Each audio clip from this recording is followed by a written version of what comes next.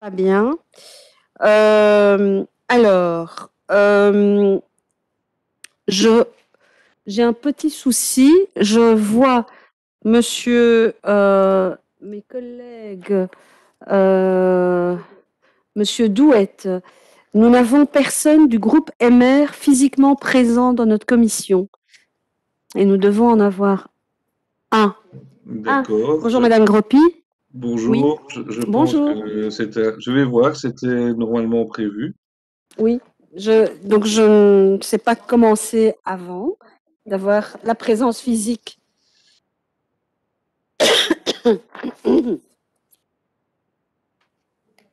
J'attends votre retour, Monsieur Douette.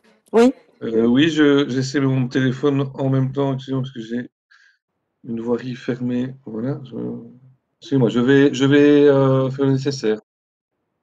merci. Pendant que je, euh, passe euh, les communications. Donc, euh, nous sommes bien évidemment encore dans la, euh, pandémie et euh, nous allons lorsqu'elle ne parle pas, mais vous pouvez l'enlever dès que vous avez la parole. Madame Gropi, est-ce que je peux pas vous demander de changer de place parce que vous êtes trop près de Madame euh, Schins Et si vous, pouvez vous mettre peut-être en face d'elle, comme ça on, respecte la distanciation. Merci. Comme il n'y a qu'une seule personne par groupe, de toute façon, on a assez d'espace. Oui, mais on en a mis partout, hein, il y en a partout. Donc, euh, voilà. Oui, mais en fait, elle aime bien d'être en face de moi, comme ça, je ne l'oublie pas. Mais je ne l'oublie pas. Elle s'est mise en rouge aujourd'hui, donc euh, je ne peux pas l'oublier. voilà. Alors, euh, nous devions nous, euh, retrouver pour le, le le groupe de travail pour demain, normalement, mais vous avez vu que nous avons une séance plénière qui commence à 10 heures et donc il ne nous est pas possible de nous réunir. Euh, donc nous avions dit, je l'avais dit d'ores et déjà, que lorsque nous avions une plénière, évidemment, elle primait sur, un groupe de travail, euh, ou lorsque nous avions euh, une actualité en plénière, notre groupe aussi passait par la suite. Ah voilà, Madame Galland. Bonjour Madame Galland, on vous attendait. non, pas de souci. Et donc, euh, alors, il est possible aussi pour notre agenda que le 24 février, euh, nous recevions euh, le délégué général aux droits de l'enfant que nous devions recevoir demain, mais il s'est postposé pour venir présenter son rapport en plénière le mercredi matin, le 24 février au matin. Et donc, je voulais vous en parler pour, pour euh, faire notre agenda euh, pour notre groupe de travail. Alors, où on peut le reporter à quinzaine, c'est-à-dire dans l'éventualité, je dis bien, que le délégué général aux droits de l'enfant vienne le mercredi 24 au matin en plénière. Si, si il y a euh, un report, évidemment que j'inscrirai euh, ce groupe de travail le mercredi 24. En conférence des présidents, on, on rectifiera. Mais si ce n'est pas le cas, ce serait le 10 mars.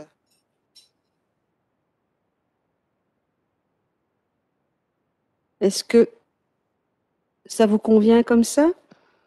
Comme ça, on peut avancer avec la conférence des présidents et prévoir les choses un peu à l'avance.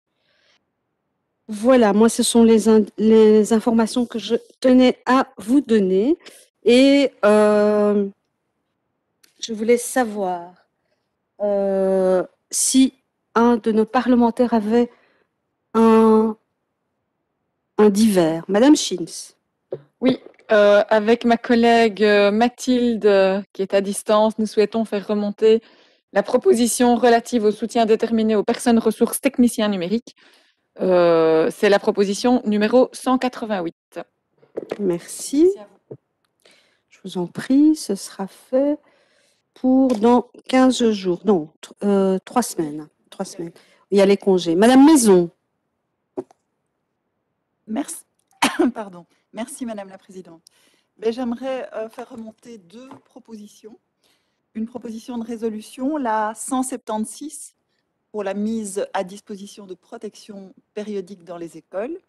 Et alors la 189, que j'avais, je dois bien l'avouer, euh, oublié de faire remonter euh, à notre précédente euh, commission, qui est euh, la proposition enseignement en immersion, immersion en anglais, en fait, à Bruxelles. Bien. Merci. Donc, pour le, la prochaine, notre prochaine commission du 23 février, nous aurons la proposition 188, 189 et 176 qui remonteront, qui seront à l'ordre du jour. Merci. Euh, oui, Madame Gropi. Pardon. Je vous... Euh, le PTB a déposé une résolution portant sur le même thème que. euh, Vous que- votre masque parce que après, on ne vous entend pas bien. Merci. Euh, le PTB a déposé une résolution portant sur le même thème que celui que vient d'évoquer Madame Maison, à savoir la mise à disposition de protection hygiénique. Du coup, je propose, si euh, les commissaires sont d'accord, de la discuter au même moment. Euh, et donc, je demande de la euh, sortir de l'arriéré également. Est-ce que cela vous convient? En fait, Madame Gropi, lorsqu'un groupe, je vous explique, Oui, oui. Mais lorsqu'un groupe souhaite faire remonter une proposition, c'est de son droit. Vous n'avez pas besoin de l'aval des autres. Voilà. Bien sûr, mais par courtoisie. Oui, bah absolument, mais je trouve, euh, oui. Voilà, je trouve pertinent de, Bien de les discuter le même jour. Ok. Euh, Vous avez le numéro de, la pro- de votre proposition, mais on va je vais attendre le chercher. 185, Madame euh, Merci, Madame Dupont me dit. Merci, Madame Dupont. 185, parfait. Donc, nous aurons la 176, la 185, la 188 et la 189 pour le 23 février. Euh, alors, juste une petite, euh, euh, toute petite information. Je ne pourrai pas présider la commission du 23 février, donc je demanderai à euh, Monsieur Douette s'il pourra être physiquement présent le 23 février euh, pour me remplacer. C'est noté, Merci beaucoup. avec plaisir. Merci. Donc, euh, plus de demandes? Non, nous clôturons ce premier point et nous en arrivons à notre point numéro 2 qui est la proposition de résolution visant à promouvoir la lecture à l'école avec les partenaires culturels et en famille. C'est le document 101. Euh, alors, évidemment, nous revenons aux discussions entamées euh, lors de notre commission du 22 septembre, qui a été aussi poursuivie euh, le 5 janvier dernier avec la proposition de résolution visant à promouvoir la lecture à l'école avec les partenaires culturels et en famille. Madame Schins, en qualité de co-auteur de la proposition, avait eu l'occasion le 22 septembre de l'introduire et d'ouvrir évidemment la discussion générale, ce qui nous avait permis euh, de faire un premier tour de table. Je rappelle que le 5 janvier, nous avons entendu euh, les six experts de terrain avec qui les échanges, je pense, étaient très enrichissants. Euh, et donc, euh, ce- c'est la suite de, ces, deux, de cette proposition. Alors, j'ouvre la discussion générale. Qui souhaite prendre la parole. Madame Schins, De manière très très brève en fait. je vous en prie, Euh, Madame C'est simplement parce que euh, bon, je ne sais pas du tout comment la majorité envisage de travailler sur ce texte, mais je voudrais rappeler que par rapport à ce qui s'est déroulé au niveau des auditions, il y a eu, à mon sens, euh, certains propos qui étaient en dehors du sujet de la résolution. Alors, la résolution concerne la promotion et la sensibilisation à la lecture, et euh, plusieurs intervenants ont parlé de l'enjeu de l'apprentissage du français à l'école, et donc des méthodes pédagogiques pour apprendre la lecture. À mon sens, et je l'ai déjà dit euh, à ce moment-là, mais je le redis ici en préambule par rapport à nos débats, euh, à mon sens, c'est un objet qui ne relève pas, en tout cas, du travail de notre commission actuellement, puisque les référentiels sont en cours, ils sont en lecture au gouvernement, d'après les informations que nous avons reçues. Euh, et la ministre nous l'avait confirmé. Et puis, ces référentiels doivent être déclinés en programme. Deuxième euh, élément que je voulais souligner ici, dans le, certains intervenants ont aussi évoqué la formation initiale, qui a, évidemment un lien, parce que pour faire apprendre à lire, il faut soi-même avoir appris euh, des méthodes d'apprentissage à la lecture en fonction des enfants qu'on a en face de soi, en fonction des, méthodes qui existent, etc. Euh, et pour moi, et la formation initiale, et l'enjeu des contenus des référentiels et des programmes, et donc des contenus et des méthodes, ces enjeux-là sont en dehors du scope qui était initialement visé par ma résolution. Et donc ça, je souhaiterais vraiment peut-être que la majorité puisse me dire comment elle a perçu les différentes interventions de certains intervenants. Alors pas tous, hein, certains étaient effectivement bien en lien avec euh, l'enjeu de promotion, de sensibilisation, d'action concrète sur le terrain. Mais d'autres, je pense, sont partis vraiment dans des considérations en lien avec, euh, avec ces deux points que j'évoque, à la fois les référentiels, le contenu et les programmes, la méthode, mais aussi avec la formation initiale. Et donc, j'aurais aimé savoir comment la majorité envisageait de travailler par rapport à, à ces auditions que nous avons eues. Merci. Merci, euh, Madame Schins. Madame Alouche? Merci Madame la Présidente, bonjour à tous. Alors, euh, en effet, on, a tous relevé euh, cette, euh, cette, distinction qui a été faite par certains intervenants sur l'usage de, la lecture d'un point de vue compétence, apprendre le, codage, le décodage, et, la promotion et le plaisir de, la lecture. Par contre, on a aussi relevé que il y avait un lien entre les deux et qu'on avait même quelqu'un qui avait même évoqué le fait que avec des difficultés d'apprentissage à la lecture, ben, ça pouvait même avoir un effet euh, comment euh, terrible sur le plaisir de lire parce que ça pouvait même aller à l'encontre de ce plaisir de lire. Donc euh, pour nous, il est difficile de, de, dissocier les deux. Si Madame Alouche, quelqu'un d'autre, Madame, Monsieur? Douette. Pardon, je n'avais pas vu son, sa main. Monsieur Douette? C'est Madame Galland qui me dit que vous aviez. Oui, oui j'avais levé la main. Ah, pardon, euh, je ne vous avais pas vu, Monsieur Douette. Euh, désolé. pas de souci, pas de souci. Euh, mais je pensais qu'il y avait. J'avais vu Monsieur Florent juste avant moi, donc. donc Monsieur Florent. Mais pas de souci. mais oui, effectivement, Madame Ching, on, on, a, on, a, on a la même analyse que vous, mais c'est par nature euh, la qualité des intervenants qui prenaient la parole, puisqu'on avait euh, euh, des personnes qui faisaient partie de l'associatif et d'autres qui faisaient partie du milieu scolaire en tant qu'inspecteur ou inspectrice notamment. Je prends l'exemple de Mme Dispib et c'est logique qu'on arrive à, deux visions qui sont un peu structurellement différentes, même si je rejoins ma collègue à Louche en disant qu'effectivement il y a un lien. alors il faudra déterminer tous ensemble parce que je crois que nous avons un objectif commun euh, que ce soit dans la partie scolaire, et là il y a un groupe de travail qui euh, et un groupe d'experts qui travaillent sur le sujet et ils reviendront certainement avec leur analyse, euh, que ce soit notre vision de la promotion de la lecture. Il y a la base de votre résolution qui, qui, est, qui est intéressant pour partie, mais je pense qu'il il y a lieu de la compléter, de retravailler tous ensemble sur, par exemple, on n'aborde pas la lecture du numérique, vous parlez du lien avec la famille, même si je le retrouve un peu dans votre résolution, je ne le retrouve pas de manière euh, assez intense, peut-être euh, au goût de mon groupe. Et donc là, il y a peut-être un, travail euh, de fond à faire tous ensemble. Je ne sais pas comment on peut l'organiser. On peut en discuter tous ensemble afin de, je dirais, de, faire grandir ce document. Moi, je vois qu'on impose aussi toute une série d'éléments avec des, collaborations. Moi, sur ma commune, j'ai déjà euh, des collaborations avec d'autres acteurs. Je n'ai pas envie spécialement qu'on m'impose ceux qui sont dans votre résolution, euh, alors qu'ils font exactement le même genre de travail. Je voyais plus ça sous forme peut-être, et ça s'est fait dans d'autres domaines, euh, sous forme de charte que les communes pourraient signer entre et soutenues par la Fédération Wallonie-Bruxelles, avec toute une série de critères à, à atteindre, une espèce de label, si vous voulez, euh, que l'on peut peaufiner, dans lequel on peut retrouver l'ensemble des éléments de votre résolution, mais on peut ajouter d'autres d'autres éléments qui ont été indiqués par les différents intervenants et euh, arriver à pouvoir co-construire quelque chose et permettre à l'ensemble peut-être des pouvoirs locaux de correspondre à ce label, de travailler avec leurs acteurs de terrain, leurs acteurs locaux. S'ils n'en ont pas, ben, on fait référence à tous ceux qui sont précités dans votre résolution.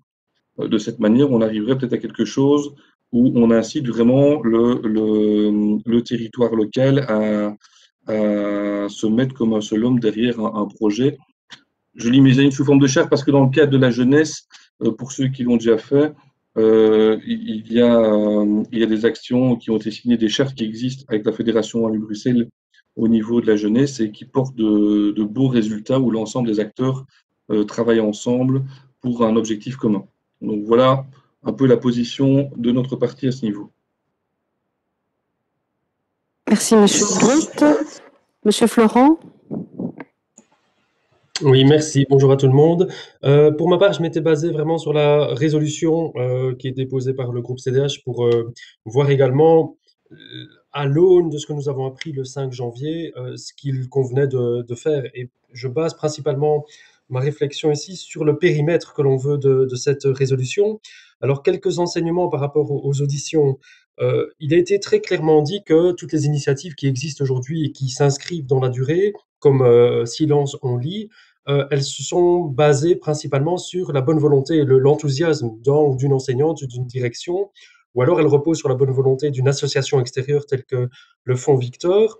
Et donc, ça m'amène à euh, avoir une petite réflexion sur le deuxième point de la résolution, qui est de proposer à toutes les écoles de l'enseignement obligatoire en Fédération Wallonie-Bruxelles un programme de grande ampleur, Silence, on lit.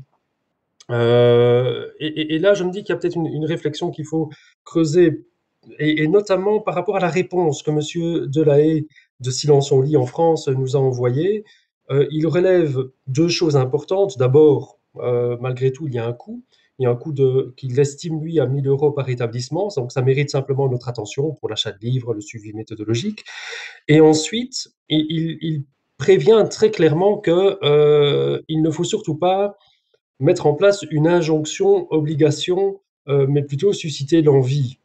Et donc, euh, il, il, nous, en tout cas, il, attire notre attention sur le risque de régler ça par une circulaire ou par une demande claire. Toutes les écoles doivent euh, réaliser ce, programme. Je ne dis pas que c'est ça hein, qui est l'intention du, du, CDH, mais je dis simplement, voilà, il y a ici un, en tout cas un point d'attention et je voulais euh, qu'on qu en tienne compte. Par ailleurs, par ailleurs, il, il, a très bien expliqué la méthodologie qui est derrière. Il y a les cinq règles euh, qui sont faciles à, comprendre, assez intuitives, qui, relèvent du bon sens, le silence, quotidienneté, la participation de tous, la lecture de livres et la liberté totale pour cette lecture. Mais il y a également, on l'a bien entendu, une méthodologie qui, n'est pas du tout spontanée, qui est vraiment euh, euh, une méthodologie conçue et qui a une certaine expérience ça également, c'est un point d'attention, je pense, si on veut amplifier l'initiative dans les écoles. Alors, il y a un, aspect qui n'est pas clair pour moi, c'est l'usage euh, des tablettes, de liseuses. Hein, connaissant les, problèmes de lecture d'enfants dyslexiques et, l'usage de matériel adapté pour leur permettre de lire plus facilement, je, m'étais dit personnellement, a priori, une liseuse munie d'écouteurs pour ne pas perturber le, le, silence aurait pu être une bonne solution dans le cadre de Silence on lit, mais M. Delahaye déconseille en fait de sortir du livre. Ça vaut peut-être aussi la peine d'une petite réflexion, même si ce n'est pas le, thème central aujourd'hui, mais euh, est-ce que euh, l'argument étant hein, de M. Delahaye que les 15 minutes de silence on lit, ce ne sont pas un exercice ou un programme où il s'agit de, euh, de donner les mêmes chances aux enfants face à un travail à réaliser, il s'agit que, entre guillemets, de susciter le plaisir, le plaisir d'ouvrir le livre, d'appréhender le livre à son rythme, dans le programme Silence on lit, hein, toujours. Donc euh, là, il y a peut-être aussi un point qu'il faut en tout cas avoir euh, à l'attention. Alors, ceci m'amène aussi au, point numéro 6 de la résolution. Hein, c'est pour ça que je dis, je me suis vraiment basé sur ce qu'il y avait dans, le texte. Et le point 6, c'est prendre contact avec des maisons d'édition en vue de négocier un accès à une plateforme de 1500 livres électroniques aux écoles et aux élèves à un prix minimal. Alors, comme je l'avais déjà signalé en septembre, il existe en fait une plateforme des bibliothèques de la Fédération Wallonie-Bruxelles qui s'appelle Lirtuel, où vous pouvez déjà emprunter, télécharger gratuitement des milliers de livres. Et, euh, à l'époque, j'avais relevé qu'il y avait 7900 livres, et notamment, bien entendu, hein, des livres jeunesse. Et donc, je pense que là, il y a plutôt un partenariat qui, qui y aurait lieu de, faire avec Virtuel, voir comment on peut éventuellement soutenir l'action, améliorer l'irtuel ou améliorer sa promotion. Et donc, en conclusion de tout ça, je soulignerai simplement deux, trois, points d'attention importants. D'abord, il y a des coûts analysés. 1000 euros par établissement si on veut un, programme de grande ampleur dans les écoles de la Fédération Wallonie-Bruxelles, qui devrait être certainement hein, modulé par rapport aux, écoles. Les grandes et les petites écoles, c'est sans doute pas les mêmes prix, mais enfin voilà, il y a aussi cela à prendre en compte. Il y a les 25 euros de chèque lire pour les enfants qui ont passé leur CEB, c'est une des propositions de la résolution. Et puis il y a le coût aussi de la campagne promotionnelle de la RTBF. Donc je, pense que là, il y a peut-être, euh, on devra sans doute creuser si on garde ces aspects-là dans la résolution. Et tout ceci m'amène à dire que finalement, l'action la plus euh, adéquate par rapport à ce que j'ai entendu hein, lors des auditions pourrait être simplement, entre guillemets simplement, mais un appel à projet. Un appel à projet à destination des écoles de la Fédération Wallonie-Bruxelles qui le souhaitent. Et là, on, rejoindrait le, point d'attention très important de M. Delahaye de dire il faut vraiment que des enseignants, des directions euh, s'inscrivent avec volonté dans, ce programme. Donc vraiment à destination des écoles qui, sentent qu'elles peuvent mettre ce programme euh, Silence on lit en place, avec évidemment un budget, un budget à la clé euh, qu'il faudra définir, et surtout le suivi de ces écoles par le secteur associatif qui est déjà actif sur la thématique. Là, je pense au Fonds Victor, à d'autres, mais qui, qui, sont déjà présents. Et là également, un partenariat avec la Fédération Wallonie-Bruxelles pourrait être envisagé pour permettre à ces, à ces initiatives euh, associatives bah, d'avoir euh, effectivement un, soutien leur permettant d'assurer un suivi au sein des écoles.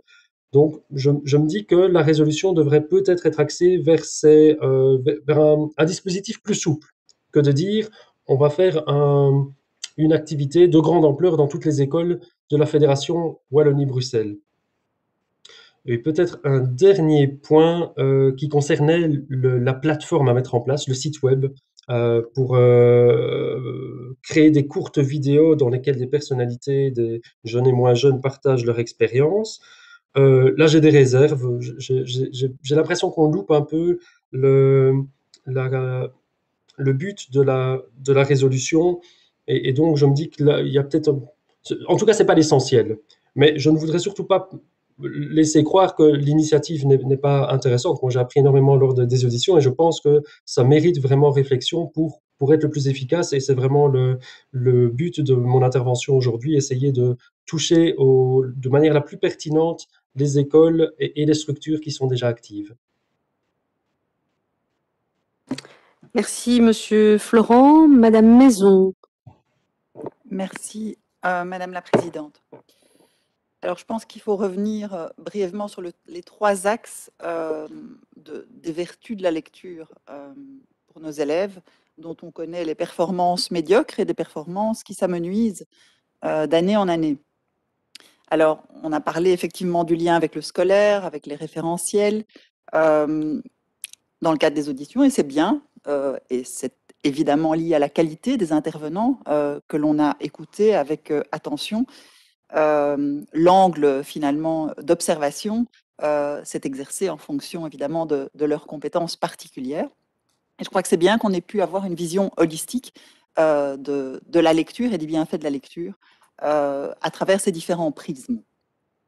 Alors, le, premier aspect est évidemment l'aspect scolaire, l'aspect apprentissage de la lecture, l'aspect acquisition de compétences, l'aspect langage, l'aspect vocabulaire. Le deuxième aspect, c'est l'aspect euh, empathie et intelligence émotionnelle. On le sait, le fait de pouvoir euh, très tôt euh, s'approprier, lire des histoires, des, récits fictionnels, permet d'accroître son intelligence émotionnelle parce que les enfants se mettent à la place de ces personnages et apprennent à connaître les émotions des autres. Je crois qu'il y a là une dimension importante aussi pour le niveau scolaire et donc qui intéresse euh, au-delà du plaisir de lire notre commission, c'est euh, la lutte contre le harcèlement scolaire ou la prévention du harcèlement scolaire par l'accroissement de l'empathie euh, auprès des élèves qui sont touchés évidemment par la lecture. Ensuite, je dirais le, troisième grand axe pour moi de, vertu de la lecture, c'est simplement le plaisir. Or, on le sait, et ce sera en lien avec la proposition qu'on va examiner juste après, la santé mentale se dégrade de plus en plus auprès de nos jeunes, que ce soit les jeunes enfants ou les adolescents. et donc, donner du plaisir, c'est très très important, d'autant plus que, on le sait aussi, l'acquisition de compétences langagières mène à la culture et la culture mène euh, aux acquisitions de compétences euh, langagières. Et donc, on, s'inscrit là dans un cercle vertueux dont on sait aussi à quel point la culture, la langue sont importants pour la construction de l'identité de l'individu. Donc, quand j'examine, et, je l'ai fait euh, hier, un petit peu ce qu'on fait en France, alors là, les compétences, euh, j'ai regardé les études, les compétences sont globalement meilleures, les compétences en lecture et le, plaisir et, euh, l'intérêt du livre est également euh, plus important pour les jeunes en France par rapport aux jeunes en Fédération Wallonie-Bruxelles. Il y a un sondage Ipsos qui a été réalisé. Alors, parmi les, les je ne vais pas toutes les détailler évidemment, Parmi les initiatives en France, eh bien, ce sont des initiatives qui sont prises, évidemment, c'est un pays où la centralisation est beaucoup plus grande, donc c'est différent, on ne peut pas comparer non plus des pommes et des pois, mais euh, il y a des, opérations de grande envergure. Bien sûr, en lit, vous pensez bien que je n'allais pas me priver d'une occasion d'en parler, euh, mais aussi euh, des lignes et des rimes, par exemple, qui est une opération qui se déroule depuis 15 ans en collaboration avec la RATP, où où il y a des, poèmes, c'est un concours de poésie et il y a plus de 10 000 participants par an. Ensuite, parmi ces 10 000 participants, il y a 2 000 jeunes. Euh, et ensuite, il y a 10 000 poèmes euh, qui sont, euh, les poèmes des lauréats sont, sont, affichés dans 10 000 endroits à Paris où, en fait, ils peuvent être valorisés. Les 100 premiers lauréats sont édités par Gallimard. Euh, donc en partenariat avec Gallimard, dans un petit recueil. Et donc, il y a une, valorisation de, de, ses compétences en lecture, en poésie, qui en plus s'affiche dans l'espace public et qui permet à tout le monde d'en profiter. Il y a Partir en livre, qui est une opération du ministère de la Culture de grande envergure aussi. Il y a les concours d'éloquence, hein, on le sait, vous avez vu sans doute un certain nombre de, de, films euh, ou de reportages qui ont été réalisés dans les zones d'éducation prioritaire sur les concours d'éloquence. On voit combien ces jeunes euh, reprennent goût à la lecture, reprennent goût même à l'école. Et en plus, euh, au-delà de ça, il y a un effet évidemment de contagion positive par rapport à l'entourage et par rapport à leur carrière professionnelle. Tout ça pour dire, tout ça pour dire, Madame la Présidente, Mesdames et Messieurs, que lorsqu'on lit la proposition euh, du CDH, euh, on ne doit pas nécessairement, comme l'ont fait certains orateurs avant moi, en isoler les éléments qui euh, pourraient constituer des obstacles. Moi, j'aurais plutôt envie d'être positive et qu'on se dise ici, ben, en tout cas de mon point de vue, il y a trois axes qui sont très très intéressants à explorer. Le premier, c'est l'évaluation du plan lecture 2015. Il y a eu un plan lecture qui a été d'ailleurs construit par Madame Schintz eh bien, ce serait, euh, ce serait le, moment, six ans après, de l'évaluer, ce plan lecture. Euh, ensuite, de l'amender. C'est aussi une des propositions euh, de la résolution, c'est amender ce plan lecture. Qu'est-ce qu'on peut faire en sorte, comment on peut faire en sorte d'améliorer ce plan lecture? Qui peut s'opposer à ça finalement? Et, peut-on trouver un, consensus ici en commission pour s'atteler à évaluer ce plan et à l'amender? Ensuite, l'opération euh, Silence en lit, ben, je, me distancierai un petit peu de, des propos euh, de M. Florent. Il est clair que M. Delahaye euh, a indiqué qu'il y avait un, carcan, des obligations, etc. Mais je crois que tant pour Silence en lit, dont les vertus ont été largement éprouvées en France, éprouvées, éprouvées, que pour les autres opérations qui sont menées en France, ce n'est pas le, but de, notre but n'est pas tellement euh, de, contraindre, n'est pas du tout de contraindre les établissements à s'inscrire dans ces plans. Le but, c'est de les faire connaître mieux. Et on le sait, il y a plein d'établissements qui ne connaissent pas euh, ces opérations. Et donc l'idée, c'est de mettre à disposition des écoles, des établissements, des PO, des réseaux, des enseignants, des familles aussi, puisque la proposition du CDH touche les familles, toute une série d'outils qui pourraient accroître l'intérêt des jeunes pour la lecture. Et je crois qu'on ne peut pas balayer cette proposition de résolution et je crois qu'il faut en construire une, majorité opposition, tous ensemble, pour pouvoir justement rencontrer ces trois grands objectifs euh, qui sont l'évaluation du plan lecture, euh, les amendements apportés au plan lecture et alors donner un écho, un rayonnement à une série d'opérations, dont Silence on lit, à laquelle je suis particulièrement attachée, euh, et voir comment on peut mieux les faire connaître et faire en sorte que les PO, les réseaux et les écoles puissent mieux se les approprier. Merci. Merci, Madame Maison. Il y avait Monsieur Suarez, Madame Alouche, Madame Gropi, et puis seulement Madame Chine, si vous voulez bien. Monsieur Suarez. Merci, Madame la Présidente. Je ne vais pas être très long, puisque je pense qu'il y a beaucoup d'éléments intéressants qui ont été avancés par mes collègues. J'aimerais juste revenir sur le fait que, euh, et compléter ce que euh, ma collègue Madame Alouche a dit, euh, concernant, je vais dire, l'échange sur le fait qu'on sorte du cadre. Et je, comprends Madame Schins lorsqu'elle dit qu'il faut rester sur le cœur du sujet. Je le comprends. Néanmoins, euh, pour moi, il y a quelque chose de fondamental si nous voulons que tous les publics soient inclus dans ce projet qui est un projet qui est extrêmement important, qui va au-delà de la lecture, qui euh, euh, est un outil de cohésion aussi. Parce que moi, quand je vois en France les concours d'éloquence, euh, l'engouement qu'il y a dans certains quartiers que l'on, euh, où le français n'est pas la langue maternelle la plus utilisée, et d'ailleurs certains lauréats viennent de ces quartiers populaires, je pense que c'est important euh, de tenir compte de la question des méthodes d'apprentissage. Parce que tout le monde n'a pas la langue française comme, comme langue maternelle à la maison. Et si on veut susciter le plaisir de lire, si on veut susciter euh, la nécessité pour les enfants d'appréhender le livre, l'objet livre comme étant un objet de plaisir, il est important qu'on leur donne aussi par les méthodes d'apprentissage le goût d'arriver à l'amour de la langue française. Et ça, on le sait, euh, parfois, la texture des langues n'est pas la même. Euh, l'allemand, si j'ai l'allemand comme langue maternelle, c'est une langue saxonne. Euh, le français est une langue latine. Parfois, on a euh, dans la tête des difficultés à pouvoir faire les liens nécessaires. Donc, je pense qu'il est euh, fondamental à ce niveau de tenir compte des méthodes d'apprentissage et pour certains publics, oui, voir quelles sont les méthodes les plus adaptées en termes de différenciation, en termes d'accompagnement personnalisé pour susciter le plaisir de lire, d'amener ces enfants-là par des méthodes d'apprentissage particulières. Je pense que ce n'est pas élargir le scope de, la résolution en disant ça, mais c'est euh, vouloir contribuer à l'objectif initial qui est celui d'amener tous les enfants à l'amour de la, lecture.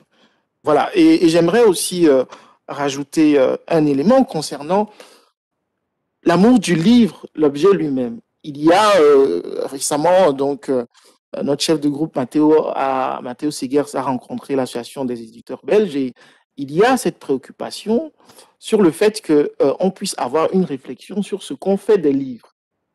Il y a toute une réflexion sur l'économie circulaire concernant les livres qu'il faut avoir à l'école et amener les enfants à avoir l'amour de l'objet aussi, au-delà de ce qu'on trouve sur Internet. Ils sont déjà euh, sur les, plateformes et tout ça, ils sont déjà en, en, souvent, euh, ils font face aux écrans.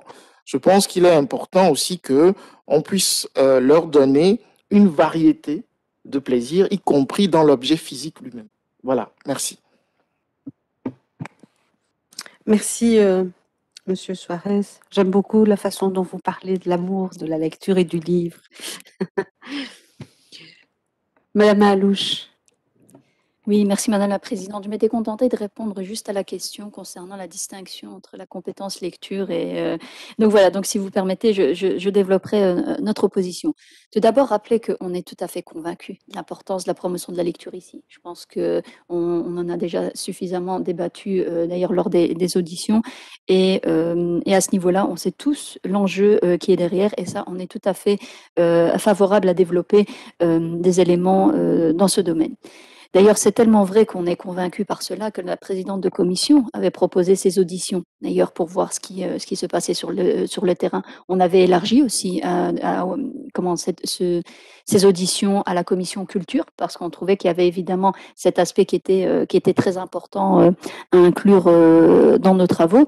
Et donc, c'est dire si euh, pour nous, il y a vraiment euh, comment un aspect euh, transversal, mais aussi un aspect spécifiquement lié à la compétence lecture.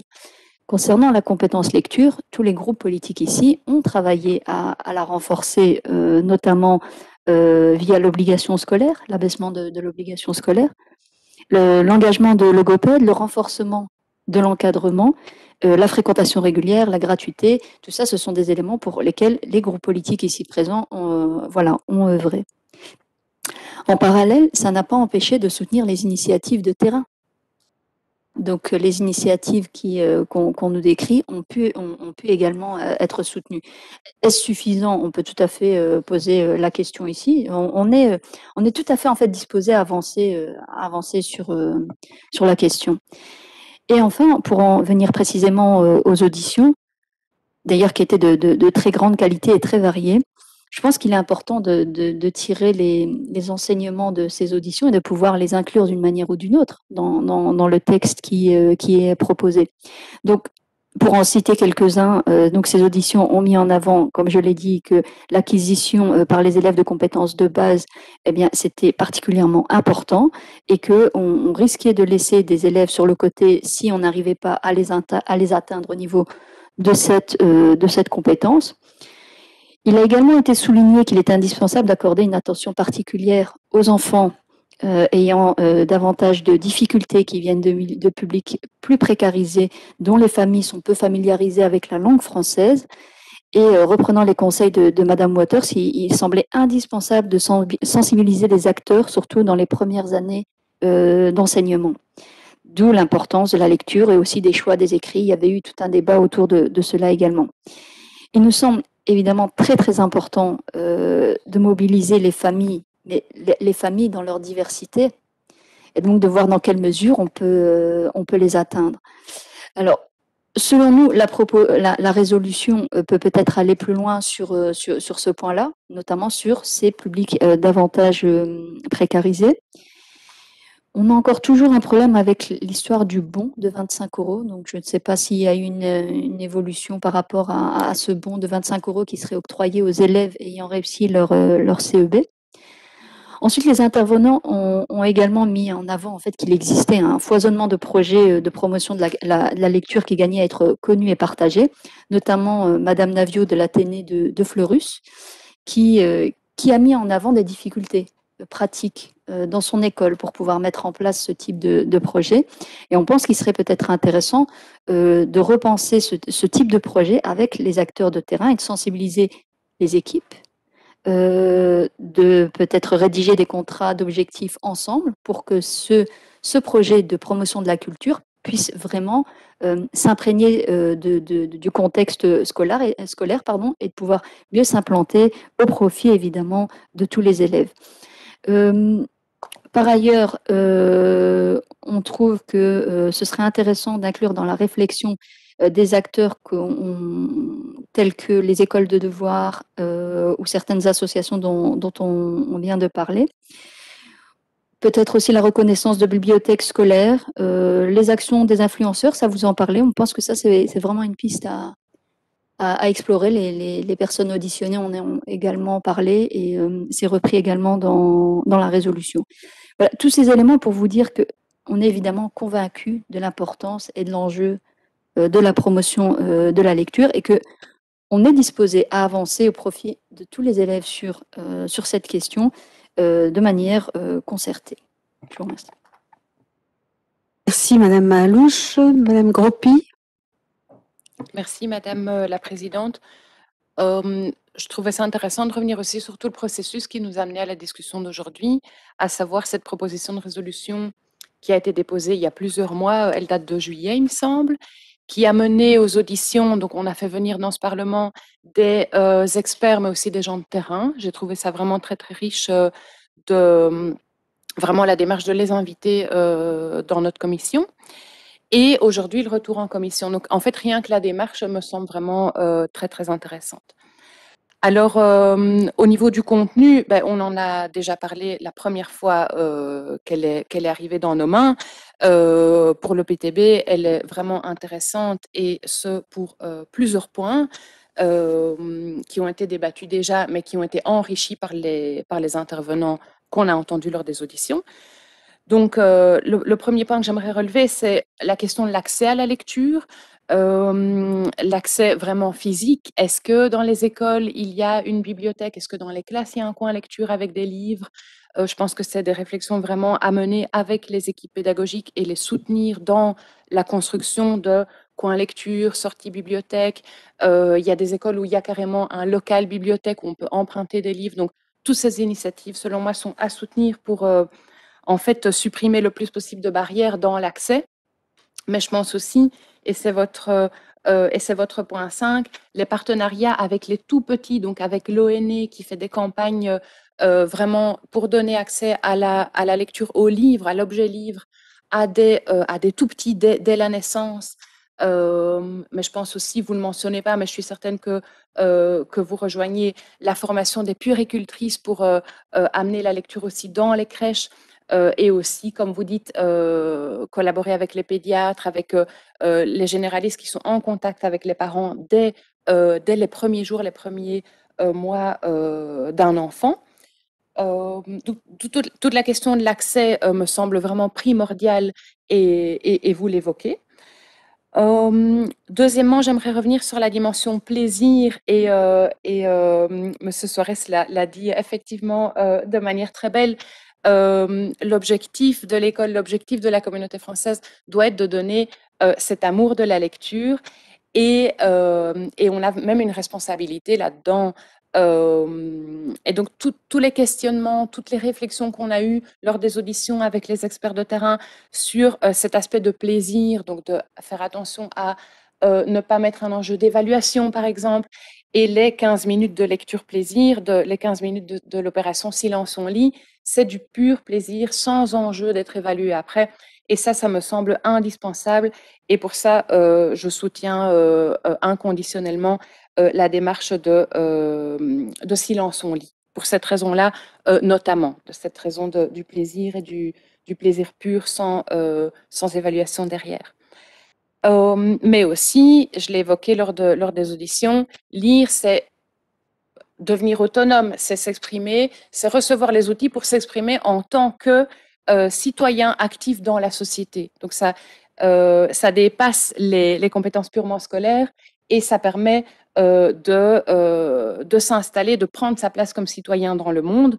Et donc, oui, Madame Schintz, la, discussion, elle dépasse la, la pure, le pur moment lecture de l'école on a touché également à la formation des enseignants, formation initiale, formation continue. Ça m'a semblé indispensable.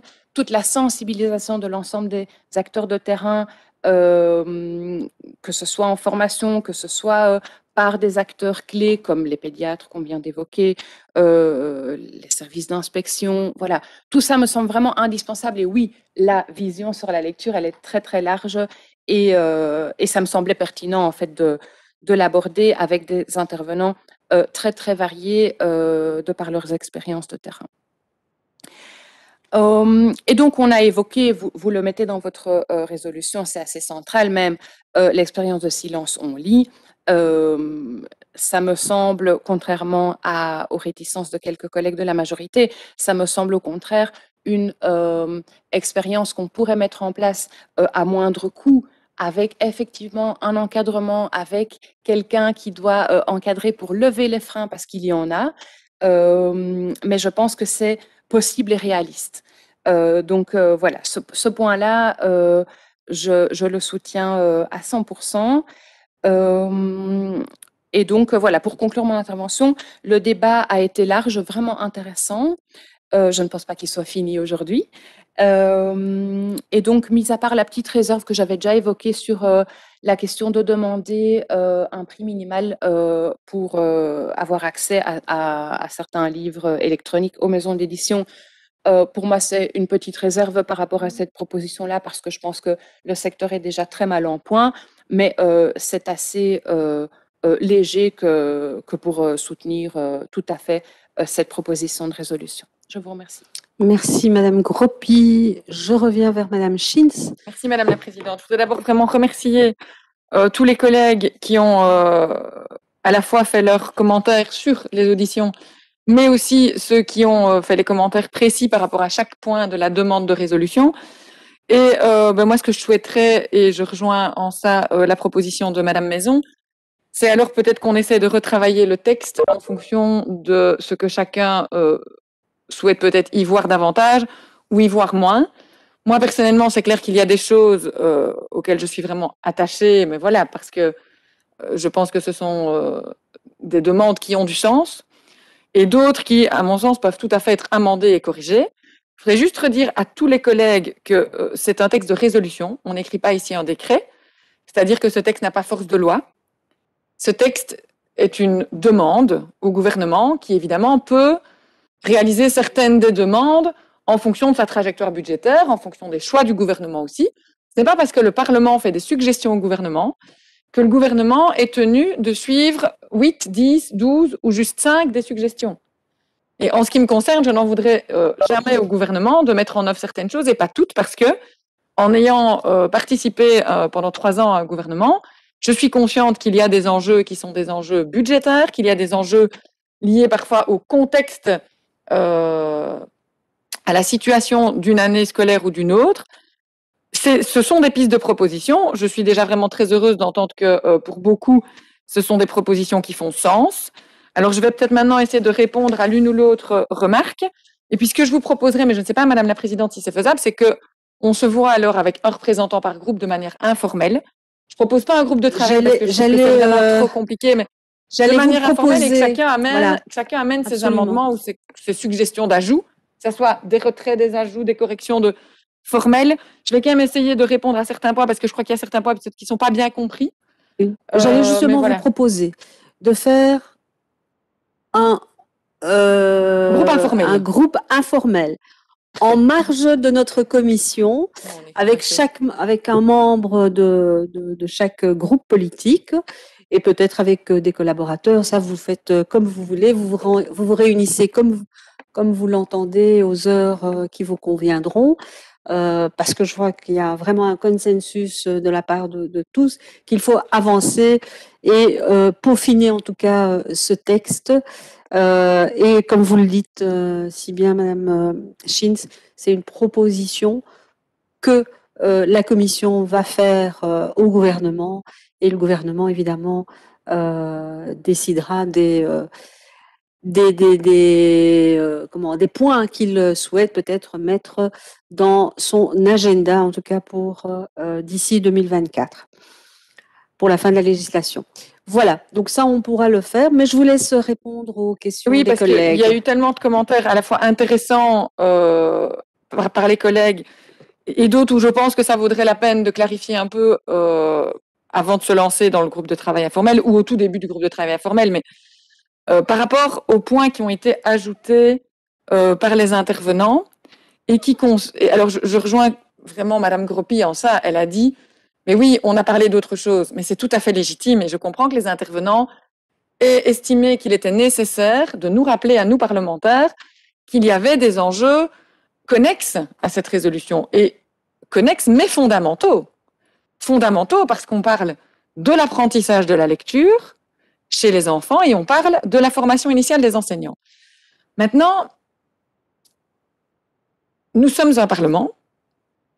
Nous n'avons pas, je pense, ici, tous les leviers en main pour discuter des méthodes d'apprentissage. D'abord parce qu'il y a un principe de la Constitution qui parle de l'autonomie pédagogique et donc les méthodes d'apprentissage, elles relèvent aussi et surtout des réseaux et des enseignants. Ça, Monsieur Suarez, je, je peux pas m'empêcher de vous le dire parce que je- j'entends bien ce que vous dites par rapport à l'enjeu qu'il ne faut pas la même méthode pour tous les enfants et que pour certains enfants, mais bien sûr, ce n'est pas leur langue maternelle et donc la méthode doit être complètement différente. Mais je ne suis pas sûre du tout, je veux bien le vérifier, que nous avons dans ce Parlement et dans cette commission un bras de levier que pour donner des injonctions par rapport aux méthodes. Et donc ça, je tiens vraiment à le redire. Je suis même sûre du contraire qu'on ne peut pas donner d'injonction, mais voilà. euh, donc ça, je tiens à redire que bien sûr que pour moi, c'est très important l'apprentissage de la lecture, mais je ne pense pas que nous ayons euh, le levier ici pour le moment. Pourquoi? D'abord parce que le travail est en cours. Le travail est en cours et il est en voie de finalisation dans les référentiels, puis il le sera dans les programmes. Et donc, quand M. Douette nous dit euh, nous avons un objectif commun, il y a un groupe d'experts sur le sujet. Je suppose que M. Douette euh, évoque les GT référentiels, et donc autrement dit, toutes ces personnes qui ont travaillé au référentiel français, et pas que français. Donc ça, je voudrais vraiment être sûr que c'est bien de ça dont il parle, parce que s'il y a un groupe d'experts qui travaille sur la lecture pour le moment, moi personnellement, je ne suis pas au courant. Donc si c'est bien le groupe GT référentiel, euh, c'est ça que vous vouliez dire, M. Douette? Ok, parfait. Eh bien, je pense que c'est à eux de travailler là-dessus et pas forcément à nous, ici, euh, d'entrer là-dedans au Parlement. Ça, c'est le premier point. Ça répond sur l'enjeu de l'apprentissage à la lecture. Sur la formation initiale, en fait, j'ai envie de vous dire, je ne demanderai pas mieux que de travailler sur un texte de la formation initiale. Mais votre majorité n'a pas encore amené ce texte au sein de notre Parlement. Il a été voté en 2019 quand c'était encore le ministre Marcourt. Et puis, la majorité actuelle a décidé de revoir le travail. C'est comme ça. Moi, je ne vais pas faire le débat ici là-dessus.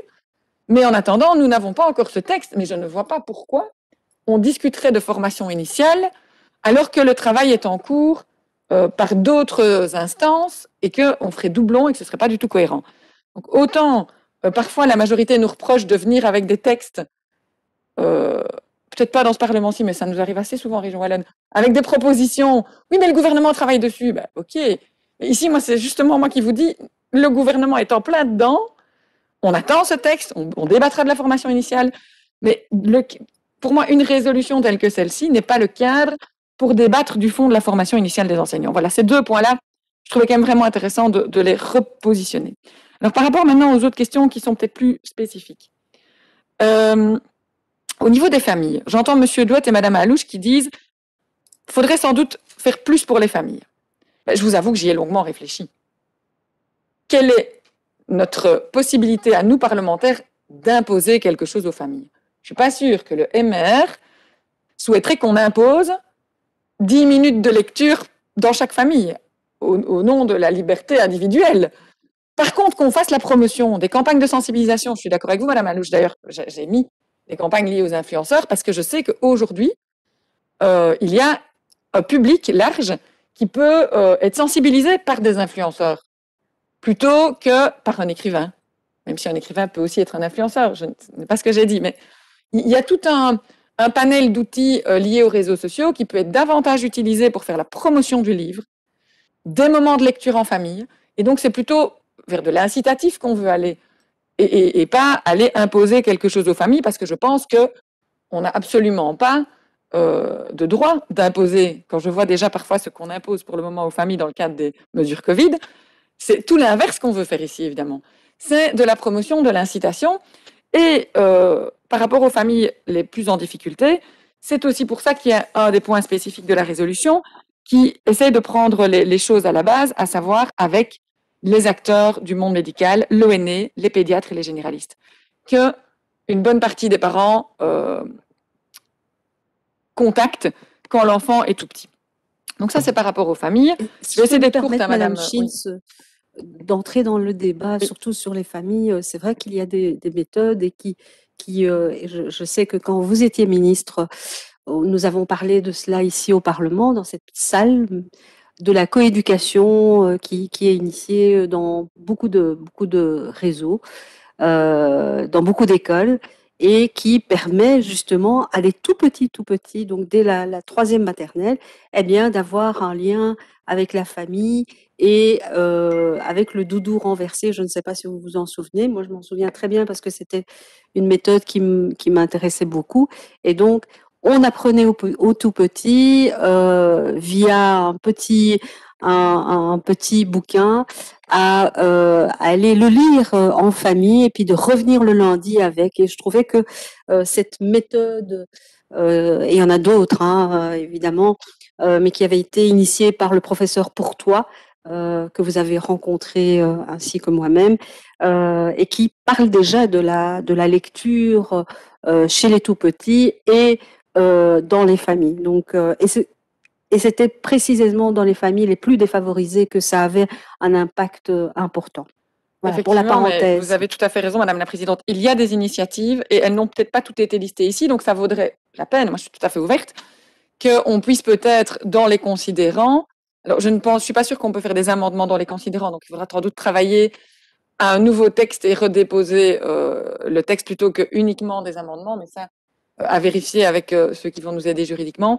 Et si à un moment donné, certains parmi vous souhaitent citer des initiatives qui paraissent positives dans les considérants, je trouve ça tout à fait légitime.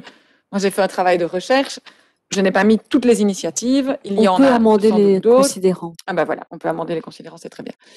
Euh, je vais essayer de pas être trop longue parce qu'on a d'autres débats qui nous attendent aujourd'hui et qui sont importants. Simplement, euh, pour essayer de répondre quand même à encore l'une ou l'autre remarque. Euh, aucun point actuel de la résolution n'impose quelque chose. Il n'y a aucune imposition. Toutes les formulations sont des suggestions et des propositions. Donc, il n'est absolument pas dans l'intention du CDH d'aller dire à toutes les écoles qu'elles doivent organiser Silence on lit ou un autre programme. Le point 2, si vous le lisez vraiment, c'est proposer quelque chose. Et donc, l'idée d'un appel à projet, mais Monsieur Florent, je ne vous cache pas que c'est aussi à ça que je pensais. Je m'étais dit, nous, on propose, et puis la ministre décide comment elle le met en œuvre. Si elle décide de faire un appel à projet ou autre chose, c'est à l'exécutif, finalement, d'exécuter. Mais je vous rejoins tout à fait sur l'idée de l'opportunité de passer par des appels à projets. Soyons très concrets, parce que vous avez relevé la question du coût. Euh, les associations qui sont des accompagnateurs potentiels de ces projets, que ce soit le Fonds Victor, euh, Silence on lit ou d'autres, ces associations, euh, elles ne sont pas ultra nombreuses et on n'aura pas non plus les moyens humains pour accompagner toutes les écoles d'un seul coup. hein. Donc, très progressif, avec un appel à projet avec euh, quelques écoles, et puis essaimer progressivement, voir que les accompagnateurs forment les, uns et les autres et qu'on fasse comme on l'a prévu et comme on l'organise par rapport aux, premiers soins euh, de réanimation. Tout ce qui est réanimation cardiaque, bien, ce sont les professeurs d'éducation physique qui sont formés, puis qui forment leurs élèves et puis qui re- reforment d'autres. Et en fait, on, on fait une, une chaîne de ce genre-là. À mon sens, ce n'est pas à nous de trancher tout ça ici dans le cadre d'une résolution. C'est plutôt évidemment, alors à partir du moment où le gouvernement décide de se saisir de ça, et on ne sait pas s'il le fera, hein, je le dis bien, eh bien, il a différents leviers, comme notamment les appels à projets. Donc ça, je pense que c'est tout à fait euh, euh, intéressant de le dire. Sur l'enjeu du coût, euh, oui, évidemment, il y aurait le coût de l'accompagnement, mais il y a aujourd'hui des budgets euh, dont dispose la ministre de l'Éducation pour tout un tas de sortes d'appels à projets. De nouveau, c'est un choix à poser. Et, très clairement, il ne faut pas, à mon sens, dire on va mettre les 2267, parce que j'ai été vérifié, qui sont le nombre d'écoles, euh, je vous donne le chiffre exact, 2627, pardon, écoles. Il ne faut pas les mettre en route tout en même temps. Ça n'a juste aucun sens et ce ne serait absolument pas gérable. Donc il faut fonctionner avec un projet de grande ampleur, mais qui se met en place de manière progressive, à mon avis. Et ça, on peut, soit on décide de donner nous-mêmes quelques balises, soit on laisse aussi le gouvernement euh, gérer. J'ai envie on peut en de vous dire, on peut en discuter ensemble, euh, sans souci.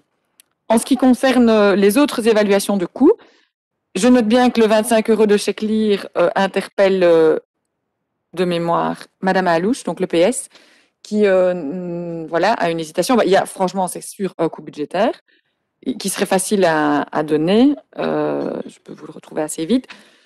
Et là, bah, c'est au gouvernement peut-être d'en avoir l'opportunité, ou nous, on décide de l'enlever parce qu'on estime que, comme c'est un coût, on ne le fait pas. Mais on parle à la fois des difficultés des, des éditeurs, des maisons d'édition et des libraires, je dirais encore plus, aujourd'hui. Le fait d'avoir un chèque à utiliser physiquement et non pas, par exemple, virtuellement, dans une vraie librairie, pour moi, ça fait sens.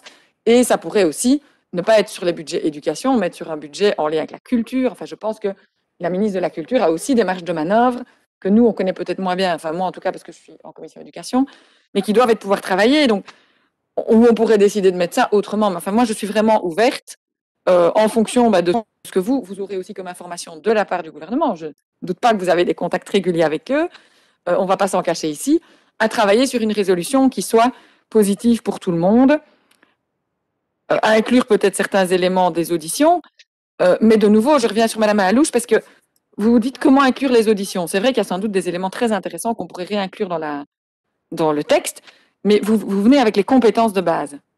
C'est important. Mais oui, bien sûr, mais tout ça est dans les référentiels. C'est pour ça qu'à mon sens, il ne faut pas faire doublon pour mettre ceci dans une résolution. Euh, L'enjeu du choix des livres, ce sera à mon sens aussi dans les programmes. Alors maintenant, est-ce qu'on décide de mettre une suggestion euh, ou un point d'attention il faudrait y réfléchir. Euh, par, rapport justement à l'enjeu du choix des livres en fonction euh, des familles et de la réalité différente. Hein, donc c'est un peu, Monsieur Soares, c'est vous qui, venez là-dessus. Euh, voilà, je pense que j'ai essayé de, voilà, de, balayer. Il y, a, beaucoup de remarques, je pense qu'on peut intégrer, et d'autres où je m'interroge plus sur l'opportunité de les mettre dans un texte qui est, je le rappelle, une résolution. Donc on en fasse des points d'attention pour les, les ministres, quels qu'ils soient. Ça se passe aussi par des interpellations et par d'autres choses qu'une qu résolution.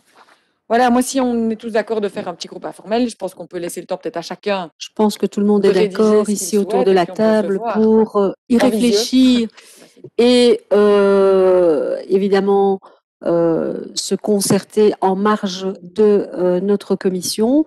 Euh, il est évident que nous pouvons être, nous pouvons enfin, être le relais pour les, pour le, la suite pour organiser euh, les réunions, euh, mais ce sera non officiel jusqu'au moment où on reviendra en commission avec quelque chose, avec le texte, avec un autre, un nouveau texte, avec euh, d'autres propositions. Je ne sais pas comment va évoluer en tout cas euh, celui-ci.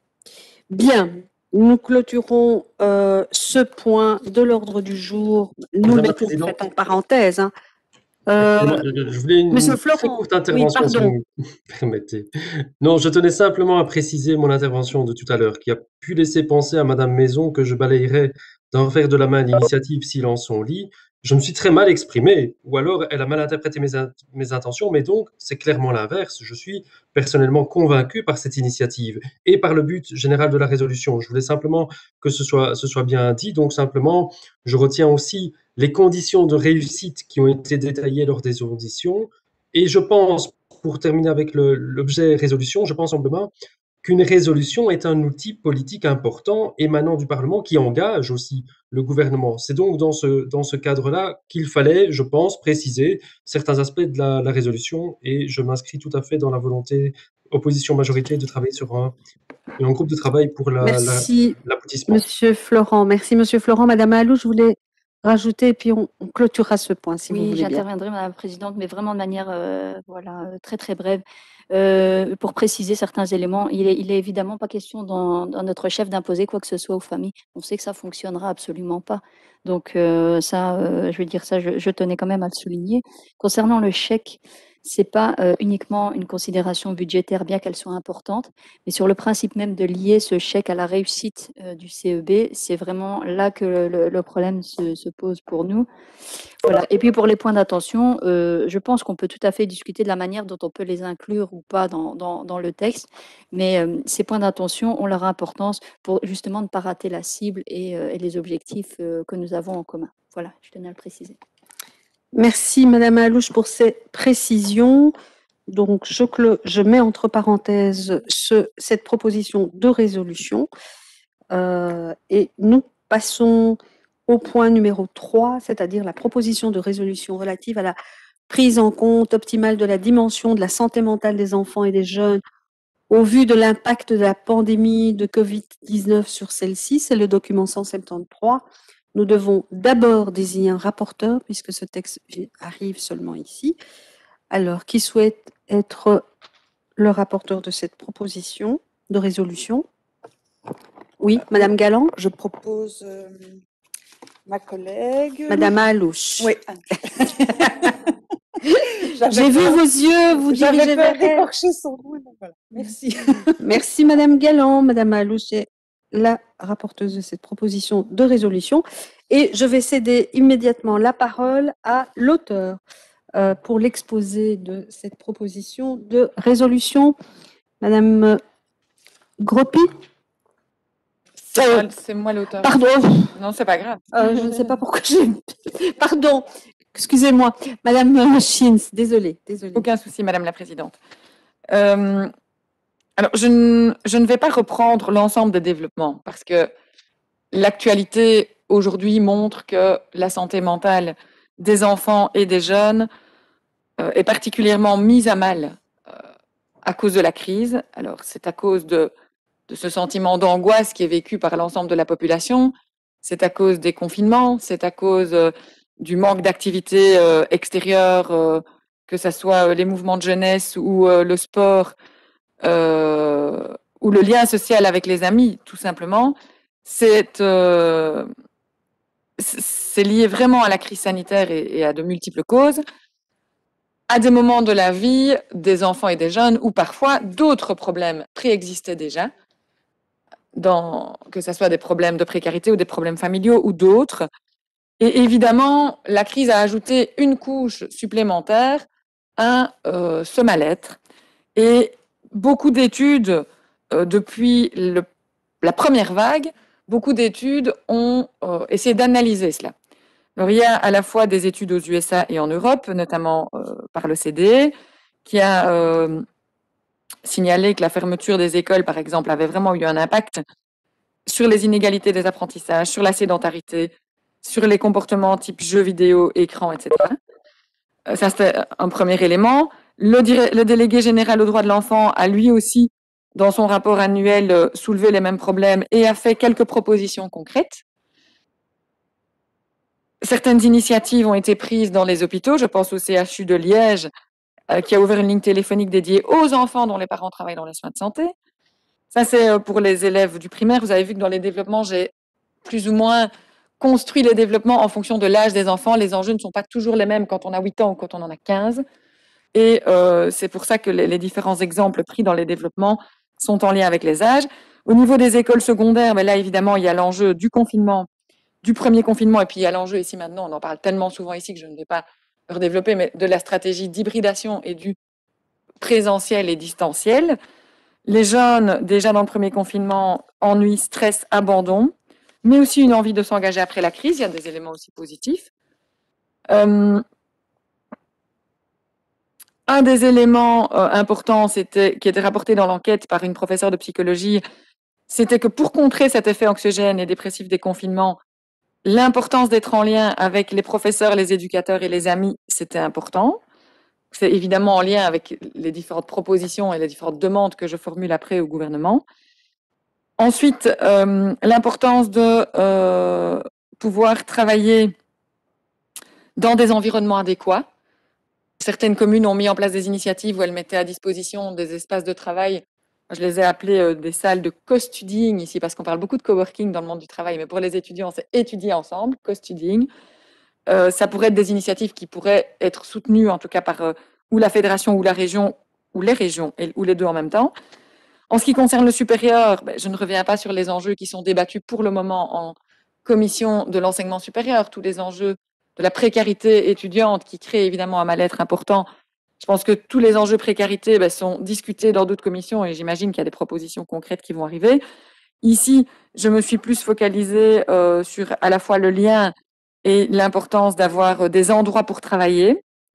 Et donc, c'est notamment ici aussi que euh, on parle des espaces de co-studying, puisque la difficulté, c'est parfois d'être seul, seul chez soi, euh, dans des mauvaises conditions de travail, sans, avec une motivation qui est proche de zéro, on le vit pour ceux qui sont en distanciel en secondaire, mais alors ceux qui viennent de vivre leur session d'examen, euh, ce sont les témoignages les plus courants. En plus, évidemment, je le redis, un des autres enjeux euh, de manque de perspective, euh, de difficultés financières liées aux, aux cotes, liées. on sait que les étudiants ont recours de plus en plus aux banques alimentaires. Donc, toutes ces difficultés-là, je ne les balaye pas ici. On en est vraiment conscient, on sait qu'elles existent, mais on savait aussi qu'elles étaient travaillées dans le cadre d'une autre commission. Et, donc, j'ai ciblé des propositions plus en lien avec qu'est-ce qu'on peut leur proposer qui sont dans nos compétences. Forcément qu'on souhaiterait leur proposer de euh, revenir davantage dans les auditoires. Mais je crois que c'est les experts à un autre niveau de pouvoir avec la ministre qui aujourd'hui ont ces clés-là dans leurs mains. Nous, en commission, qu'est-ce qu'on a comme possibilité? Ben, C'est peut-être de trouver d'autres leviers et notamment des espaces euh, de travail adaptés, euh, ainsi que des, espaces d'écoute un peu autres que ce qui existe aujourd'hui. Et donc voilà les demandes.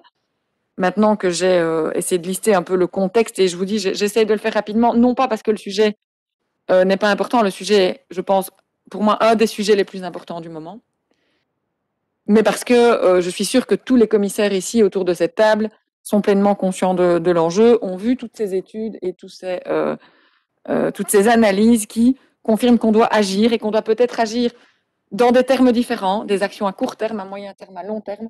Et les actions à court terme, eh bien, ce sont parfois des actions concrètes et non coûteuses, et je vais y venir. Quelles sont les demandes en fonction euh, de ce que je viens d'expliquer aujourd'hui? La première demande, c'est en fait de valoriser quelque chose qui existe déjà aujourd'hui et d'amplifier ce quelque chose. Ce quelque chose, c'est le numéro 103. Pas si autour de la table, avant de, travailler ce texte, vous avez conscience de ce numéro. C'est un numéro euh, d'écoute pour les enfants. Il est géré par la Fédération Wallonie-Bruxelles, enfants et adolescents. Et l'idée ici, c'est à la fois d'en faire davantage de promotion vu les circonstances actuelles, mais de se dire clairement, un jeune de 14 ans, s'il a un souci, il ne va pas forcément décrocher son téléphone. Par contre, il est connecté. Et donc, une ligne de chat, des informations sur les réseaux sociaux et des personnes qui, en première ligne, peuvent, derrière leur écran, euh, parler à ce jeune, l'écouter, avoir un moment d'empathie, et puis peut-être lui dire, autour de toi, il y a sans doute des personnes ressources auxquelles tu ne penses pas, et que les personnes, évidemment, qui sont derrière la ligne de chat euh, aient toutes ces informations, à savoir euh, quelles sont euh, les aides en milieu ouvert, quelles sont les maisons de jeunes, quels sont les, les PMS, quels sont les PSE, quels sont tous ces acteurs qui sont très proches du jeune, mais dont peut-être lui-même n'a pas conscience, il ne faut, pas, il faut jamais oublier ça, et qui puissent être vraiment une, première ligne directe. Donc ça, c'est la demande par rapport au numéro 103. Le DGDE, d'ailleurs, relevait hein, dans son rapport qu'il euh, y avait vraiment un enjeu avec euh, ce numéro qui n'était pas connu, qui devait faire l'enjeu de campagnes d'information répétées et via des médias différents, sans être mêlé à d'autres campagnes. Donc vraiment quelque chose de ciblé sur les enfants et les jeunes. Ce numéro est pour moi indispensable, une ligne doublée euh, de chat. Ensuite, ben, la deuxième demande, c'est ça, hein, donc c'est d'avoir des campagnes d'infos sur ce numéro. Et sur cette ligne, euh, ou sur euh, ce, numéro sur des réseaux, évidemment, hein, donc sur ce, lien finalement. Ensuite, euh, un autre enjeu, c'est l'enjeu de CyberHelp. Alors, on a plein de fois discuté dans cette commission de cette application qui a été lancée par l'UMONS. le harcèlement, alors forcément, il est très difficilement mesurable, mais beaucoup d'experts disent que le confinement et l'utilisation accrue des écrans, des ordinateurs et donc des réseaux que cette utilisation accrue a aussi renforcé le harcèlement. Et donc, on demande au gouvernement, évidemment, de voir comment on peut rendre cette application accessible. Demande suivante, et là, je le redis, je sais que c'est une demande qui, celle-ci, a un coût. Et notre demande, ce n'est pas de dire au gouvernement, il faut faire ça tout de suite maintenant. C'est plutôt d'étudier la faisabilité dans le cadre d'une trajectoire budgétaire. On sait que le gouvernement a des trajectoires budgétaires, on sait qu'il va y avoir des ajustements, qu'il y a des moyens qui étaient prévus dans des fonds, des fonds de réserve, ça le ministre Dardenne était très clair là-dessus, et nous demandons d'étudier la possibilité d'avoir des éducateurs dans les écoles fondamentales.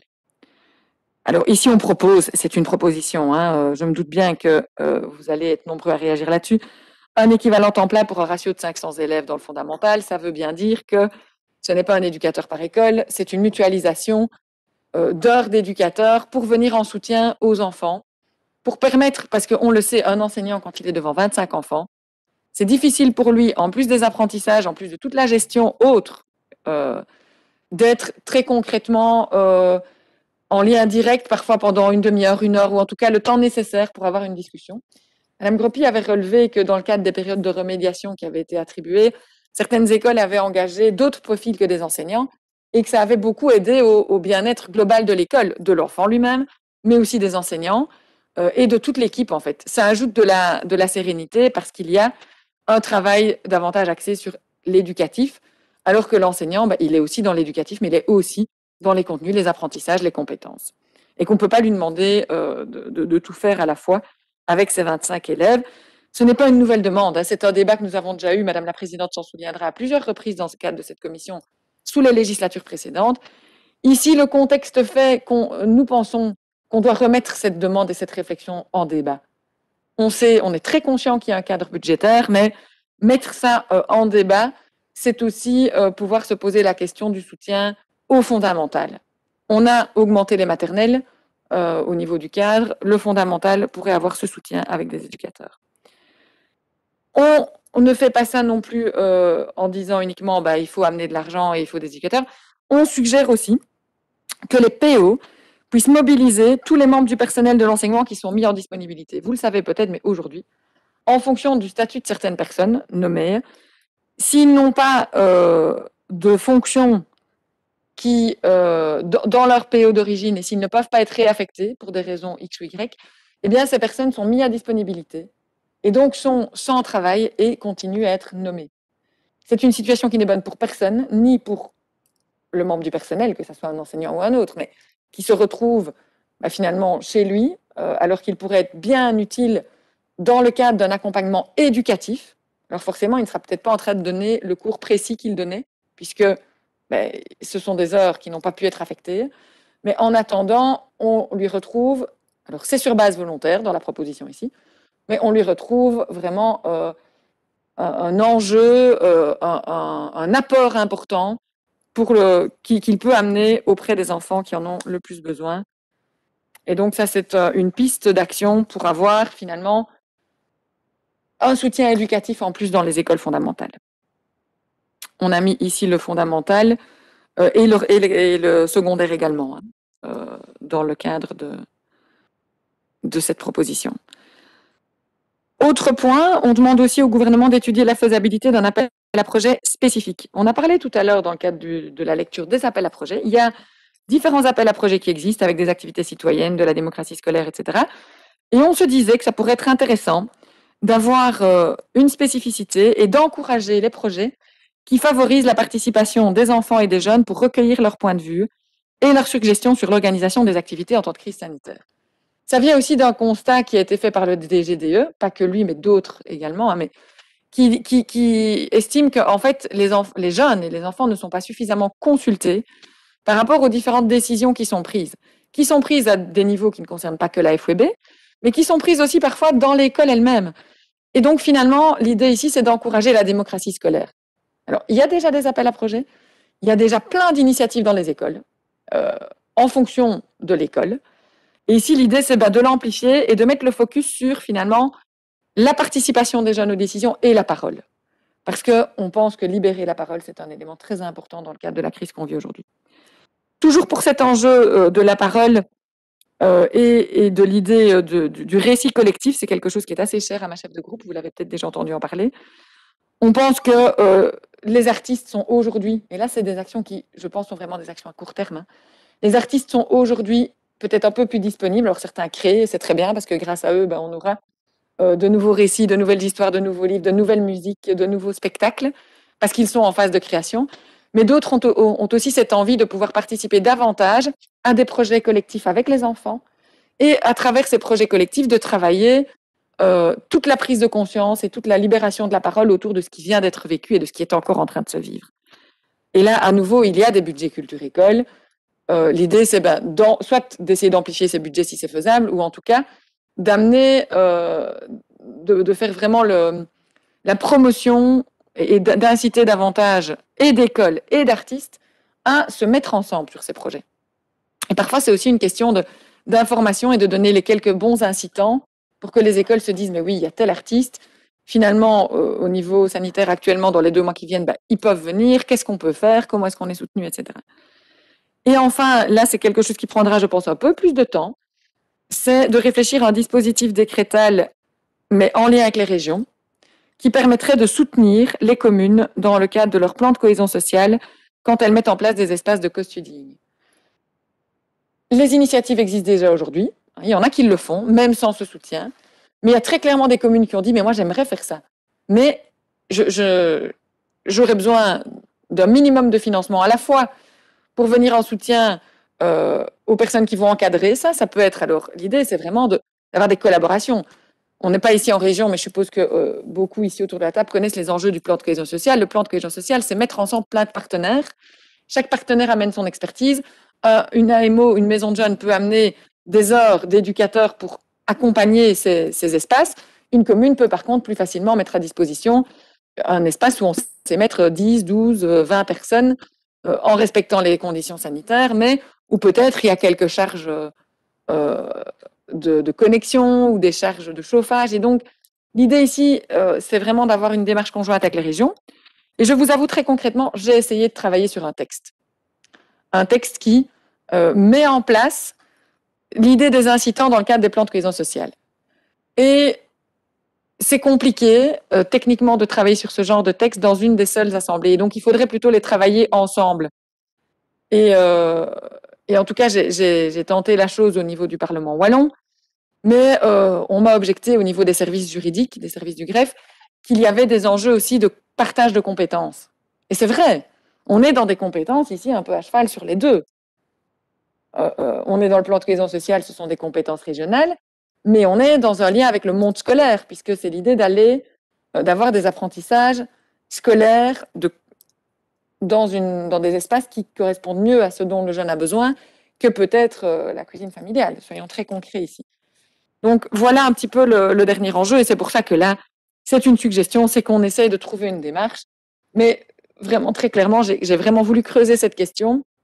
Mais euh, je pense que c'est vraiment les deux instances, et régions et communautés et fédérations, qui doivent travailler ensemble pour, euh, pour y arriver, d'où la suggestion qui est faite ici au gouvernement.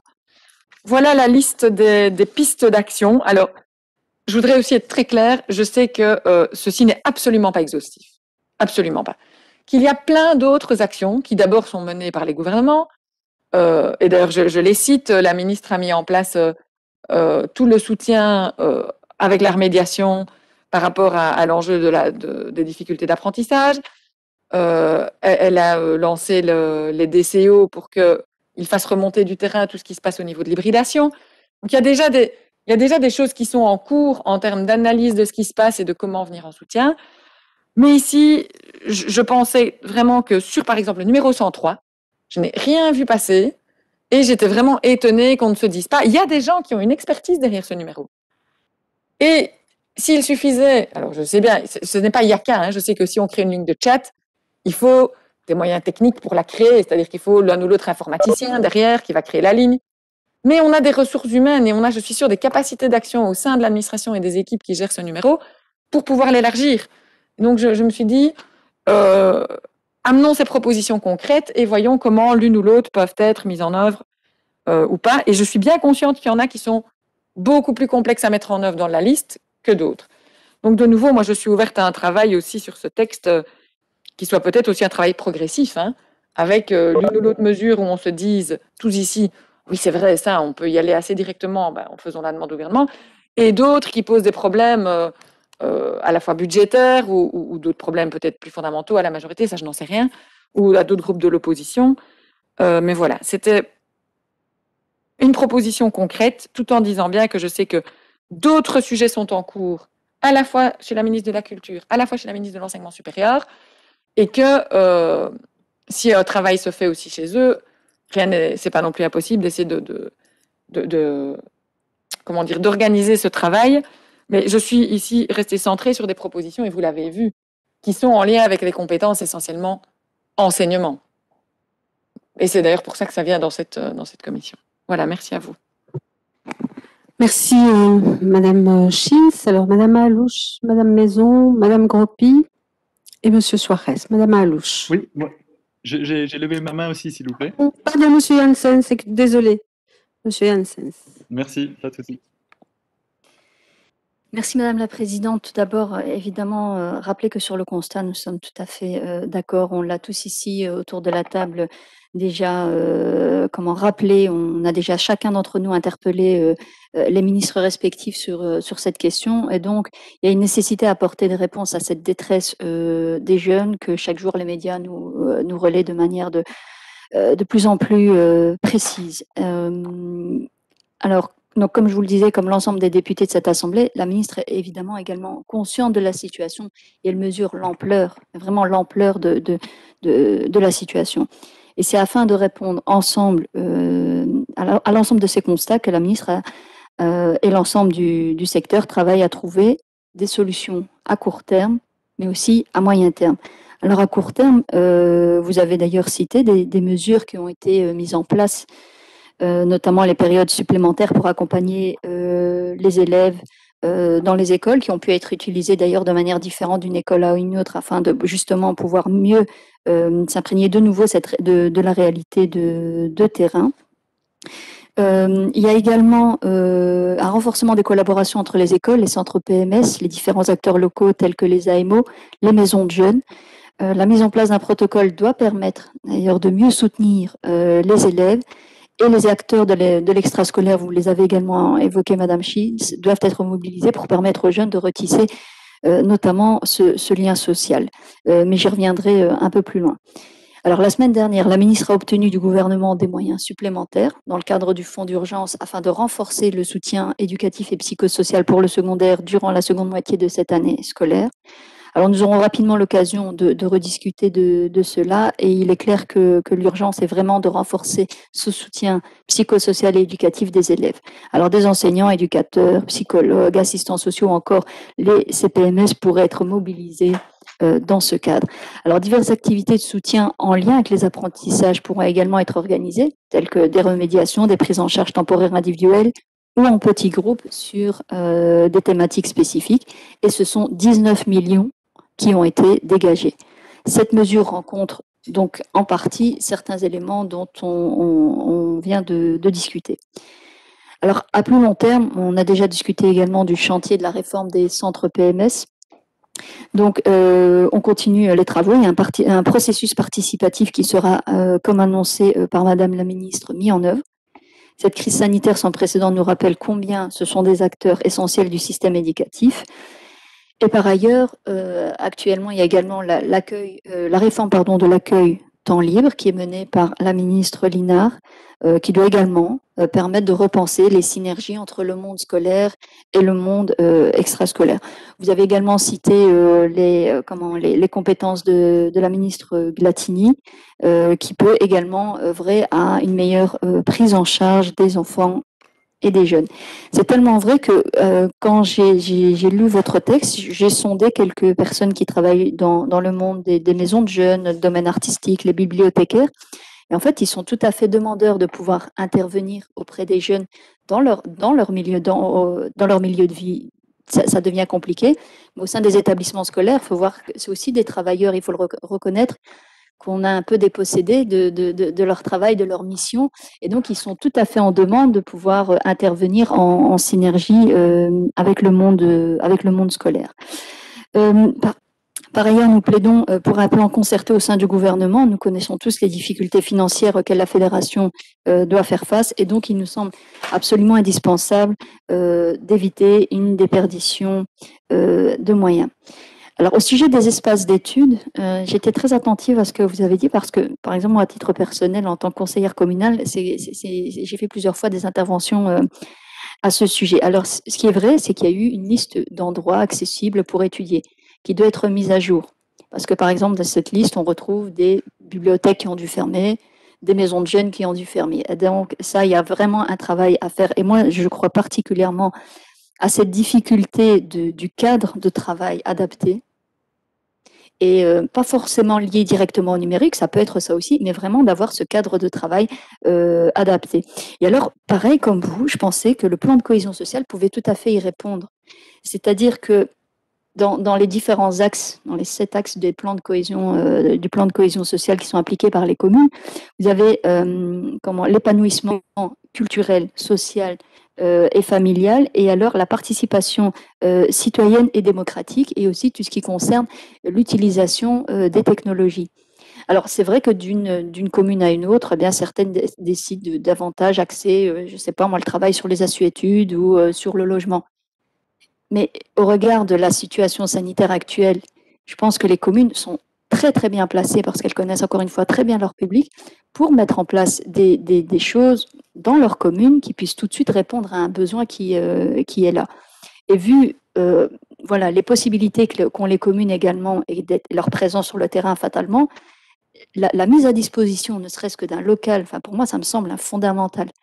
Et je pense que les communes ont vraiment un rôle à jouer. Il y a celles qui ont décidé directement de, de, prendre les devants. Et donc, j'ai même une question. Est-ce qu'il y a incompatibilité à ce que les communes interviennent dans ce domaine-là, étant, étant donné que certaines, dans le cadre du plan de cohésion sociale, ont mis en place des projets de soutien scolaire, par exemple, ou de développement de projets euh, sur le bien-être euh, que ce soit pour jeunes ou, moins jeunes. Mais vu la situation, elle pourrait tout à fait euh, revoir certains objectifs et pouvoir les adapter aux, besoins du, du, terrain. Mais c'est une vraie question que, que, je vous pose quand vous avez avancé sur la question. voilà. Et alors, enfin, concernant le, la question du harcèlement, de nouveau, on en a largement débattu ici et on va encore en débattre parce que c'est un sujet important. Euh, et, concernant l'application CyberHelp, il s'agit bien entendu d'une initiative qu'on salue en tant qu'outil de, euh, prévention. Euh, mais parallèlement, la ministre nous a également annoncé des mesures en matière de harcèlement qui s'appliqueront à toutes les écoles. Et donc, il nous semble aussi important de pouvoir apporter une réponse structurée à ce problème qui occupe pas mal de nos travaux. Et enfin, concernant le numéro 103, je trouve que c'est une proposition intéressante et, euh, et, alors, il y a une dernière mesure qui, a été prise ici euh, par le gouvernement, dont on a eu communication euh, d'ailleurs aujourd'hui.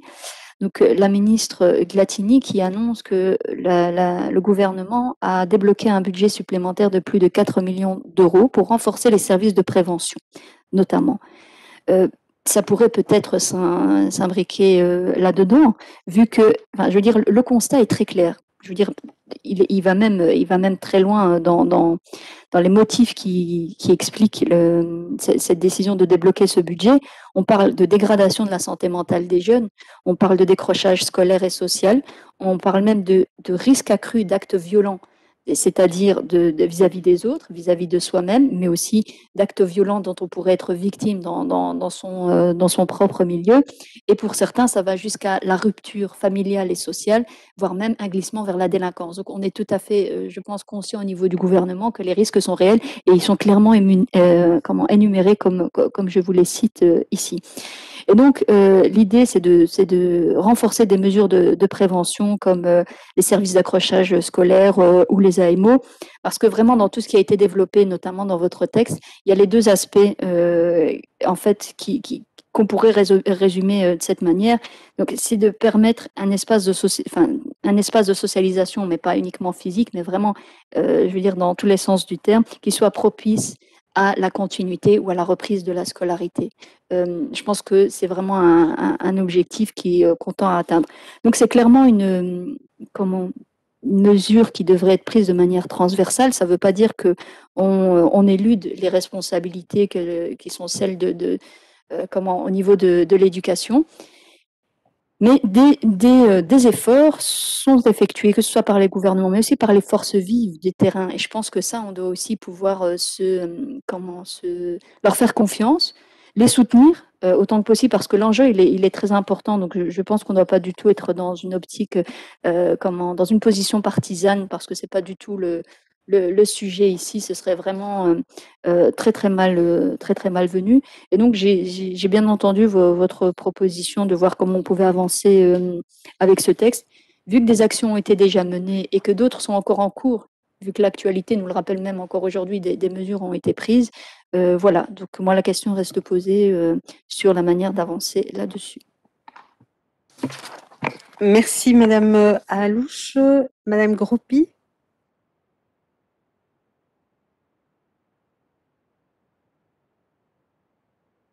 Merci Madame la Présidente.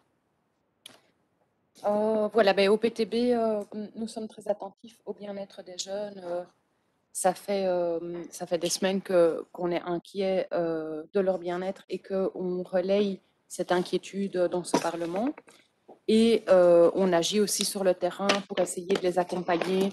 je pense notamment à la mise en place d'une aide scolaire gratuite, à la récolte et distribution de matériel informatique pour leur permettre de se connecter. Et donc, nous, soutiendrons toutes les demandes réalistes et concrètes euh, qui ont été évoquées et qui ont pour but de soutenir nos jeunes. Alors, cette proposition de résolution date d'il y a quelques semaines. Hein, le, temps du Parlement euh, est long euh, et elle va, selon moi, dans un sens intéressant. Et nous aimerions y apporter aujourd'hui quelques réflexions et accents qui nous semblent tenir compte de l'évolution de la situation et de la réalité d'aujourd'hui. La santé mentale des jeunes est en grand danger et nous voulons demander au gouvernement d'être ambitieux. Ce sera d'ailleurs l'objet du débat thématique de mercredi en plénière. Il faut donc un plan large, global, à la hauteur de la situation actuelle, Et je suis contente que ce débat aura lieu en espérant que des mesures fortes seront prises euh, dès les prochains jours. Nous avons déjà mis l'accent sur le besoin de renforcer les équipes pédagogiques dans les écoles et nous voulons également renforcer les équipes des centres PMS pour qu'ils puissent mener un accompagnement efficace des enfants et des jeunes en difficulté. Pour cela, nous soutenons la demande de renforcer le cadre afin d'engager des éducateurs et la piste de mobiliser des membres du personnel en disponibilité pour perte d'heures nous semble pertinente aussi. Je suis certaine que le numéro vert d'écoute enfant est important et le renforcer sera utile, surtout via d'autres moyens euh, accessibles aux jeunes comme euh, les réseaux sociaux. La santé mentale des jeunes ne sera pas guérie uniquement par la mise en place d'un numéro vert, euh, bien que c'est important. Euh, il faut intégrer les jeunes dans une perspective plus large dans les décisions euh, de ce Parlement et du gouvernement. Alors, vous proposez de solliciter la participation des enfants et des jeunes sur l'organisation des activités en temps de crise sanitaire. Celle-ci me semble une mesure pertinente de démocratie scolaire. Nous soutenons pleinement toute initiative visant à faire venir les artistes dans les écoles il me semble important de mettre en place des espaces d'études en partenariat avec les communes et je pense notamment aux centres culturels qui sont euh, inoccupés pour le moment et qui sont des grands espaces qui pourraient euh, accueillir des, jeunes pour euh, étudier, pour travailler ensemble. voilà, comme je le disais, l'ampleur des dégâts, est vraiment grande, elle nécessite une prise en main globale. Et nous constatons que depuis peu, tous les partis semblent prendre conscience de cette détresse psychologique des jeunes et, et cette nécessité d'agir. Les jeunes ont besoin d'être entendus dans leur détresse, ils ont besoin d'avoir des perspectives. Et je développerai d'ailleurs euh, plusieurs propositions dans l'interpellation qui suit. Selon moi, la resocialisation doit être une priorité, les programmes scolaires doivent être adaptés, on a besoin, les jeunes ont besoin de matériel informatique et d'une connexion de qualité pour pouvoir suivre leurs cours. Ils ont besoin de perspectives concrètes pour la reprise du sport et de leurs loisirs, euh, notamment culturels. Donc tout ça, euh, je vais euh, le développer plutôt au point suivant lors de mon interpellation. Mais donc ici, parmi les mesures de cette résolution, je retiens donc la demande d'engager des éducateurs supplémentaires. D'ailleurs, nous l'avions demandé à travers la proposition de prolonger le décret qui avait permis, après l'été, d'engager du personnel supplémentaire qui étaient des enseignants, mais aussi des éducateurs, logopèdes et autres membres euh, des équipes pédagogiques. Euh, on a aussi demandé à plusieurs reprises un renforcement des équipes PMS et euh, ces deux éléments ont été rejetés. J'espère vraiment que le gouvernement va agir pour répondre à cette demande et, et à ce besoin criant du terrain. Je vous remercie. Merci Madame Gropi. Madame Maison souhaitait prendre la parole. Et puis Monsieur Janssen, c'est Monsieur Suarez. Merci Madame la Présidente. Alors, étant donné que je suis co-signataire de cette proposition, euh, qui était largement euh, commentée et exposée par, euh, par Madame Schintz, je, vais revenir sur quelques petits points pour ne pas allonger nos débats. des petits points peut-être récents euh, ben, Sur le fait qu'il ben, y a évidemment une perte de sens, euh, que la situation actuelle fait en sorte que les jeunes euh, manifestent de plus en plus et en, nombre croissant de troubles de la construction identitaire, que les jeunes ne se sentent pas entendus, ça a été dit, mais je crois qu'il faut que ce soit répété. Non seulement ils sont privés de relations sociales, euh, mais en plus, euh, ils sont souvent stigmatisés alors qu'ils ont largement participé à l'effort collectif de protection euh, des plus âgés, ils se sentent stigmatisés. Ensuite, je voudrais revenir sur, sur une phrase qui, que j'ai extraite du, discours d'Annemie Chose, la nouvelle rectrice de l'ULB, qui dit qu'un traumatisme n'est jamais vécu de façon relative. C'est très très important pour toutes celles et ceux qui, comme moi, au début de la pandémie, euh, ont relativisé finalement la souffrance des jeunes en la juxtaposant euh, avec celle euh, des personnes situées en maison de repos, des artistes euh, privés de travail, de toutes celles et ceux qui avaient perdu leur job, leur travail, leur source de revenus, de personnes qui sont expulsées de leur logement. Donc, la souffrance ne se relativise pas. Et pour les jeunes, le traumatisme qui est aujourd'hui vécu, c'est un traumatisme qui sera inscrit pour longtemps, si pas pour toujours, dans leur vie personnelle, dans leurs émotions et dans leur parcours. Alors, je voudrais aussi revenir sur trois éléments, trois études récentes, l'étude de l'UCL et l'étude de l'Université d'Anvers. Un jeune sur deux en état de détresse psychologique, donc pas de mal-être, de détresse psychologique. Euh, sur une étude Ipsos euh, qui a été révélée par le Parisien, trois jeunes sur dix en France, enfin bon, on peut euh, mutatis mutandis transposer en Belgique, trois jeunes sur dix ont eu ces derniers temps des idées suicidaires ou l'idée ou l'idée de pratiquer l'automutilation. Enfin, je voudrais revenir sur l'article 22 alinéa 3 de la Constitution, qui euh, consacre le droit pour chaque enfant de bénéficier de mesures et services qui concourent à son développement. C'est la Constitution qui nous le rappelle. Parfois, il est bon d'en revenir à nos fondamentaux.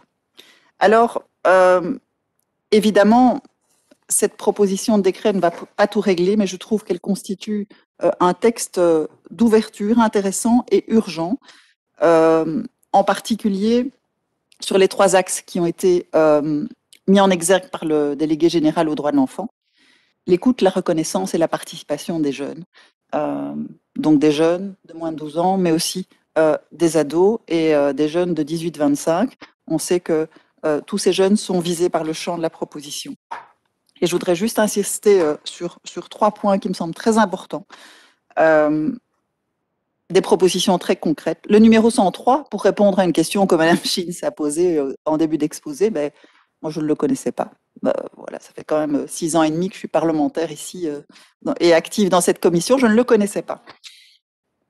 Donc une mesure, quel que soit le sort que vous réserverez, mesdames et messieurs de la majorité, à cette proposition, de grâce, ce numéro 103, il doit être transformé euh, aussi en autre chose, dans les réseaux sociaux, sur Facebook, euh, sur euh, Instagram. Il doit toucher des jeunes par des moyens qui sont appréciés par les jeunes et qui sont quotidiennement utilisés par les jeunes. Je crois que c'est essentiel. Ça ne coûte pas grand-chose. Et, et, ça, vraiment, c'est une mesure qui me semble extrêmement pratique et extrêmement facile à mettre en œuvre et essentielle pour les jeunes. Alors, euh, la deuxième chose, la mise en disponibilité, enfin, rappeler sur base volontaire, évidemment, les profs qui seraient mis en disponibilité, moi, je trouve que c'est une excellente, euh, euh, une excellente piste qu'on peut aussi creuser. les jeunes, et le délégué général a vraiment insisté sur ce sujet, les jeunes ne se sentent pas entendus, ils se sentent privés de relations sociales et ils se sentent privés d'espace de discussion. Donc euh, voilà, pouvoir susciter une discussion avec les jeunes, et on sait à quel point euh, les profs, euh, les, camarades de classe, enfin tous ceux qui sont proches du milieu scolaire sont importants pour eux, sont des référents pour eux. Et, voilà, ces jeunes peuvent très facilement se confier à ces personnes-là, donc je crois que c'est une piste intéressante. L'appel à projet confinement, ben voilà, on parle beaucoup de démocratie participative, on parle beaucoup de démocratie scolaire, mais on en parle beaucoup, mais elle n'est pas souvent appliquée. Et voilà une mesure très très concrète aussi qui peut s'inscrire euh, dans, euh, dans, dans, l'ajustement de moyens euh, et d'allocations budgétaires qui existent et qui permettrait justement aux jeunes de pouvoir utiliser toute cette, cette souffrance, cet inconfort qu'ils ont vécu ces derniers temps pour justement le transformer en mesures très concrètes et, et pour se sentir justement écoutés, entendus et, et acteurs de la société. L'appli CyberHelp, effectivement, Madame Alouche, euh, Madame la ministre a annoncé un tas de mesures, mais l'appli CyberHelp, euh, voilà, moi je ne sais pas ce qui bloque, mais ça fait quand même un bon bout de temps qu'elle est prête, et ça fait un bon bout de temps qu'il faudrait contraindre, je dis bien contraindre, euh, chaque école, ou en tout cas que chaque école dispose d'un label finalement harcèlement, et, et qu'elle puisse se doter de cette appli. À partir du moment où elle est prête, elle est à disposition des écoles, donc, euh, il me semble que euh, chaque établissement doit se doter de cette appli, euh, peut-être simplement en, bénéficiant de, ce fait-là d'un label qui pourrait évidemment exhorter et inciter les établissements réticents à s'en doter. Je crois que c'est tout à fait essentiel en cette période de, de travail à distance, a fortiori, sachant aussi qu'un élève sur trois est harcelé, rappelons les chiffres euh, et que sans, en étant harcelé, eh ben, il n'y a pas les conditions de bien-être pour pouvoir recevoir des apprentissages. Donc, au-delà de la question du bien-être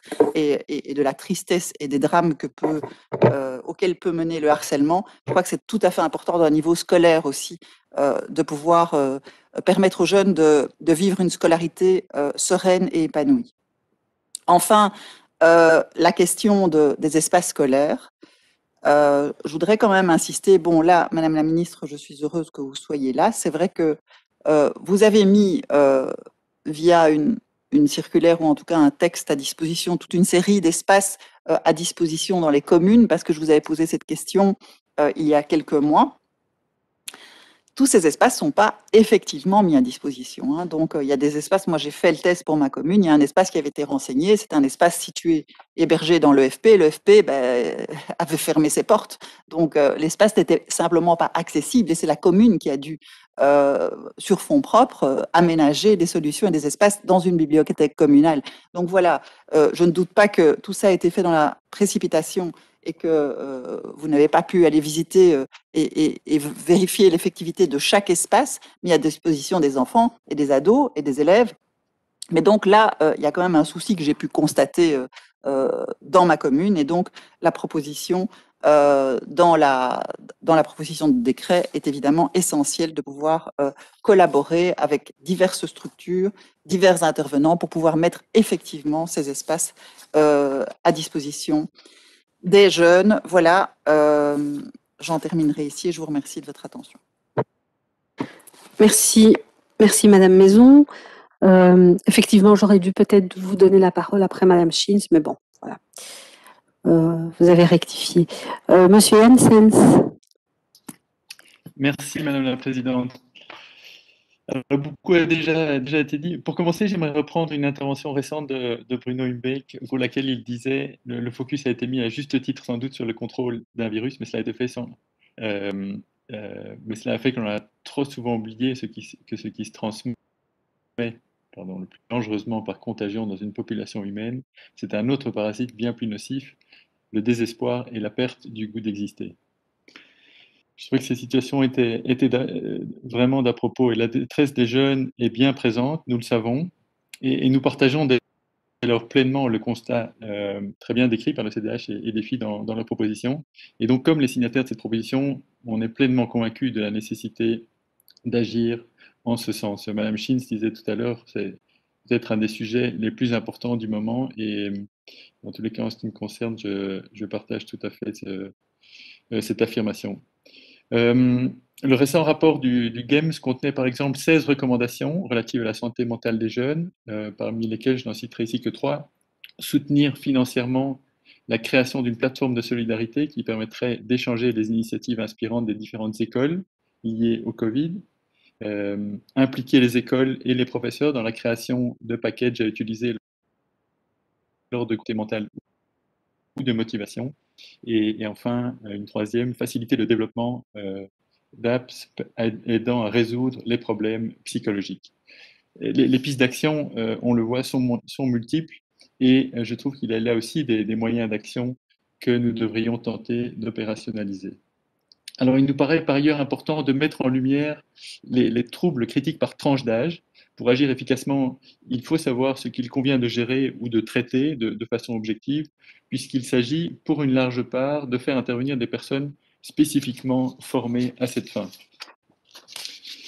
Alors, mon groupe euh, attend par ailleurs avec impatience les résultats d'études qui sont en cours et la diffusion, la diffusion de, résultats de certaines études qui sont tout juste euh, terminées, comme par exemple une étude de, de l'UCL sur l'impact du confinement sur les familles et les parents en particulier, euh, qui, est encore, euh, qui est encore en ligne. Alors, euh, même si évidemment on a déjà des études et que les, constats sont déjà partagés, mais, mais il nous semble aussi que ces résultats doivent être discutés avec les acteurs concernés et, que nos décisions doivent être prises en concertation avec les, acteurs concernés, avec les, les acteurs les, plus concernés de, prime abord. Donc une fois de plus, oui, bien sûr, euh, nous devons bien évidemment agir, mais de manière suffisamment détaillée et ciblée. Et, j'en viens à la, séquence des faits, des décisions, de nos actions. Et j'aimerais ajouter ici un autre élément que Mme Gropi a, a repris également, c'est que demain se tiendra, comme on le sait, un débat thématique sur les, les perspectives pour les jeunes, 12-18 ans, face à la crise. Euh, mon groupe est donc d'avis qu'il est prématuré de voter aujourd'hui sur la, proposition qui nous est soumise. Et donc, on propose de, reporter euh, le vote euh, afin de pouvoir intégrer ce qui sera proposé et discuté, décidé en, plénière demain. Il nous semble tout à fait cohérent de nous aligner sur ce débat qui va se tenir demain. Mais donc, une fois de plus, nous nous comprenez évidemment pas mal. On est tout à fait d'avis, pour autant que cela aille dans le sens de, de la discussion qui se tiendra demain, mais euh, on le pense bien, de, proposer des moyens d'action, euh, de nous mettre ensemble autour de la table afin d'arriver avec des propositions plus fouillées encore euh, et, quelle que soit la, forme qu'elle prendra, une proposition de résolution, peut-être un rapport parlementaire ou, d'autres, une autre forme encore. Mais donc, soyez bien certains qu'on est évidemment d'avis d'avancer en la matière. Et Madame Maison parlait, évoquait tout à l'heure aussi la, question du numéro 103. Euh, mais à titre d'exemple, je, pense qu'on est tous d'accord qu'il y a là clairement quelque chose à utiliser. Et, euh, donc surtout, ne perdons pas de temps, mais, incluons-le incluons dans un cadre euh, malgré tout suffisamment large et, fouillé. Et, donc, parce qu'il est bien nécessaire de, viser suffisamment haut à, la hauteur de, l'importance du bien-être de nos jeunes. Et, euh, on, on, connaît bien le, dicton il faut tout un village pour élever un enfant. Bien, l'adage est, est, certainement universel et, certainement, et il concerne certainement la santé mentale des jeunes aussi. Il faut certainement tout un écosystème euh, entourer l'enfant pour accompagner son développement jusqu'à l'âge adulte. Et, ce serait illusoire de croire qu'on pourrait traiter un sujet aussi complexe euh, et multifactoriel efficace, efficacement par un acteur plutôt qu'un autre, et encore moins par un seul, acteur. Et donc, il nous semble important de, pouvoir identifier euh, les acteurs en amont pour la prévention et les acteurs en aval pour une prise en charge réelle, euh, une prise en charge réelle continue aussi et urgente du problème. Et, on ne pense pas nécessairement qu'il faille, qu'il faille faire beaucoup plus, mais euh, qu'il est important de, de, tenter de faire mieux via une véritable alliance, un maillage étroit des services pour la jeunesse et les partenariats et les collaborations entre le milieu scolaire, entre les acteurs, les services de santé dédicacés devrait donc davantage être renforcé, c'est notre conviction. Cela vaut également pour les communes, les acteurs jeunesse, culturels, le monde du sport, l'ATL, les écoles euh, des devoirs, les AMO, les maisons de jeunesse euh, et de jeunes. Et, et, ce maillage de soutien devrait être continu, y compris pendant les vacances, pour proposer des activités adaptées aux univers de l'enfant et de l'adolescent visant à lutter contre euh, le mal-être, qui lui permettra de s'exprimer, de se sentir à l'école, de trouver sa place euh, dans la société de manière générale. Et donc, il est réellement capital de pouvoir nourrir un plan ambitieux à moyen terme de prise en compte de la santé mentale qui rassemble plusieurs compétences, euh, idéalement, et niveaux de pouvoir. Et donc, euh, pour conclure, euh, Madame Chin disait tout à l'heure, étudions la faisabilité de certaines, des, proposait elle-même d'étudier la, faisabilité de certaines des mesures proposées. Euh, nous avons envie de dire pourquoi ne pas réaliser un travail de fond dès lors en marge euh, de, notre, de notre commission. Et n'oublions pas que, que le, gouver le, gouvernement et un, nombre important d'acteurs amplifient actuellement le, les offres, les mesures, d'où la nécessité d'un chantier plus ambitieux. Et, et, là aussi, euh, Madame Chins, vous l'avez dit, euh, ceci n'est pas exhaustif. Notre proposition, dès lors, c'est d'aller une étape euh, plus loin et sans tarder, bien évidemment, et pour le bien-être de nos jeunes. Je vous remercie. Merci, Monsieur Janssens.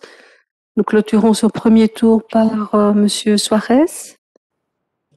Merci, Madame la Présidente. Euh, J'aimerais d'abord remercier les collègues Madame Schintz et Madame euh, Maison d'avoir euh, permis quelque part ce débat, dans la mesure où même si nous avons euh, un débat demain en plénière, ce qui montre évidemment l'importance que le gouvernement et le Parlement accordent à ce sujet, il est important aussi que nous puissions discuter en commission éducation. Et bon, je, comprends euh, le fait que Madame euh, précise que Évidemment, il y a des liens à faire avec euh, la jeunesse, avec ce qui se fait au niveau des communes, au niveau des services de prévention, etc. Mais c'est important, pourquoi? Parce que euh, Madame Maison a parlé de traumatisme générationnel. Et c'est important dans la mesure où nous luttons depuis plusieurs années avec le pacte d'excellence et avec toute une série de mécanismes pour qu'on sorte d'une vision classique de l'éducation. L'éducation est en lien avec ce qu'il y a à la maison et avec tout ce qui se fait dans la société. Euh, nous voulions, et nous, écologistes, sortir donc de cette vision de un élève, c'est fait pour étudier. Non, un élève, ça vit, ça grandit et ça se construit pour, devenir une citoyenne, un citoyen positif dans la société. Ça, c'est important. Je le dis parce que cette crise a montré que le matériel ne résout pas tout. On peut avoir les plus beaux ordinateurs, les plus, performants. On peut avoir euh, les réseaux euh, Internet les plus infaillibles. On n'est pas à l'abri de la détresse psychologique et de la détresse mentale. Et cela est en lien avec la question du sens. À plusieurs reprises, nous avons eu, nous écologistes, l'occasion de poser la question à la ministre sur la démocratie scolaire, l'expression des élèves, sur le fait qu'ils puissent trouver les espaces nécessaires pour, pouvoir exprimer euh, ce qu'ils et elles ressentent. Et là, j'en appelle à, à, nous toutes et à nous tous. Parce que ce n'est pas seulement le travail de la ministre, parce que la ministre donne des impulsions. Je me souviens lui avoir posé une question sur les retours de terrain concernant la consigne qu'elle avait donnée dans une circulaire ministérielle disant qu'après le premier confinement, il fallait travailler sur le sens avec euh, les écoles. Et évidemment, la ministre peut donner des impulsions. Mais je reviendrai sur la question de la culture, puisque euh, ma question euh, est jointe à l'interpellation de Mme Gropi tout à l'heure. Il faut aussi que tous les acteurs, et nous toutes et tous, les encourager, là où il y a des réticences, à pouvoir permettre la mise en place d'outils permettant aux élèves de donner du sens à ce qui se passe aujourd'hui et à pouvoir l'affronter. Parce que oui, dans certains, disons, euh, dans certains cadres, il y a encore des réticences euh, à utiliser ces outils-là.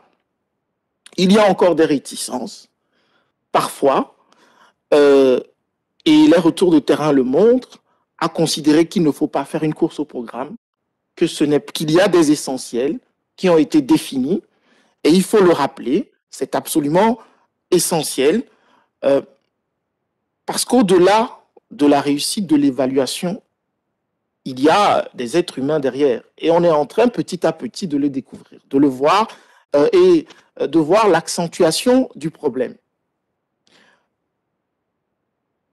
Il y a une démobilisation des élèves dans beaucoup d'études ont montré le décrochage passif, ce qui nous montre que, en fait, les difficultés, le gros des difficultés est encore devant nous. Nous ne sommes pas encore euh, au pic euh, du problème. Donc, je pense que euh, la proposition que vous avez faite, mesdames, sur la valorisation du, du 103, oui, je pense que le gouvernement peut réfléchir aux moyens, mais ça existe. Il y a des initiatives qui ont été prises, on en a parlé en commission. Euh, je pense qu'il faut, euh, il faut, euh, il faut, il faut accentuer euh, cette valorisation et je, je suis convaincu que le gouvernement a un œil attentif là-dessus. J'aimerais aussi euh, parler des publics les plus précarisés socialement. Parce que oui, aujourd'hui, on se rend compte que Personne n'est à l'abri de la crise, quel que soit le niveau social que l'on a.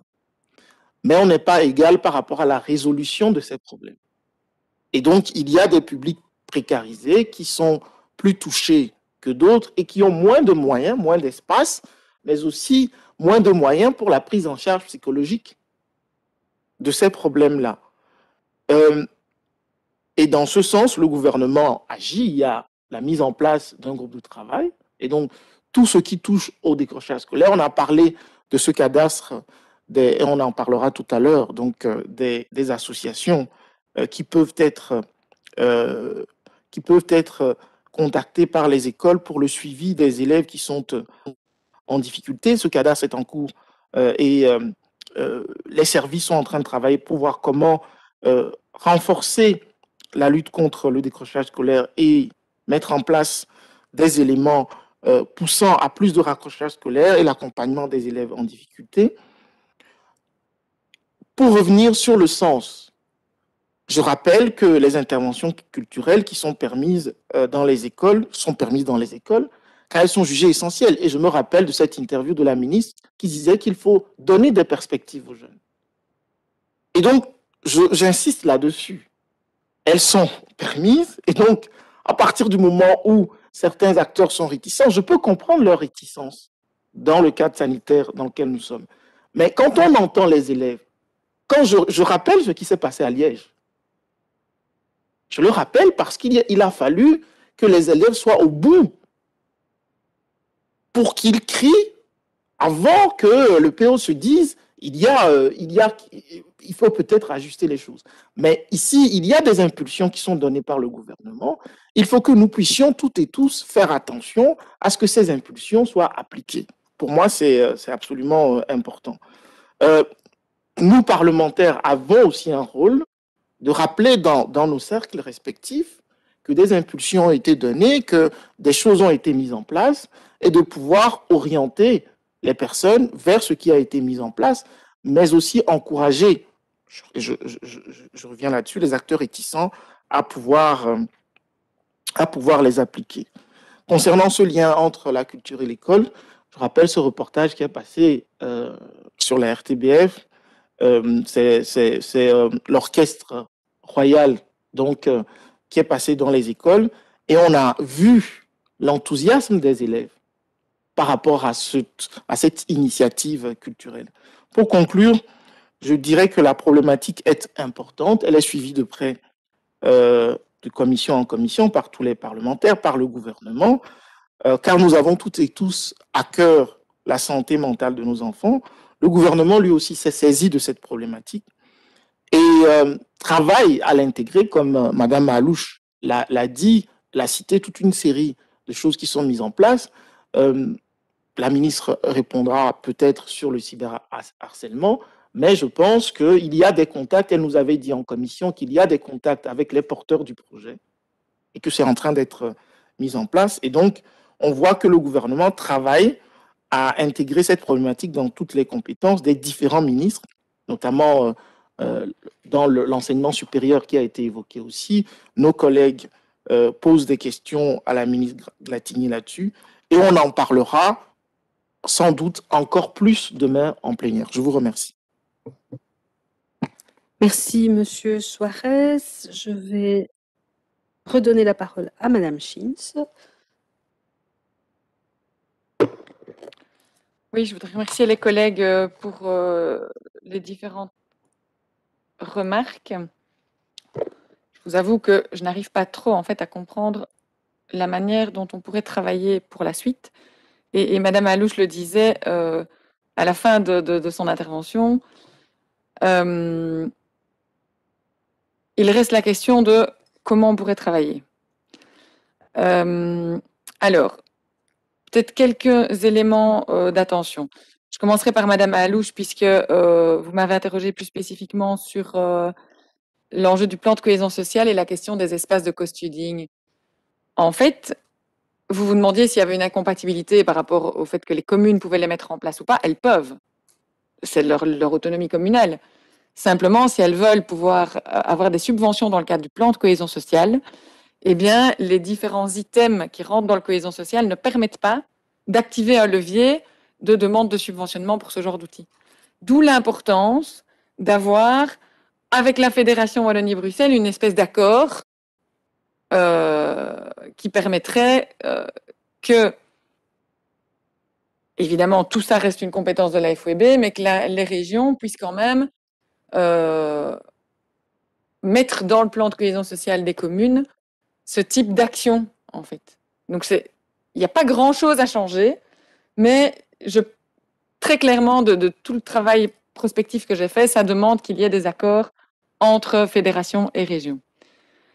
Euh, en ce qui concerne maintenant euh, les autres groupes, oui, non, d'abord peut-être encore Madame Alouche, vous avez dit euh, il y a des mesures annoncées par la ministre au niveau du harcèlement avec une réponse structurée. Mais là, je trouverais que c'est vraiment intéressant qu'on sache un peu où on en est, parce qu'on est plusieurs à avoir interrogé sur le harcèlement et le cyberharcèlement.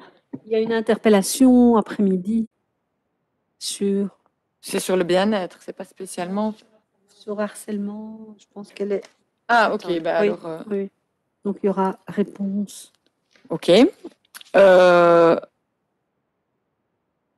J'entends que le MR nous dit qu'il y a une étude en cours et qu'il faut en attendre les résultats. L'étude euh, famille ECL, si je ne me trompe pas. Et euh, j'ai quand même été un peu étonnée parce que le MR dit qu'il faut agir de manière détaillée et ciblée, mais aussi dans un cadre large et fouillé. Et donc, j'ai pas tout à fait compris si le MR proposait de faire un travail de fond euh, ou bah, de cibler des mesures concrètes, parce que c'est ce que clairement j'ai essayé de faire avec mes collègues co-auteurs. On a essayé de cibler en fait des mesures concrètes. Certaines sont concrètes et pas tellement coûteuses, et d'autres sont plus coûteuses. Et je l'ai admis très longuement, et Madame la ministre n'était pas là, mais je, le redis devant elle. Il y a une mesure qui est évidemment plus coûteuse que les autres, c'est l'enjeu des éducateurs dans le fondamental. C'est d'ailleurs pour ça que la demande n'est pas de le faire, la demande est d'en étudier la faisabilité et d'essayer de voir comment ça peut rentrer dans le cadre ou dans une trajectoire euh, liée à la fois à la trajectoire budgétaire de la FEB, mais peut-être aussi à la trajectoire du pacte, parce que je crois que l'enjeu euh, l'enjeu est là aussi. Donc ça, c'est par rapport à, la manière dont la majorité envisage la suite du travail. Je n'ai pas tout à fait compris si euh, y avait une possibilité de travailler sur ce texte, quitte à ajuster certains éléments, mais je n'ai pas entendu non plus des éléments qui vous posaient un énorme problème. Personne n'a dit ça, c'est juste ridicule, on ne voit pas pourquoi on ferait ça, ça n'a pas d'intérêt.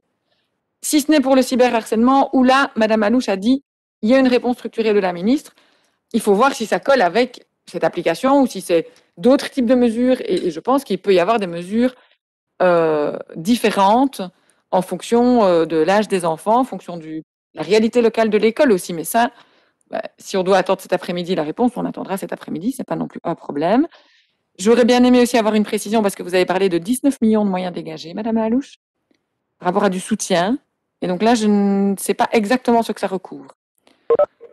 Euh, et enfin, je voudrais rassurer les collègues par rapport au fait qu'il y a une réforme ATL, il y a une réforme CPMS, etc.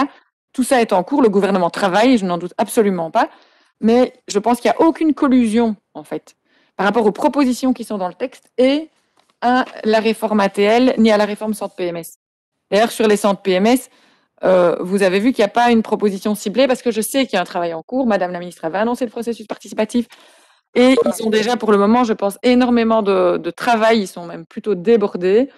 Euh, donc, je, n'ai pas voulu, dans les mesures concrètes, euh, euh, apprendre rapidement, comme par exemple celle sur le 103. Ça, je vous avoue, celle sur le 103, euh, je suis contente d'avoir entendu vos réactions, mais, je me dis que c'est quelque chose qui pourrait vraiment être mis en place très rapidement. Et alors, par rapport à Monsieur Suarez au niveau des artistes, oui, bien sûr, les interventions sont permises. Nous, ce qu'on demande simplement, c'est d'amplifier, cette possibilité à la fois en incitant davantage, en faisant mieux connaître, en voyant au niveau des moyens budgétaires si il y a des possibilités d'avoir des actions peut-être plus massives durant 2021, puisqu'il y a des fonds de réserve, euh, pourquoi pas les affecter à des actions euh, en lien avec euh, le récit collectif, les artistes dans les écoles, la parole des jeunes et des enfants. Voilà, c'est une, suggestion. hein. donc je redis, c'est un texte qui fait une demande au gouvernement. Ce n'est pas euh, un texte décrétal. Donc voilà, on a tout un tas de pistes d'action. J'ai bien compris que vous estimiez que pour certaines, le gouvernement était en partie en train de travailler, et je l'entends, mais j'ai pas l'impression qu'il y a des choses qui vont complètement frontalement en opposition. Euh, et donc, c'est vrai que ce serait bien que vous nous disiez peut-être si euh, vous êtes OK qu'on travaille comme on le fait pour la lecture, euh, peut-être en attendant une semaine, mais pas plus. Enfin, j'ai envie de dire, on peut pas dire aux jeunes tout le temps, oui, il est urgent de faire quelque chose, mais il est aussi urgent d'attendre, quoi. Ça, on peut pas leur dire ça. Donc, soit on se dit, il y a des mesures avec lesquelles tout le monde est d'accord et on demande qu'on les mette en œuvre. Et peut-être que s'il y en a deux sur les huit, bah, moi, j'estime que j'aurais déjà fait une partie du chemin. euh, et qu'on décide alors euh, les- les- lesquels on inscrit ou lesquels on n'inscrit pas. Mais si vous n'avez pas le souhait qu'on travaille ensemble à, à des demandes concrètes, et je le dis sur cet enjeu-là, rapide, sur la lecture, ça fait depuis juillet, hein, Madame Gropil a relevé que le texte est là, on travaille, on n'est pas obligé d'avoir le même rythme, mais ici, ce qui concerne le bien-être euh, des jeunes, il y a des réponses qui peuvent être rapides et d'autres qui peuvent l'être moins. Donc, je veux bien qu'on discute ensemble et qu'on les cible. Et qu'on les cible de manière euh, euh, concrète dans, dans, un texte qui serait alors retravaillé. Ce n'est pas un problème pour moi. Mais j'ai du mal à comprendre comment la majorité envisage ou pas de travailler là-dessus, ou si à un moment donné, il y a un souhait qu'il y ait des votes sur, sur le texte. Moi, je préfère travailler de manière constructive. Et je le dis, si deux ou trois des pistes sont validées et qu'elles démarrent, eh ce sera très bien. S'il y en a plus, c'est encore mieux. Euh, mais euh, et, si vous souhaitez voter, ben, on, vote. Mais je pense que c'est pas très clair de votre part, en tout cas la manière dont on pourrait travailler.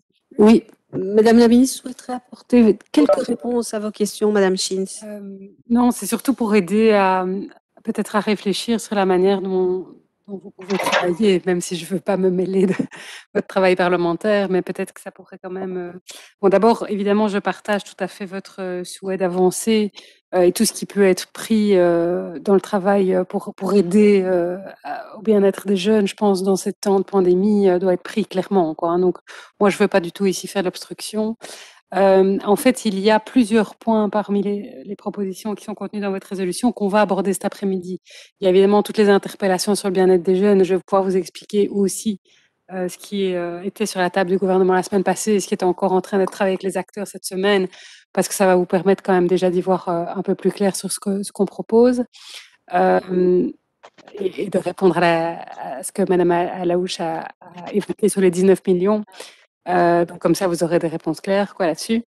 Euh, et alors par rapport au cyberharcèlement, il y a trois questions en fait là-dessus. Donc je ne vais pas développer maintenant, mais euh, ben, je vous rejoins évidemment. Hein, si c'était facile de, de, de, faire en sorte que toutes les écoles se connectent à CyberHelp et que ça résolve le problème, mais c'est un peu plus compliqué que ça objectivement. Donc on a, je vous l'ai déjà dit, mais on a rencontré les équipes de Mons, etc.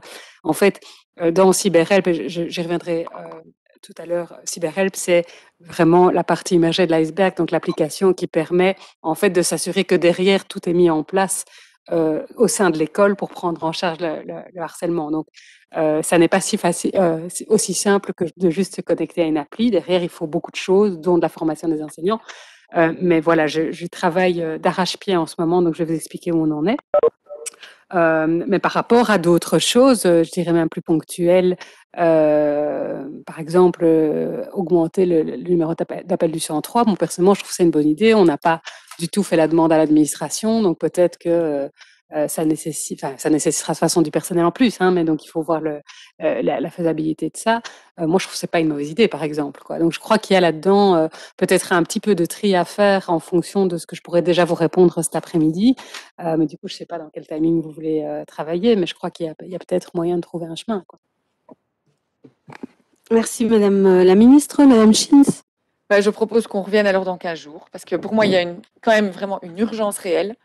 Et donc, dans 15 jours, on revient avec le texte et je m'engagerai à prendre des contacts informels suite à toutes les infos qui seront données à la fois cet après-midi, mais aussi demain, au débat en mhm, plénière, à prendre des contacts informels alors avec les différents groupes pour voir euh, s'il y a une possibilité de travailler ensemble ou, si on revient avec le texte avec les uns et les autres qui déposent des amendements, je n'en sais rien. Mais en tout cas, ma demande est donc maintenant, on n'est pas dans l'heure des travaux, Madame la Présidente, mais qu'on puisse le remettre dans 15 jours et pas dans un mois, parce que là, sinon... Euh, euh, on peut revenir dans l'ordre des travaux. Hein, on peut revenir dans l'ordre. Très bien. La commission décide de revenir dans l'ordre des travaux et donc on peut la, la, remettre. Euh, super. Merci beaucoup. Ça va? Donc ceci clôture momentanément le, euh, le débat sur, sur ce point. alors, il est, il est midi 20. Euh, nous avons justement euh, une, bah, une interpellation, mais avec euh, trois questions jointes. Alors, quatre. Trois questions jointes à l'interpellation. moi, je ne pense pas qu'on peut le faire en dix minutes. Je pense que c'est pas possible. Et donc, je vous propose alors de postposer les questions et la première interpellation.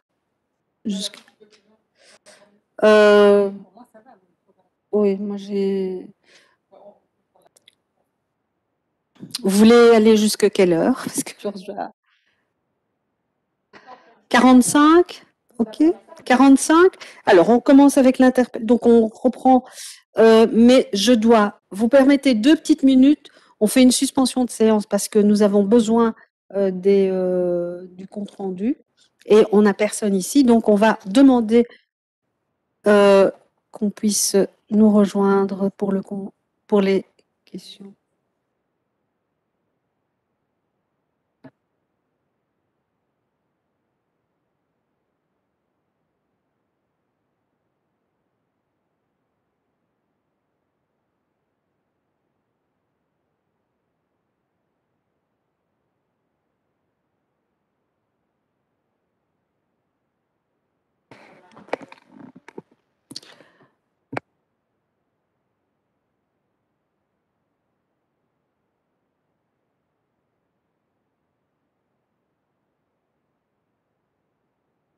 Merci, Monsieur Schumacher, d'être venu aussi rapidement euh, nous rejoindre.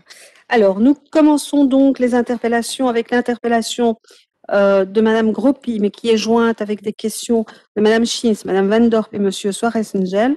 Madame Gropi sur la prise en main de la détresse des jeunes. Vous avez la parole. Je vous remercie, Madame la Présidente. Madame la ministre, un comité de concertation devait avoir lieu ce jeudi 28 janvier afin de prendre les décisions sur la jeunesse et l'enseignement. Il a finalement été remplacé par une réunion qui avait pour but de en fait valider les décisions concernant le retour aux loisirs pour les adolescents et les restrictions pour les loisirs pour les plus jeunes. J'avoue que j'ai un peu de mal à comprendre pourquoi ce comité spécial jeunesse a été annulé euh, et remplacé par cette réunion juste pour valider les décisions. Euh, mais je serais contente d'entendre le gouvernement à ce propos lors des débats de cet après-midi et de euh, demain en plénière. Et donc enfin, après des semaines et des mois de sensibilisation et de mobilisation du secteur associatif et de mobilisation du terrain, après des centaines d'appels à agir, le gouvernement semble avoir pris la mesure de la situation. Nous vous avons entendu, vous et votre collègue la ministre de la Jeunesse et de l'Enseignement supérieur, dans différents médias récemment, au sujet des mesures que le gouvernement allait prendre pour les jeunes.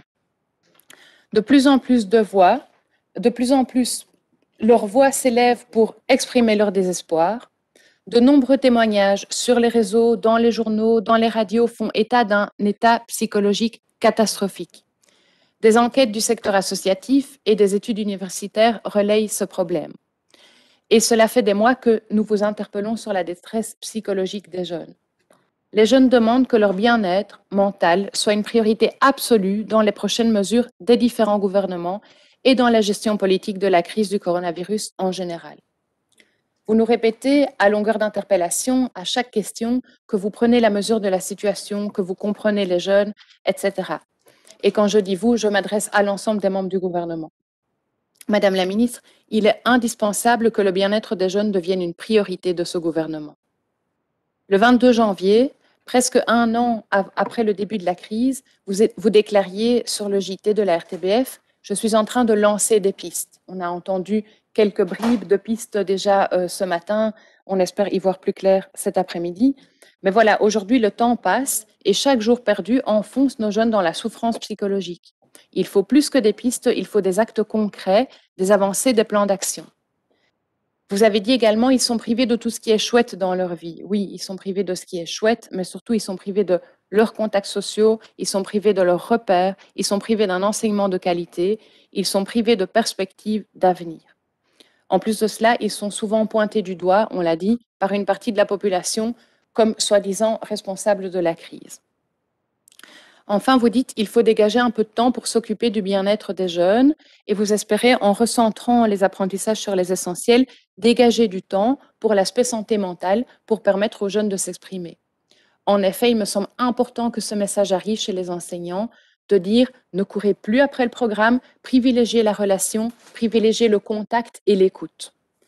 Mais les enseignants sont aussi en première ligne pour détecter un mal-être, pour détecter un décrochage. Nous avons beaucoup de retours d'enseignants inquiets et en fait très démunis par rapport à ces problématiques. Certains jeunes sont donc en décrochage scolaire grave, certains sont en situation d'isolement très préoccupante et il faut leur consacrer beaucoup de temps et d'écoute. quelles directives ont été données aux équipes pédagogiques dans ce cadre vraiment de l'écoute euh, de, l'écoute des jeunes? Quel soutien de professionnels de la santé mentale a été donné aux équipes pédagogiques. Euh, parce que les jeunes ont besoin de soutien psychologique et ce soutien doit être accessible et doit donc débuter à l'école, car une fois en dehors de l'école, les élèves sont confrontés à une autre réalité familiale ou sociale, des petites sœurs, des petits frères à aller accompagner, des courses à faire, des repas à préparer.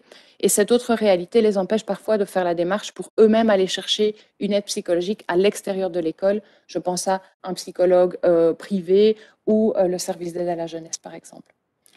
Vous dites que les équipes des centres PMS sont qualifiées pour venir en aide aux équipes éducatives, j'en suis certaine, mais nous constatons sur le terrain, les centres PMS sont débordés, ils n'ont pas les moyens euh, pour aider tous les jeunes en détresse. Donc aujourd'hui, dans certaines écoles, il y a une permanence d'une journée euh, à laquelle les jeunes peuvent venir frapper, mais est-ce que vous prévoyez qu'il y ait une aide psychologique gratuite et accessible supplémentaire dans les écoles? Parce que finalement, une journée de permanence, à la limite, si le psychologue enchaîne euh, les rendez-vous, il peut rencontrer peut-être 8 à 10 jeunes. Et donc, est-ce que c'est possible de doubler cette permanence, par exemple? Euh, et je pense qu'il est aussi possible d'agir en fait à d'autres niveaux de pouvoir. Je pense notamment à la mesure du fédéral euh, de vraiment en soutien aux indépendants qui sont aussi psychologiquement fort touchés par la crise. Le fédéral a décidé de euh, rembourser intégralement les séances psychologiques, est-ce que ce serait possible d'aller réclamer au fédéral d'étendre cette mesure à l'ensemble des citoyens et en ce qui concerne euh, ici les compétences, d'étendre cette mesure aux jeunes? Alors, par rapport au décrochage, une étude de l'UMONS, dont on a aussi abondamment parlé ici, a montré que 15% des élèves en hybridation se disaient en décrochage et 43% en risque de décrochage. Est-ce que votre administration, les données euh, qu'elle vous, a fournies, permettent de confirmer ou de nuancer ces chiffres? Et euh, vous aviez euh, parlé à la dernière commission d'une augmentation de 40% du décrochage scolaire au cours du premier trimestre par rapport à la même période du trimestre de l'année de l'année passée. Donc ça confirme les chiffres de l'enquête de l'UMONS. Quels sont les retours des équipes mobiles euh, des médiateurs scolaires qui sont intervenus en cas de décrochage? Que relaye-t-il par rapport aux besoins des jeunes? Que préconise-t-il et comment avez-vous réagi à cela? Quelles euh, consignes avez-vous éventuellement données euh, aux équipes mobiles, aux médiateurs ou aux équipes pédagogiques des écoles? Concernant les cours à proprement parler, il faut montrer à nos élèves que le système scolaire est à leur écoute, est à l'écoute de leurs besoins et qu'il est là pour leur permettre de réussir et d'acquérir des savoirs et des compétences. Il ne s'agit pas de niveler par le bas, je ne pense pas que ce soit votre intention absolument. Il s'agit d'adapter les programmes en fonction de la situation exceptionnelle que nous vivons actuellement. On a abordé plusieurs fois euh, cette thématique ici en commission. Vous avez mis au travail votre administration afin de définir les essentiels, les matières à aborder en priorité. Ce document existe, il se trouve sur le site officiel enseignement.be, mais n'est visiblement pas arrivé chez tous les enseignants.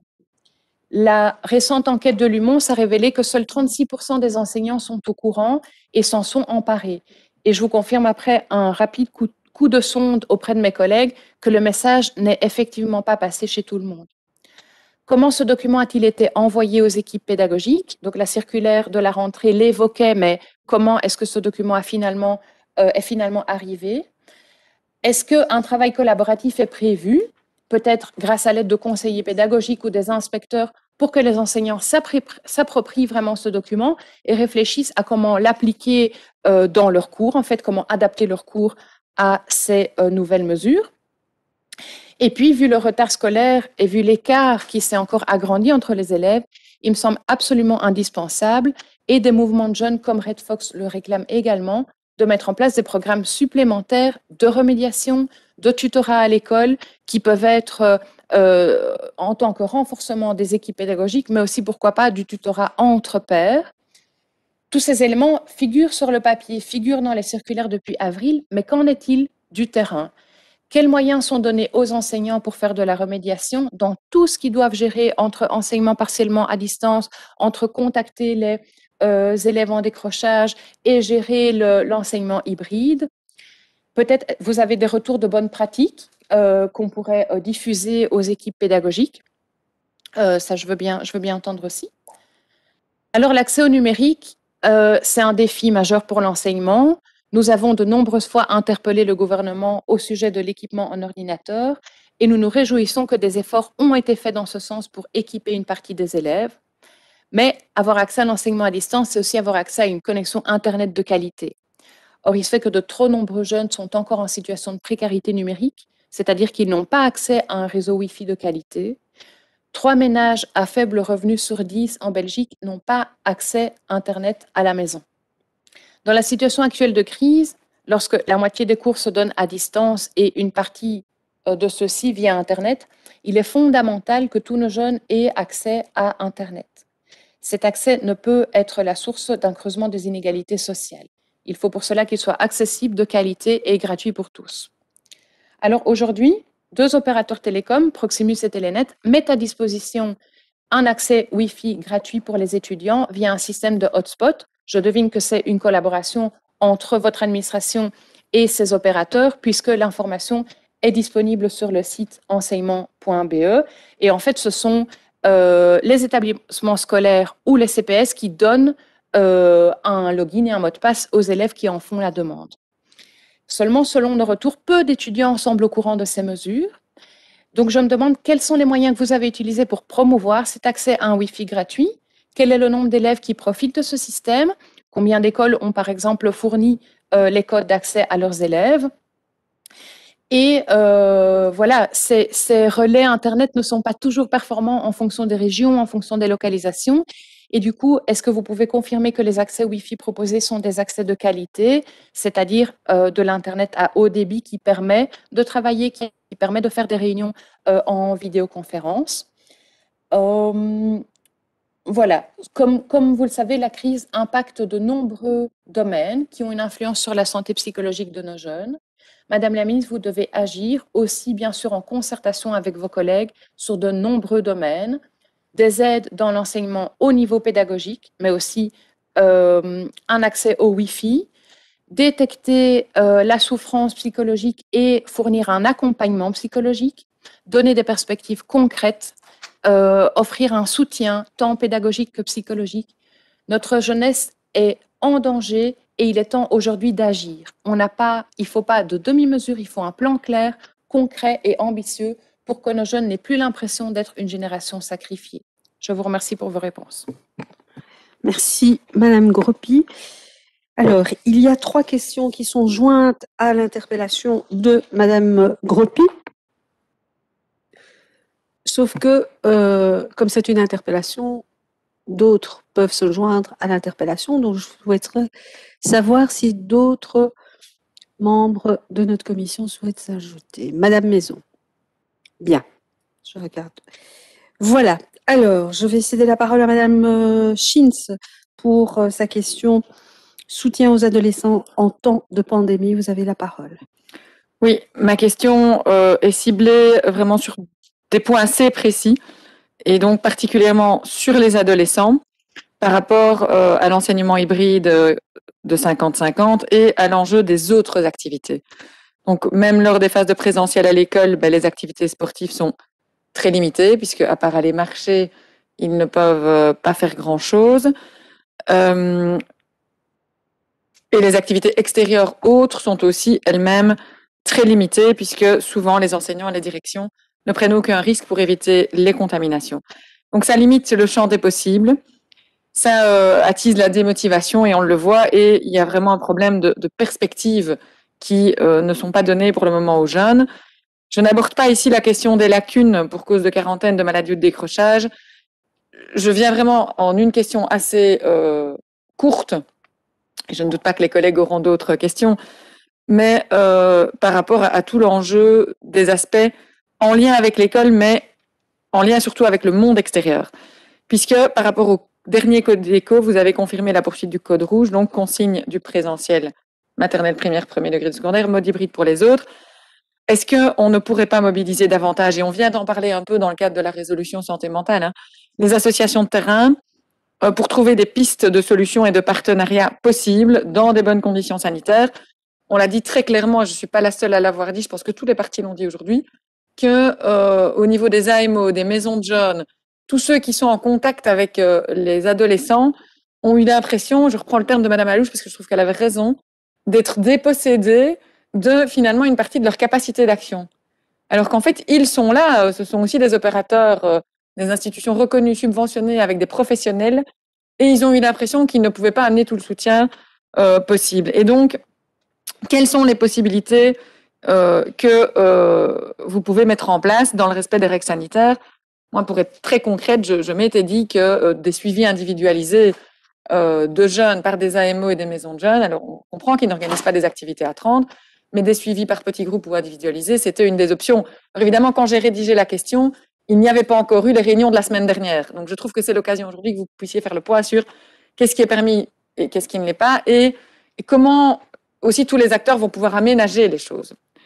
Et dernière question, euh, les animateurs des organisations de jeunesse. Alors là, c'est encore, encore plus précis. Euh, pourraient euh, venir dans les écoles. Voilà, de nouveau, dans quelles conditions sanitaires et avec quelles euh, balises, pour construire des projets collectifs, artistiques, libérer la parole. Je l'évoquais dans la, la résolution santé mentale.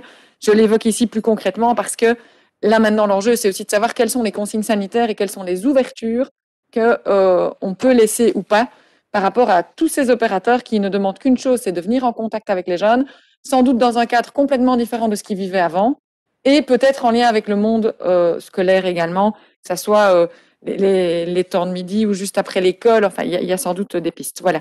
Merci à vous de faire la clarté sur les possibilités euh, concrètes actuellement. Merci, euh, Madame Schins. Nous passons à la question Madame Van Dorp sur l'apport de périodes complémentaires pour le soutien éducatif et psychosocial des élèves. Oui, merci. Bonjour à tous.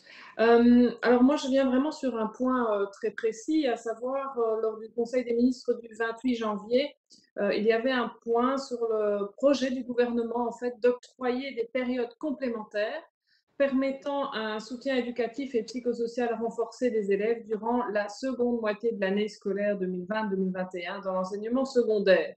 Le point mentionne aussi qu'il s'agit de mobiliser euh, le fonds d'urgence. Et donc, euh, Madame la ministre, je voulais faire un point euh, justement sur ce sujet. Mes questions sont donc les suivantes.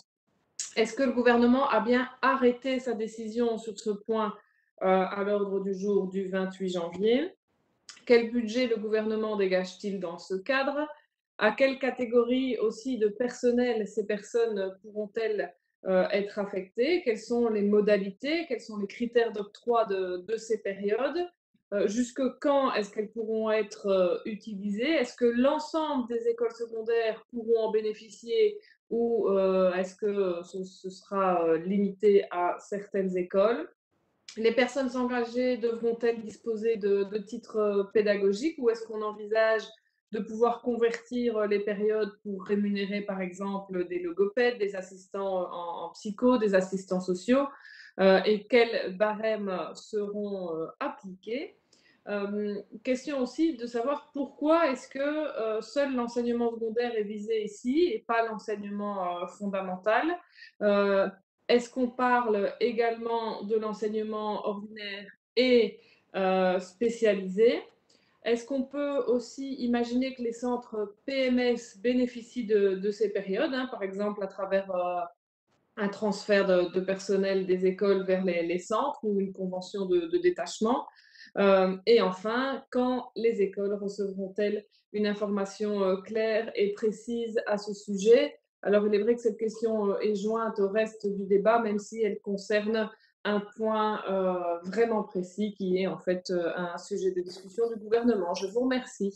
Merci, Madame Van Dorp. Nous passons à la question jointe de Monsieur Suarez-Senjal sur le rôle des acteurs culturels dans la prévention de la détresse psychologique des élèves. Et vous en avez parlé euh, ce matin longuement. Mais je Effectivement. vous cède la parole. Merci, Madame la Présidente, Madame la Ministre. Évidemment, on en a, on a parlé en partie tout à l'heure et euh, mes collègues ont bien fait d'aborder d'autres aspects euh, du sujet. Euh, néanmoins, on sait que la culture est un outil particulier qui peut être mis en place et qui peut répondre à plusieurs aspects du, problème, tant au niveau pédagogique qu'au niveau psychologique. Et donc, nous savons que la crise va durer, elle va durer longtemps, dans la mesure où euh, elle génère euh, des éléments mutants supplémentaires. Et comme le disaient récemment des expertes et des experts, on pourrait avoir trois épidémies en une. Hein, euh, on parle des variants sud-africains, britanniques, on ne sait pas comment ces variants vont évoluer.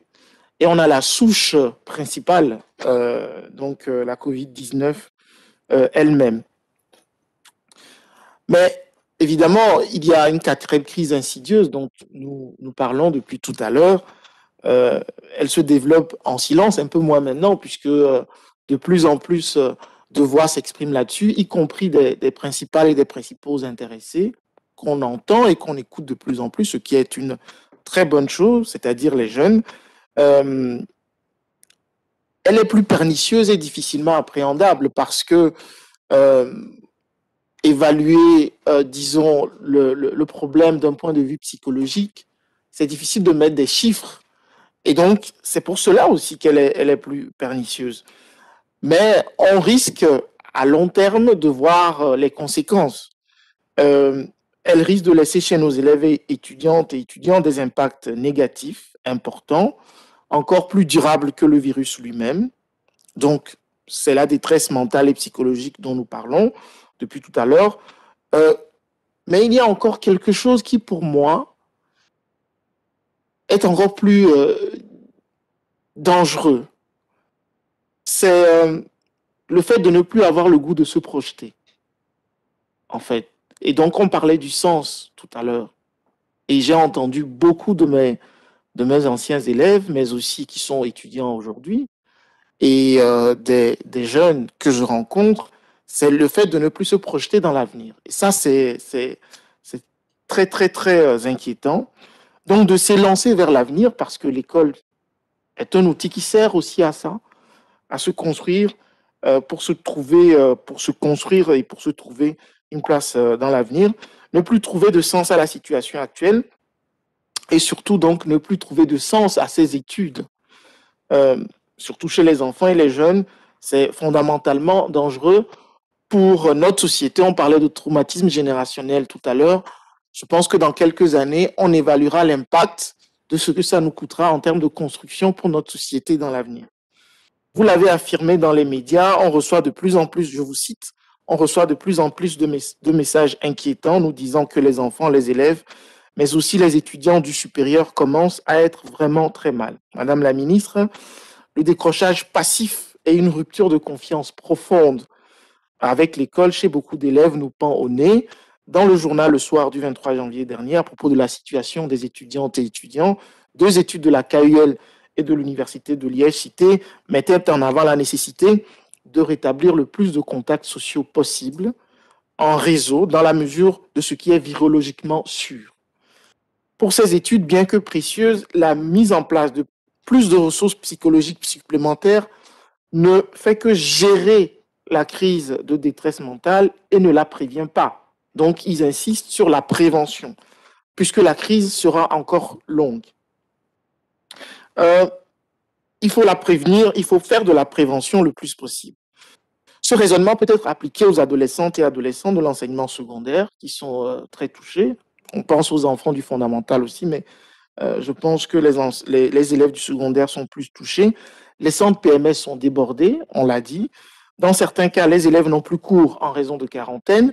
Euh, les élèves ont besoin d'urgence de retrouver du sens. Les activités culturelles peuvent jouer dans cette perspective un rôle très important au sein des écoles. Et je sais que vous avez déjà pris des initiatives dans ce sens. Lors de séances de commission passées, vous avez évoqué à plusieurs reprises le cadastre des acteurs associatifs envoyés par les directeurs de zone et les délégués au contrat d'objectifs aux écoles, des acteurs susceptibles de participer au suivi des élèves en difficulté. Ma première question est celle-ci. Vu l'impact positif que peuvent avoir les activités culturelles sur les élèves dans ce moment particulièrement critique, ce cadastre comprend-il les acteurs culturels?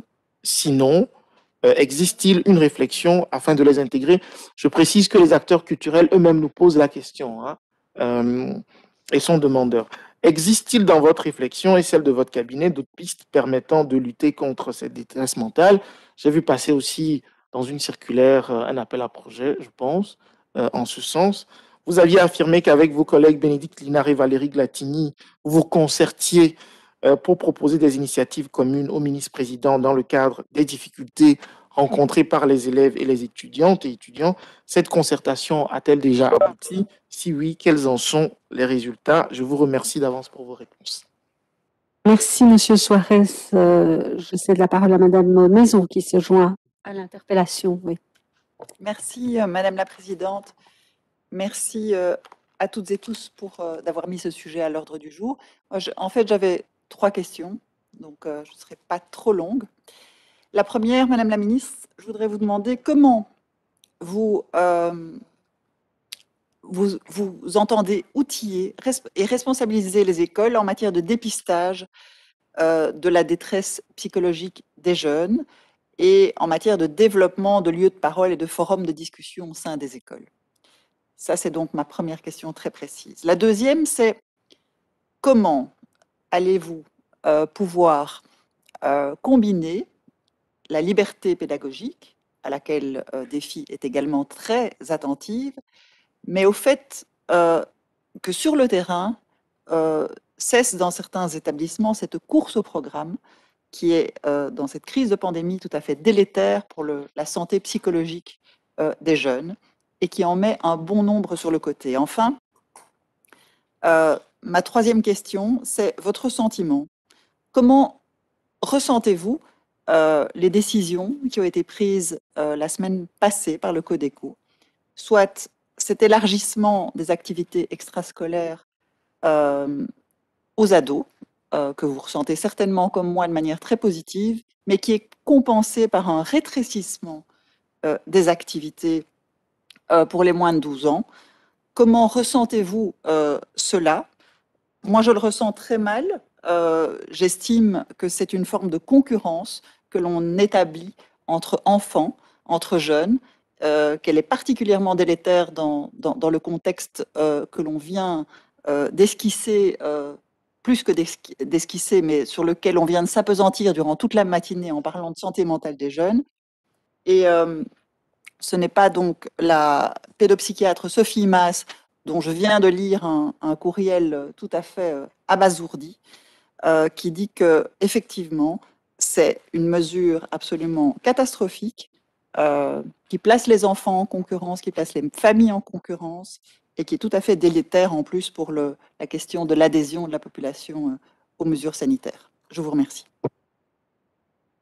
Merci Madame la Madame Maison, Madame la Ministre pour vos réponses. Merci d'abord à, tous pour vos questions. Je pense que ça, elle reflète bien l'importance évidemment euh, de l'enjeu. Euh, d'abord, je le dirai jamais assez, le bien-être des jeunes me préoccupe et concentre toute mon attention depuis le début de la crise. Alors, évidemment, la période que nous vivons est particulièrement euh, pénible pour eux, notamment parce que la crise dure. Je crois qu'il y a aussi beaucoup de ça. on est bientôt à un an de crise et donc effectivement, il se passe plus un jour sans que nous n'évoquions la détresse des jeunes et le risque de décrochage, non seulement scolaire, mais aussi social. Dans ce contexte extrêmement difficile, je dois vous dire que ça fait maintenant presque un an que je me bats avec l'ensemble du gouvernement euh, pour garantir le mieux possible le droit à l'éducation. Euh, je vous rappelle d'ailleurs, c'est un peu pour répondre à, ce que Madame Groppi disait, mais que euh, les élèves du fondamental et du premier degré sont à l'école à 100% depuis le mois de septembre. Vous pouvez faire un peu le tour de la question dans les pays qui nous entourent. On est un des seuls pays qui a garanti ce droit depuis le mois de septembre, avec une toute petite suspension des cours euh, à, la Toussaint d'une semaine supplémentaire. Mais sinon, les enfants sont à l'école euh, à 100% jusqu'en deuxième secondaire.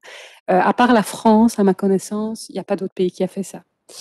Euh, alors bon, voilà, effectivement, pour les plus grands, à partir de la troisième secondaire, euh, on est dans un système d'enseignement hybride. Vous savez tous ici que ça n'était pas mon souhait, euh, que pour moi c'est la moins bonne, la moins pardon mauvaise des solutions dans un contexte de crise sanitaire aiguë. mais j'ai toujours affirmé, et vous pourrez à mon avis, que le confirmer parce que vous m'écoutez souvent.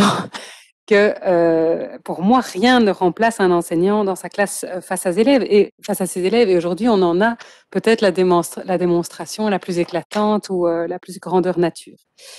Les jeunes sont clairement en manque de ce contact en présentiel quotidien avec leurs enseignants, mais aussi avec leurs pères, hein, avec leurs copains de classe. Mais on, voit aussi, par, les témoignages qu'on reçoit sans doute tous, que les enseignants souffrent aussi vraiment de ça. Un, représentant d'une organisation syndicale me disait, euh, les enseignants nous disent, ça n'est pas pour ça qu'on a signé, quoi. C'est pas ça notre métier, en fait. Euh, et donc c'est très difficile pour eux aussi, et je pense qu'il faut aussi le dire. Euh, malgré tout ce, que, tout ce que tout le monde essaye de mettre en place comme, comme soutien, notamment comme formation à l'hybridation, etc., c'est une situation qui est facile pour personne, ça c'est clair. Alors, vous, l'aurez constaté aussi, bah, cette, question du bien-être des jeunes, euh, bah, est largement, euh, enfin, cette, préoccupation est largement partagée par tous les membres du gouvernement, en particulier par mes collègues Valérie Glatini et Bénédicte Linard.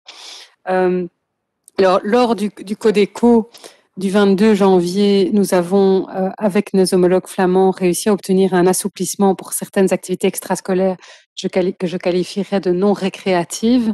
Je pense que je vous en avais parlé ici en commission aussi, mais donc euh, on a voulu pouvoir rouvrir de manière cadrée des services permettant de contribuer à soutenir les jeunes face aux difficultés d'apprentissage et au décrochage tant scolaire que social. Un protocole a été rédigé la semaine dernière et est en cours de validation par les experts. Il permettra par exemple aux écoles des devoirs et au secteur de la jeunesse de travailler avec des écoles pour permettre le suivi individualisé, seul ou en petit groupe jusqu'à huit personnes, de certains élèves en difficulté pour faire de la remédiation, fournir des livres d'études ou un accès à du matériel informatique, mais aussi plus simplement pour offrir un cadre où les jeunes peuvent s'oxygéner l'esprit et renouer du lien social. Ça va permettre aussi, Madame Schins, aux AMO et aux autres associations fondées à cette tâche de reprendre leur mission de terrain vis-à-vis des jeunes en décrochage social. Je ne vais pas euh, rentrer plus dans les détails, s'agissant en grande partie du secteur de mes collègues, avec qui nous travaillons de ma manière très étroite pour jeter les ponts nécessaires avec le monde scolaire. Euh, ça répond à votre question, Monsieur Soares aussi. Euh, donc, on a mis le point sur la table, on a travaillé avec nos collègues pour euh, faire de ça une réalité au travers des protocoles. Et vraiment, je m'en réjouis. C'est notamment une des demandes du délégué général au droit de l'enfant aussi, hein, de se dire euh, il faut que on puisse aussi utiliser les relais des associations de terrain parce que toute seule l'école ne pourra pas tout.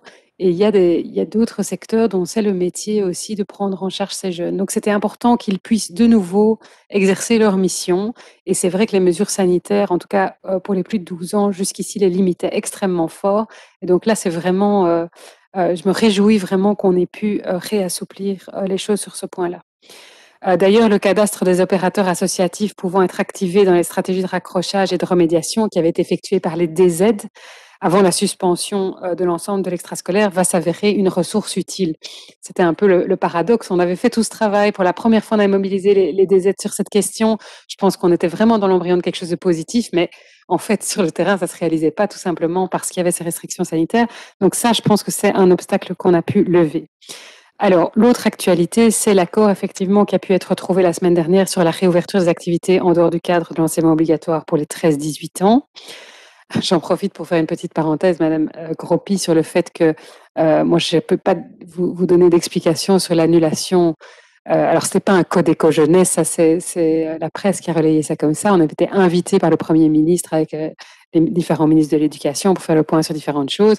Euh, ça a été annulé, je pense simplement parce qu'entre-temps, les ministres euh, compétents pour la jeunesse, l'extrascolaire, etc., se sont rencontrés de manière informelle, mais ça n'était pas un comité de concertation officiel jeunesse, ça, ça n'a jamais existé comme invitation. Donc voilà, pour euh, un petit peu recadrer le, le, débat.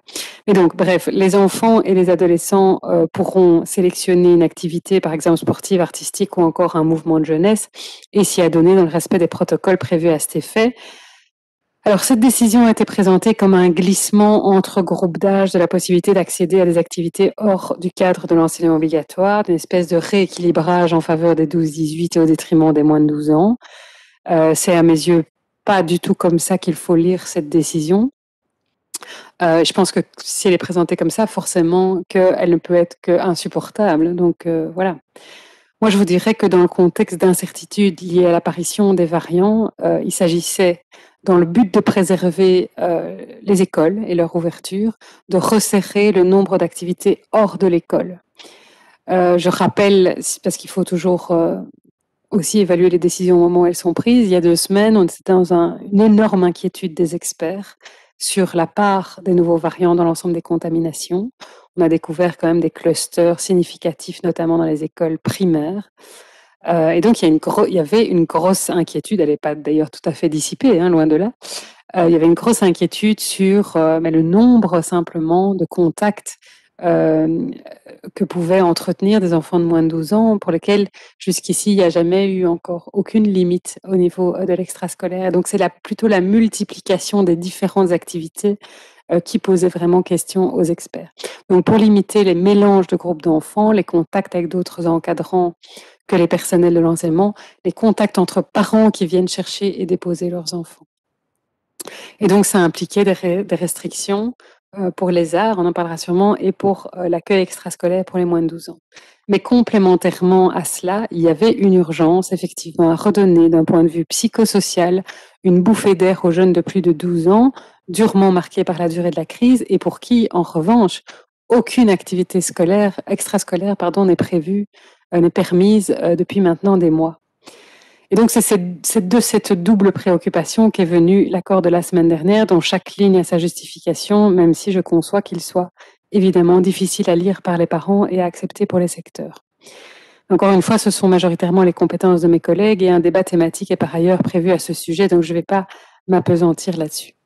Pour en revenir aux questions sur l'enseignement et le décrochage, les chiffres restent effectivement alarmants et ne cessent de croître hein, par rapport à, j'ai déjà eu l'occasion de vous dire ça, mais par rapport à la même période en 2019, une augmentation de plus de 40% est relevée au 15 décembre dans toutes les provinces. Les équipes mobiles et les médiateurs constatent chez les élèves pour lesquels ils ont été amenés à intervenir de lourds retards pédagogiques, de l'absentéisme, du décrochage passif, ça veut dire de la présence derrière un écran mais sans investissement, et de manière générale un manque de motivation. Ils font également euh, face à des phénomènes marqués de cyberharcèlement. Euh, on a parfois tendance à dire que c'est euh, la saison du cyberharcèlement, mais donc ça se, ça se marque de nouveau évidemment cette année. Est-ce que c'est lié aussi au fait qu'on utilise plus des écrans? C'est une possibilité. À l'instar de ce que nous disent les associations de pédopsychiatres, des psychologues et autres professionnels, la dimension émotionnelle est pointée dans l'analyse des situations et les besoins psychosociaux, affectifs et relationnels des élèves sont mis en exergue. J'insiste à nouveau sur la collaboration nécessaire avec les CPMS qui doit pouvoir s'élargir aux partenaires locaux, on en a parlé, mais aussi aux acteurs de la santé hein, pour les, les situations plus aiguës qui nécessitent une prise en charge afin de répondre aux besoins psychomédico-sociaux des élèves sous des formes multiples et adaptées, individuelles ou collectives. À ce titre, la reprise des activités de certaines structures dédiées à la jeunesse, dont je vous parlais tout à l'heure, va permettre le rétablissement de certains relais qui me paraissent fondamentaux dans l'encadrement des jeunes. Sur les moyens dégagés, je commencerai par les questions sur les périodes supplémentaires d'accompagnement personnalisé octroyées grâce aux 17 millions d'euros de budget dégagé dont on a déjà beaucoup parlé les écoles ont pu engager du personnel amené à épauler les élèves de manière diverse en fonction de leurs besoins. Ainsi, certains ont opté euh, pour l'engagement d'enseignants afin de mettre en place un dispositif de différenciation, mais d'autres ont fait le choix d'engager des éducateurs, des assistants sociaux ou encore des psychologues à même de se concentrer au mieux-être des élèves. Je l'ai déjà indiqué, je recevrai dans le courant du mois de février de la part des DCO un rapport qui contiendra des éléments d'évaluation de ce dispositif. Comme vous le soulignez, les points de matière essentiels de nos apprentissages ont clairement été définis au sein d'un document rédigé par le Service général de l'inspection et par la Direction des standards éducatifs et de l'évaluation, dont l'objectif était notamment de pouvoir laisser du temps aux équipes éducatives pour aménager les grilles horaires en fonction des besoins des élèves et d'y insérer par exemple de la remédiation, de l'écoute des jeunes ou encore d'autres activités favorisant leur bien-être. Ce document a été transmis à tous les chefs d'établissement scolaire dès la rentrée de septembre pour qu'ils puissent faire percoler l'information au sein de leurs équipes. Plus récemment, je me suis attelée à diffuser cette information par le biais de différents moyens de communication parce que je souhaite vivement diminuer la pression tant sur les enseignants que sur les élèves. Sachez enfin que le document a fait l'objet d'une nouvelle communication lors de la diffusion des dates de passation des épreuves externes certificatives de 2021 et sera également mentionné au sein des circulaires relatives à l'organisation de ces épreuves qui vont paraître très prochainement. Par ailleurs, en ce qui concerne le soutien aux écoles dans l'appropriation des essentiels, je souhaite rappeler que les fédérations de PO constituent un relais précieux à cet égard, notamment par le biais des conseillers au soutien et à l'accompagnement dont elles disposent. Je pense que d'ailleurs les fédérations de PO sont un, relais essentiel pour répondre à la question de Madame Maison. Euh, je crois que le message doit passer par eux, euh, définitivement. Euh, je crois que j'ai martelé encore le message dans la presse, vous l'avez lu, ça doit être relayé par les réseaux. Euh, on, si on veut vraiment diminuer la pression, c'est comme ça qu'on y arrivera, je pense, et bien faire le lien euh, avec la question des évaluations externes aussi. Alors, par ailleurs, pour l'avenir, le gouvernement a approuvé ma proposition, euh, c'est plus pour répondre à Madame Van donc le gouvernement a bien approuvé ma proposition de mise en place d'un soutien éducatif et psychosocial renforcé durant la seconde moitié de l'année scolaire 2020-2021 au bénéfice des élèves de l'enseignement secondaire. Euh, une enveloppe de 19 millions d'euros est consacrée à cela. Euh, et c'est bien 19 millions d'euros qui seront imputés au fonds d'urgence. Alors, cette décision, je ne vais pas pouvoir répondre encore à toutes vos questions, Madame Van Dor, parce que cette décision va devoir faire très rapidement l'objet d'un texte réglementaire. Je vais vous donner déjà quelques éléments qui vous permettront d'appréhender au mieux la philosophie et les objectifs portés par ce projet. Il sera ainsi proposé d'accorder de manière temporaire un volume de période permettant de déployer des pratiques d'accompagnement de type psychosocial et éducatif. Mais euh, en plus, une enveloppe euh, parmi ces 19 millions devrait être dédiée au renforcement des équipes des CPMS. Alors, pourquoi est-ce que je ne peux pas vous répondre définitivement? C'est parce qu'on ne s'est pas encore mis complètement d'accord sur la répartition euh, de cette enveloppe entre ces deux volets, on va dire, qui sont tous les deux fondamentaux. Euh, je fais une petite incise ici, mais j'ai rencontré des directeurs de CPMS du Libre et la FAPMS également. J'ai discuté très longuement avec eux. Je pense qu'ils ont besoin de ces moyens complémentaires. Ils ont besoin de moyens humains supplémentaires pour faire face euh, à ce qu'ils sont en train de vivre. Euh, ils avaient déjà besoin de moyens supplémentaires avant la crise. En tout cas, c'est euh, effectivement ce qu'ils me, me disent. Euh, mais ici, vraiment, voilà, le nombre de demandes d'entretien individuel euh, est en, est en, explosion littéralement depuis le début de l'année. Et puis, voilà, ce sont eux qui sont outillés, notamment, Madame Maison, vous me posiez la question, pour mettre en place des lieux de parole, pour, pour dépister. Et donc, on doit, plutôt que d'essayer de réinventer la roue, euh, mettre des moyens euh, supplémentaires euh, dans les équipes qui, sont déjà euh, parfaitement euh, professionnelles pour faire ça, en fait. Euh, alors, évidemment, la faisabilité juridique et budgétaire du mécanisme est actuellement étudiée et on a eu une réunion avec les acteurs de l'enseignement hier après-midi à ce sujet, donc c'est un peu tôt pour que je puisse tout vous, vous expliquer au dernier carat. En plus, on n'a pas encore pris l'ensemble des décisions. Mais je suis persuadée qu'un double soutien scolaire et émotionnel ou psychologique s'avérera indispensable à la poursuite de cette année scolaire, et ce, quel que soit le scénario sanitaire envisagé. Comprenez-moi bien, c'est pas parce que demain on redeviendrait code orange que pour autant tout le monde ira mieux d'un coup. Je pense qu'on est parti pour des mois euh, où ce soutien va être nécessaire. Euh, donc, je défends le postulat selon lequel apprentissage et santé mentale vont de pair. Vous m'avez peut-être déjà aussi entendu dire que je pense que simplement des élèves ne peuvent pas apprendre s'ils ne vont pas bien. Et donc, on doit euh, évidemment euh, mettre la priorité là-dessus. Donc, l'accompagnement spécifique visera, avec le travail effectué en classe, à soutenir la santé mentale et le bien-être des élèves et partant la motivation des équipes éducatives, développer et ou garantir un climat scolaire serein et bienveillant propice à la différenciation des apprentissages, et alors renforcer l'acquisition de savoir, savoir-faire et compétences définis comme essentiels par le service général de l'inspection. Donc, on va devoir trouver l'équilibre parce que, euh, évidemment, je veux mettre l'accent sur le bien-être, vous l'avez compris, euh, mais néanmoins, il y a des, vraies euh, difficultés d'apprentissage aussi auxquelles on va devoir pouvoir apporter des solutions. Donc le dispositif s'appuiera non seulement sur des enseignants, mais aussi sur des acteurs de l'éducation qui ne sont pas en charge des apprentissages et qui émanent du champ de l'intervention sociale, notamment des CPMS, psychologues, assistants sociaux, etc., tous susceptibles d'établir des relations d'aide, de soutien et de confiance avec les différents publics de l'école. Enfin, c'est vrai que nous avons fait le choix euh, de privilégier cette fois-ci les établissements de l'enseignement secondaire. Euh, c'est toujours des choix difficiles, hein, ça c'est clair, mais euh, il nous semble que les difficultés euh, sont encore plus marquées là, notamment parce que c'est dans le secondaire supérieur, on va dire, qu'il y a l'hybridation, et donc c'est là que il nous semble que les élèves et les profs sont les plus touchés par les mesures du Code rouge appliquées depuis le mois de novembre. je précise pour Mme Van Dorp que l'enseignement spécialisé de forme 3 et 4 est également concerné par le dispositif.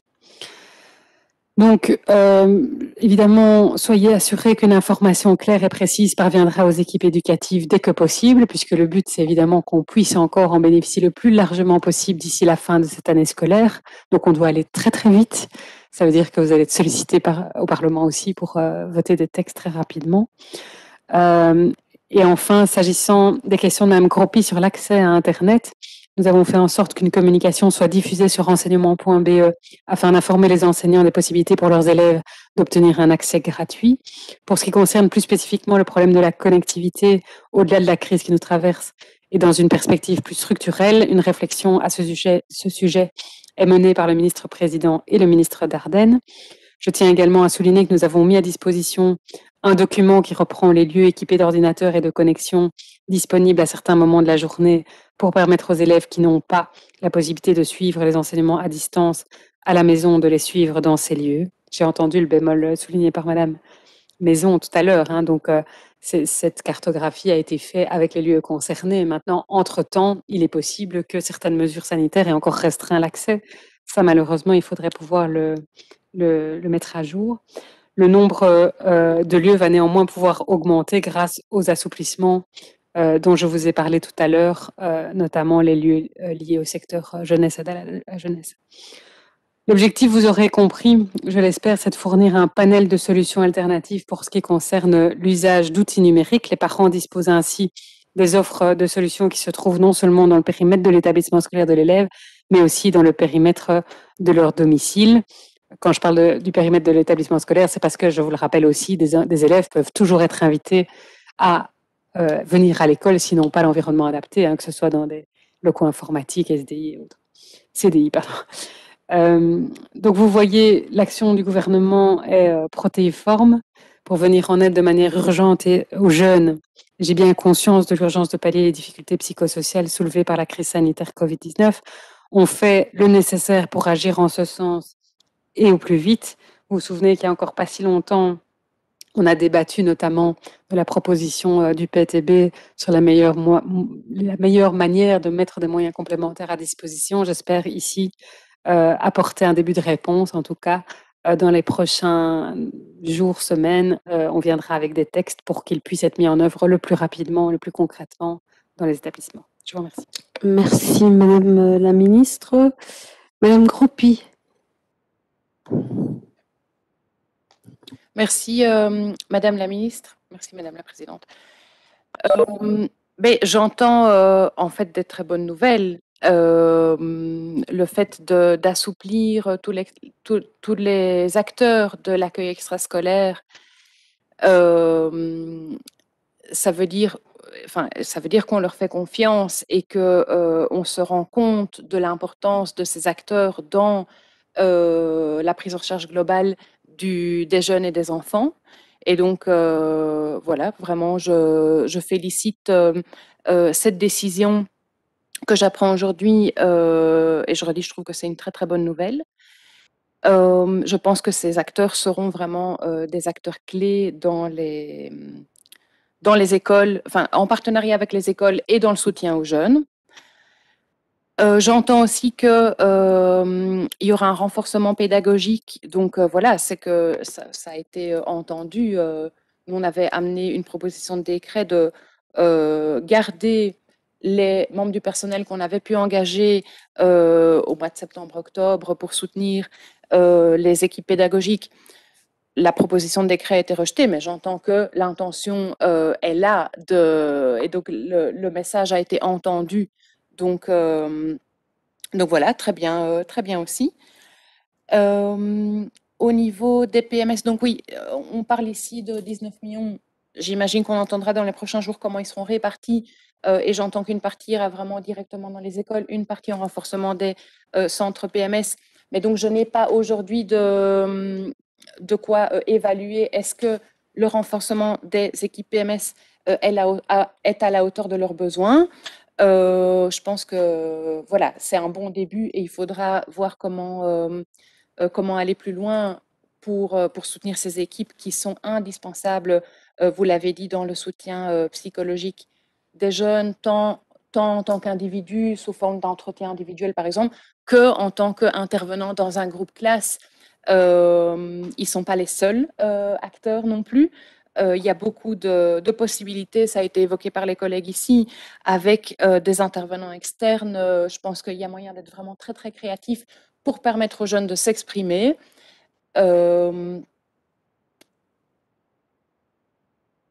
par rapport au décrochage, j'entends qu'il y a voilà, ce soutien aux écoles mais euh, comment, euh, comment aider les profs qui mettent une énergie considérable à aller chercher ces jeunes euh, qui ne répondent plus, qui ne viennent plus Est-ce que, par exemple, prendre un moment pour leur passer, et donc il faut les aider, les soutenir là-dedans, même en, termes de moyens humains, mais prendre un moment pour téléphoner aux, jeunes, aux familles, pour voir où ils en sont et faire un peu un cadastre de, de, comment ça se passe, de quels sont leurs besoins, est-ce que c'est des besoins matériels, est-ce qu'il faut les faire revenir?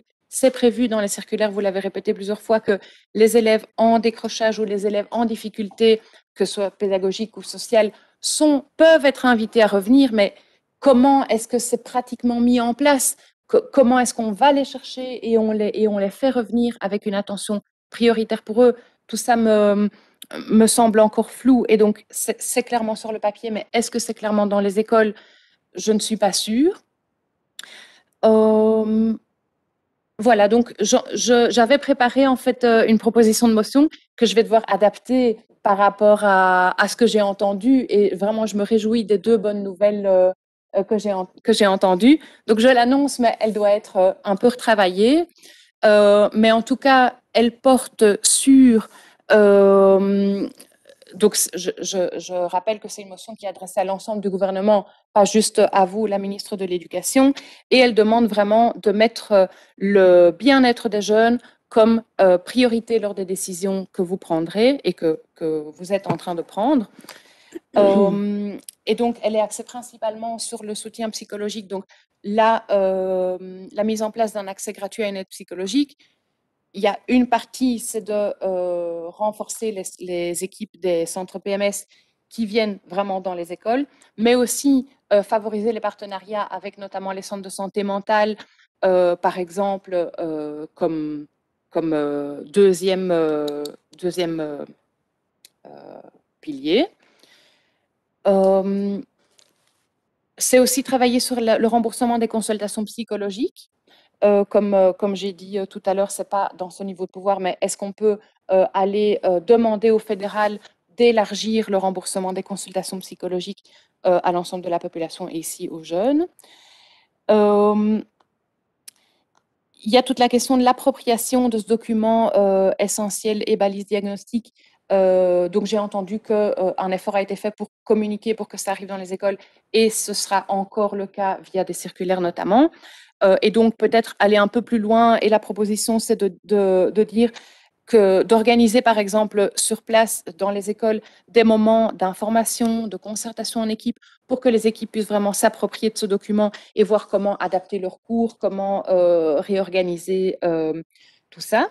Et puis il y a l'aspect de donner,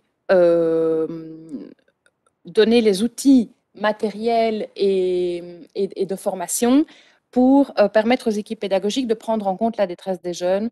Euh, donc, on, l'a un peu évoqué avec des acteurs externes, avec des pratiques comme euh, via des ateliers d'écriture, des cercles de parole, de l'expression artistique, de l'expression même corporelle. Je pense qu'il y a beaucoup d'acteurs au sein de l'école. Madame Gropi, normalement, vous n'aviez que cinq minutes, vous êtes à dix minutes euh, ou d'un réplique, oui. Euh. Je donc, je pense que vous devez poser, vous devez déposer votre motion avant la fin de la commission. Vous l'avez présent, vous l'avez euh, annoncé. Donc, tout à l'heure, vous aurez la parole pour pouvoir l'expliquer. Ça va?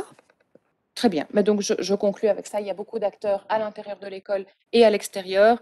Et, euh, et, voilà, la demande est de euh, mobiliser tous ces acteurs et de, de, de, suggérer des pistes créatives aux équipes, euh, aux équipes pédagogiques. Et c'est pour moi un terme large qui n'inclut pas seulement les enseignants. Je vous remercie. Merci, Madame Schins, pour votre réplique. Oui, Merci à la ministre d'avoir donné les informations donc, sur euh, les protocoles qui sont en cours pour les secteurs école des devoirs et secteur de la jeunesse. Je lirai attentivement parce que j'espère qu'ils seront praticables.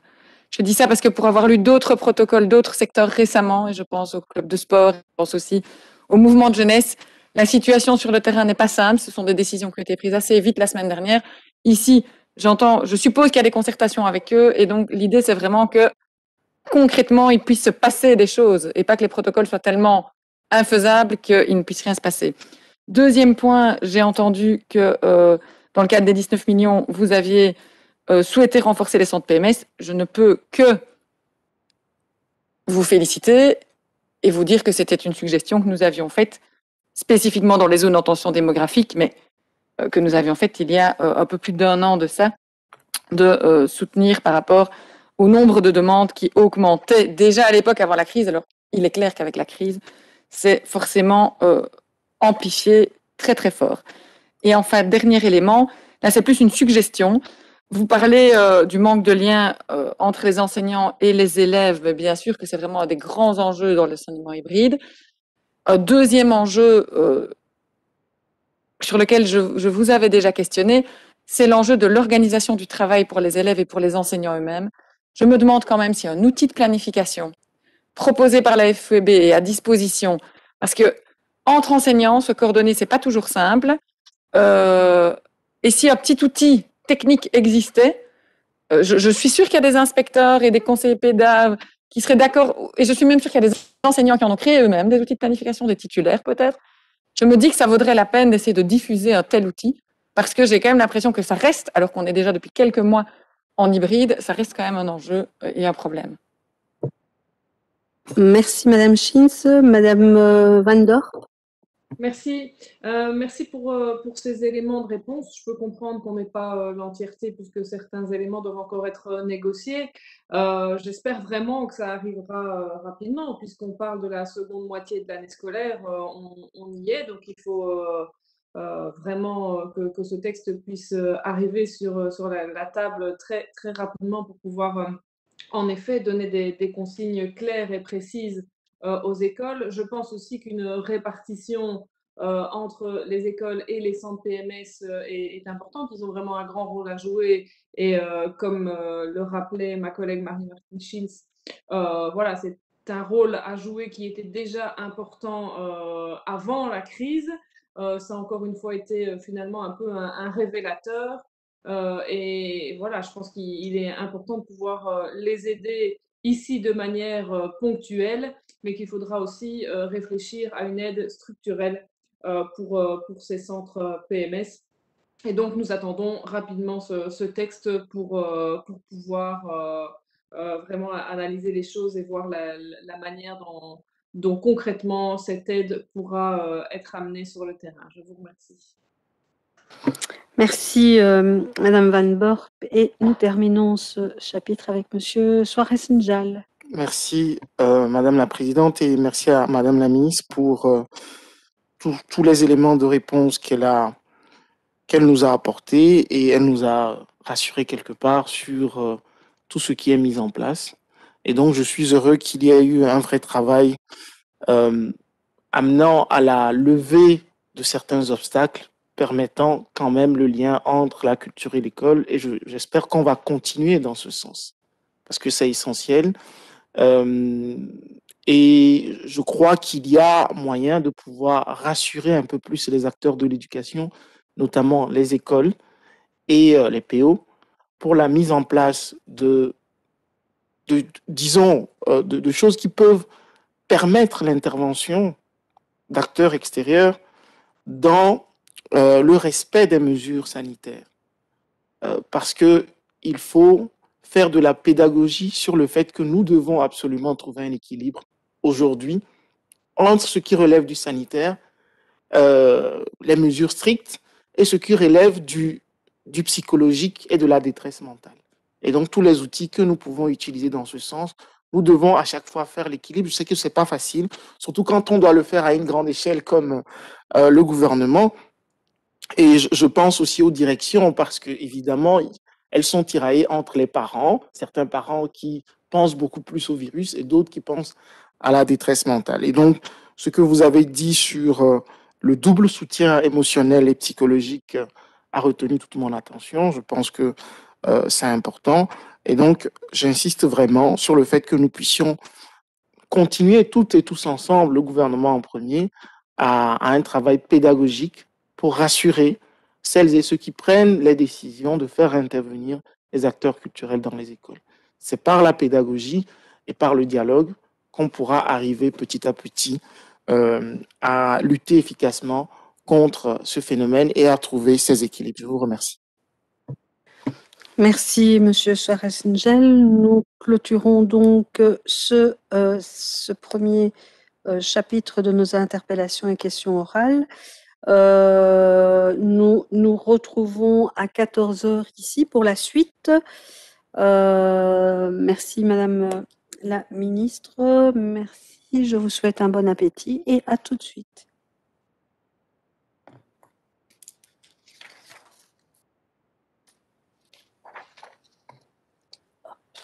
Oh là là.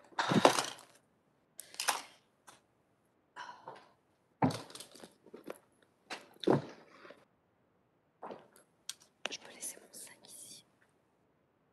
Je remonte. Je remonte. avec- Ah mais non, il y a, des sandwichs.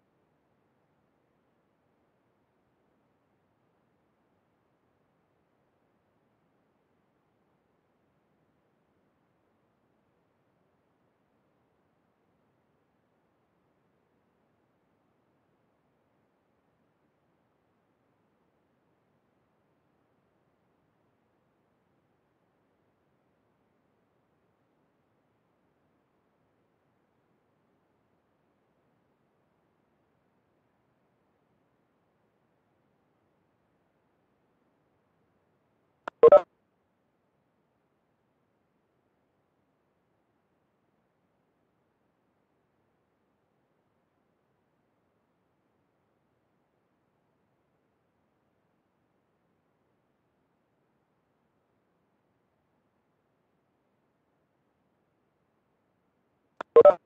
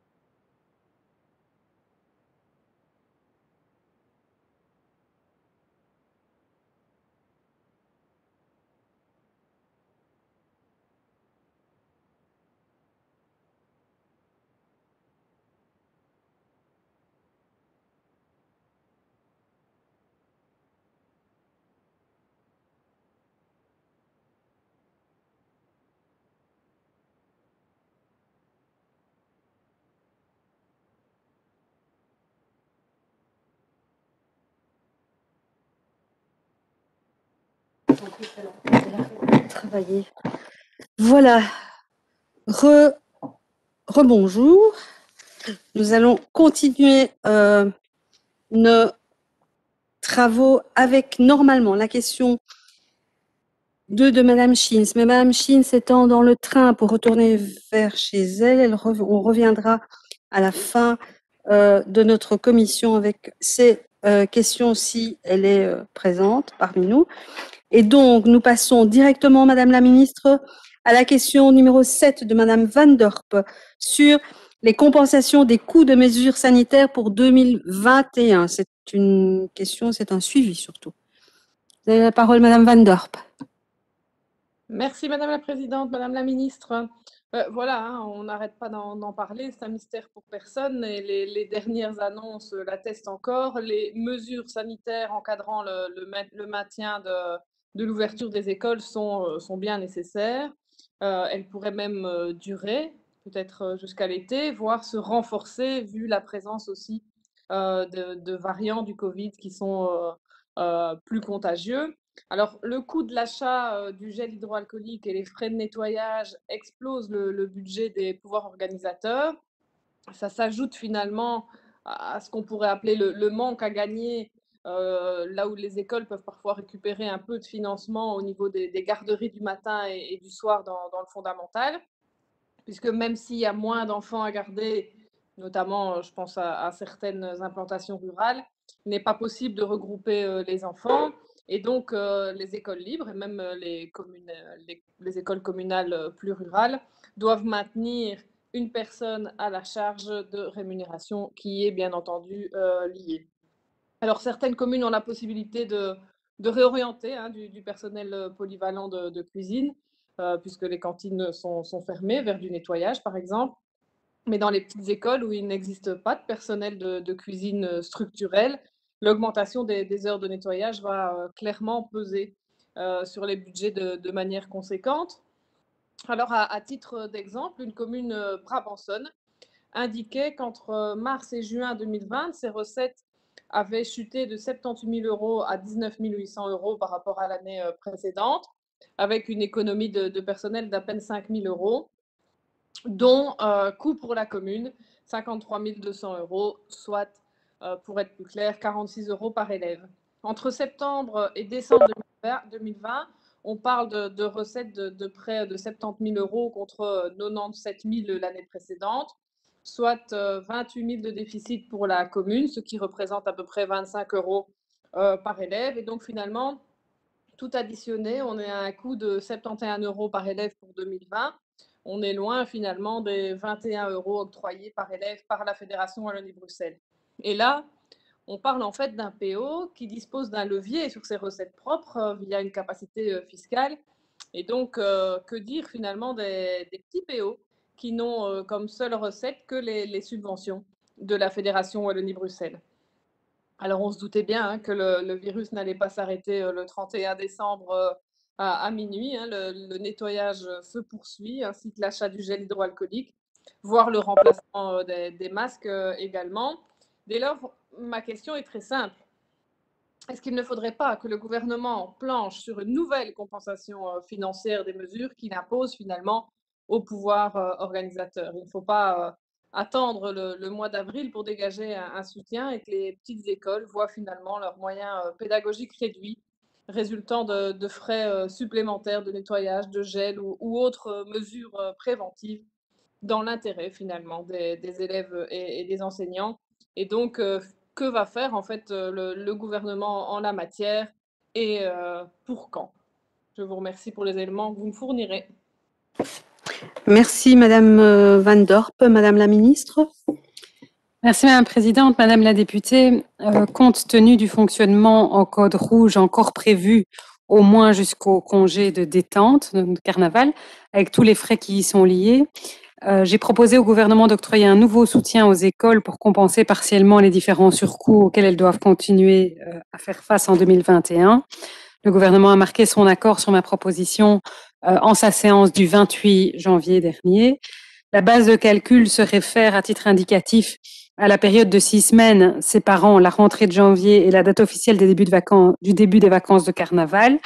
une simple règle de 3 appliquée au montant de 20 millions d'euros qu'on avait dégagé pour les cinq mois de fonctionnement en 2020 aboutit à octroyer aujourd'hui 6 millions d'euros additionnels.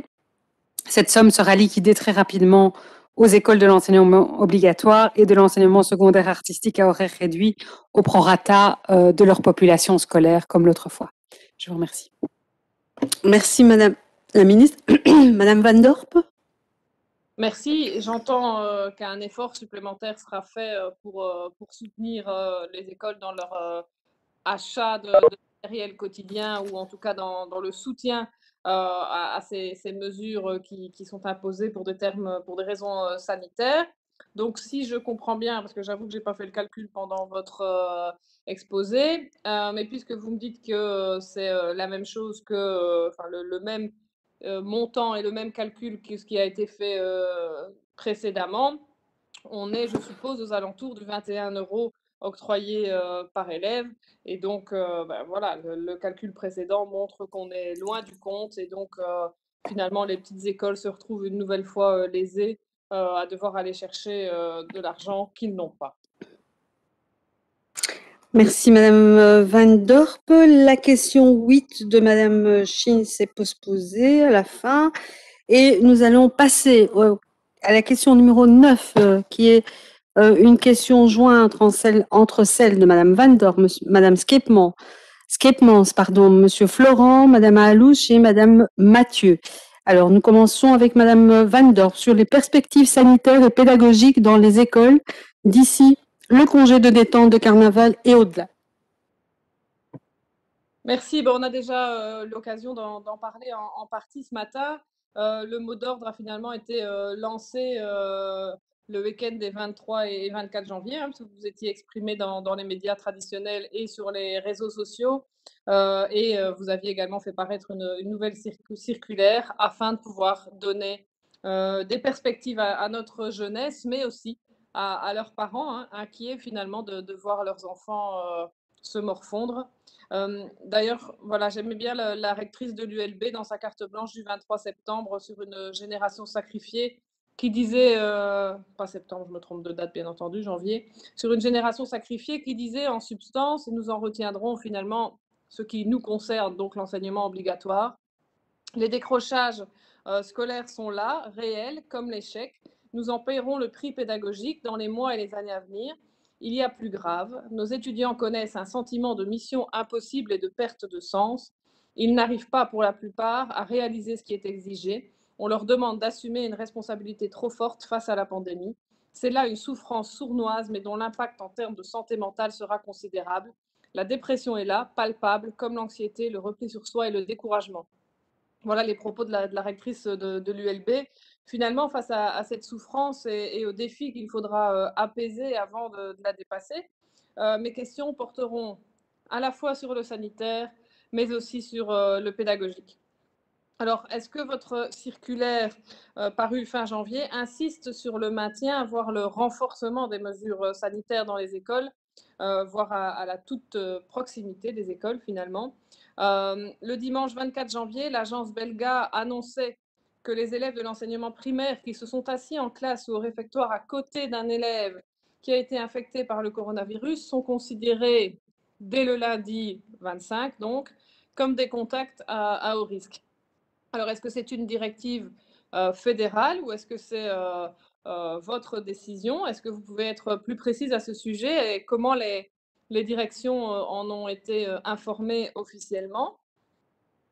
Autre point, au-delà de, votre message concernant la, santé mentale des jeunes, quelles mesures concrètes prendrez-vous pour aider ces jeunes dans le cadre scolaire?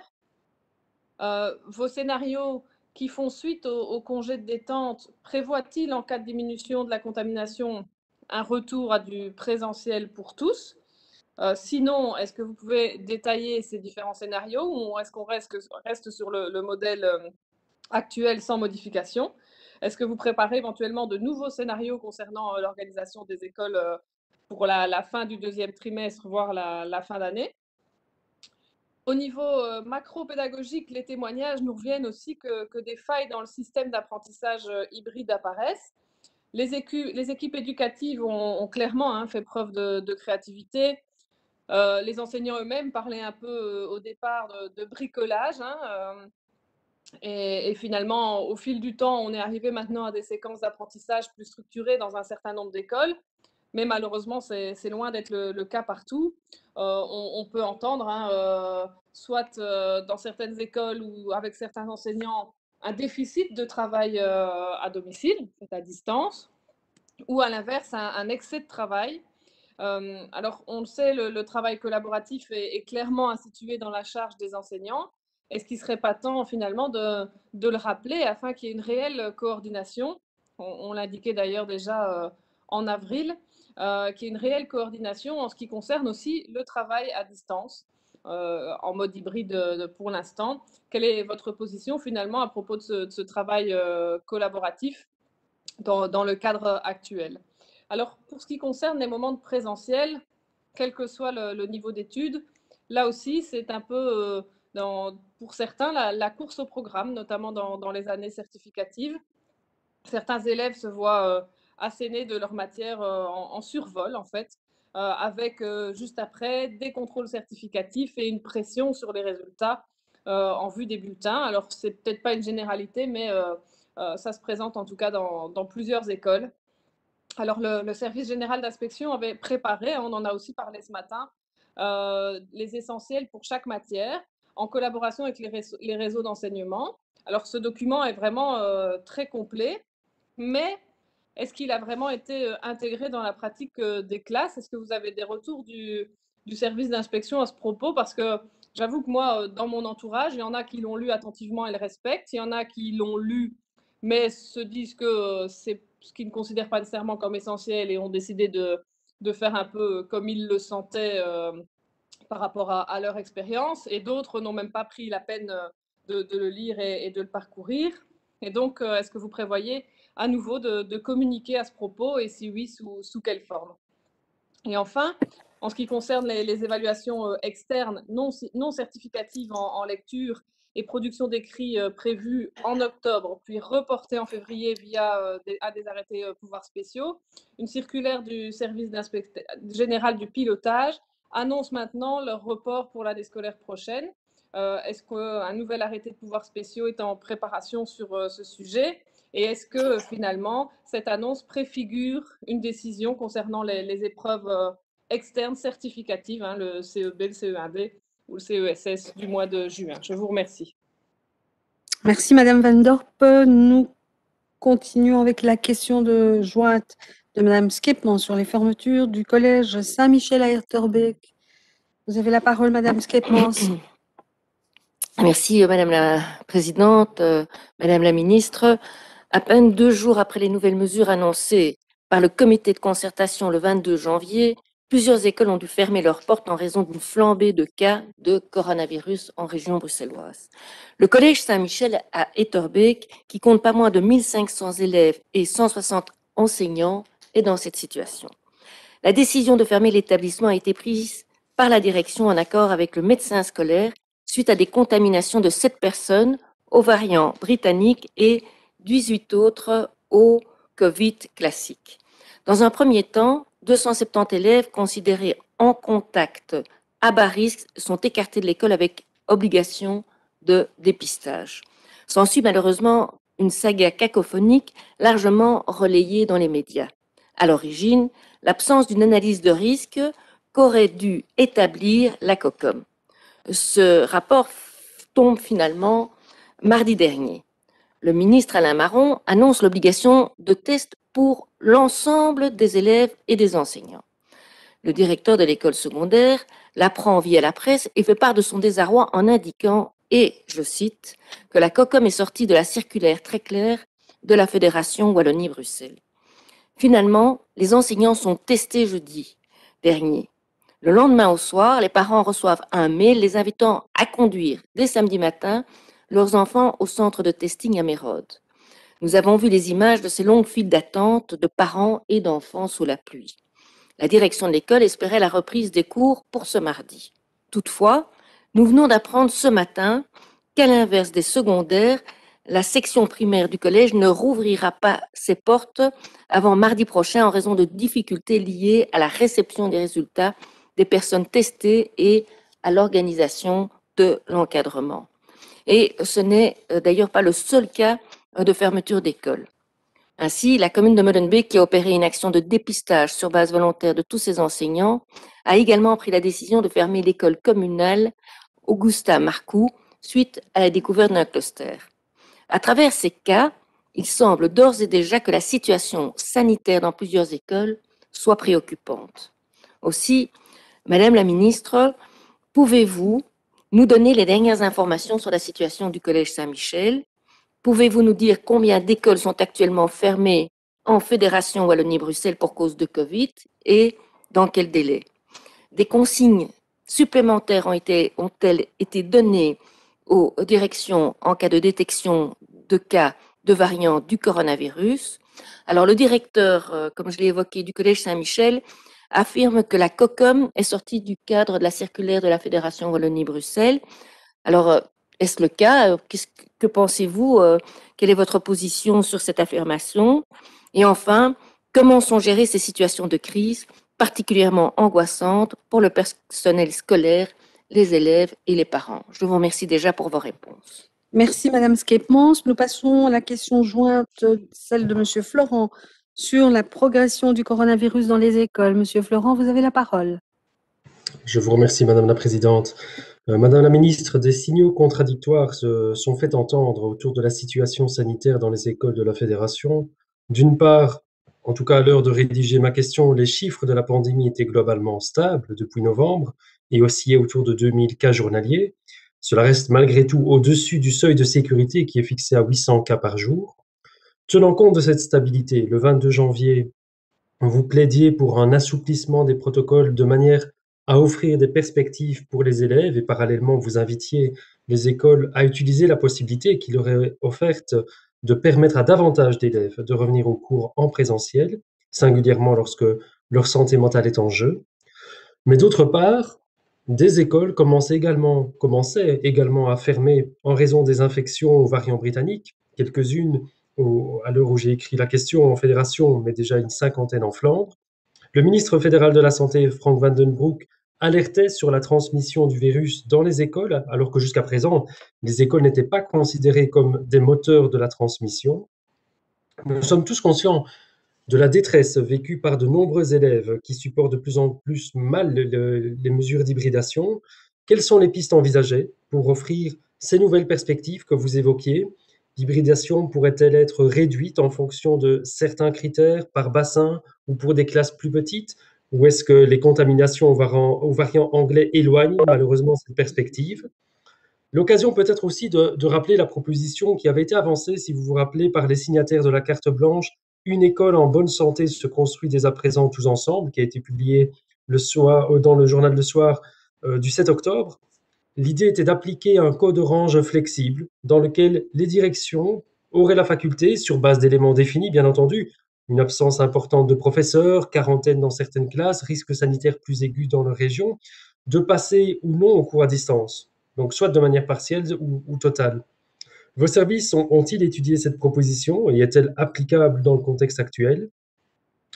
Et puis enfin, pour mieux connaître la transmission dans les écoles, notre fédération, vous le savez bien, puisque vous êtes à, la base de l'initiative, a, financé une étude épidémiologique menée par l'UCL Louvain, l'Université de Liège et l'ULB dans huit écoles en Wallonie et à Bruxelles et a été lancée ce 14 janvier. Cette étude prend-elle en compte le nouveau contexte du variant britannique? Et quand euh, disposerons-nous des résultats? Pouvez-vous ou non envoyer ces fameuses nouvelles perspectives positives à des jeunes qui sont de plus en plus en souffrance et parfois en réelle détresse? Et puis enfin, vous le savez, certains enseignants ont parfois du mal à sortir des matières scolaires et cette course au programme n'aide pas forcément des jeunes qui ont, qui ont parfois déjà perdu le sens dans, dans tous ces apprentissages. Vous avez publiquement dit qu'il fallait aussi prendre en compte ce découragement des élèves et ne pas rester figé sur le programme. Je vous rejoins entièrement. Est-ce qu'un appel plus formel sera émis en ce sens dans une prochaine circulaire? Je vous remercie pour vos réponses. Merci, Monsieur Florent. Et euh, nous passons la parole à Madame Alouche.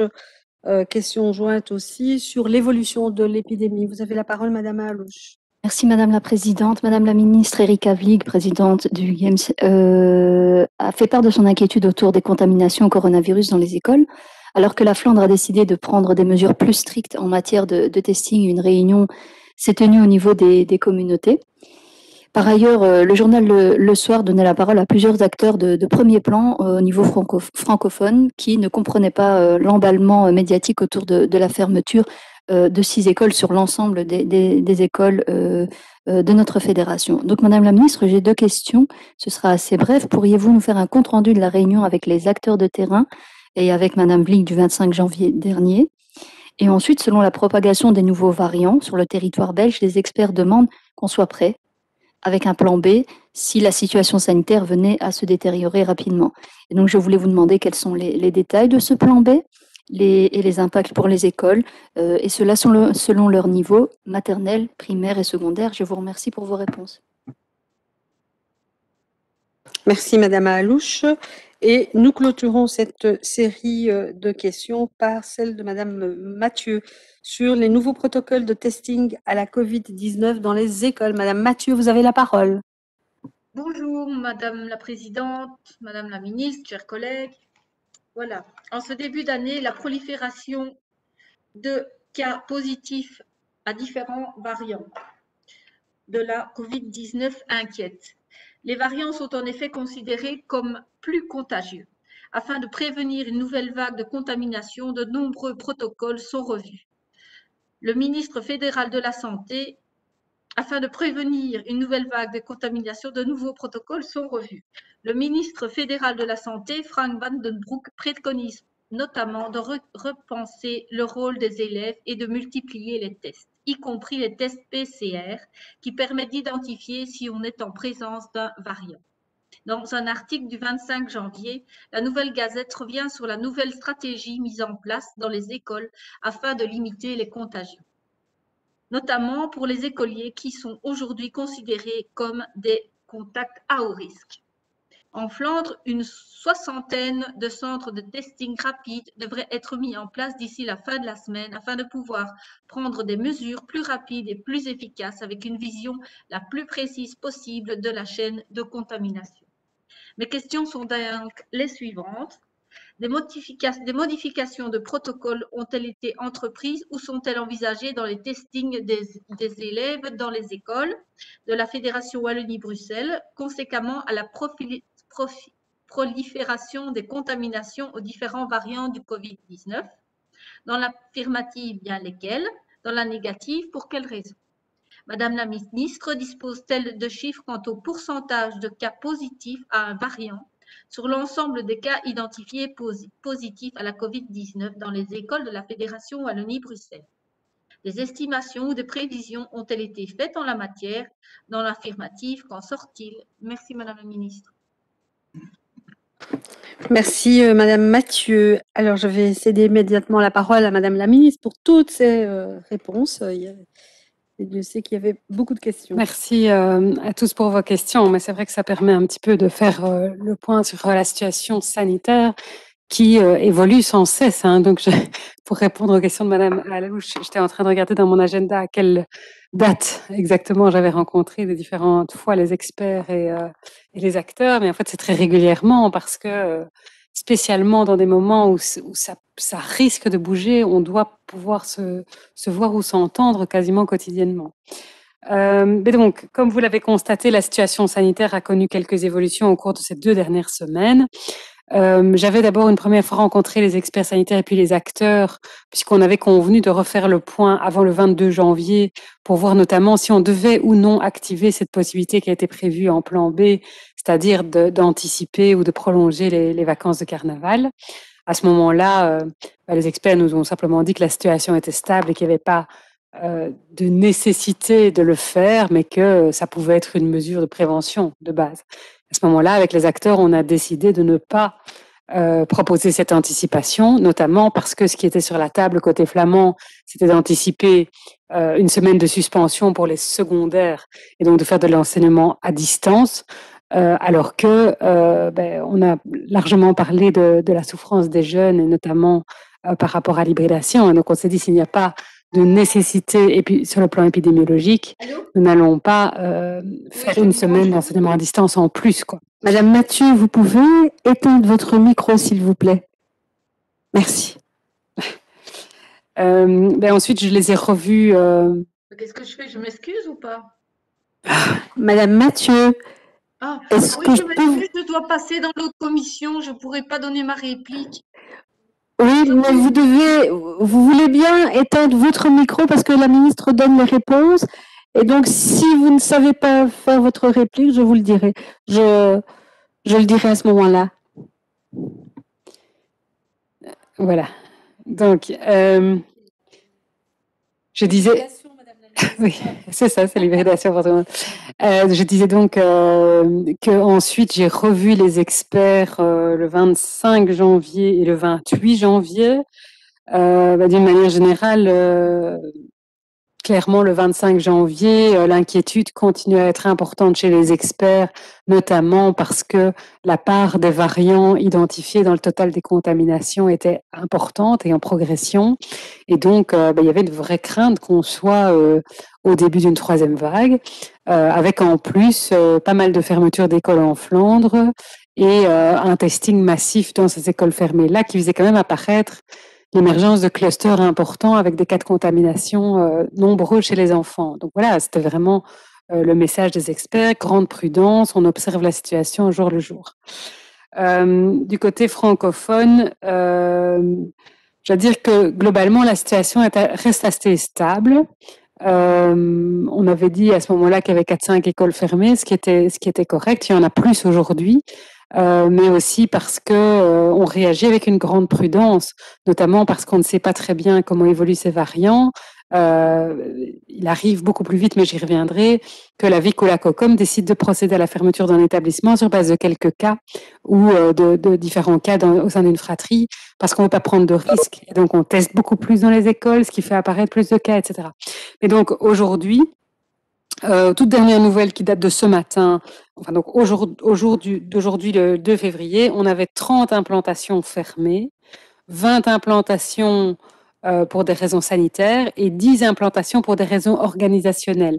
On fait toujours la différence parce que ça peut être simplement parce qu'un prof est en quarantaine ou quoi et donc on ne sait pas euh, le remplacer donc, ou plusieurs profs. Et donc ça, ça peut être des raisons organisationnelles. Euh, alors c'est vrai que c'est beaucoup, c'est beaucoup plus que l'autre jour, mais ça reste 30 implantations sur 2700, hein, donc on est quasiment à 1%. Quoi. Euh, et donc, à, l'échelle du territoire, ça reste euh, vraiment marginal. Les établissements concernés par des fermetures sanitaires ferment en général entre 5 et 10 jours, ben, le temps de, réaliser les tests en fonction de la situation locale et des recommandations des PSE ou des prescriptions de la VIC ou de la COCOM. Par ailleurs, des chiffres qui me remontent de l'ONE sur la semaine du 18 au 24 janvier, on a eu 691 cas de Covid-19 à l'école euh, signalés aux équipes PSE, dont 469 cas parmi les élèves de l'enseignement fondamental et secondaire. Alors, c'est clairement une augmentation par rapport à la période précédente, mais l'incidence reste inférieure à celle qu'a la maladie dans la population générale. Pour vous donner un ordre de grandeur, les incidences de nouveaux cas dans les écoles calculées sur les 14 jours sont de 91 cas sur 100 000 élèves en primaire et 125 en secondaire. Dans la population générale, l'incidence s'élève à 252 pour 100 000 habitants. Le- les nombres totaux de cas signalés sont en fait semblables à ceux qu'on pouvait observer à la seconde moitié du mois de septembre ou encore pendant la période de novembre-décembre. Donc on reste, allez, depuis l'instauration des, des mesures de code rouge, on reste dans une situation qui est vraiment euh, stable. Euh, et donc même l'ONE appelle à nuancer l'augmentation constatée parce que en fait le nombre de tests réalisés dans les écoles est également en hausse depuis la rentrée de janvier pour les raisons que je vous expliquais. Comme on craint le nouveau variant, on teste très massivement euh, les écoles. Alors, en plus, on a des capacités de testing assez, euh, assez larges hein, pour le moment, comme les, les centres de testing ne sont pas satu- saturés. Alors, si aujourd'hui le focus est particulièrement mis sur les écoles, surtout les écoles primaires, les différents experts soulignent que ça peut être la conséquence que plus de clusters sont maintenant détectés dans les écoles vu qu'on y teste simplement plus. N'en reste pas moins que la présence de nouveaux variants du Covid-19 en Belgique a connu une augmentation jugée significative par les experts sanitaires mandatés par le gouvernement fédéral. De nombreuses incertitudes entourent encore ces variants et les études sont en cours dans tous les pays touchés. Alors moi, j'essaie d'être euh, d'être rassurante de manière générale, en tout cas de, ne pas euh, être dans la panique, parce que euh, on n'a à ce stade aucun élément permettant de remettre en question l'observation que les enfants semblent être moins sensibles à l'infection et lorsqu'ils sont infectés, qu'ils sont moins susceptibles de transmettre le virus que les enfants plus âgés et adultes. Mais et c'est peut-être aussi là que les messages sont pas toujours euh, très faciles à comprendre. La contagiosité des variants euh, est plus importante et l'est dans toutes les tranches d'âge. Donc, il est évidemment euh, pas impossible que du coup, on ait plus d'enfants contaminés simplement parce qu'il y a plus de contamination. Bref, ce contexte appelle évidemment euh, une vigilance euh, renforcée et différentes mesures ont été recommandées par les experts et mises en œuvre au, au niveau de l'enseignement et des enfants en général pour contrôler au mieux la propagation du virus. Je ne vais pas refaire le débat ce matin, mais c'est ce qui explique effectivement le débat qu'il y a eu sur l'extrascolaire. Donc, au niveau des enfants, le Code éco du 28 janvier a approuvé l'imitation des activités de groupe pour les moins de 12 ans en dehors de la sphère scolaire. Le but, je, je vous l'ai dit tout à l'heure, c'est de réduire autant que possible les mélanges de groupes d'enfants fréquentant des écoles et des groupes classes différents, ainsi que les contacts entre adultes ou avec des adultes ayant lieu dans ce cadre. L'accueil extrascolaire avant et après l'école, ainsi que le mercredi après-midi, n'est pas concerné. Par ailleurs, les capacités de tracing, de testing et de mise en quarantaine ont été renforcées. Le testing des contacts est ainsi désormais organisé de façon systématique lorsqu'un cluster est détecté, en articulation avec la VIC et la COCOM, comme ça a été euh, le cas euh, dans le cas des différentes fermetures dont, on a parlé tout à l'heure, et pour le, collège Saint-Michel, mais aussi euh, dans des écoles de Wallonie. Par rapport à vos questions plus précises, par rapport à la situation du Collège Saint-Michel, Madame Skepmans, il faut que je vous invite à interpeller soit Madame Linard ici, parce que euh, c'est elle évidemment qui a la tutelle sur les PSE, soit Monsieur Marron à la région bruxelloise, parce que en fait, c'est vraiment toute la question de l'articulation entre la COCOM et le PSE. Euh, et moi, j'ai pas d'informations euh, par rapport à par rapport à ça. Ce que je peux vous dire à cette à ce stade, c'est que très rapidement, tout, toute l'école secondaire de Saint-Michel a été fermée euh, que euh, les tests ont été réalisés euh, très rapidement et très massivement et que, y compris le bourgmestre d'Etterbeek, Vincent de Wolf, a, fait appel à ses collègues pour vraiment faire attention à ce que les petits frères et les petites sœurs de, ceux qui fréquentaient le, collège Saint-Michel puissent être très vigilants, être placés en quarantaine aussi. Donc, je pense que la réaction a été à la fois très rapide et très efficace, mais sur la manière dont ça s'est passé avec la COCOM, ça, je suis vraiment incapable de vous répondre. Donc, je dois vous renvoyer vers les ministres compétents. Alors, autre mesure euh, afin euh, de détecter d'éventuels clusters au plus vite, la classification des cas dans l'enseignement primaire a été revue par Sano. En effet, jusqu'à présent, les enfants du même groupe de classe ont été tous considérés comme des contacts à faible risque. Et depuis le 25 janvier, dans l'enseignement primaire, les enfants assis à côté des cas index dans la salle de classe ou pendant la pause de midi, de manière générale à l'intérieur, doivent être classés comme des contacts à haut risque et être mis en quarantaine. L'ONE travaille actuellement à la rédaction d'un nouveau protocole de gestion des cas, mais a néanmoins déjà transmis les éléments pertinents concernant cette nouvelle classification des contacts au service PSE et pour euh, WBE au CPMS. Ceux-ci disposent de toute l'information utile pour gérer au mieux les différentes situations se présentant. Ce sont bien les services de médecine scolaire qui restent les premiers interlocuteurs des écoles lorsque des cas de Covid sont détectés. Euh, évidemment, là aussi, c'est comme pour les centres de testing, euh, les, les, PSE ont retrouvé un petit peu plus de disponibilité pour gérer ça de manière la plus efficace possible. On n'est pas dans la situation dans nos écoles euh, comme celle qu'on a connue au mois d'octobre, où tous les services étaient complètement euh, surchargés et débordés, y compris pour le tracing et pour le testing. Euh, en ce qui concerne les scénarios de sortie, Madame Van Dorp, nous avons fixé dès juin 2020 un code couleur allant de vert, situation normale, à rouge, situation critique. Et les codes orange et jaune sont destinés à être activés si la situation nous permettait d'envisager un assouplissement. Vous pouvez retrouver le détail de ces codes couleurs dans les circulaires 7796 et 7797. D'ailleurs, pour répondre à Monsieur Florent sur le code orange flexible, cette mesure est en fait prévue dans le code orange pour l'enseignement secondaire, puisque dans ce, code, dans ce code orange, les PO peuvent décider de mettre en place l'hybridation des apprentissages si certains critères sont rencontrés. Mais voilà, moi je dois vous dire, la situation sanitaire actuelle ne permet pas encore pour l'instant de retourner dans ce code orange.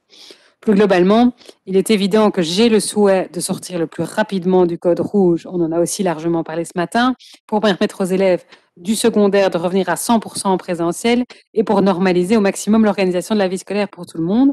Je le dis et je le répète, je suis convaincue que rien ne peut remplacer le présentiel. Je l'exprimais d'ailleurs déjà dans mes circulaires de rentrée me suis battue pour le préserver aussi longtemps que possible.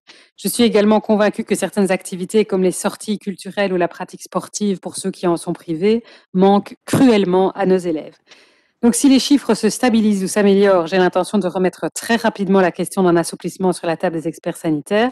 Je préfère toutefois ne, ne pas m'engager sur une date, car très humblement, je dois reconnaître que je ne sais pas où en sera la pandémie dans une semaine ou deux semaines, et parce que s'il est important de donner des perspectives, il est aussi dangereux de s'engager dans des promesses sans euh, qu'on puisse être certain de les tenir. Euh, et pour, pour rajouter encore un, petit, un petit point, euh, les experts eux-mêmes continuent à nous demander de pouvoir suivre la situation au jour le jour. Ils ne sont pas encore tout à fait rassurés par rapport à l'émergence de ces variants. Pour répondre aussi à Monsieur Florent, l'étude de la task force pédiatrique a seulement démarré au mois de janvier parce qu'il a fallu récolter les, accords parentaux notamment. Ça a pris un peu de temps, euh, mais donc c'est encore trop tôt pour vous livrer des résultats, mais ça avance. Euh, et alors pour le surplus, il y a pas mal évidemment de questions de Madame Van Dorp relatifs au bien-être des jeunes à l'hybridation euh, ou aux évaluations externes qui sont abordées en réponse à d'autres interventions. Donc je me permets, je me permettrai de vous y renvoyer. Je vous remercie. Merci, euh, Madame la Ministre, pour ces éléments de réponse et je vais redonner la parole à Madame Van Dorp pour sa réplique. Merci. Euh, voilà, donc en fait, j'ai réponse à une seule de mes questions. Donc c'est un peu compliqué puisqu'on joint plusieurs questions sur un même sujet et puis quand on est dans la question jointe, on reporte encore vers d'autres questions. Euh, voilà, je pense qu'il faudra quand même à un moment donné réanalyser ça en conférence des présidents. Euh, si, quand on pose une question qui est jointe à d'autres, on ne nous répond pas, mais on dit ça se rapporte à d'autres questions, il y a un problème dans, les liens entre les questions. Donc finalement, euh, les deux réponses que j'ai obtenues ici, euh, ben, l'une concerne en effet euh, la, la, classification de Cienciano avec les élèves qui deviennent euh, voisins, qui deviennent les élèves à haut risque. Donc euh, voilà, j'entends bien. Et euh, c'est vrai qu'avec le, testing renforcé, etc., je pense que c'est bien sûr positif pour éviter les, clusters. Si je vous posais la question par rapport au code couleur et aux différents scénarios, c'est qu'on le sait qu'en début d'année scolaire, bien sûr, je me souviens bien des différents codes que vous aviez présentés, mais il y avait quand même eu des évolutions en, cours de route. Et donc, je voulais euh, savoir s'il y avait éventuellement des, là, ici aussi, vu la situation qui évolue, euh, des, possibles modifications ou si on se tenait bien euh, aux différents codes qui avaient été concoctés, si je peux le dire comme ça, à, l'époque. concernant les, autres questions pour lesquelles je n'ai pas de réponse, j'attendrai donc la, fin de, de, commission en espérant tant pour euh, le, travail euh, collaboratif des enseignants pour lequel je n'ai pas de réponse, euh, que pour voilà, les, failles du, système hybride, la course au programme, les évaluations externes. Si je n'ai pas de réponse, je me permettrai de revenir vers vous pour, pour pouvoir les obtenir, puisque les enseignants sont en attente. Je vous remercie. Merci Madame Van Dorp. Madame Skepmans pour votre réplique. Oui, alors, Madame la Ministre, euh, évidemment, euh, comme je l'ai dit, euh, merci, merci pour vos réponses. C'est vrai que nous vivons des moments très particuliers et que la population, les gens sont à juste titre fatigués, hein, fatigués de ces mesures qui s'éternisent. Mais évidemment, il n'y a pas d'autre choix. Et nous devons tout faire pour poursuivre ces efforts, y compris comme vous l'avez souligné, dans les écoles. Mais dans cette situation de stress, il est vraiment nécessaire, et j'insiste, que la communication soit optimale avec tous les acteurs, les autorités publiques, les experts, les directions d'école, les parents, les jeunes. Et euh, en ce qui concerne le Collège Saint-Michel, puisque j'ai parlé euh, plus particulièrement de, de, cette école, il semble que la communication entre les différents acteurs ait été chaotique. Or, c'est véritablement la clé de l'adhésion euh, des gens aux mesures contraignantes. Il faut expliquer les mesures et les raisons pour lesquelles elles sont prises. Et donc, je dirais que le cas du Collège Saint-Michel illustre bien les difficultés que l'on peut rencontrer dans la pratique. Et euh, j'en reviens là, sans une bonne communication, et eh bien, euh, sans concertation avec les acteurs, on assiste à ce genre de situation. Voilà. Nous souhaitons évidemment qu'aujourd'hui, l'école secondaire nous, souhaitons évidemment d'avoir des informations claires et surtout les parents souhaitent euh, être bien informés euh, quant à la situation et surtout quant aux possibilités de reprise de cours euh, pour ces différentes écoles qui sont directement impactées. Merci Madame Skepmans. Monsieur Florent. Je remercie la ministre pour toutes ces réponses. Il est très difficile aujourd'hui d'offrir une respiration euh, aux jeunes, tant que nous sommes dans le code rouge, tant que nous restons en code rouge. Et la prudence est de mise, elle est légitime, elle est légitime vis-à-vis de la Covid, elle est légitime vis-à-vis de, euh, de la grande incertitude, vous l'avez dit, euh, par rapport aux variants, aux variants anglais, aux variants sud-africains. Cette prudence, elle entre en tension avec une autre prudence, celle que nous devons aux élèves, aux jeunes qui aujourd'hui s'épuisent. Alors, on n'a pas de réponse finale finalement à leur offrir et autant je le comprends, autant euh, je le regrette pour eux parce que je me mets vraiment aussi à leur place, c'est pas simple. J'avais glissé une remarque supplémentaire qui ne figurait pas dans ma question écrite concernant les programmes qui restent très chargés chez certains enseignements et ce malgré l'épuisement. C'est peut-être une réflexion à avoir de pouvoir aussi envoyer de manière plus formelle dans une circulaire aux enseignants le fait que voilà, euh, aujourd'hui on doit pouvoir aussi laisser plus de respiration lorsqu'on est en classe, sortir un peu des programmes pour euh, euh, alléger un tout petit peu la tension qui, qui pèse sur, euh, sur nos jeunes. C'est une invitation que, je vous fais pour votre réflexion. Merci. Merci, Monsieur Florent. Madame Alouche? Merci Madame la Présidente, merci Madame la Ministre pour vos éléments de réponse. J'ai bien noté le, mot rassurant dans, dans, vos propos. Vous me disiez que depuis l'installation en fait du code rouge et des mesures du code rouge, on reste plutôt, euh, plutôt stable.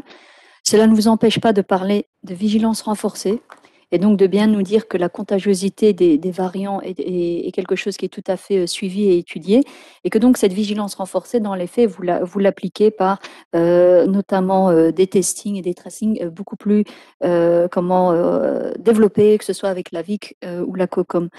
Je trouve que nos interventions, en fait, finalement respectives de tous les députés, que ce soit ce matin ou cet après-midi, et vos réponses, Madame la Ministre, ça vient, illustrer finalement la grande difficulté d'équilibrer à la fois la sécurité des, enfants, des élèves, des, enseignants, de toutes les équipes en fait pédagogiques, et la santé publique. Donc ça, c'est ce dont on vient de parler ici cet après-midi. Et on parle aussi d'un autre côté des apprentissages et de la santé mentale. Donc je pense que euh, chacun ici a quand même été suffisamment nuancé que pour se rendre compte qu'évidemment il y avait une grande difficulté, mais en tout cas dans, votre chef, euh, une, prise de responsabilité euh, par rapport à cela. Je vous remercie. Merci Madame Alouche. Je pense que Madame Mathieu n'est plus parmi nous pour sa réplique. Et donc nous passons à la question 10 de Madame Van Dorp sur l'éducation physique et sport dans les écoles. Merci. J'ai déjà eu l'occasion de vous interroger sur euh, le, sujet à, plusieurs reprises. Euh, mais ici, avec les nouvelles décisions du, du Codeco du, 22 janvier ainsi que la circulaire 79-29, euh, ça m'amène finalement à vous réinterroger sur la situation particulière des enseignants d'éducation physique et sport. en effet, en relisant vos circulaires de la fin du mois d'octobre dernier, je constate finalement quelques ambiguïtés ou contradictions euh, qui amène sur le terrain des, situations euh, variables dans les écoles. Et c'est à ce sujet-là qu'on est finalement euh, interpellé et que certains enseignants réagissent. Alors, dans le fondamental, vous dites, et je cite, Les activités en plein air doivent être privilégiées dans la mesure du possible. Le vestiaire peut être utilisé par un groupe classe. Les élèves doivent se laver les mains avant et après s'être changés. Les cours de natation peuvent être maintenus dans le respect des protocoles sport. Le cas échéant, les règles sanitaires doivent être respectées pendant le déplacement vers le lieu d'activité. Si l'application de ces normes pose difficulté, le cours peut être suspendu et remplacé par des activités éducatives en classe avec l'enseignant d'éducation physique. Dans le secondaire, la circulaire 7816 indique en page 7 les cours sont suspendus et peuvent être remplacés par des activités éducatives en classe avec l'enseignant d'éducation physique. Et dans une autre rubrique, page 12, le masque est temporairement enlevé pendant les activités sportives en veillant au strict respect de la distance physique. Résultat des courses, dans certaines écoles secondaires, les cours ont été purement et simplement supprimés de la grille horaire des élèves.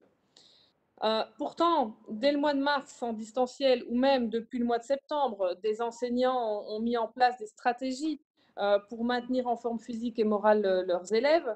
Certains ont réussi à organiser des vidéoconférences. Je reprends certains témoignages que j'ai pu recevoir, hein, vidéoconférence d'une demi-heure par semaine avec leurs différents groupes où ils en ont profité d'une part pour maintenir le, contact avec leurs élèves, répondre à leurs questions, expliquer aussi euh, des documents écrits avec des consignes euh, pour le, travail de la semaine. Alors, les élèves ont, fait de la danse, de l'expression corporelle, de l'aérobox. Euh, les vidéos et les montages vidéo qu'ils ont envoyés pour pouvoir être évalués ont été à la hauteur, voire même plus, des, espérances de, leurs enseignants. Les élèves sont vraiment restés en mouvement et en musique. Ils ont appris à, travailler sur le rythme d'une musique. Ils ont appris des chorégraphies, ils ont été créatifs, ils ont fait des montages vidéo. Bref, voilà ici l'extrait d'un témoignage qui montre que euh, certains enseignants se sont bougés pour faire bouger leurs élèves. On le sait aussi, certains ont travaillé sur les, gestes qui sauvent, euh, dont on a déjà eu euh, l'occasion de, discuter ici, sur lesquels je suis régulièrement intervenue sous la législature précédente et également sous celle-ci. Alors, depuis des mois, nos jeunes sont privés d'activités sportives de compétition ou de loisirs en dehors de l'école. Certains élèves sont en difficulté sur le plan de la condition euh, physique et se sédentarisent euh, chaque jour un peu plus. Et je ne parle pas euh, des pique-niques puisque les, réfectoires et les, repas chauds sont interdits. quant aux enseignants d'éducation physique et sport, ils se sentent finalement complètement dévalorisés en tant que professionnels de l'enseignement par rapport à, à, leurs collègues puisque leurs cours sont simplement supprimés comme s'ils n'avaient aucune importance. Alors mes questions, Madame la Ministre, sont les suivantes. Est-ce que les écoles peuvent ainsi supprimer des cours d'éducation physique de l'horaire des élèves du secondaire? Euh, Ce cours ne fait-il finalement pas partie des essentiels des socles de compétences au terme du, premier degré et des savoirs et compétences à atteindre au deuxième et, troisième degré du, secondaire? Euh, Parce que clairement, c'est ce qui se passe dans certaines écoles. Quand il faut réorganiser le planning, on supprime le cours d'éducation physique. Les élèves du secondaire ne, ne pourraient-ils pas bénéficier comme leurs condisciples du fondamental d'activités extérieures, hein, comme des promenades dans le respect des règles sanitaires, dont le port du masque ou, bien même euh, des, activités à distance, comme celles euh, que je viens euh, de, vous décrire parmi, parmi les exemples. Alors justement, quel est l'avis que vous portez sur les, activités pédagogiques sportives que, je viens de, vous décrire? Est-ce que vous les considérez comme bonnes pratiques et donc à diffuser ou pas? Quand les enseignants pourront-ils à nouveau euh, donner cours à leurs élèves alors même que les, cours d'option en éducation physique ont pu reprendre en, respectant les, règles sanitaires et qu'on le voit en termes d'activités extrascolaires, on peut rouvrir aussi certaines activités. Euh, est-ce que vous envisagez de, moduler vos, circulaires à, ce propos? Si pas, quelles sont les, perspectives pour ces enseignants prêts à mettre leurs euh, compétences au service de la santé mentale et physique de leurs élèves? Je vous remercie. Merci Madame Van Dorp. Madame la Ministre, pour votre réponse. Merci Madame la Présidente, Madame la députée. Je vous assure que je ne fais pas disparaître des cours ou des pratiques scolaires par plaisir personnel. Soyez certaine vraiment, Madame Van Dorp, que s'il n'y avait pas de pandémie et donc pas de mesures sanitaires imposées dans les écoles sur base des recommandations d'experts, jamais je n'aurais imposé de restrictions à l'organisation des cours d'éducation physique mais les cours de sport font l'objet d'une attention particulière parce que c'est un moment particulier de la journée où les élèves fournissent un effort physique, où ils ne peuvent pas porter le masque et où ils partagent les vestiaires. C'est pour ces raisons qu'il a été décidé de les suspendre en code rouge pour l'enseignement secondaire, qui fait par ailleurs l'objet d'une limitation du temps en présentiel d'une partie des élèves. Je vous rappelle que le code rouge est le niveau de risque le plus élevé. Et les experts considèrent toujours que nous sommes dans une situation inquiétante au niveau de la propagation du virus dans l'ensemble de la société, qui plus est avec l'émergence de nouveaux variants, mais je viens d'en parler largement. Comme euh, je l'ai déjà répondu à certains de vos collègues en commission le 8 décembre dernier, la circulaire 78-68 fixant le code rouge prévoit néanmoins que les cours d'éducation physique peuvent être remplacés par des activités extérieures, comme une promenade au parc ou dans les alentours de l'école, dans le respect de la distanciation physique si le masque n'est pas porté. Euh, par rapport à votre question à ce sujet-là, je la comprends pas puisque j'avais déjà répondu à cette euh, question la fois précédente. Un assouplissement a par ailleurs été prévu pour les options sport-études, éducation physique, animateur sportif et métier du cheval, c'est-à-dire toutes les options dont le sport est une orientation d'études. Pour le surplus, évidemment, je vous invite à aller consulter la circulaire précitée. Lors de la commission du 8 décembre, j'ai par ailleurs euh, notamment attiré l'attention sur le fait que si les assurances scolaires couvrent les activités sportives données dans le cadre d'un cours d'éducation physique, ce n'est plus le cas lorsque ces cours sont suspendus. Et s'ils ne l'étaient pas, cette couverture dépendrait de la police d'assurance contractée par le PO. Il, conviendra donc d'être vigilant sur ce plan en cas de levée de la suspension des cours et de possibilité, et de possibilité d'organiser des cours d'éducation physique à distance. Cependant, rien n'empêche évidemment les professeurs d'éducation physique de recommander aux élèves d'observer une activité physique régulière. Et ça se fait beaucoup. S'agissant des perspectives, j'espère pouvoir en donner le plus rapidement possible, car il est évidemment primordial que nos élèves retrouvent une activité physique, bien que certains peuvent, depuis ce lundi, reprendre une activité sportive extrascolaire. Mais à nouveau, je ne suis malheureusement pas maître de la situation au niveau épidémiologique. Je vous remercie. Merci, Madame la Ministre. Madame Van Dorp. Euh, je, je, peux comprendre la, la partie euh, assurance, bien entendu. Néanmoins, je me mets vraiment à la place des enseignants euh, d'éducation physique et de sport qui, aujourd'hui, euh, ont tenté de mettre des choses en place pour redonner justement ce, dynamisme aux élèves. Et quand je lis le témoignage d'une enseignante qui me dit, nous avons été convoqués par la direction, euh, le coup près est tombé, nos cours ne seront pas remis à l'horaire, mais nos cours à distance seront également supprimés dès la semaine prochaine pour que nous fassions des surveillances nous sommes devenus des pions. Au mieux, nous serons des animateurs, mais pas des éducateurs et encore moins professeurs.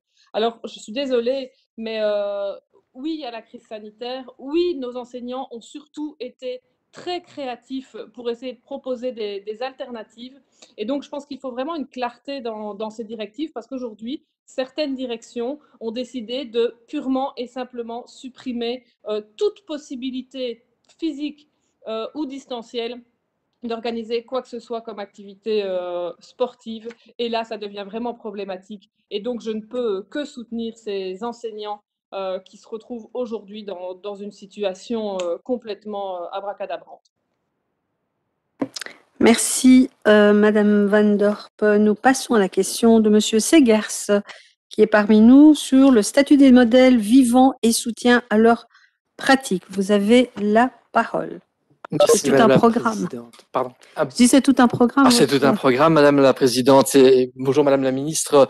Euh, peut-être curieuse question, mais, mais, mais question importante, puisqu'aujourd'hui, les personnes qui exercent le modèle vivant sont en, en péril, en fait, et également liées à la, à, la, à la crise que nous connaissons. Donc, Madame la Ministre, la pratique des arts plastiques, dans son apprentissage, appelle souvent, c'est pas toujours le cas, mais en tout cas dans nos sociétés, appelle à l'exercice technique et artistique à partir de modèles vivants. Ça ne veut pas forcément dire modèles nus, ça veut dire des personnes qui posent pour qu'on puisse dessiner à partir de différents extraits. En effet, pour apprendre, pour appréhender la forme, euh, les formes du vivant, pour, pouvoir travailler le regard, il y a des techniques qui existent, la technique du geste, la liaison entre le geste et le regard en précision, il est important de pouvoir être mis en contexte de modèles vivants dont c'est un métier. Les personnes sont formées, elles existent à partir de techniques différentes pour pouvoir amener les créateurs, les dessinateurs, les dessinatrices à pouvoir s'exercer. Alors malgré la place qu'il occupe dans l'histoire de l'art, et donc fatalement dans celle de notre société, souvent associé à de grandes œuvres artistiques et en lien entre le lien entre les artistes, entre l'art et entre les publics, eh le modèle vivant ne bénéficie toujours pas d'une reconnaissance ou d'un statut professionnel qui reste totalement flou dans notre société. Notre groupe défend à ce titre que ces travailleurs, spécifiquement, puissent également être directement associés à un droit garanti pour les intermittents culturels. Aujourd'hui, je souhaite donc attirer votre attention sur la particularité de ce métier et sensibiliser sur les conditions dans lesquelles il se réalise. Nous le savons, aujourd'hui, c'est compliqué. Et pour cela, il me paraît nécessaire de baliser un premier champ de travail. Voici donc mes questions, Madame la Ministre. Au sein de l'enseignement secondaire artistique à horaire réduit, mais aussi auprès d'autres institutions sous votre tutelle organisant des cours d'art des établissements, recourt-il à des collaborations avec des modèles vivants? Si oui, à quelle proportion La crise actuelle a-t-elle réduit ces collaborations au regard des conditions et des protocoles sanitaires? Plus largement, avez-vous une vue sur la pratique d'engagement des modèles là où des collaborations pourraient exister et sous quel statut professionnel sont-ils rémunérés? Plus généralement, je souhaiterais connaître votre point de vue sur la nécessité ou non de développer l'apprentissage des arts plastiques dans une relation directe entre le modèle vivant et l'apprenant artiste. Je vous remercie pour les réponses que vous pourrez porter à mes questions. Merci. Je disais bien que c'était tout un programme, Monsieur Segers. Madame la ministre, pour vos réponses. Merci, Madame la Présidente. Merci, Monsieur le député, pour votre question qui nous sort un petit peu du contexte sanitaire. Concernant euh, les collaborations avec des modèles vivants au sein de l'enseignement secondaire artistique à horaire réduit, les arts, la Fédération Wallonie-Bruxelles n'accorde pas de moyens ou de subventions sous quelque forme que ce soit à l'engagement de ces modèles dans les académies organisant le domaine des arts plastiques visuels et de l'espace. Par contre, il arrive que des pouvoirs organisateurs de les arts, des communes ou des ASBL en engagent. Donc l'administration ne dispose pas d'informations sur le statut qui leur est octroyé, ni d'ailleurs de statistiques y relatives. A fortiori, mes services n'ont pas pu me communiquer d'informations quant à l'impact de la crise sanitaire sur ce recours au modèle vivant. Recourir à des modèles dépend exclusivement du projet éducatif du pouvoir organisateur, du projet pédagogique et artistique d'établissement, du programme de cours spécifiant ou non un éventuel recours à cette pratique. Certaines académies organisent des cours de dessin ou de sculpture basés sur l'observation d'un modèle vivant. Ce type de cours constitue un moyen d'observation et d'expression dont la traduction plastique et graphique rend un état de la compréhension de l'état du monde contemporain ou encore une traduction d'un rapport au monde par l'élève. Dans ce cas, le recours au modèle ne sert que comme support de pensée et d'expression. C'est un prétexte au geste qui, guidé par le regard, transite par la pensée. Il constitue un moyen d'exploiter et de cultiver le développement et la singularité de chaque élève au départ de ce modèle. Des cours de recherche graphique et picturale de la spécialité peinture peuvent également faire appel au modèle vivant selon les compétences visées. En ce qui concerne le statut professionnel appliqué au modèle vivant, seuls les PO pourraient répondre à cette question car les contrats sont en fait conclus directement avec eux. Ces pratiques d'enseignement relèvent, vous l'aurez compris, monsieur le député, de la liberté pédagogique des pouvoirs organisateurs. Eux seuls sont à même de pouvoir estimer les degrés d'incidence de ces apprentissages sur le développement de la créativité, des pratiques artistiques et de la pensée artistique des élèves. À cet égard, en tant que représentante du pouvoir régulateur, il ne m'appartient pas d'exprimer un point de vue sur cette question. Je vous remercie. Merci, madame la ministre. Monsieur Segers. Je vous remercie, Madame la Ministre. Mine de rien, votre réponse, même si elle peut me décevoir, elle ne me déçoit pas puisque vous n'avez pas la compétence pour le faire, mais elle permet en tout cas d'identifier vers qui se tourner sur cette question-là, vers les pouvoirs organisateurs. Et je pense qu'effectivement, on doit construire un travail, notamment, il y a une association maintenant des modèles vivants qui s'est mise en place avec ces pouvoirs organisateurs, de manière à assurer que la pratique puisse continuer, puisque comme vous l'avez dit, l'exercice du geste avec le vivant est extrêmement important en termes de construction euh, d'expression artistique. Et donc là, il y a un travail qui doit se mener. Je, vais également vers votre collègue, Madame Gattini, dont il y a des compétences en enseignement supérieur. Mais voilà, on instruit progressivement, on regarde et on verra comment est-ce qu'on peut faire pour assurer un statut digne pour ces personnes. Je vous remercie en tout cas pour la qualité de vos réponses, malgré le fait que vous n'aviez pas directement tutelle sur cette question-là. Merci, euh, Monsieur Segers. Nous passons à la question de Monsieur Corneli, qui est derrière son écran sur la pérennisation du projet scolaire de la Ligue handisport francophone. Vous avez la parole, monsieur le député. Merci Madame la Présidente. Euh, Madame la Ministre, la Ligue handisport francophone est l'interlocuteur de référence en matière de handisport en Fédération Wallonie-Bruxelles et elle nourrit de nombreux projets, euh, dont un projet scolaire à destination euh, notamment des établissements qui sont sous votre tutelle et qui est mis en place depuis 2015. Euh, il bénéficie, ce projet qui demande beaucoup d'énergie, qui demande des ressources humaines, parce qu'on parle de, sensibilisation euh, dans les écoles, d'animation, euh, d'une compétition sportive euh, spécifique dédiée, toute une série en fait d'actions en lien directement avec l'univers scolaire. Il bénéficie bien entendu d'un soutien, en tout cas depuis 2019. Je crois que c'était Madame Schins qui l'avait accordé, un soutien de 25 000 euros en 2020 devait d'ailleurs se tenir une manifestation de grande envergure en compagnie de nombreuses écoles au Bloquerie à Louvain-la-Neuve. Ça n'a pas pu être le cas et on sait pourquoi. La, la situation sanitaire l'en a empêché. 2020 est une année exceptionnelle. Euh, il faut euh, espérer euh, retrouver vite un rythme d'activité classique et que ces activités scolaires puissent euh, de nouveau euh, avoir lieu. Mais ça appelle alors aussi la question de la pérennisation de ce projet scolaire qui a une haute valeur ajoutée, je crois, par rapport au monde de l'enseignement, puisque on intègre finalement la dimension handisport dans, dans, dans celui-ci.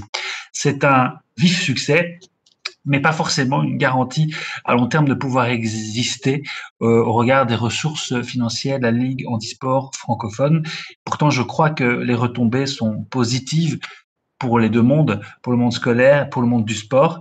Et donc, j'ai envie de voir quelle est, euh, Madame la Ministre, votre, non pas vos intentions, euh, mais euh, finalement euh, votre inclinaison, on va le dire comme ça, par rapport à ce projet euh, à long terme, euh, alors que dans le contexte de, l'éducation, on a envie de développer une école de plus en plus inclusive et en tout cas une école qui intègre euh, ces concepts, ces dimensions propres au handisport. Comment finalement jugez-vous euh, l'apport et l'importance de, de, ce projet et des, finalement des projets scolaires quelque part, puisqu'ils ont plusieurs facettes mis en place par la Ligue handisport francophone? Euh, Au-delà du subside actuel, comment la Fédération Wallonie-Bruxelles soutient la Ligue handisport francophone au-delà du sport, bien évidemment, je connais les euh, paramètres euh, de financement sportif, mais peut-être y a-t-il des éléments que vous voulez porter à notre euh, connaissance sur l'angle strictement euh, éducation et pédagogie. La continuité du subside actuel est-elle d'ores et déjà garantie pour les années à venir? Si vous estimez que l'action de la LHF pour euh, les écoles est importante et indispensable. Comptez-vous finalement euh, aider à la pérennisation de ces activités par le maintien euh, d'un soutien financier à tout le moins identique, voire supérieur? Merci Madame la Ministre de ce que vous nous direz à ce sujet. Merci Monsieur le député. Madame la Ministre pour vos réponses. Merci Madame la Présidente. Euh, monsieur le député, euh, outre son travail purement sportif, la Ligue handisport francophone souhaite sensibiliser le monde scolaire à la pratique du handisport et propose de mettre à disposition des dossiers pédagogiques handisport pour les professeurs d'éducation physique, de mettre en place des formations continues en handisport ou de réaliser des journées de sensibilisation au handisport dans les écoles. En 2018, la Ligue handisport a souhaité disposer d'un détachement pédagogique et ma prédécesseur a donné une suite favorable à cette demande et a accordé en parallèle pour le financer sur l'année scolaire 2018-2019 une subvention facultative et par définition non récurrente de 25 000 euros couvrant l'équivalent d'un mi-temps engagé à durée déterminée. J'ai été sollicitée à mon arrivée en 2019 par la Ligue pour renouveler ce soutien non structurel et disposant alors encore d'un peu de budget sur ces mêmes crédits facultatifs pour l'exercice budgétaire 2019, j'ai décidé d'accorder à titre exceptionnel une subvention du même montant qui devait couvrir l'année scolaire 2019-2020. Aucune demande ne m'a ensuite été faite sur les budgets 2020. En ce début d'année 2021, en revanche, la Ligue a réintroduit un dossier, mais sollicitant 80 000 euros cette fois. La Ligue souhaite en effet amplifier ses actions et recruter plus de personnel pour ce faire.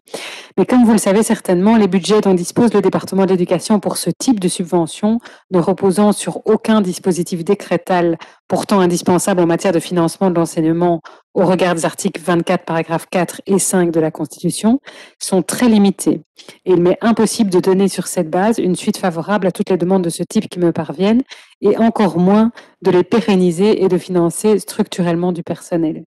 D'autant plus que même si le projet veut sensibiliser le monde scolaire, il touche à une matière qui ne relève pas de mes compétences. J'ai dès lors octroyé cette année, au titre de soutien essentiellement symbolique, une dernière subvention de 5 000 euros à l'association. Je vous remercie. Merci Madame la Ministre. Monsieur le député, pour votre réplique. Merci, Madame la Ministre, de ce que vous avez bien voulu nous, dire sur, ce projet. Vous avez relevé hein, les initiatives qui, sont prises et qui concernent non seulement euh, euh, les élèves de l'enseignement, mais aussi euh, les enseignants par des dossiers pédagogiques mis à disposition ou par une volonté à long terme de travail sur la, la formation des enseignants à travers l'IFC. Les nouvelles ne sont clairement pas bonnes dans ce que vous me dites. J'ai bien compris qu'il s'agissait d'une dépense facultative. Je connais le concept et, et, le principe, et donc je sais le sort qui peut leur être néfaste, en l'occurrence, qui peut leur être réservé. Pourtant, je crois que alors évidemment, j'interpellerai Mme Glatini à, ce sujet. Euh, je crois qu'il est pourtant important que et l'éducation et le sport parlent pour structurer euh, de manière durable dans le temps euh, cette approche euh, dans notre enseignement pour les élèves et pour ceux qui le dispensent. Il faut véritablement que, je, je, ne doute pas, vous êtes deux femmes de bonne volonté, je, je, ne doute pas que vous pourriez trouver un, un accord, mais il faut que ces efforts puissent être pérennisés euh, parce qu'ils enfin, sont déjà en route depuis plusieurs années. Il faut capitaliser sur, sur ce qui a été fait et il faut euh, l'amplifier. Euh, J'espère en tout cas que l'horizon va se dégager un petit peu. 5 000 euros, c'est bien, mais on est loin de ce qui est nécessaire pour atteindre nos ambitions. Merci. Merci, Monsieur Corneli. gardez votre micro ouvert puisque vous avez la question suivante sur la valise pédagogique Fêter les fêtes de fin d'année autrement. Euh, merci Madame la Ministre. Un, un tout autre sujet euh, et qui nous renvoie à la période que nous traversons, dont on aimerait toutes et tous euh, sortir, mais ça n'est hélas pas le cas.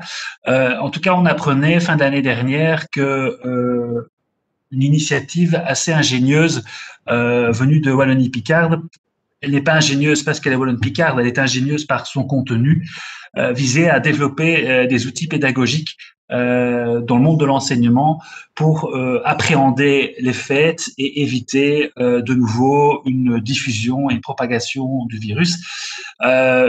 Donc, je voulais, à travers cette question, tout simplement faire le point de cette initiative pédagogique, sachant que ne parlons pas des fêtes nécessairement, mais des vacances arrivent et que des inquiétudes similaires se posent évidemment, puisque si les vacances sont synonymes de relâchement et qu'elles euh, finalement euh, gâchent les efforts communs que nous avons mis en place, ce serait malheureux. Alors cette valise pédagogique, elle a été développée par quatre enseignants qui l'ont fait euh, sur base d'une task force Wallon Picard mise en place par euh, la, les, bourgmestres et les élus euh, territoriaux, si, je ne me trompe pas. Il s'agissait d'expliquer euh, aux, enfants et aux adolescents euh, finalement comment on pouvait euh, éviter de prendre des risques et, tenter de veiller à passer les fêtes autrement. Cette valise pédagogique a visiblement connu un, beau succès. On note euh, 10, 1700 visites provenant de Wallonie-Picard, mais c'est euh, l'avantage de, certaines technologies. Euh, Bruxelles, Mons et même la Flandre s'est intéressé à ces outils pédagogiques euh, mis en place. Ces outils n'ont pas été euh, modifiés après les, de fin, les fêtes de fin d'année en tant que telles, mais peuvent être exploités en dehors de cette période à d'autres occasions.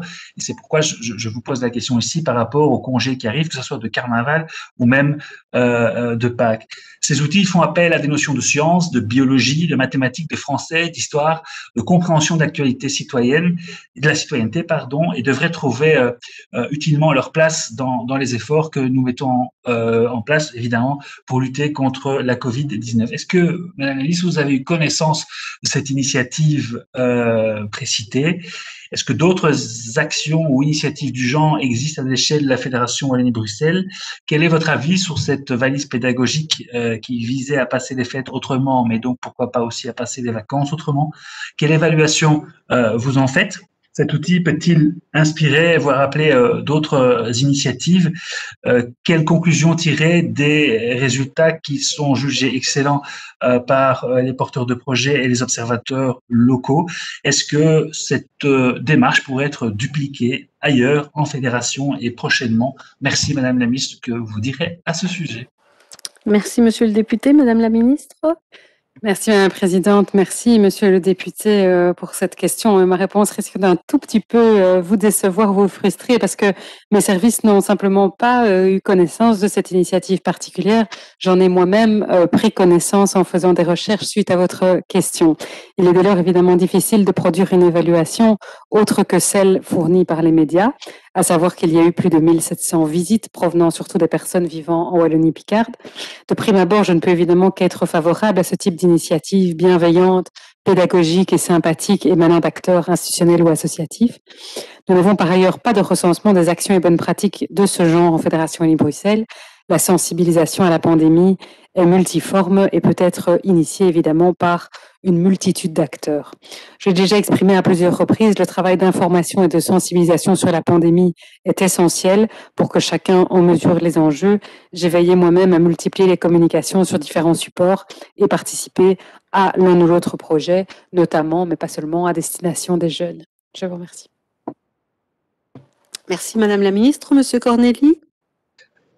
Euh, merci Madame la Ministre. Bah, je ne peux pas vous demander de tirer les conclusions euh, d'une initiative que vos services ne connaissent pas. Vous avez fait avec euh, votre équipe des recherches pour euh, en, en, connaître un peu plus et, vous en faites état dans, les éléments de réponse que vous me donnez. Alors voilà, moi je, ne peux que vous demander si vous y consentez, même si je pose pas de nouvelles questions, c'est qu'à la limite vos services s'intéressent à l'initiative, puissent en faire une évaluation et euh, on verra alors à un autre moment de, l'année comment les conclusions qu'ils ont tirées pourraient être utilisées ailleurs. Merci Madame la Ministre.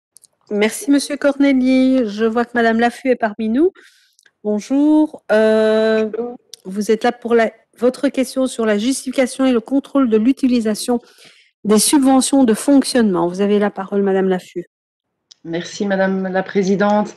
Madame la Ministre, en date du 21 décembre dernier, la circulaire 78-88 a été adressée aux établissements d'enseignement fondamental subventionnés, subventionnés pardon, portant sur la justification et le contrôle de l'utilisation des subventions de fonctionnement. Alors on comprend euh, aisément, bien évidemment, le principe et on en reconnaît pleinement le bien fondé. Euh, on a un petit peu plus de mal concernant euh, les, modalités parce que jusqu'à présent, par exemple, en ce qui concerne ma commune, aucune des directions en place n'avait dû remplir pareil des déclarations. Et je, je pense que ma commune n'est pas une exception au sein de la Fédération Wallonie-Bruxelles. et parce que corrélativement, c'est peut dire que le moment me semble plutôt mal choisi de mettre encore plus de pression sur, les directions qui ont déjà, on le sait tous, hein, été fort euh, sollicitées. Euh, et d'autant que, le délai euh, pour remplir ce, formulaire était fixé au 31 janvier. Donc, je rappelle que, que, la demande a été adressée aux directions fin décembre. Donc, c'était moins d'un mois. alors, au moment où en, où en commission, au sein de cette commission, on aborde régulièrement la charge de travail importante des directions, Avez-vous prévu des mesures particulières pour pouvoir répondre euh, à ces obligations? Euh, On entendait aussi hein, en commission euh, du budget votre collègue, le ministre Frédéric Dardenne, parler de la mise en place d'outils informatiques adaptés aux organismes administratifs publics auxquels étaient demandés des devoirs comptables. Est-ce que cela va être également le cas ici? Et donc, parce que l'annexe renseignée dans la circulaire, qui comprend le modèle indicatif du décompte final et les catégories d'affectation des moyens de fonctionnement et d'équipement, date de 1973, donc on est euh, euh, assez loin euh, d'une informatisation et, d'une facilitation, en tout cas, pour ce genre de documents. Je vous remercie pour la réponse. Merci Madame la députée. Madame la ministre. Merci Madame la Présidente. Madame la députée, la transmission fait partie des obligations auxquelles sont soumis les bénéficiaires des subventions de fonctionnement. Cette obligation est rappelée et expliquée par les, vérificateurs comptables lors des différents contrôles exercés sur place. Cette obligation avait d'ailleurs été rappelée à l'administration communale de Liban suite à un contrôle au mois de février 2017. Malheureusement, le rappel de cette obligation par les vérificateurs comptables est peu suivi des faits et retombe vite dans l'oubli. Consciente que le cadre, de légal de 1973 qui entoure cette obligation est quelque peu dépassé, l'administration de l'enseignement a proposé plusieurs projets d'actualisation en espérant pouvoir rappeler aux bénéficiaires leurs obligations avec un cadre légal plus en phase avec les réalités d'aujourd'hui. Mais ces projets n'ont pu voir le jour. L'administration n'a eu d'autre choix que de rappeler le cadre légal existant. Ce rappel devenait urgent. Trop souvent, il était constaté que les bénéficiaires des subventions de fonctionnement ne remplissaient pas leurs obligations. Trop souvent, les services de contrôle étaient mis dans l'embarras. Les difficultés que pose le cadre légal existant sont entendues. De nouvelles propositions d'actualisation vont être prochainement proposées par les services de l'administration. Et dans l'attente, les services de contrôle font preuve de tolérance et offrent toutes les explications nécessaires pour aider les bénéficiaires des subventions de fonctionnement à compléter leurs comptes finaux. Je vous remercie. Merci Madame la Ministre. Madame la députée Oui, merci Madame la Ministre. Merci pour votre euh, réponse. Donc, euh, j'entends bien qu'il s'agit euh, d'une demande qui aurait été faite en 2017. Donc, on a deux, deux, nouvelles directions d'école qui n'étaient pas là en 2017. Et donc, c'est clair que cette circulaire leur était inconnue jusque-là. Donc, c'est vrai qu'au niveau du délai, ça paraissait évidemment très difficile de pouvoir remplir et faire en effet l'inventaire de toutes les factures, parce que c'est un travail évidemment énorme qui tombait évidemment au plus mal. Donc j'entends bien euh, votre proposition d'actualisation euh, et le, souci de tolérance. Bon, tout a été fait évidemment euh, dans les délais, mais je pense que, dans, tous les domaines, la simplification et l'informatisation qui peuvent permettre en tout cas à toutes les directions d'alléger leur temps de travail, de leur faciliter l'encodage des données est évidemment le bienvenu. Je vous remercie. Merci Madame la députée. Je vois que Madame Sobry est parmi nous pour poser sa question sur l'enseignement à distance et les, les ateliers manuels. Vous avez la parole. Merci Madame la Présidente et, bonjour à, tous. Madame la Ministre, depuis plusieurs mois, euh, l'enseignement s'adapte à la crise sanitaire euh, que l'on connaît selon des codes couleurs et une hybridation de l'apprentissage qui se fait partiellement en présentiel et partiellement en distanciel.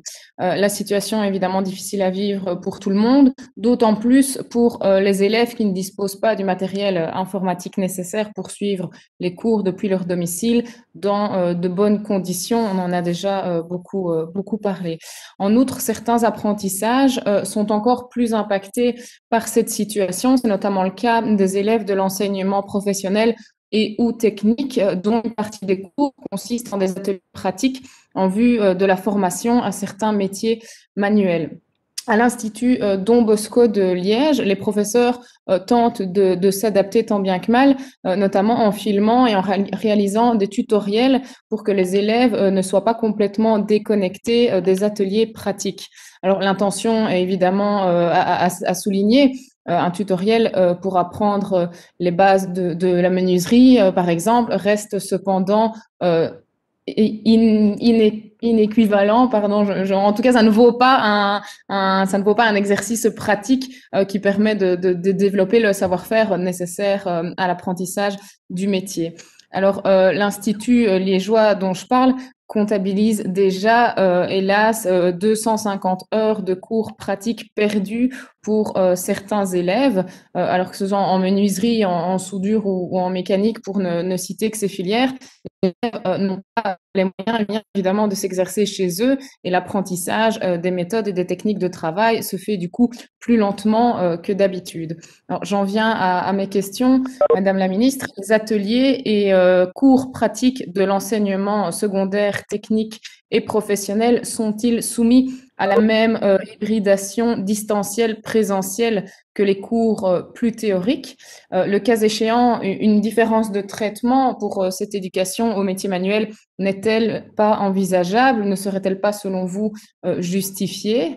Lorsque hum, l'évolution de la crise sanitaire permettra un retour vers plus de présentiel dans les écoles, est-ce que ces cours pourront jouir d'une primauté par rapport aux cours un peu plus théoriques? Et enfin, comment pouvons-nous éviter que cette importante perte euh, d'heures de formation euh, pratique ne porte préjudice euh, aux élèves concernés? Je vous remercie. Merci Madame Sobry. Madame la Ministre? Merci Madame la Présidente. Madame la députée, si le basculement en code rouge de l'organisation de l'enseignement obligatoire a nécessité la mise en place de procédures d'hybridation, la circulaire 7816 précisait toutefois que les différentes modalités d'organisation en vue de la mise en œuvre de l'hybridation étaient laissées à l'appréciation des équipes éducatives. Les établissements ont, ont donc dû faire des choix dans la mise en œuvre concrète des dispositions tant au niveau de la présence des élèves à l'école que de l'organisation des cours, qu'ils soient théoriques ou pratiques. J'ai ainsi pu constater que les équipes ont réellement fait preuve d'une créativité importante, à l'image des vidéos euh, que vous évoquiez dans votre question. Mais l'organisation des horaires des élèves est restée et restera de la responsabilité des directions et ou des pouvoirs organisateurs. C'est ainsi que certains établissements ont privilégié le cours de pratique professionnelle pour le présentiel, d'autres ayant fait le choix d'une semaine sur deux ou d'une alternance de semaines organisée en deux et trois jours. Quant à la question du niveau des études suite à la perte d'heures de cours à l'école ou la perte d'heures de pratique professionnelle, je suis persuadée que l'entièreté du corps pédagogique met réellement tout en œuvre afin de permettre aux élèves d'atteindre les compétences de base. Et comme je l'ai déjà dit aussi, je suis certaine qu'au-delà des acquis classiques et des compétences précieuses de leur apprentissage et de leur insertion socio-professionnelle, ces compétences ne sont évidemment pas mesurables. Il est un peu tôt pour évaluer objectivement les impacts de la crise qui malheureusement est toujours en cours. Je vous remercie. Merci Madame la Ministre. Madame Sobry Oui, très rapidement, je, je remercie euh, Madame la Ministre pour euh, sa réponse qui est euh, tout à fait euh, complète et je la rejoins euh, à 100% sur euh, les euh, compétences un petit peu extrascolaires que la crise aura au moins permis de à nos étudiants. Merci Madame la Ministre. Merci Madame euh, Sobry. Euh, je ne vois pas Madame Emery. Elle a retiré sa question, effectivement. Autant pour moi.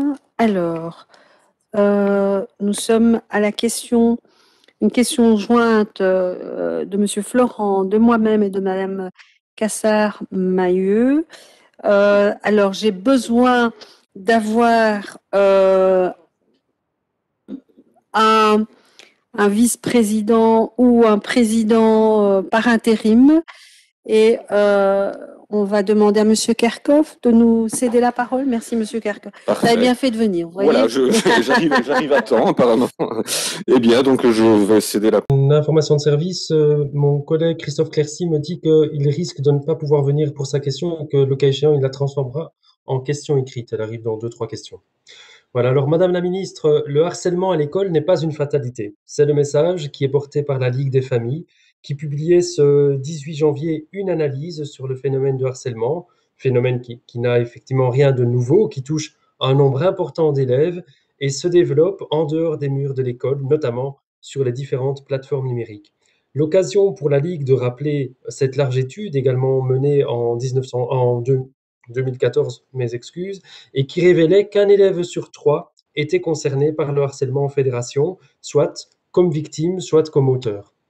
Alors le message de la Ligue portait sur trois mesures, trois mesures concrètes à mettre en œuvre. La première, une organisation spécifique de la cour de récréation pour diminuer le risque de violence, mais également pour une répartition plus équitable de l'espace. La deuxième mesure porte sur la création d'espaces de parole régulés afin d'apprendre à exprimer ce que l'on ressent sans violence. Et la troisième mesure, l'intervention d'un conseil d'éducation disciplinaire pour appliquer une éventuelle sanction le cas, échéant. Alors voilà pour le terrain. Mais la Ligue nous adresse également un message. Elle appelle la Fédération Wallonie-Bruxelles à renforcer ces dispositifs existants et surtout à mettre en place un cadre légal contraignant afin d'inscrire ces objectifs de lutte contre le harcèlement dans le ROI des écoles. Nous sommes ici tous conscients de l'impact délétère et durable que ces formes de harcèlement peuvent avoir sur les victimes et donc de l'enjeu de société qu'il revêt. Actuellement, une circulaire invite euh, les écoles à, rentrer des appels à projets en lien avec le harcèlement euh, en échange. Madame la ministre, voici mes questions. Que pensez-vous de ces différentes propositions concrètes qui sont avancées par la Ligue des familles? Comment peuvent-elles être articulées avec les initiatives existantes? Parce qu'il en existe effectivement déjà certaines en, en Fédération Wallonie-Bruxelles. Et enfin, la mise en place d'un cadre légal et donc obligatoire pour les écoles. Est-ce que c'est une piste qui est étudiée euh, par vos services? Et je vous remercie d'avance pour vos réponses. Merci, Monsieur Florent. Je vais maintenant céder la parole à Madame Gaouchi, donc pour sa question sur le harcèlement scolaire, procédure mise en place au sein des établissements de la Fédération Wallonie-Bruxelles. Merci, euh, Monsieur Kerkhoff. Euh, Madame la Ministre, le harcèlement sous toutes ses formes est un fléau qu'il est impératif de com- combattre, et plus particulièrement dans nos écoles, car il touche euh, nos enfants, nos jeunes, et conduit nos adolescents à commettre parfois des actes dramatiques et irréparables qui sont en fait des cris de détresse. Euh, je connais votre détermination et votre pugnacité en la matière et euh, je salue les différentes initiatives que vous avez déjà mises en place contre le cyberharcèlement et le harcèlement, tels que euh, les appels à projets pour plus de 400 000 euros euh, par an, le numéro vert, d'écoute et, et d'autres encore. Mais je vous rejoins aussi totalement lorsque vous déclarez qu'il faut porter une, une attention structurelle, durable et généralisable à toutes les écoles et que celles-ci doivent être mieux préparées à prévenir ces phénomènes. L'idée de mettre en place un modèle de label de reconnaissance basé sur les nouvelles méthodes axées sur le climat scolaire, le suivi de ce climat scolaire, le travail réalisé par les dé- délégués au contrat d'objectifs et les directeurs de zone me paraît vraiment de bon augure pour réunir les différents acteurs de terrain et viser l'efficacité. Alors j'aurais voulu vous entendre, Madame la Ministre, sur euh, euh, ce label, un plan d'action, un schéma directeur des procédures à mettre en place en cas de harcèlement scolaire va-t-il être communiqué euh, à l'ensemble de nos écoles afin que tous nos établissements scolaires soient prêts à combattre euh, de la même façon ce fléau.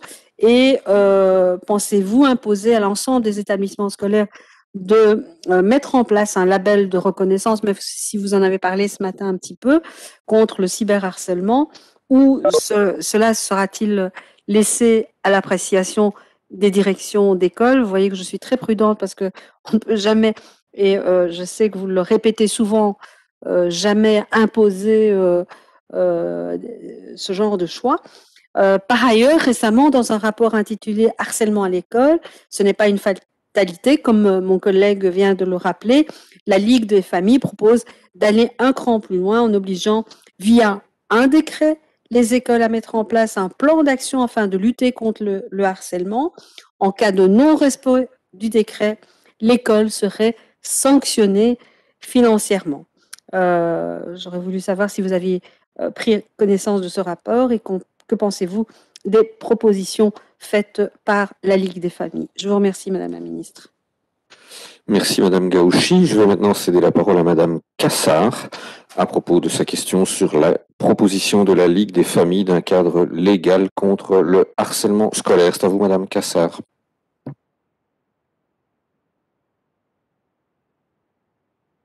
Il me semble que j'avais aperçu Madame Cassard, mais voilà. Oui, oui, mais donc euh, vous pouvez vous pouvez poser votre question. On ne vous entend pas ici, Madame Cassard. Donc soit votre micro n'est pas allumé ou non, malheureusement, on ne vous entend pas.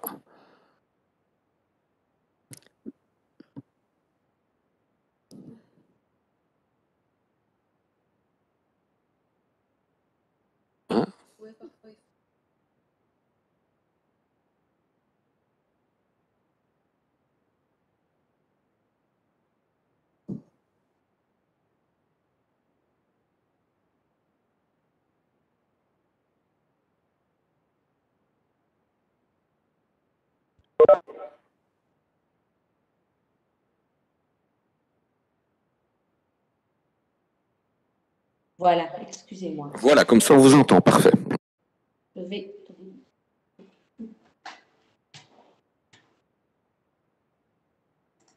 Veuillez m'excuser. Petit problème technique avec mon PC. Heureusement qu'on a la tablette. Voilà, excusez-moi. Euh, Madame la Ministre, euh, vous l'aviez dit début janvier en commission, un élève sur trois est victime de harcèlement en Fédération Wallonie-Bruxelles. Ce phénomène est d'autant plus virulent en ligne à l'heure où le confinement et l'enseignement à distance à temps partiel est la règle pour beaucoup d'entre eux. Pour lutter contre ce phénomène, vous évoquez que- d'un plan global euh, que vous comptiez soumettre rapidement au gouvernement ainsi qu'un label pour les écoles qui lutteront efficacement contre ce harcèlement. Euh, Qu'est-ce qui serait mis en place euh, de plus par rapport à ce qui se fait actuellement? Première question. Les actions sont-elles prévues expressément sur les cyberharcèlements? Quels sont les experts qui vous ont associé à cette réflexion? Quels sont les experts que vous avez associés à cette réflexion? À quelle échéance ce plan global devra-t-il être présenté et mis en place dans les différentes écoles? En outre, le 18 janvier dernier, la Ligue des familles a publié une analyse décryptant le phénomène du harcèlement scolaire et proposant des solutions structurelles pour lutter contre celui-ci. Elle propose trois mesures très concrètes pour y remédier. Une meilleure organisation des cours de récréation, des espaces de parole régulés et un conseil d'éducation disciplinaire si cela ne suffit pas. Avez-vous eu l'occasion de prendre connaissance de cette étude? Ces propositions feront-elles partie de vos critères pour l'obtention d'un label? Enfin, la Ligue des familles prône qu'un cadre légal existe pour contraindre toutes les écoles à mettre en place ce dispositif tous les deux ans. Il insiste et insiste qu'un contrôle de cette obligation par les services d'inspection existe, ainsi qu'une sanction si ce n'est pas le cas. Que pensez-vous de cette proposition Compte tenu du nombre d'enfants qui souffrent de ce phénomène, ne serait-il pas euh, intéressant d'étudier la chose? Juste par expérience, Madame la Ministre, dans ma petite école, vous savez que j'habite une toute petite commune, dans ma petite école communale, nous avons déjà, sur base de la, cour de récréation, mis des choses en place et je peux vous dire que cela fonctionne pas mal du tout.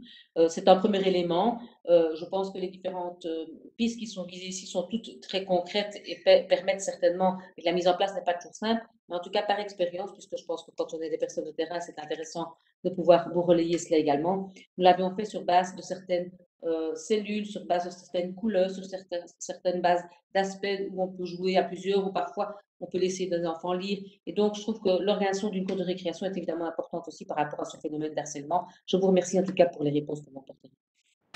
Merci Madame Cassard. Je cède maintenant la parole à Madame la Ministre pour les réponses. Merci Monsieur le Président, Mesdames et Messieurs euh, les députés. Merci pour, euh, pour vos questions sur ce, ce thème important. J'ai déjà eu euh, à plusieurs reprises ici l'occasion d'exprimer mon intention de revoir complètement la politique de prévention du harcèlement à l'école. Actuellement, nous disposons d'outils de fonds indispensables tels qu'un numéro vert, la plateforme harcèlement, un guide à l'attention des écoles. Et nous menons aussi, vous l'avez rappelé, des appels à projets dont nous avons déjà augmenté l'enveloppe de départ. On est à plus de 400 000 euros effectivement annuels, qui sont appels à projets qui sont bien utiles pour déceler de nouvelles bonnes pratiques. Mais ma volonté est de développer, comme je vous l'ai déjà dit, un nouveau schéma permettant de structurer et de généraliser un cadre commun de prévention pour l'ensemble des écoles. C'est à cela que nous nous sommes attelés, mais il faut quand même admettre que construire ce cadre, ça prend un petit peu de temps. J'ai pris connaissance euh, des propos de la Ligue, qui m'ont d'ailleurs fait fortement penser aux propositions euh, que préconise notamment le Centre de ressources éducatives pour l'action sociale dans plusieurs ouvrages et notamment prévention du harcèlement et des violences scolaires. En la matière, il existe en réalité une multitude d'écrits, de propositions, de dispositifs, de méthodes, etc. L'enjeu aujourd'hui n'est pas tant de trouver quoi faire, mais plutôt comment le faire, dans quel cadre, quelle temporalité, quelle collaboration, à quelle échelle, etc.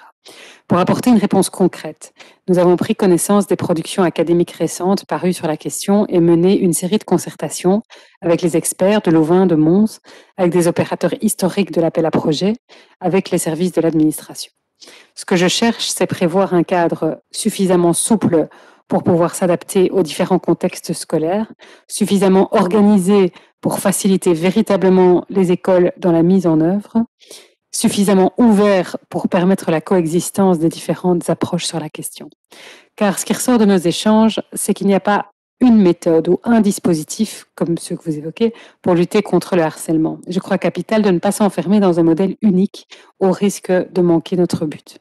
Il est également ressorti que la labellisation des écoles, c'est quelque chose que j'ai défendu, hein, donc j'ai pas de problème à, revenir sur des choses quand ce n'est pas des bonnes idées, mais il est également ressorti que la labellisation des écoles pourrait être perçue comme une démarche favorisant la marchandisation de l'offre scolaire, ce qui évidemment n'est pas notre intention.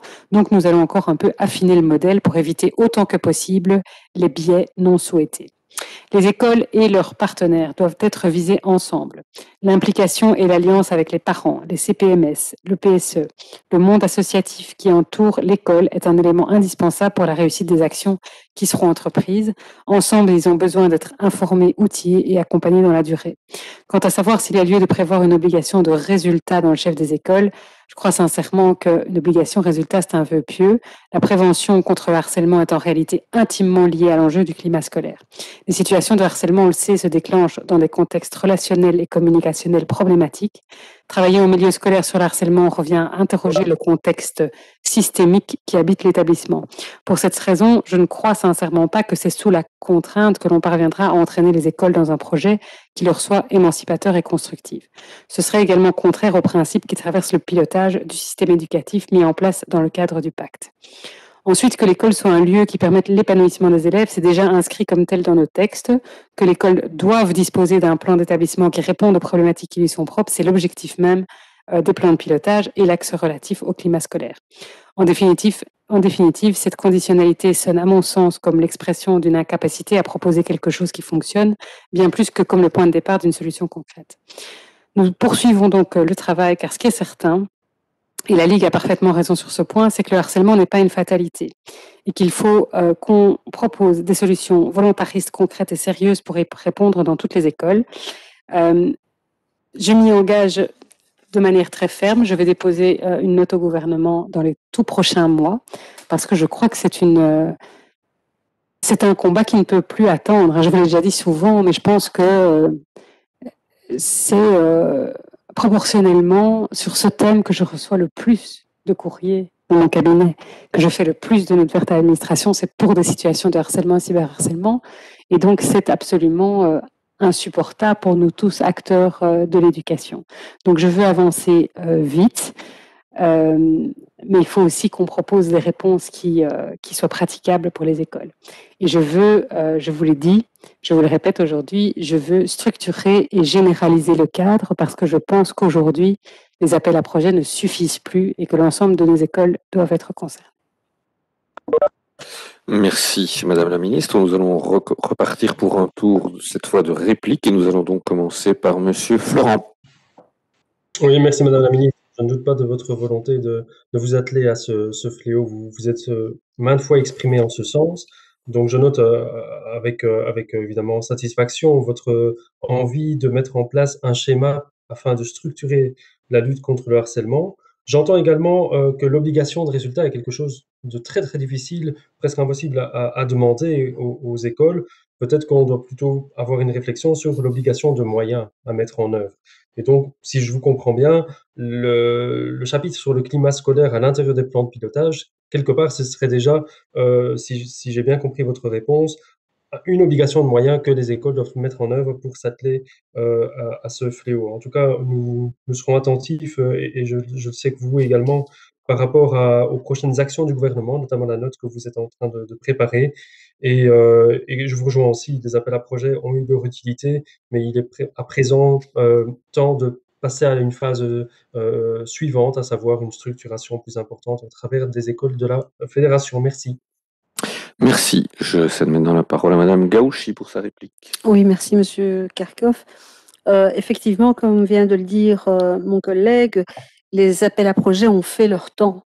Et donc, je pense que c'était une réponse à un moment donné, mais on s'aperçoit qu'avec le temps, le, le cyberharcèlement, le harcèlement a vraiment euh, pris une ampleur euh, phénoménale. Et donc, euh, et, je sais parce que nous étions sur les mêmes bancs de ce Parlement lorsque vous étiez de l'autre côté de la barrière, on en, on en discutait déjà à l'époque. Je sais que c'est un, c'est une de vos priorités. Et donc, j'ai bien entendu que vous alliez arriver avec un texte euh, et que vous, vous avez un peu revu votre euh, façon de, voir les choses et de ne pas passer par une labellisation parce que ça pouvait, ça pouvait peut-être euh, amener à, à confusion et peut-être à, rivaliser les écoles entre elles.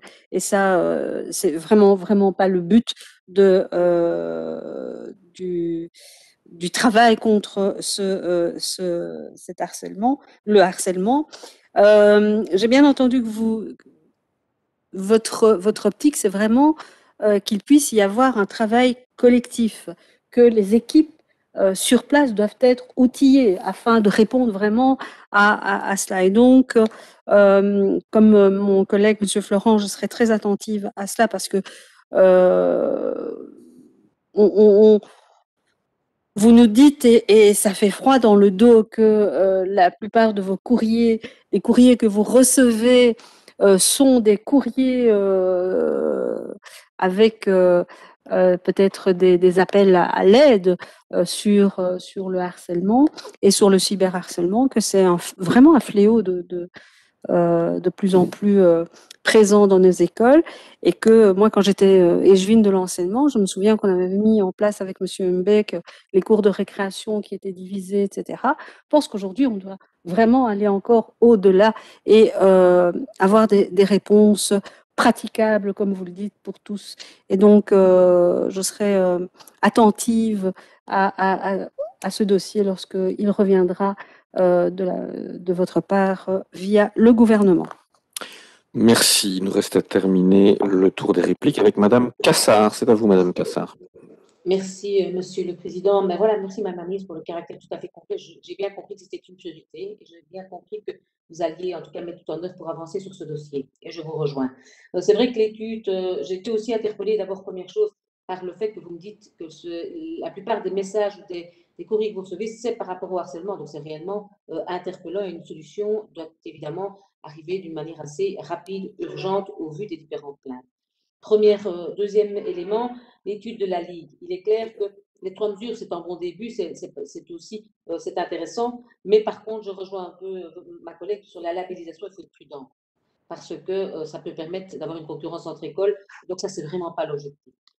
Dernier, dernier élément, euh, c'est vrai que l'enjeu, c'est pas de faire, c'est pas quoi faire, mais faire comment. Donc là, il faut des solutions, comme je vous l'ai dit, urgentes. Le harcèlement, c'est pas une fatalité, mais c'est un combat qu'il faut évidemment mener.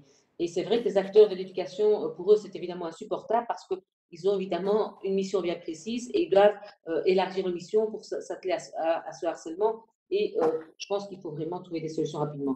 Je terminerai en disant que euh, le cadre, c'est évidemment pour moi indispensable et nous reviendrons, Madame la Ministre, euh, au cours de- du printemps pour voir évidemment ce qui a pu être fait, mais nous vous suivrons sur le fait qu'il y ait urgence et qu'il faut des mesures bien concrètes. Merci. Merci, Madame Cassard. Et je recède la présidence à Madame Gaouchi. Merci, Monsieur le Président, par intérim. Euh, alors, Monsieur Clercy a, a retiré euh, sa question et donc nous passons à la question de Madame Cortis sur le dossier d'accord. Non, il euh, n'a pas retiré sa question. Elle est euh, renvoyée en question écrite pour être euh, clair. Euh, nous passons à la question de Madame Cortis sur le dossier d'accompagnement des élèves. Vous avez la parole. Je vous remercie, Madame la Présidente. Madame la Ministre, j'ai déjà eu l'occasion à plusieurs reprises de venir vers vous concernant la mise en œuvre du dossier d'accompagnement des élèves, dit le DAS. Alors, ça constitue un outil indispensable pour assurer le suivi des facultés et difficultés de l'élève depuis l'enseignement maternel jusqu'à la fin de l'enseignement secondaire. Et cet outil sera aussi d'une grande utilité pour renforcer la, médiation, la remédiation en cas de besoin. Le 12 mai dernier, vous me précisiez que la mise en place de ce dispositif serait finalisée normalement pour la rentrée de septembre 2021 et que dans l'intervalle, le phasage en quatre temps devait être réalisé. Je rappelle les quatre étapes. La première, c'était de mars à décembre 2020, la poursuite des tests usagés. La deuxième, de janvier à février 2021, une expérience pilote au sein d'établissements volontaires. La troisième phase des vacances de Pâques à la fin de l'année scolaire 2021, l'accessibilité euh, du DAS des élèves inscrits en maternelle et en première et deuxième primaire aux équipes éducatives et aux agents CPMS pour leur permettre de découvrir l'outil. Et il était alors prévu en quatrième étape, dès septembre 2021, lors de l'entrée en vigueur normalement du tronc commun dans l'enseignement primaire, une opérationnalisation du DAS en mode production pour les maternelles et première et deuxième primaires. Ce phasage, vous l'aviez dit, avait pour but un double objectif. Tout d'abord, de permettre aux équipes éducatives et aux agents centre PMS de disposer d'un temps d'appropriation de l'outil avant de passer à une utilisation généralisée. Et la seconde, c'est agir en cohérence avec l'entrée en vigueur du tronc commun. Il est donc prévu que l'implémentation progressive du DAS se fasse sur le rythme d'implémentation du tronc commun année après année. Or, compte tenu de la crise sanitaire, plusieurs chantiers du pacte pour un enseignement d'excellence ont été reportés à la rentrée de septembre 2022, dont l'entrée en vigueur du tronc commun et les dispositifs qui l'accompagnent. J'imagine donc, mais vous me, le confirmerez, que le DAS est également reporté d'un an. Toutefois, je constate quand même que votre gouvernement a adopté le 17 juillet 2020 en première lecture et le 14 janvier 2021 en deuxième lecture un avant-projet de décret portant création du DAS. Madame la ministre, mes questions sont les suivantes. Ce dispositif entrera-t-il en vigueur dès la prochaine rentrée de septembre 2021 ou est-il reporté comme l'entrée en vigueur du tronc commun à la rentrée de septembre 2022 Les différentes étapes ou certaines étapes du phasage euh, précitées sont-elles euh, également reportées dans le temps? Si oui, à quand? Troisième question, pourriez-vous à présent nous présenter concrètement, puisque l'avant-projet de décret est déjà passé en deuxième lecture euh, au sein de votre gouvernement, concrètement en quoi consistera le DAS? Quelles seront les données à y entrer? Quels acteurs pourront y entrer des données? Les parents d'élèves y auront-ils accès? Question suivante, sur quel support le DAS sera-t-il stocké? Comment prévoyez-vous de garantir la protection des données confidentielles qui y seront encodées? Pendant combien de temps les données resteront-elles inscrites sur le dossier de l'élève? Et enfin, un, monitoring de l'efficacité de ce dispositif sera-t-il mis en place sous la, euh, Dans l'affirmative, sous quelle forme? Pourra-t-il être modifié au fur et à mesure du temps? Comment les acteurs de terrain pourront-ils faire remonter leurs éventuelles remarques sur son contenu, son fonctionnement au cours du temps en vue de son amélioration constante? Alors sur le monitoring, je vois que dans l'ordre du jour du gouvernement du 17 juillet 2020, donc c'était l'adoption en première lecture, il y avait un commentaire précisant qu'un état des lieux serait réalisé est présenté au gouvernement pour le mois de décembre 2022, mais il n'y a pas d'autres précisions. Donc, ça fait beaucoup de questions, Madame la Ministre, mais je pense que c'est un dossier euh, hyper important et c'est vrai qu'on n'a pas encore connaissance de, la manière dont il sera constitué, de la manière dont ça va fonctionner. Donc, j'espère avoir plus de précisions aujourd'hui. Je vous remercie. Merci, euh, Madame la députée, Madame la Ministre. Merci Madame la Présidente. Madame la députée, en effet, compte tenu de la crise sanitaire, plusieurs chantiers ont fait l'objet d'un report, dont le démarrage du tronc commun. L'entrée en vigueur du DAC est également concernée et connaît donc une nouvelle date d'application, soit septembre 2022. Le phasage prévu pour l'application du DAC aux différents niveaux d'enseignement est effectivement modifié en conséquence de cette décision de report, mais conserve la progressivité qui avait été prévue initialement. Concernant les étapes propres au développement du projet en tant que tel, elles ne sont pas reportées d'un an exactement, mais nous profitons de l'année supplémentaire pour étendre la durée de certains développements. Je pense par exemple au temps prévu pour les phases tests ainsi que pour les formations. L'année de report permettra également d'affiner encore les étapes et les temps de communication initialement prévus à l'adresse des professionnels de l'enseignement et des familles. Pour mémoire, le pacte préconise un modèle d'école inclusive reposant notamment sur une approche évolutive dans le cadre de laquelle la lutte contre l'échec et le redoublement joue un rôle essentiel. L'approche retenue repose notamment sur des outils et des méthodes de soutien à la réussite, en particulier des outils préventifs ou alternatifs qui aident à déceler rapidement les difficultés ou les besoins spécifiques des enfants, à mettre en œuvre les réponses à y apporter et favorise la continuité lors des transitions.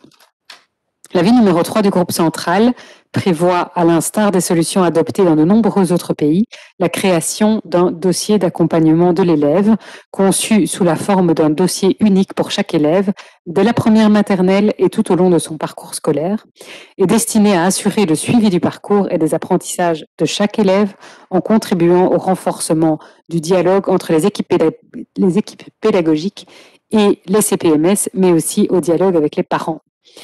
C'est ce que nous visons avec le DAC.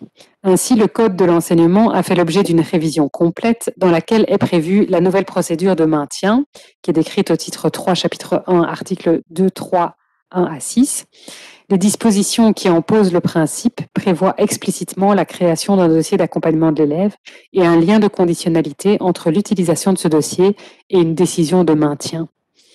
Les données centrales que devra contenir un DAC concernent donc les difficultés d'apprentissage persistantes d'un élève et les solutions mises en œuvre par l'équipe éducative pour y remédier. J'aurai l'occasion de vous présenter cela plus avant lors de la discussion sur le projet de décret. Le DAC est généré au départ de et conservé par l'administration générale de l'enseignement. L'arrêté du gouvernement qui sera pris en exécution du décret fera office de règlement d'utilisation et déterminera pour chaque utilisateur du DAC les types d'accès autorisés. Ces accès s'opéreront par les comptes Cerber des membres du personnel. Cette solution exige une validation par l'usage de la carte d'identité et constitue à ce titre le niveau de sécurisation le plus élevé qui puisse s'envisager. Ce règlement d'utilisation précisera en outre la question que vous vous posez sur la durée de conservation des données. Le DAC est un des points névralgiques du pacte pour un enseignement d'excellence et s'intègre à ce titre dans le schéma d'évaluation générale du pacte. Outre l'évaluation prévue par le décret que vous pointez, le texte prévoit également la collecte anonymisée de données à des fins statistiques qui permettront au service du pilotage de procéder aux évaluations utiles au développement futur de l'outil. Je vous remercie. Merci, euh, Madame euh, la Ministre. Madame Cortis.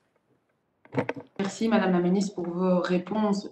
Eh bien, la crise sanitaire a mis en exergue toute l'importance de la remédiation individualisée pour les élèves en difficulté. Je pense que ça démontre d'autant plus la pertinence de mettre en place un outil comme le dossier d'accompagnement des élèves.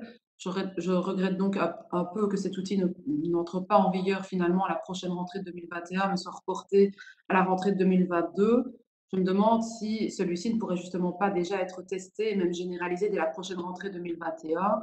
Ça permettrait en, effet, euh, à, mon, sens, d'être une mesure parmi d'autres pour faire face aux conséquences néfastes de la crise sanitaire chez nos élèves. En tout cas, je ne manquerai pas de suivre avec attention les suites de ce dossier et de revenir vers vous avec des questions auxquelles vous n'avez pas encore pu m'apporter de précision aujourd'hui. Je vous remercie.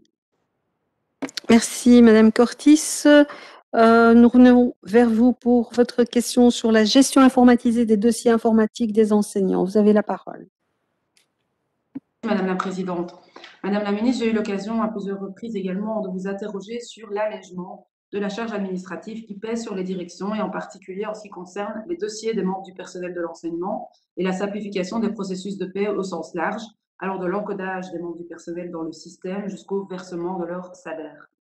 Comme le prévoit la déclaration de politique communautaire et le chantier 17 euh, du pacte pour un enseignement d'excellence, la simplification administrative représente un enjeu certes technique, mais néanmoins majeur en vue de la modernisation de notre enseignement.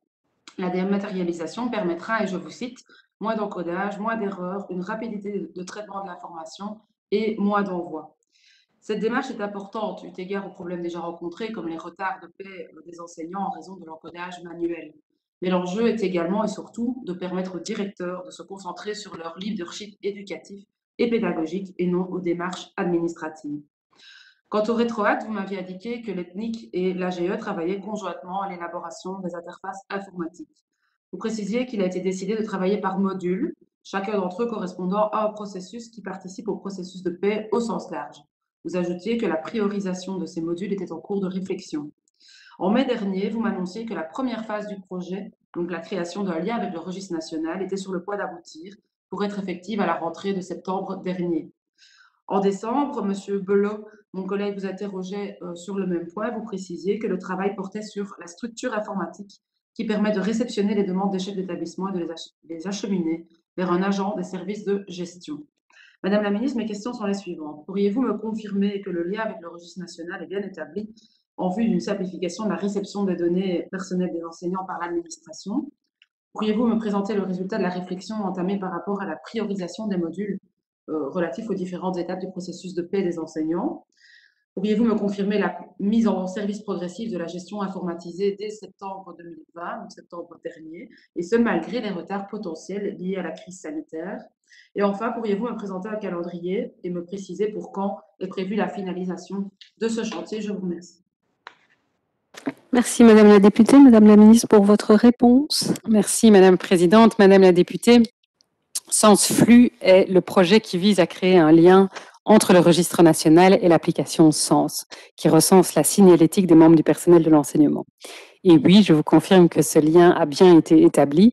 En effet, depuis le 1er septembre 2020, une série de données relatives à la signalétique des membres du personnel sont directement communiquées par le registre national à l'administration, à savoir le nom, le ou les prénoms, le sexe, l'adresse, le lieu et la date de naissance, la nationalité, l'état civil et le cas échéant, la date de décès.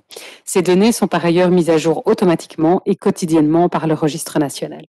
La circulaire 7724 du 3 septembre 2020 a informé les établissements scolaires de cette avancée importante en matière de simplification administrative et des implications que la mise en œuvre de cette liaison avait sur les informations qu'ils nous transmettaient jusqu'alors.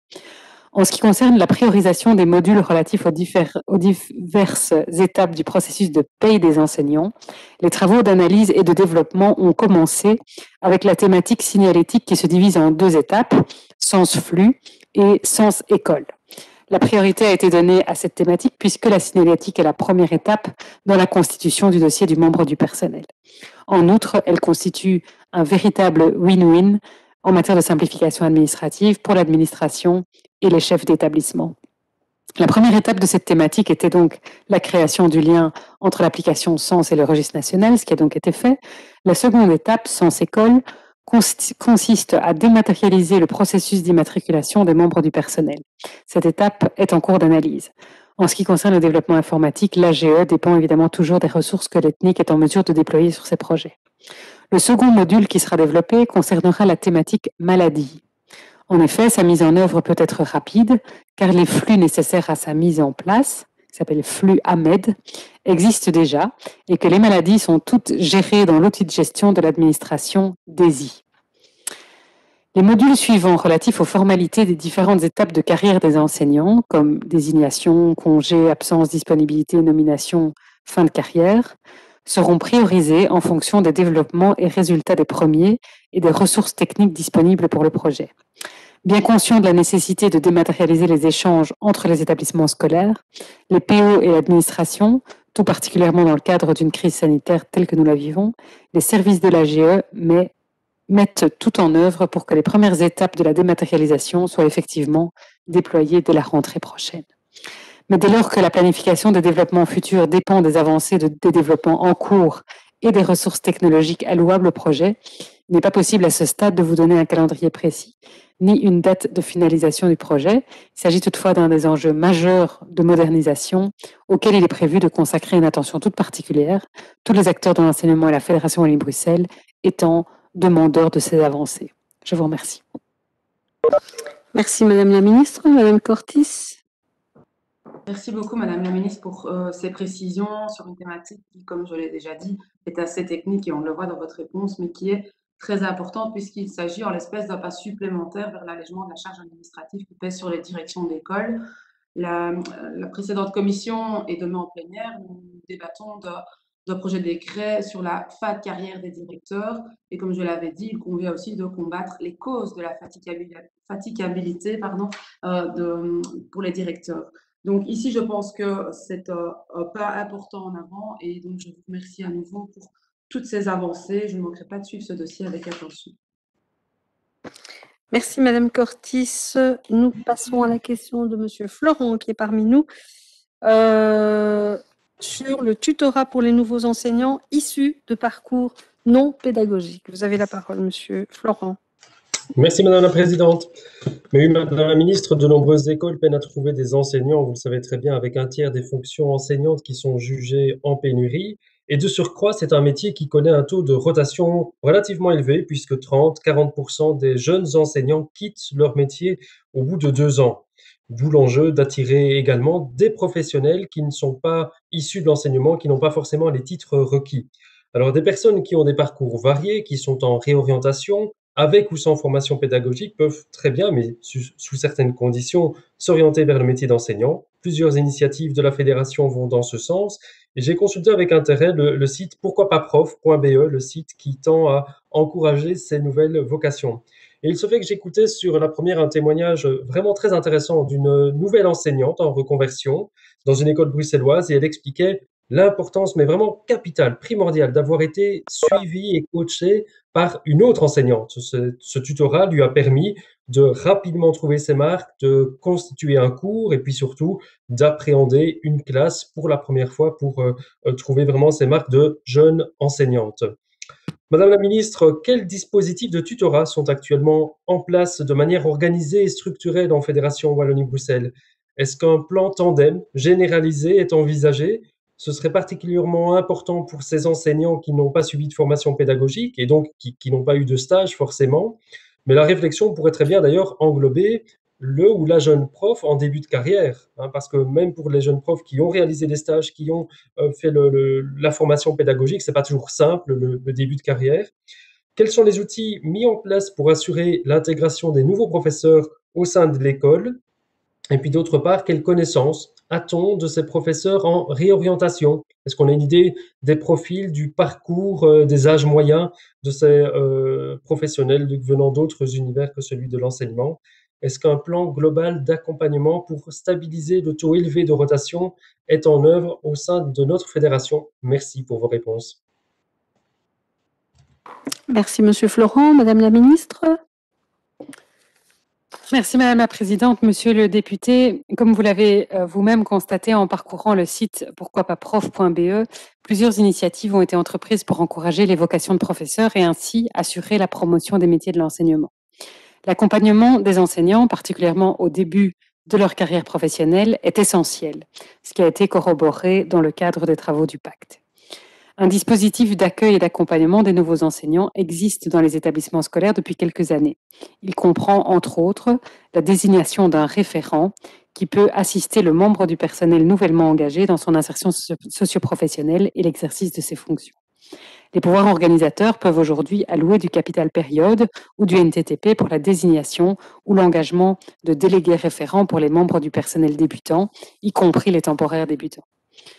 Ces enseignants référents bénéficient également de formations qui leur permettent de s'outiller pour exercer au mieux leur rôle dans ces différentes dimensions. L'IFC propose également en début d'année scolaire une journée d'accueil et de formation pour les enseignants débutants. Cette journée peut, le cas échéant, être complétée par des initiatives propres à chaque fédération de PO ou EBE. Si un plan global visant à diminuer le taux de rotation des enseignants dans les écoles, à renforcer l'attractivité du métier et à faciliter l'engagement de nouveaux enseignants n'est pas encore aujourd'hui formalisé, des initiatives ont néanmoins été concrétisées. Je pense notamment à la stabilisation plus rapide d'enseignants débutants ou encore à la lutte contre le morcellement de la charge et la favorisation de l'accès à l'emploi à temps plein. J'ai également proposé, dans le cadre de la réforme de la formation professionnelle continue, que les jeunes enseignants quel que soit leur titre, puissent bénéficier d'une attention soutenue en début de carrière. Nous aurons l'occasion d'y revenir au moment de l'analyse de ce texte. Si le chantier 12 du pacte accordera une attention particulière aux jeunes enseignants, euh, il est cependant prématuré de vous fournir plus de précisions à ce stade. Plus spécifiquement, pour les enseignants sans titre pédagogique, euh, je constate que des institutions d'enseignement supérieur s'intéressent à ce public cible. C'est ainsi que des programmes de formation tels que ceux initiés par le PO de la ville de Bruxelles ou encore Go for Teach euh, de la LA s'adressent aux candidats qui sont en possession d'un diplôme de bachelier ou d'un master qui souhaitent s'orienter ou se réorienter vers l'enseignement. Il s'agit là d'initiatives intéressantes en période de pénurie pour répondre conjoncturellement à une partie du problème, même si je reste, je le souligne, je le rappelle, attaché à des solutions structurelles qui prennent en considération la logique de priorisation des titres. Je vous remercie. Merci Madame la Ministre. Monsieur Florent? Oui, encore merci pour cette euh, réponse euh, assez, assez complète. Hein. Je vois effectivement que des initiatives se mettent en place. Euh, j'ai été vraiment particulièrement séduit en fait par cette idée de, tutorat dans cette école bruxelloise qui a permis à cet enseignant de trouver ses marques. Je trouvais que l'idée valait vraiment le coup d'être pérennisée, peut-être même structurée. Ben, J'apprends également que vous travaillez sur euh, un plan global qui n'est pas encore formalisé, mais qui est en cours de préparation, et, aussi que le chantier 12 du pacte s'attellera à cette question. Donc, on, restera attentif. Merci. Merci, Monsieur Florent. Nous passons à la question de Monsieur Belot, qui est derrière son écran sur, pour sa question sur les normes d'encadrement pour les récréations. Vous avez la parole, Monsieur Belot. Bonjour, vous m'entendez? Oui. Vous m'entendez? Vous entends très bien. Voilà, Madame la Présidente, Madame la Ministre, bonjour. Il n'existe pas à l'heure actuelle de normes générales et précises concernant la surveillance dans les cours de récréation dans l'enseignement fondamental. En réponse à une question d'une directrice d'école, la Direction générale de l'enseignement obligatoire de la Fédération a bien confirmé qu'il n'y avait pas de normes chiffrées fixées par le législateur quant au nombre minimum pour le personnel encadrant la surveillance des élèves. L'organisation de l'encadrement des récréations incombe au pouvoir organisateur et aux directions des écoles de manière à garantir la sécurité des élèves. Pour ce faire, les directions ne peuvent donc s'appuyer sur aucun document réglementaire, ce dont on ne peut que s'étonner. Par ailleurs, il y a un besoin d'uniformisation des règles pour une facilité à la fois des équipes éducatives, des PO et de tout autre acteur gravitant autour de l'école, les parents, les équipes mobiles, PO, etc. Cela permettrait de clarifier les choses en cas d'accident impliquant un enfant et éventuellement en cas de plainte évoquant un manque de surveillance. Cela rassurerait également les PO qui sont responsables de la surveillance en organisant bon père de famille un encadrement dit suffisant de surveillants afin, afin de garantir la sécurité des élèves. Il doit ainsi tenir compte du nombre d'enfants, de leur âge, ainsi que la configuration des lieux, ce qui est très variable d'une implantation à l'autre au sein d'une même école et donc d'un même PO. Seule l'autre consolation, une étude réalisée en fédération par l'ONE permet aux écoles de se comparer entre elles et de voir si elles se trouvent bien dans une moyenne acceptable. Selon ce rapport de l'ONE, la moyenne d'enfants par accueillant en maternelle serait de 28. Madame la ministre, avez-vous déjà été interpellée à ce sujet par les directions d'école qui seraient demandeuses? Que pensez-vous de, de, l'idée de fixer un taux d'encadrement général pour l'ensemble des établissements scolaires en tenant compte du nombre d'enfants et par cycle Quelles sont les possibilités en termes de personnel disponible? À titre de comparaison, les coordinateurs de l'accueil extrascolaire doivent, selon le décret relatif tendre, et ce n'est donc pas obligatoire, c'est tendre, vers un encadrement d'un accueillant pour 18 élèves.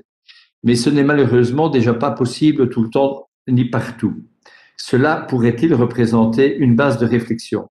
Dans le même temps, des synergies et une mutualisation des moyens du personnel ne pourraient-elles pas être envisagées entre les deux secteurs, scolaire et extrascolaire, afin d'améliorer la qualité de l'encadrement des enfants, notamment en ce qui concerne les temps de midi? Voilà, merci Madame la Ministre pour les éléments de réponse que vous pourrez nous apporter et je sais que ce sujet interpelle de nombreux euh, pouvoirs organisateurs. Merci Monsieur Belot. Madame la Ministre? Merci Madame la Présidente. Monsieur le député, l'administration reçoit effectivement des questions des écoles et des PO relatives aux normes prévues pour encadrer les élèves et assurer leur sécurité durant les récréations et le temps de midi. La réglementation en vigueur ne détermine pas de normes d'encadrement pour les surveillances. En application du décret du 13 juillet 98 portant organisation de l'enseignement maternel et primaire ordinaire et modifiant la réglementation de l'enseignement, le pouvoir organisateur peut charger les instituteurs maternels et primaires d'assurer la surveillance des élèves 15 minutes avant le début des cours et 10 minutes après leur fin, pour autant que la durée totale de leur prestation de travail en classe de surveillance et de mission de service à l'école et aux élèves ne dépasse pas 1560 minutes par semaine. Conformément à l'arrêté de l'exécutif de la communauté française du 18 juillet 1991 relatif aux surveillances de midi dans l'enseignement maternel, primaire, ordinaire et spécialisé, des subventions sont octroyées aux écoles maternelles et primaires du réseau libre subventionné en vue de rémunérer les personnes à qui est confiée la surveillance des élèves pendant le temps de midi. Chaque école peut bénéficier d'un certain nombre d'unités de surveillance subventionnées. Ce nombre d'unités de surveillance par école est calculé en fonction de la population scolaire et du nombre d'implantations à comptage séparé de chaque école, ainsi que du nombre de jours pendant lesquels une surveillance est réellement organisée. Le nombre d'unités de surveillance s'établit comme suit. Une unité pour l'école comptant moins de 100 élèves régulièrement inscrits, deux unités pour celles comptant de 100 à 199 élèves régulièrement inscrits, et ainsi de suite, par tranche supplémentaire de 100 élèves régulièrement inscrits. Le nombre d'unités de surveillance est octroyé par école sur base de la population scolaire totale. Si le nombre d'unités de surveillance est inférieur au nombre d'implantations à comptage séparé, le nombre d'unités de surveillance est augmenté au prorata du nombre d'implantations à comptage séparé.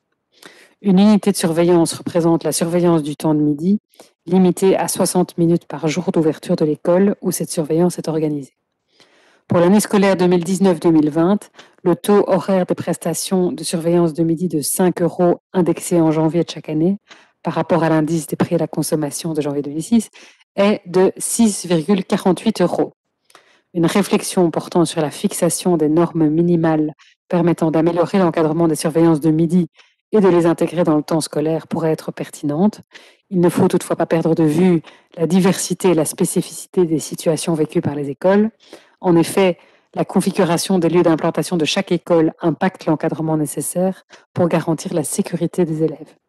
Quant à votre question sur la mutualisation des moyens et la réunion des forces vives, elle renvoie à l'un des objectifs de la DPC autant qu'à au moins un des chantiers du pacte. De manière générale, la question de la complémentarité des temps scolaires et extrascolaires doit être approfondie en bonne intelligence avec ma collègue Bénédicte Liénard, qui est compétente pour l'extrascolaire, je le rappelle. Je vous remercie. Merci, euh, Madame la Ministre. Monsieur Belot Oui, merci Madame la Ministre. Je, je, je, j'entends ce que vous me dites. Vous dites qu'il y a une réflexion euh, sur des normes techniques. Je pense que ce serait intéressant euh, de faire euh, une grille d'analyse en fonction des différentes situations, avec des 15 à remplir en fonction de, de les situations. Parce que, enfin, voilà, on, constate ça et là, parfois un nombre très important d'élèves par, par surveillant, à d'autres endroits suite à des, parfois des incidents, des petits accidents, un nombre euh, plus réduit d'élèves de, par personne qui surveille.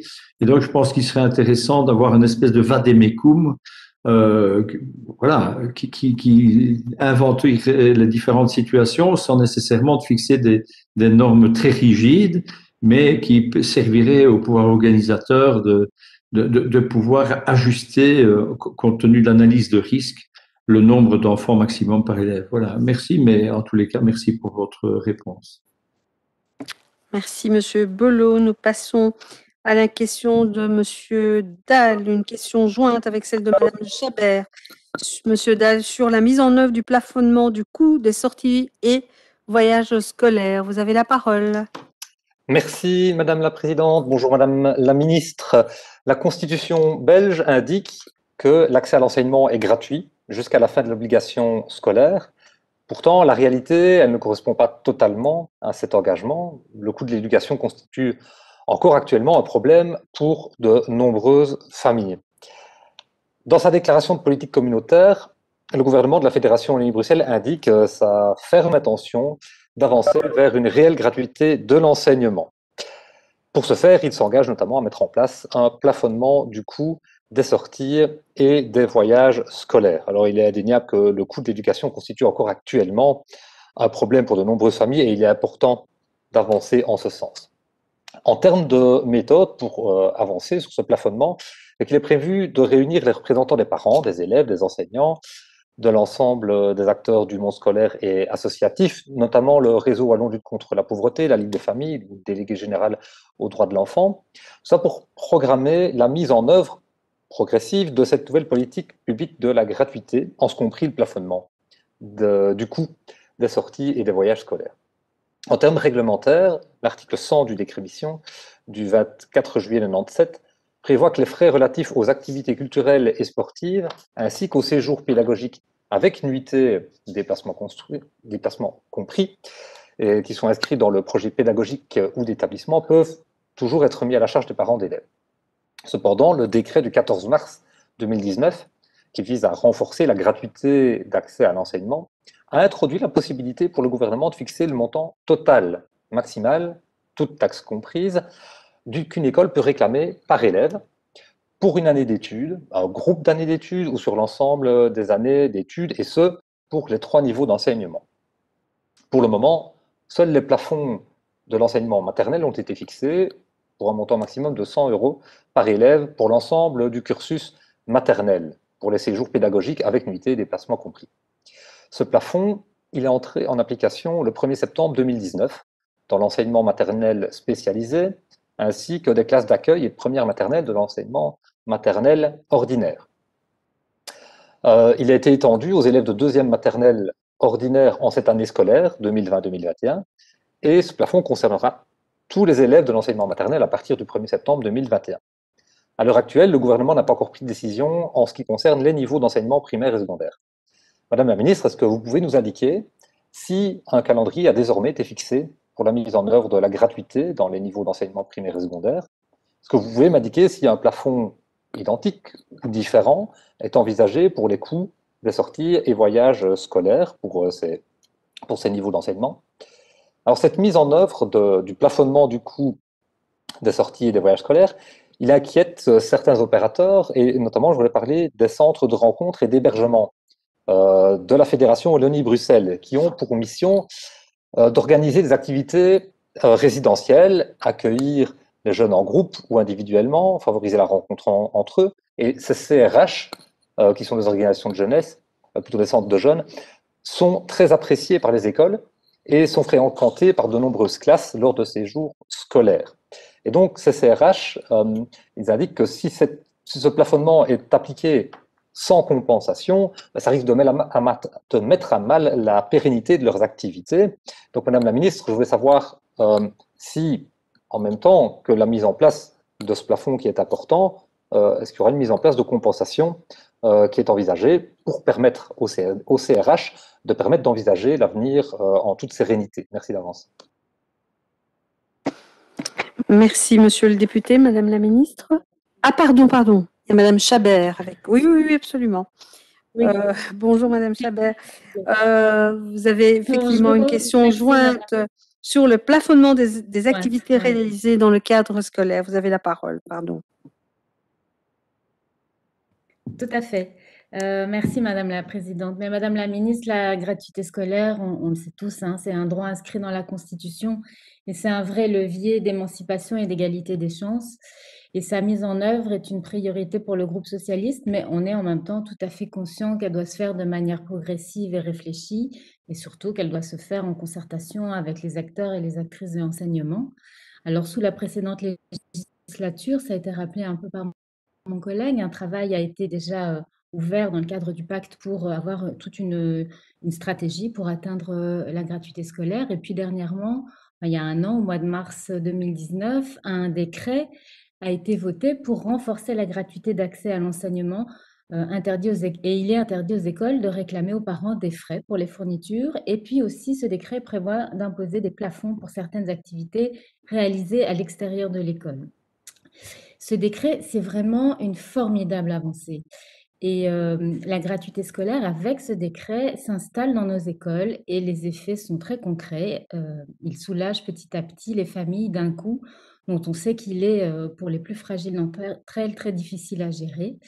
Et depuis le 1er septembre 2019, les frais facultatifs sont interdits dans l'enseignement maternel. Ça a été rappelé aussi, des plafonds ont été fixés pour la première maternelle. Euh, ces plafonds sont en application hein, depuis, depuis la rentrée euh, de, de, cette année en deuxième maternelle et ils seront à la prochaine rentrée pour la troisième maternelle. Concernant les frais demandés par les écoles pour les activités scolaires, culturelles ou sportives, ils sont plafonnés, ils ne peuvent plus dépasser les 45 euros par élève par an et les séjours pédagogiques ne peuvent, eux, ne, plus, euh, ne peuvent plus dépasser 100 euros par élève sur l'ensemble de, la durée de, de, tout le cycle maternel.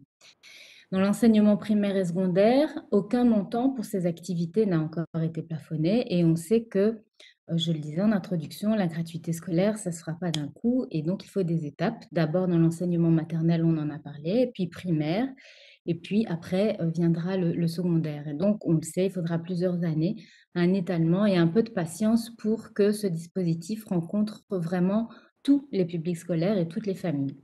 Et euh, à ce sujet, la déclaration de politique communautaire démontre un, engagement fort de la part du gouvernement sur cette question de la gratuité, puisque euh, vous vous êtes engagé à poursuivre et renforcer ces mesures, à fixer un échéancier de mise en œuvre de la gratuité, à réunir l'ensemble des acteurs et des actrices de l'enseignement autour de cette question de la gratuité, à déterminer les frais par lesquels euh, on doit débuter et le niveau d'enseignement que ça va concerner, euh, aussi à amplifier les expériences de repas gratuits chaud le midi dans des écoles. On a beaucoup de projets pilotes et on, sait à quel point c'est important aussi pour des questions de santé publique. À plafonner le coût des sorties des voyages scolaires, c'est un peu l'objet de ma question aujourd'hui, et de manière plus générale, à réformer le système d'allocation des études dans l'enseignement pour favoriser son visibilité. Donc, j'en viens à mes questions. Pour euh, l'année scolaire 2019-2020 et le début de cette année, pourriez-vous nous dire si des plaintes d'abus en matière de frais scolaires ont été enregistrées euh, par vos services, par l'administration, et est-ce que ce phénomène a, une ampleur qui serait euh, grandissante? Pour cette même période, est-ce que vous pourriez nous dire si des écoles ont été sanctionnées parce qu'elles n'ont pas respecté le cadre légal? C'est une vieille demande, notamment de la Ligue des familles, qu'il y ait beaucoup plus de, contrôle hein, des écoles qui sont en infraction. Euh, Madame la ministre, il y a un an, vous nous informiez euh, avoir chargé votre administration, justement suite à des questions, hein, d'investiguer sur les, pratiques des écoles en matière de frais scolaires et d'analyser les recours qui euh, existent par les parents courageux qui se lancent dans cette démarche. Pourriez-vous nous partager les résultats de cette investigation? Autre question, existe-t-il une évaluation des mesures de gratuité qui ont été prises depuis l'année dernière? Euh, à ce stade, est-ce qu'il est possible d'identifier des pistes d'amélioration du dispositif gratuité scolaire en cours là, pour les, premières années de maternelle? Pourriez-vous nous informer de la manière dont se déroule la communication aux écoles quant à ces nouvelles mesures euh, sur la gratuité scolaire? Pourriez-vous nous informer sur l'état d'avancement des travaux liés au plafonnement des activités dans le primaire? Et est-ce que et comment les acteurs de l'enseignement y sont associés? Et enfin, je suis bien consciente que ça fait beaucoup de questions, mais nous avons connaissance d'un nombre important de non-recours au droit en matière d'allocation d'études euh, dans le secondaire. Pourriez-vous nous dire si une démarche proactive envers les écoles, les familles et les élèves est engagée pour euh, faire davantage connaître cette mesure, ce droit? J'ai interrogé hein, bien entendu votre, votre collègue, la ministre Glatini, mais je voulais vous entendre cette question. Je vous remercie, Madame la ministre, pour vos réponses. Merci, Madame la députée. Madame la ministre Merci, euh, madame, madame et monsieur les députés. Euh, attendez, parce que j'ai juste un problème. Bon, excusez-moi. Le calendrier prévoit d'étendre la gratuité aux élèves de troisième maternelle dès la rentrée de septembre 2021, de sorte qu'à cette date, tout le niveau maternel euh, sera concerné. Le groupe de travail qui a la charge de ce dossier a réalisé une note au départ de l'historique des données déjà prélevées en maternelle, primaire et secondaire. Une enquête dans les écoles permettra le prélèvement d'informations complémentaires spécifiques pour le primaire. La réception des résultats de cet exercice est prévue en mai 2021. L'ensemble des données prélevées permettra alors au groupe de travail de préciser les propositions de plafond pour la section primaire et nous serons en mesure d'entamer la préparation d'un texte réglementaire comme cela avait été fait pour le maternel. Les plafonds concerneront les activités extérieures avec nuitée ainsi que les activités culturelles et sportives comme le décret le prévoit. Pour ce qui est euh, de la question spécifique relative aux impacts de ces plafonds sur les centres de vacances, en revanche, je vous invite à vous adresser à ma collègue Bénédicte Linard. Je vous remercie. Merci, euh, Madame la Ministre. Monsieur Dahl, d'abord. Merci, Madame la Ministre. Euh, je pense que la réflexion par rapport à la mise en œuvre de ces mesures ne peut pas être séparée de ses conséquences. Et donc, c'est une réflexion intégrée qui doit avoir lieu et non une réponse euh, séparée. Je pense comme, vous venez de faire en disant, bah, c'est pas moi, d'abord, les CRH relèvent plutôt de la ministre Glatini. Et donc, je vous invite en tout cas à prendre langue avec votre collègue, Mme Glatini, puisque les CRH sont des centres euh, de jeunes euh, et non de vacances. Et donc, de bien pouvoir prendre en compte ces spécificités, parce que l'ambition du plafond, c'est bien de donner accès à ces activités à tous, et non pas d'empêcher les élèves d'y accéder. Et donc, il s'agit bien de mettre en œuvre une gratuité intelligente et réfléchie pour qu'elle puisse bien atteindre son objectif. Et ici, je pense qu'on attire votre attention sur un effet qui pourrait euh, être non souhaité. Et donc, il est plus intéressant de le prendre en compte dès l'entame de la réflexion, plutôt que de s'en rendre compte en cours de route et de devoir corriger.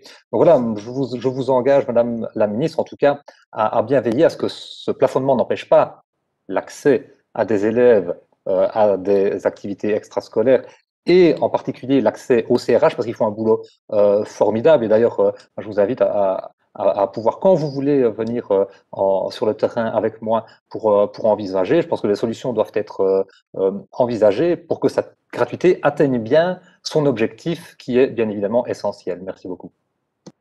Merci, Monsieur Dahl. On a eu un petit souci technique et donc Madame ministre va répondre à Madame Chabert. Je suis désolée, et vous avez peut-être vu mon trouble au début de ma réponse, mais en réalité, il me semblait bien que ma réponse n'était qu'une réponse à Monsieur Dahl, et donc mes équipes n'ont pas vu que les deux questions ont été jointes et m'ont préparé donc deux réponses. Donc je suis désolée, mais je vais faire ma réponse en deux temps. Et voilà donc la réponse à Madame Chabert. Désolée pour ce couac. Donc, Madame la députée, au cours euh, de l'année scolaire 2019-2020, 605 659 demandes ont été traitées par le service, de la gratuité de la Direction générale de l'enseignement obligatoire, 94% correspondaient à une demande d'information de précision quant à la réglementation en matière de gratuité d'accès à l'enseignement obligatoire. 5% des demandes traitées ont abouti à l'ouverture d'un dossier de plainte à l'encontre d'un établissement scolaire. Enfin, 1% des demandes ont été relayées vers d'autres services car elles n'étaient pas liées à une problématique de non-respect de la réglementation en matière de gratuité d'accès à l'enseignement. En ce qui concerne l'année 2020-2021, 31 dossiers de plainte ont déjà été ouverts à ce jour. Lorsqu'une infraction est constatée, les établissements sont interpellés et contraints de mettre leurs pratiques en conformité. Certaines écoles ont dû rembourser des montants trop perçus dans le cadre du décret gratuité. Cependant, le gouvernement n'a jusqu'ici jamais été saisi d'une proposition de sanction. Les dispositions du décret du 14 mars 2019 ont clairement entraîné nombre de questions, tant chez les acteurs de l'école que chez les parents.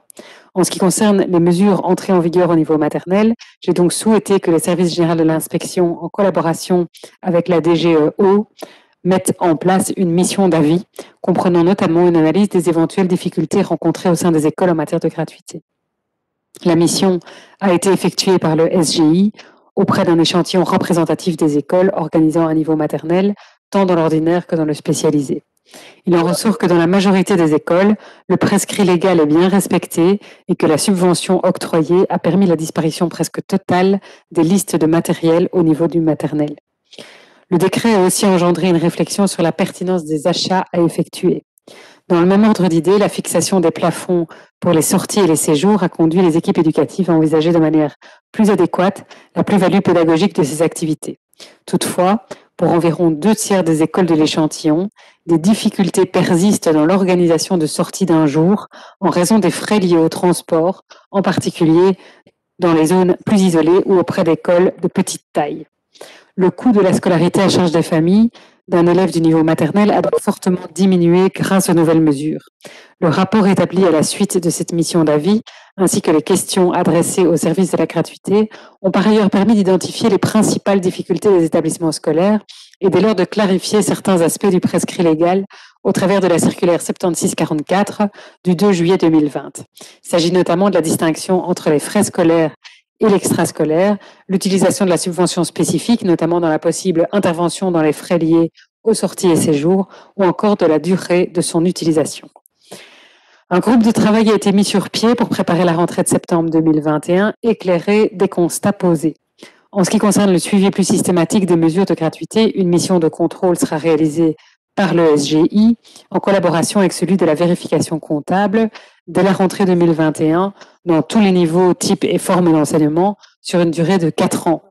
Au terme de chaque année, un rapport intermédiaire sera établi sur la base des écoles investiguées ainsi qu'un rapport final au terme des quatre années. Pour ce qui est des plafonds du primaire, il est prévu de mener un complément d'enquête qui complétera utilement les informations déjà collectées, comme je viens de le répondre à Monsieur Dahl, lors de la première enquête de terrain, à partir de laquelle les plafonds du maternel ont été établis, et c'est sur cette base qu'il sera ensuite possible de déterminer les plafonds du primaire. Enfin, pour ce qui concerne les allocations d'études dans le secondaire, je vous confirme que le dossier est à l'étude pour améliorer l'accès du plus grand nombre à ce dispositif d'aide.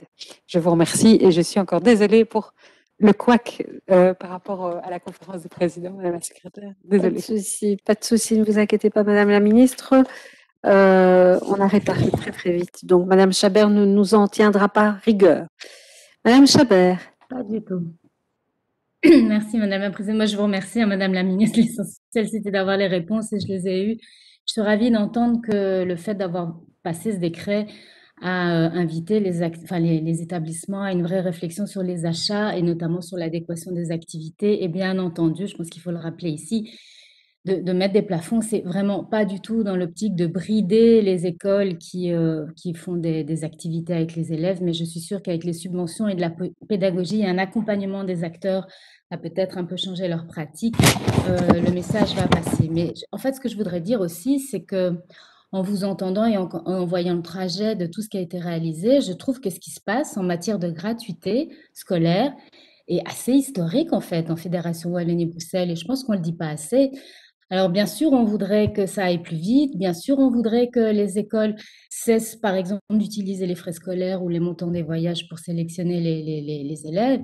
Bien sûr, on voudrait que chaque élève ait droit à, du matériel scolaire de qualité et gratuit, euh, et ce, dans tous les niveaux Et bien sûr, on voudrait que euh, euh, dans le fondamental, on soit euh, débarrassé, que, que, dans le fond, en fait, que les, les que les familles soient débarrassées des questions d'argent à l'école parce qu'elles n'ont rien à y faire là-bas. Mais je pense que ce serait mentir, en fait, de dire qu'on va faire tout ça d'un coup comme ça. Et je trouve, et votre réponse le démontre, que les, mesures prises depuis, bah, depuis la précédente rentrée euh, sont concrètes. Elles agissent sur euh, une baisse des frais sur le, matériel euh, scolaire. Elles agissent sur le plafonnement des activités en maternelle. J'ai entendu un timing, un échéancier sur l'établissement de ces plafonds dans le primaire. Et donc, je vous encourage, Madame la Ministre, à, franchir toutes ces étapes et à poursuivre votre action en matière de, de, gratuité scolaire, dont on sait à quel point elle est fondamentale, aussi pour des questions d'émancipation et d'égalité des chances et de respect des droits des élèves. Je vous remercie. Merci Madame Chabert. Nous passons à la question de Monsieur Kerkhoff sur euh, Lumumba et la décolonisation belge dans les programmes scolaires. Vous avez la parole, Monsieur le député. Merci Madame la Présidente. Madame la Ministre, il y a environ deux semaines, nous commémorions les 60 ans de l'assassinat de Patrice Lumumba, le premier Premier ministre de la République du Congo. L'historien malien euh, Doulaye Konaté disait Connaître son histoire, c'est choisir son avenir. Il est important pour les citoyens belges de s'approprier leur histoire nationale, d'en accepter les zones les plus sombres. Une méconnaissance, des généralisations abusives, des raccourcis simplistes créent une incompréhension par rapport à la colonisation et engendrent régulièrement des tensions, des conflits. Une meilleure connaissance partagée par tous permettrait sans doute d'apaiser les tensions entre les communautés qui constituent ce pays. L'État belge ne peut pas nier son implication dans les crimes liés à la colonisation et à la décolonisation, notamment l'assassinat de Patrice Lumumba. Aujourd'hui, un large consensus se dégage dans la communauté historienne pour souligner le rôle prépondérant de la Belgique dans ce crime barbare. Or, cet assassinat ne représente pas seulement, et je mets le seulement entre guillemets évidemment, un crime parmi d'autres. Il est le révélateur d'une volonté typiquement néocoloniale de garder un certain contrôle sur un territoire que le Premier ministre ne cachait pas vouloir développer de manière réellement indépendante. En tant que citoyens du XXIe siècle, nous ne sommes pas responsables à titre personnel de la colonisation. Mais il est fondamental que cette période de notre histoire soit reconnue et étudiée dans nos écoles si la décolonisation doit bien être abordée au cours d'histoire par, je cite le référentiel scolaire sur les compétences terminales, et donc savoir requis, je cite, identifier les principaux éléments constitutifs d'un processus de décolonisation et d'un processus de type néocolonialiste. Fin de citation. Le professeur a la liberté pédagogique d'utiliser comme exemple n'importe quelle décolonisation, comme l'Algérie, l'Inde ou autre, même si une certaine logique voudrait que la décolonisation belge soit cet exemple. En pratique, nous constatons qu'énormément d'élèves n'ont pas ou peu de connaissances de notre histoire coloniale. Donc ma question est, est unique. Madame la ministre, quel est l'état de la réflexion sur l'étude de l'histoire coloniale belge, en ce compris la décolonisation et l'assassinat de Patrice Lumumba, dans les futurs référentiels scolaires. Je vous remercie. Merci, Monsieur Karkov. Madame la ministre? Merci, euh, Madame la Présidente. Monsieur le député, avant toute chose, il me semble essentiel de rappeler euh, une fois encore la distinction claire entre les référentiels et les programmes. Si les référentiels fixent le cadre réglementaire et à ce titre relèvent bien de mes compétences en tant que pouvoir régulateur, les programmes sont eux élaborés sous la responsabilité des PO et des FPO et développent quant à eux des méthodologies pédagogiques. Bref, de manière tautologique et comme on, comme on le dit souvent ici en commission, les référentiels définissent donc le quoi et le programme, les programmes le comment. Comme vous l'indiquez et comme cela a déjà été relevé au sein de cette commission, les référentiels actuels sont particulièrement vagues concernant l'histoire de la colonisation du Congo. Des enseignants pourraient en effet complètement l'ignorer en centrant leurs cours sur d'autres pays. Et malgré tout, ils demeureraient dans le cadre du référentiel. En tout cas, celui des humanités générales qui date de 1999, car celui des humanités professionnelles et techniques qui date de 2014 mentionne lui explicitement et clairement dans ses repères temporels l'histoire de la colonisation du Congo. La DPC prévoit que l'histoire de la colonisation du Congo, du Rwanda et du Burundi dans les référentiels soit développée. Ces négociateurs avaient donc bien conscience que certains élèves n'abordent pas cette partie de notre histoire. Le travail est en cours pour les référentiels du tronc commun. Et je peux vous assurer que Patrice Lumumba, à travers le mouvement d'indépendance du Congo, devra faire partie du référentiel et donc des savoirs et attendus pour les élèves de 15 ans. Sans préjuger du travail qui sera encore à mener pour les référentiels de l'enseignement secondaire supérieur, il me semble clair que l'histoire de la colonisation et de la décolonisation devra être approfondie et problématisée. Les élèves issus du tronc commun disposeront ainsi des éléments de base et dans la logique spiralaire qui préside à la construction des référentiels, ces attendus seront repris et développés ultérieurement. Et les référentiels seront le reflet de l'état actuel de l'historiographie sur cette question. Quant au programme actuel, il n'existe pas d'état des lieux précis sur cette question. Ça demanderait un travail considérable d'investigation de la part du SGI, qui aurait à voir comment la dizaine de programmes par réseau et par filière déclinent les référentiels, mais aussi comment ces programmes sont eux-mêmes développés en classe. Je l'ai déjà précisé ici même, mais je crois que c'est important que je le répète parce que j'ai chaque fois des réactions. Il existe déjà de nombreux enseignants qui dispensent d'excellents cours sur cette question, notamment du fait de la multiplication d'outils pédagogiques particulièrement pertinents et actuels. Au niveau de la Fédération Wallonie-Bruxelles, je peux citer notamment ceux mis à disposition par la cellule Démocratie ou Barbarie. Et je sais que le musée Bellevue va présenter dans les prochaines semaines un outil qui fera référence. En réalité, de plus en plus d'élèves sont confrontés à cette période durant leur scolarité, du fait notamment des développements de l'actualité et des débats sur la colonisation ou le racisme structurel. Et c'est tant mieux, évidemment. Avec les nouveaux référentiels du tronc commun, l'ambition sera que tous les enseignants et tous les élèves passent par ces savoirs et ces attendus, sans exception, sans tabou et sans œillère. Je vous remercie. Merci, Madame la Ministre. Monsieur Kerkhoff. Oui, merci, merci Madame euh, la Ministre pour votre réponse qui me rassure euh, dans un certain sens. Euh, concernant les programmes et les, référentiels, vous avez évidemment raison. Vous aurez remarqué que dans l'énoncé de ma question, j'ai employé le terme référentiel. Et euh, c'est vrai que, mais l'esprit, c'est bien les référentiels parce qu'on parle ici du quoi, évidemment, et pas du, et pas du comment et du, voilà, et pas de, de, la méthode. Et donc, je pense que ce point qui peut sembler un détail me semble fondamental. Comme je l'ai dit tout à l'heure, ça n'est pas l'assassinat de Patrice Lumumba n'est pas un fait divers, fut-il sordide. C'est vraiment le, résultat de la conception de certains de, du fait que les populations et les, euh, territoires de la colonie devaient permettre de, il devait, garder le contrôle sur ça de manière à, pouvoir, euh, disons, euh, s'enrichir et, être un, et jouer un rôle important dans la machine économique. Je rappelle que sur les 23 plus grandes fortunes belges actuelles, 11 se sont créées euh, sur le, dos des populations congolaises et sur, sur la période coloniale. Et donc, c'est assez fondamental pour comprendre les débats actuels. On parle beaucoup de développer l'esprit critique, ce qui est évidemment fondamental, mais l'esprit critique ne se décrète pas. Il se développe lorsqu'on connaît un certain nombre de faits, et je pense que ce fait-là est tout à fait fondamental. Je vous remercie. Merci, Monsieur Karkov. Vous gardez la parole puisque vous avez la question sur le report des évaluations externes non certificatives en primaire et secondaire de la, circulaire pardon, 79-26 et l'adaptation des épreuves externes certificatives. Merci, euh, Madame la Présidente. Madame la Ministre, par la circulaire donc mentionnée, euh, circulaire 79-26, il a été décidé de reporter à octobre 2021 les épreuves centralisées non certificatives en lecture et production d'écrit en primaire et en lecture en quatrième secondaire. Par la même occasion, les épreuves du même type prévues en mathématiques à cette époque sont reportées à octobre 2022. Initialement, ces épreuves étaient prévues en octobre 2020 et avaient été reportées à février 2021 suite à la crise sanitaire.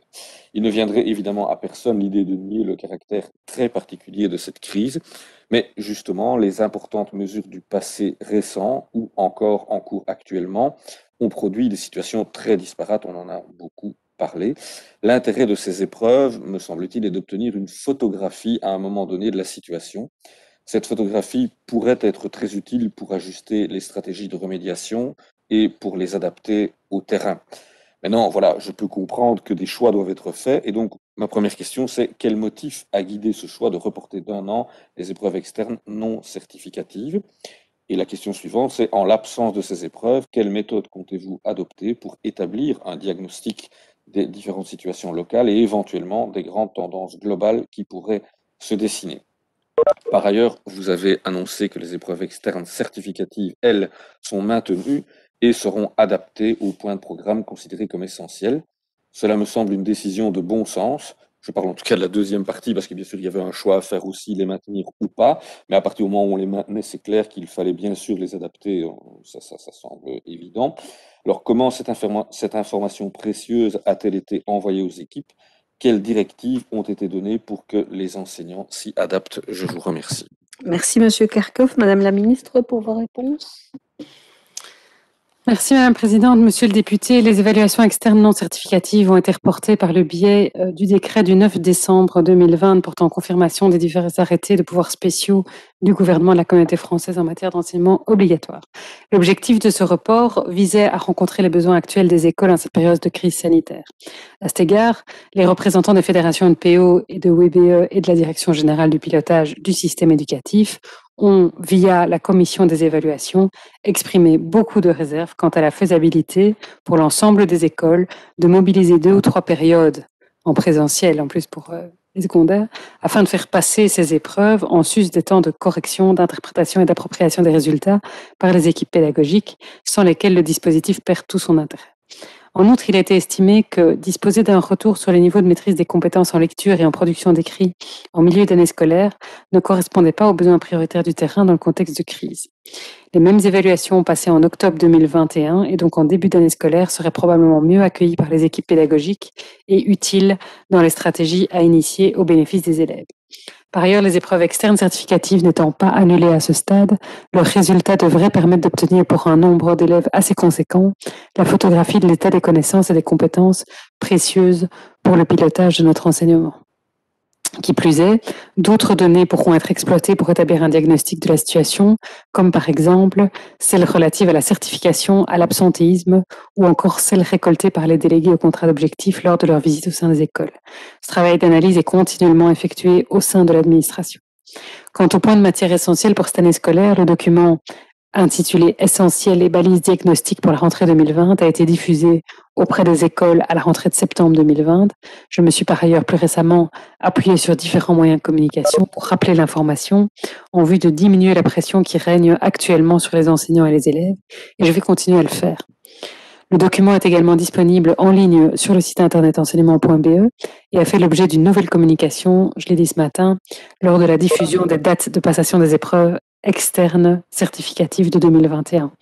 À cet égard, les concepteurs de chaque épreuve certificative ont minutieusement vérifié leur correspondance avec les essentiels. Dans l'optique d'optimaliser la préparation des élèves et de rendre les épreuves moins anxiogènes, les circulaires relatives à l'organisation des épreuves seront publiées prochainement. Celles-ci doivent être concertées avec les acteurs tout prochainement. Elles contiendront des recommandations spécifiques adressées au conseil de classe pour le cas où ces essentiels n'auraient pas pu être enseignés dans certaines écoles ou classes en raison de la situation sanitaire. Je vous remercie. Merci, Madame la ministre. Monsieur Kerkhoff.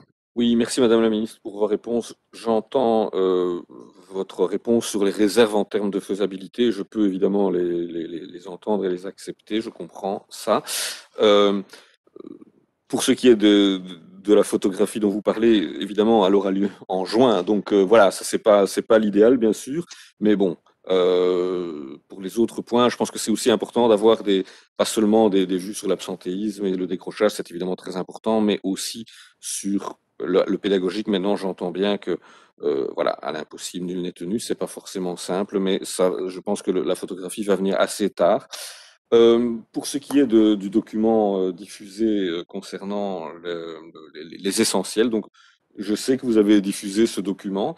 Euh, J'attire néanmoins votre attention sur le fait que manifestement il y a quelque chose qui n'est pas bien passé parce que j'ai enfin j'ai eu beaucoup d'échos, y, compris parfois avec des collègues directs, etc., qui j'aurais dit euh, est-ce que tu sais ce qu'ils me répondent parfois non, je sais pas, je suis pas au courant, j'ai rien. Donc je sais pas par quel, je sais pas où dans la chaîne de transmission ça a cassé, mais quelque part ça a cassé.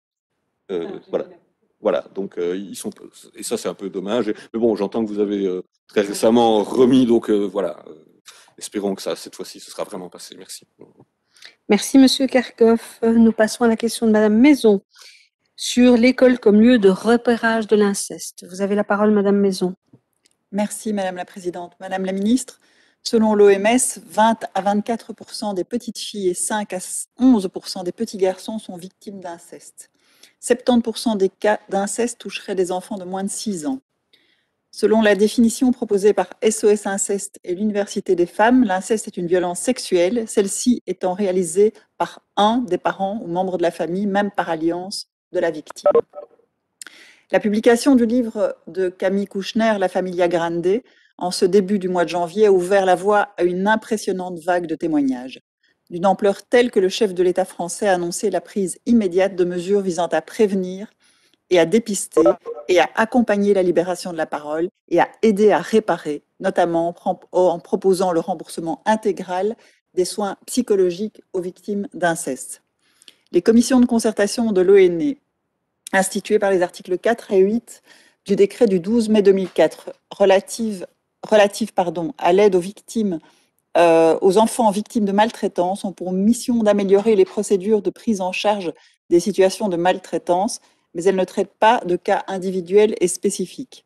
Aussi, le décret de 2004 renvoie, pour obtenir de l'aide face à un cas de maltraitance, au centre PMS et au centre PSE de l'école, dont on sait à quel point ils sont aujourd'hui débordés à SOS Enfants ou à tout autre éducateur ou conseiller compétent. Chacun de ces intervenants a des compétences et champs d'action plus larges que la seule question de l'inceste. Il n'y a peu ou pas de démarche ni de réflexion au sein de la Fédération Wallonie-Bruxelles afin de lutter de façon spécifique contre ce fléau. Les conséquences de l'inceste, on le sait, sont nombreuses et ravageuses. Moindre espérance de vie, risque de santé accru, comme les maladies auto immune ou l'obésité, risque de précarité, perturbations psychologiques graves et pérennes. Alors, Madame la Ministre, à la lumière de ces éléments et considérant le déni social de l'inceste, je souhaiterais vous poser les deux questions suivantes. La première, votre gouvernement s'est-il déjà penché sur l'initiative française visant à prévoir deux visites de dépistage et de prévention spécifiques aux suspicions d'inceste, tant à l'école primaire que secondaire? Et la seconde, d'autres mesures ont-elles déjà été prises ou évoquées? Le cas échéant, quelles sont-elles?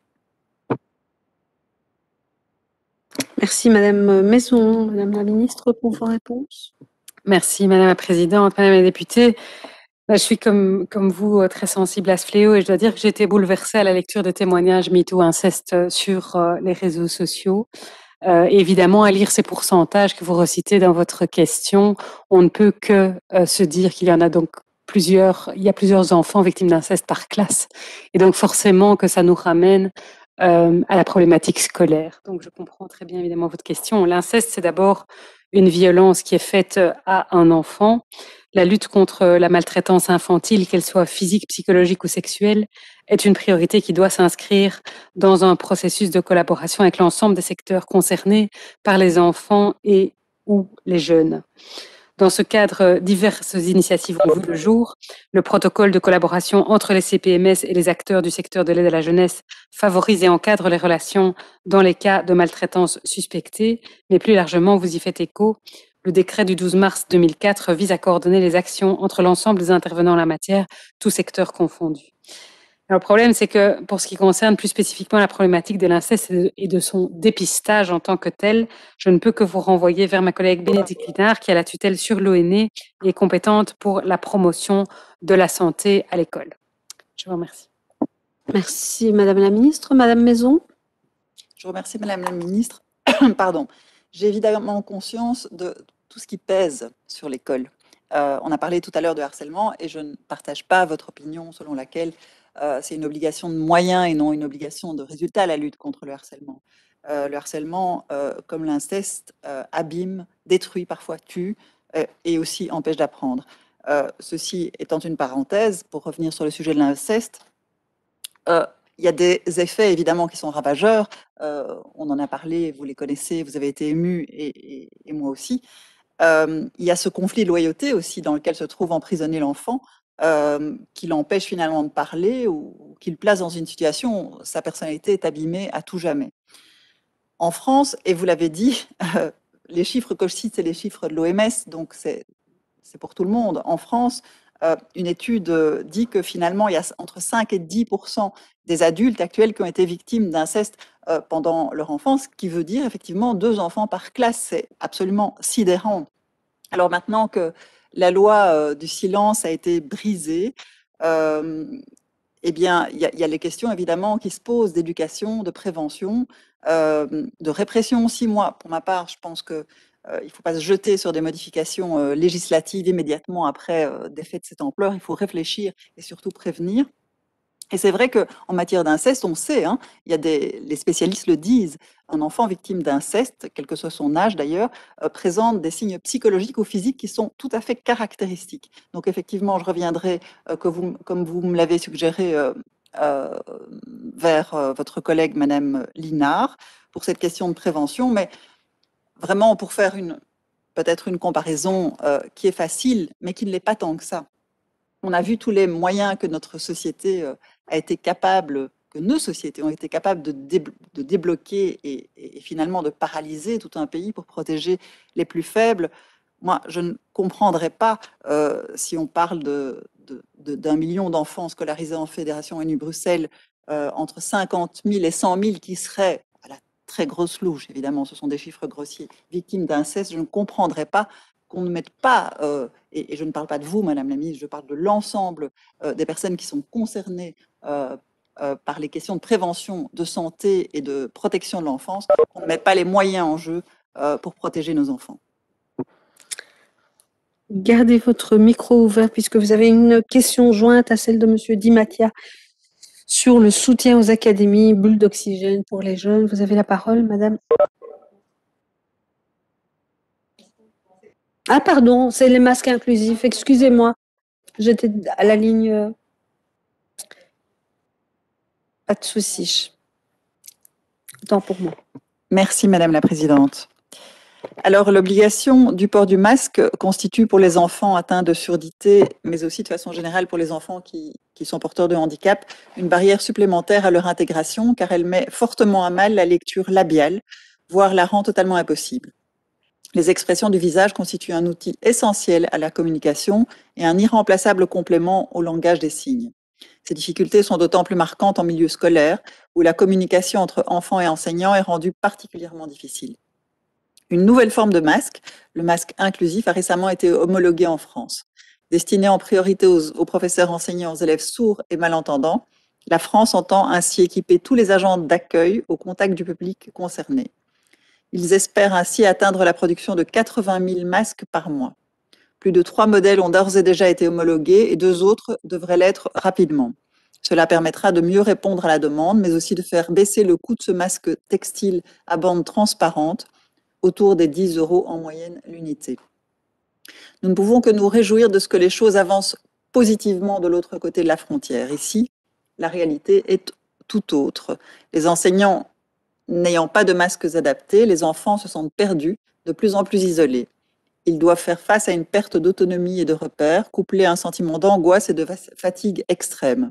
Aussi, d'après divers retours de terrain, une tendance à la course au programme, on en a parlé ce matin, se marque dans divers établissements avec l'hybridation, au détriment d'une bonne compréhension de la part des élèves.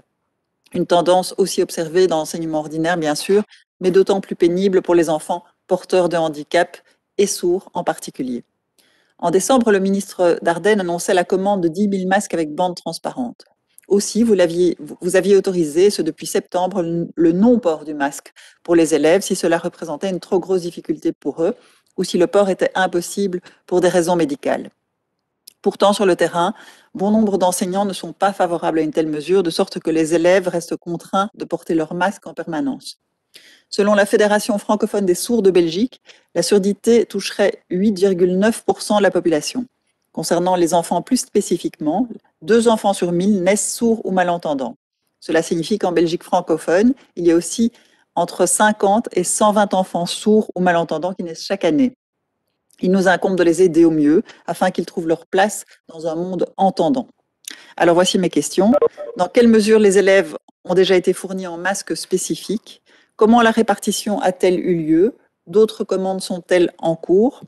Une communication particulière a-t-elle eu lieu auprès du public cible concernant les différentes règles en vigueur? Aussi, avez-vous eu connaissance de réticence de certains professeurs quant à la possibilité pour les élèves de retirer leur masque Et le cas échéant, comment entendez-vous y remédier? Merci, Madame Maison. Madame la ministre? Merci, Madame la Présidente. Madame la députée, la lecture labiale et les expressions du visage sont euh, cruciales pour ceux qui comptent sur la communication visuelle, que ce soit en lisant sur les lèvres ou en utilisant la langue des signes. Il est vrai qu'on ne se rend pas compte à quel point les personnes malentendantes entendent avec les yeux. La disposition euh, d'aménagement permettant d'ôter le masque à des fins de lecture labiale pour les sourds malentendants prévue dans l'arrêté ministériel du 28 juillet 2020, modifiant l'arrêté ministériel du 30 juin 2020 portant des mesures d'urgence pour limiter la propagation du Covid-19, m'a permis d'appliquer cette même mesure au sein de l'enseignement obligatoire. J'ai dès lors pris une série de mesures afin de permettre à tous les élèves en situation de handicap de bénéficier d'un assouplissement du port du masque dès la rentrée de septembre 2020. Dans l'enseignement fondamental, dans les situations de communication nécessitant une lecture labiale ou une visibilité de l'expression du visage, avec les élèves en situation de handicap, les membres du personnel sont autorisés à porter un écran facial dans l'enseignement secondaire, l'obligation du port du masque peut être levée pour les élèves en situation de handicap étant dans l'impossibilité de porter un masque ou dont l'état médical l'impose. Les membres du personnel sont également autorisés à porter un écran facial.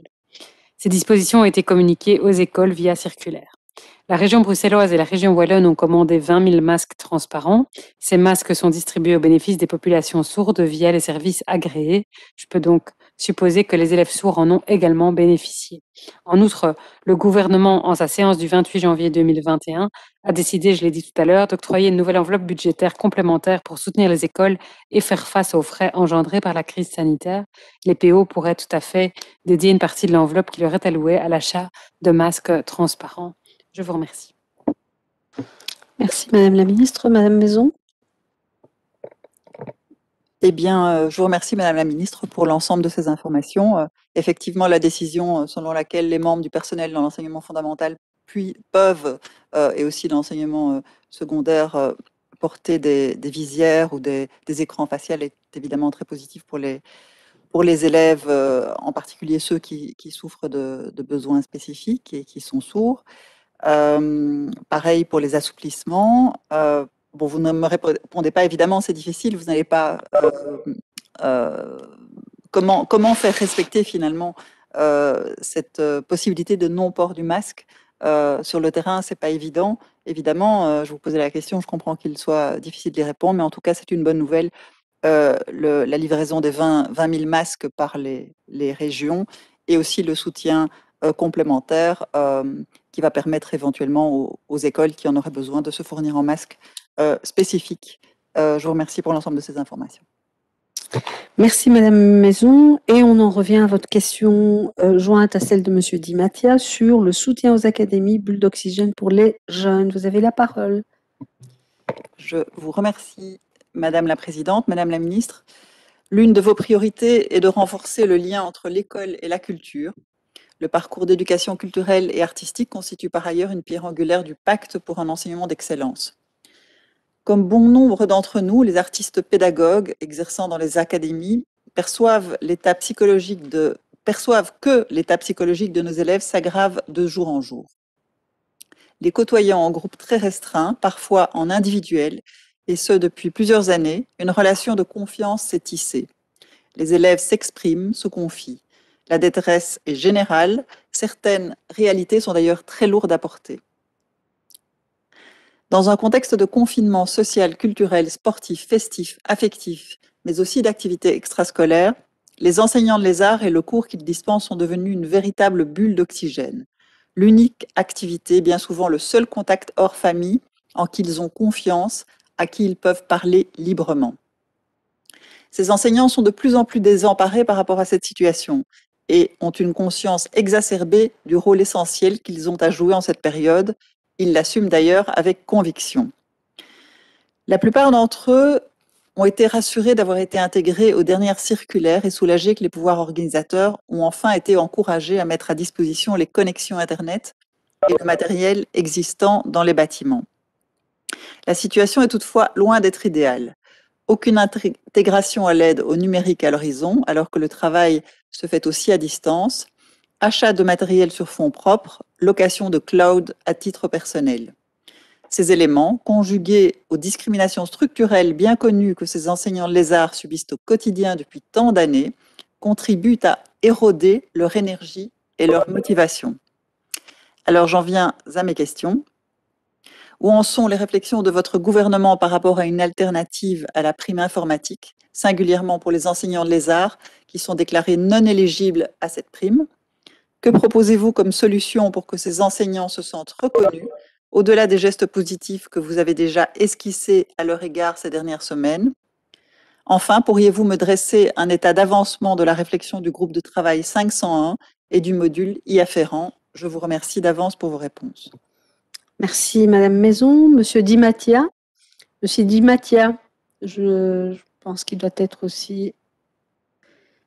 Mais, Monsieur Di Mattia.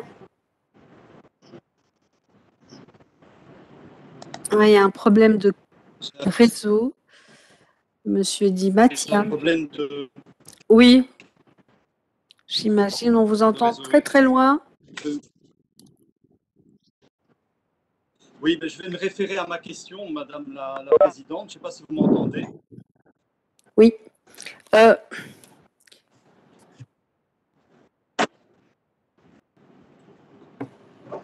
Monsieur Di Mattia, vous savez poser votre question?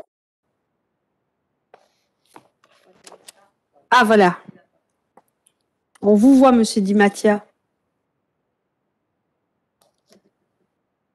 Et il y a deux Monsieur Di Mattia chez nous? Oui. Oui, vous avez, il y a deux connexions Di Mattia, monsieur.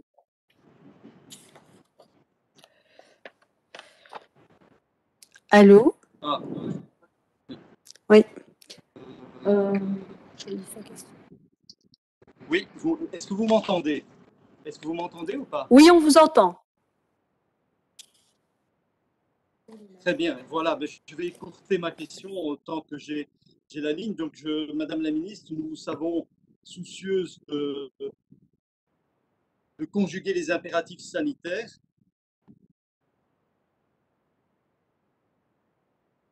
Voilà, vous m'entendez ou pas? Voilà, vous m'entendez? Je pense que oui. Donc, des solutions conjoncturelles ont été proposées, Madame la Ministre, notamment pour permettre aux professeurs et étudiants de l'ESAR qui rencontraient des difficultés de connexion de bénéficier d'un accès gratuit à un Wi-Fi euh, public Proximus. En réponse à des questions posées au mois de novembre, qui étaient jointes à d'autres collègues parlementaires, vous vous étiez également positionné en faveur d'un accès pour les enseignants de l'ESAR aux mêmes plateformes numériques déjà utilisées par leurs homologues de plein exercice. Enfin, à l'issue de la période d'inscription, vous constatiez une baisse générale de plus ou moins 4%, laquelle faisait apparaître d'importantes disparités entre établissements sur le territoire. Madame la ministre, je voudrais vous interroger sur quatre points où on est la concertation avec les fédérations des pouvoirs organisateurs et les représentants syndicaux du secteur. Quelles sont les priorités dégagées?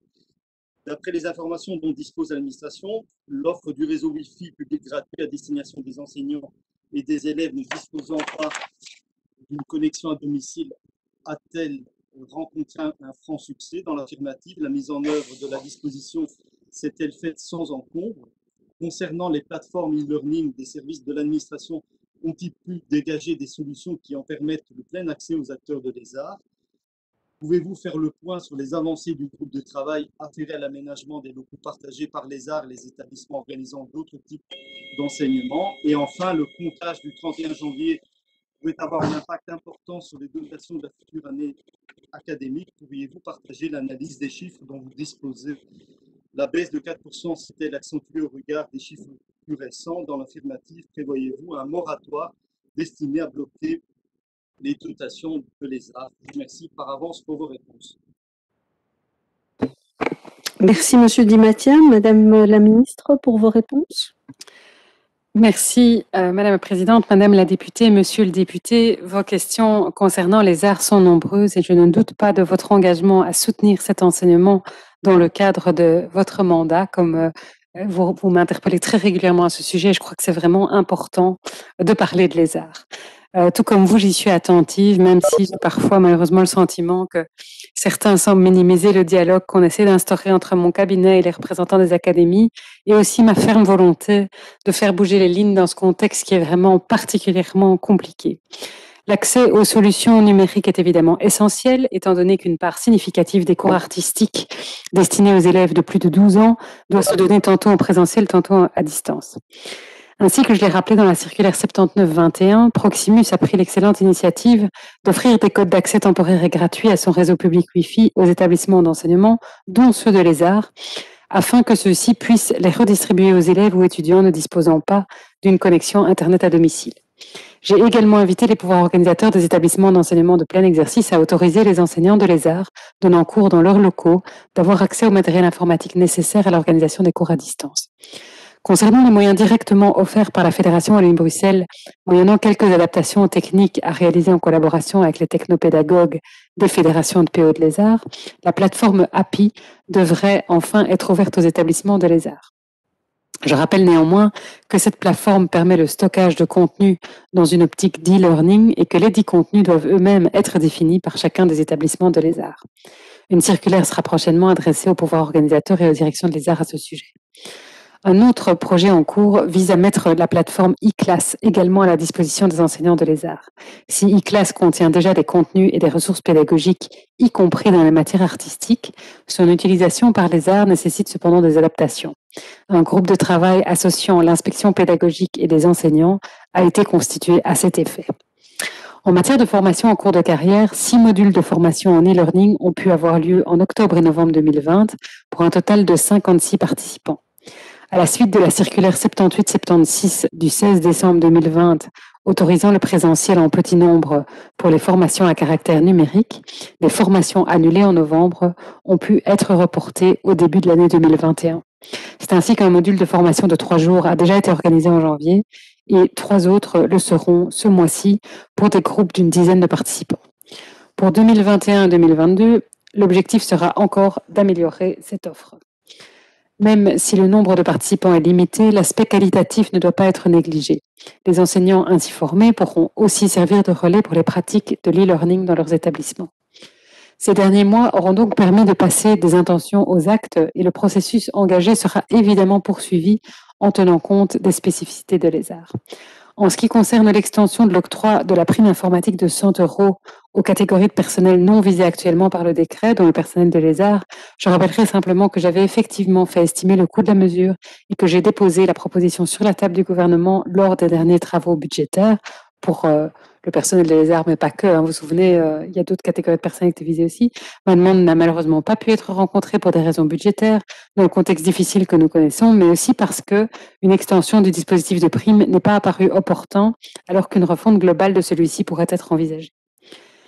Monsieur le député Dimatia, il est prématuré à ce stade de vous communiquer les conclusions des discussions relatives à la, à la problématique du partage des locaux entre les établissements du plein exercice et ceux de l'ESAR. Les débats sont néanmoins en cours, donc nous aurons l'occasion d'y revenir. Quant aux priorités dégagées dans le cadre des concertations avec les représentants des PO et des organisations syndicales, elles ont été concrétisées par l'adoption par le gouvernement en première lecture d'un projet d'arrêté présenté dans le cadre des pouvoirs spéciaux en vue de contrer les effets négatifs de la pandémie dans les arts.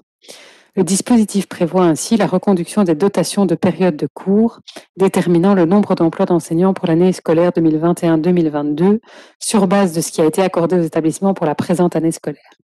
Par ailleurs, en ce qui concerne les dotations de période pour les années scolaires 22-23 et 23-24, le nombre d'élèves réguliers enregistrés au 1er janvier 2021 ne sera pas pris en considération.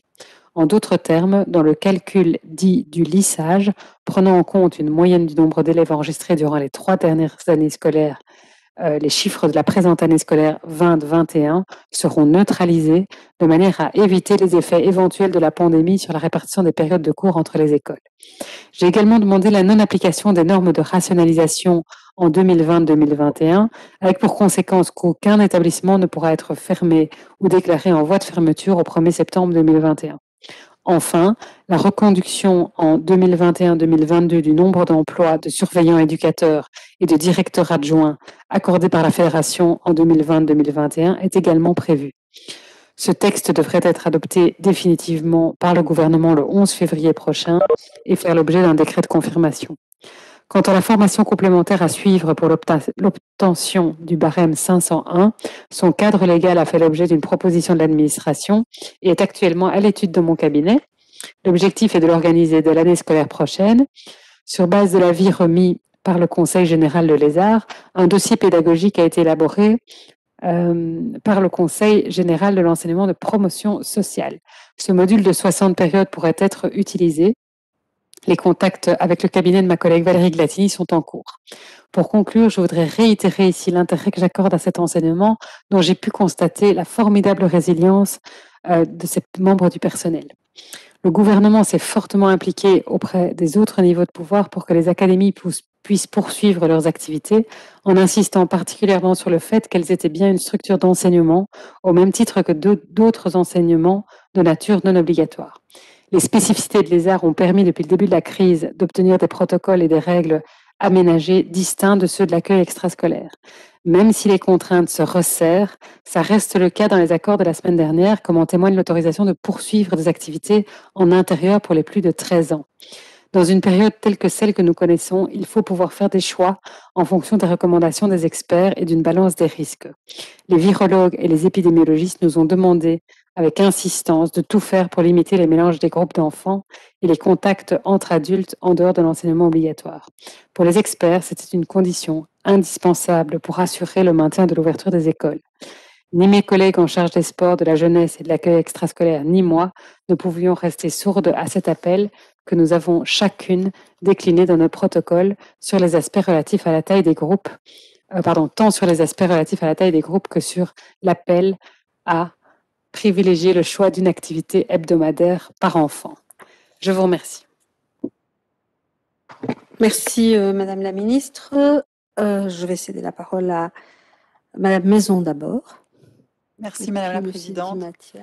Madame la Ministre, je ne sais pas si le, secteur minimise vos efforts, mais en tout cas, le ressenti, euh, et, ça ne date pas de, de votre entrée en fonction, c'est un ressenti qui date que j'ai perçu depuis que je suis députée, c'est qu'il y a euh, le ressenti des enseignants de l'ESAR euh, est que ils sont les oubliés de l'enseignement. Ils sont les oubliés de l'enseignement de manière structurelle depuis que je suis députée, donc six ans et demi. c'est ce que je perçois et que j'entends. Et ils sont les oubliés de cette pandémie, surtout au début, puisque bah, au, premier confinement, rien ne leur a été adressé, si ce n'est euh, un biais de dispense de service, euh, ce qui est quand même euh, particulier.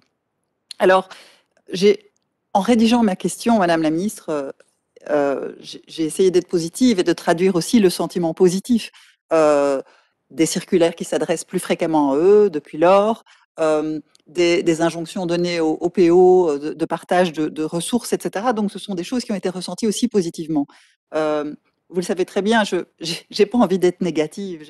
J'ai envie de dire que les choses sont bien quand elles sont bien. Et, les initiatives que vous avez décrites dans votre réponse, ben, ce sont de bonnes initiatives aussi. Enfin, euh, e-class, API, euh, tout ça, ça avance et c'est évidemment euh, positif. Et je sais très bien que vous déployez de l'énergie à titre personnel. Il n'en reste pas moins que la question de la prime numérique, D'accord, vous l'avez déposé sur la table du gouvernement, ça n'a pas été accepté, mais vous aviez dit que le gouvernement euh, évaluerait une, autre solution qui serait plus adéquate. On ne la voit pas venir. Euh, les outils, les barèmes, d'accord, ça avance aussi à partir de l'année prochaine, espérons-le, mais ça ne concernera que la moitié euh, des, enseignants de les. Ce sont des choix qui ont été posés avant vous, Madame la Ministre, mais il n'empêche que ce sont les choix qui ont été posés. Hier, la circulaire qui est tombé comme un coup près après une semaine d'incertitude, évidemment n'arrange rien à, cette, cette, forme de sinistrose qui règne au sein des, académies, au sein du personnel, au sein des chefs d'établissement, mais aussi au sein des élèves et des parents. On en a parlé tout à l'heure. Euh, on a parlé de santé mentale, on a parlé à quel point euh, les élèves avaient besoin d'un lieu de parole, d'un lieu d'écoute, d'un lieu d'échange, d'un lieu de culture. Eh bien, les académies, ce sont ces lieux-là.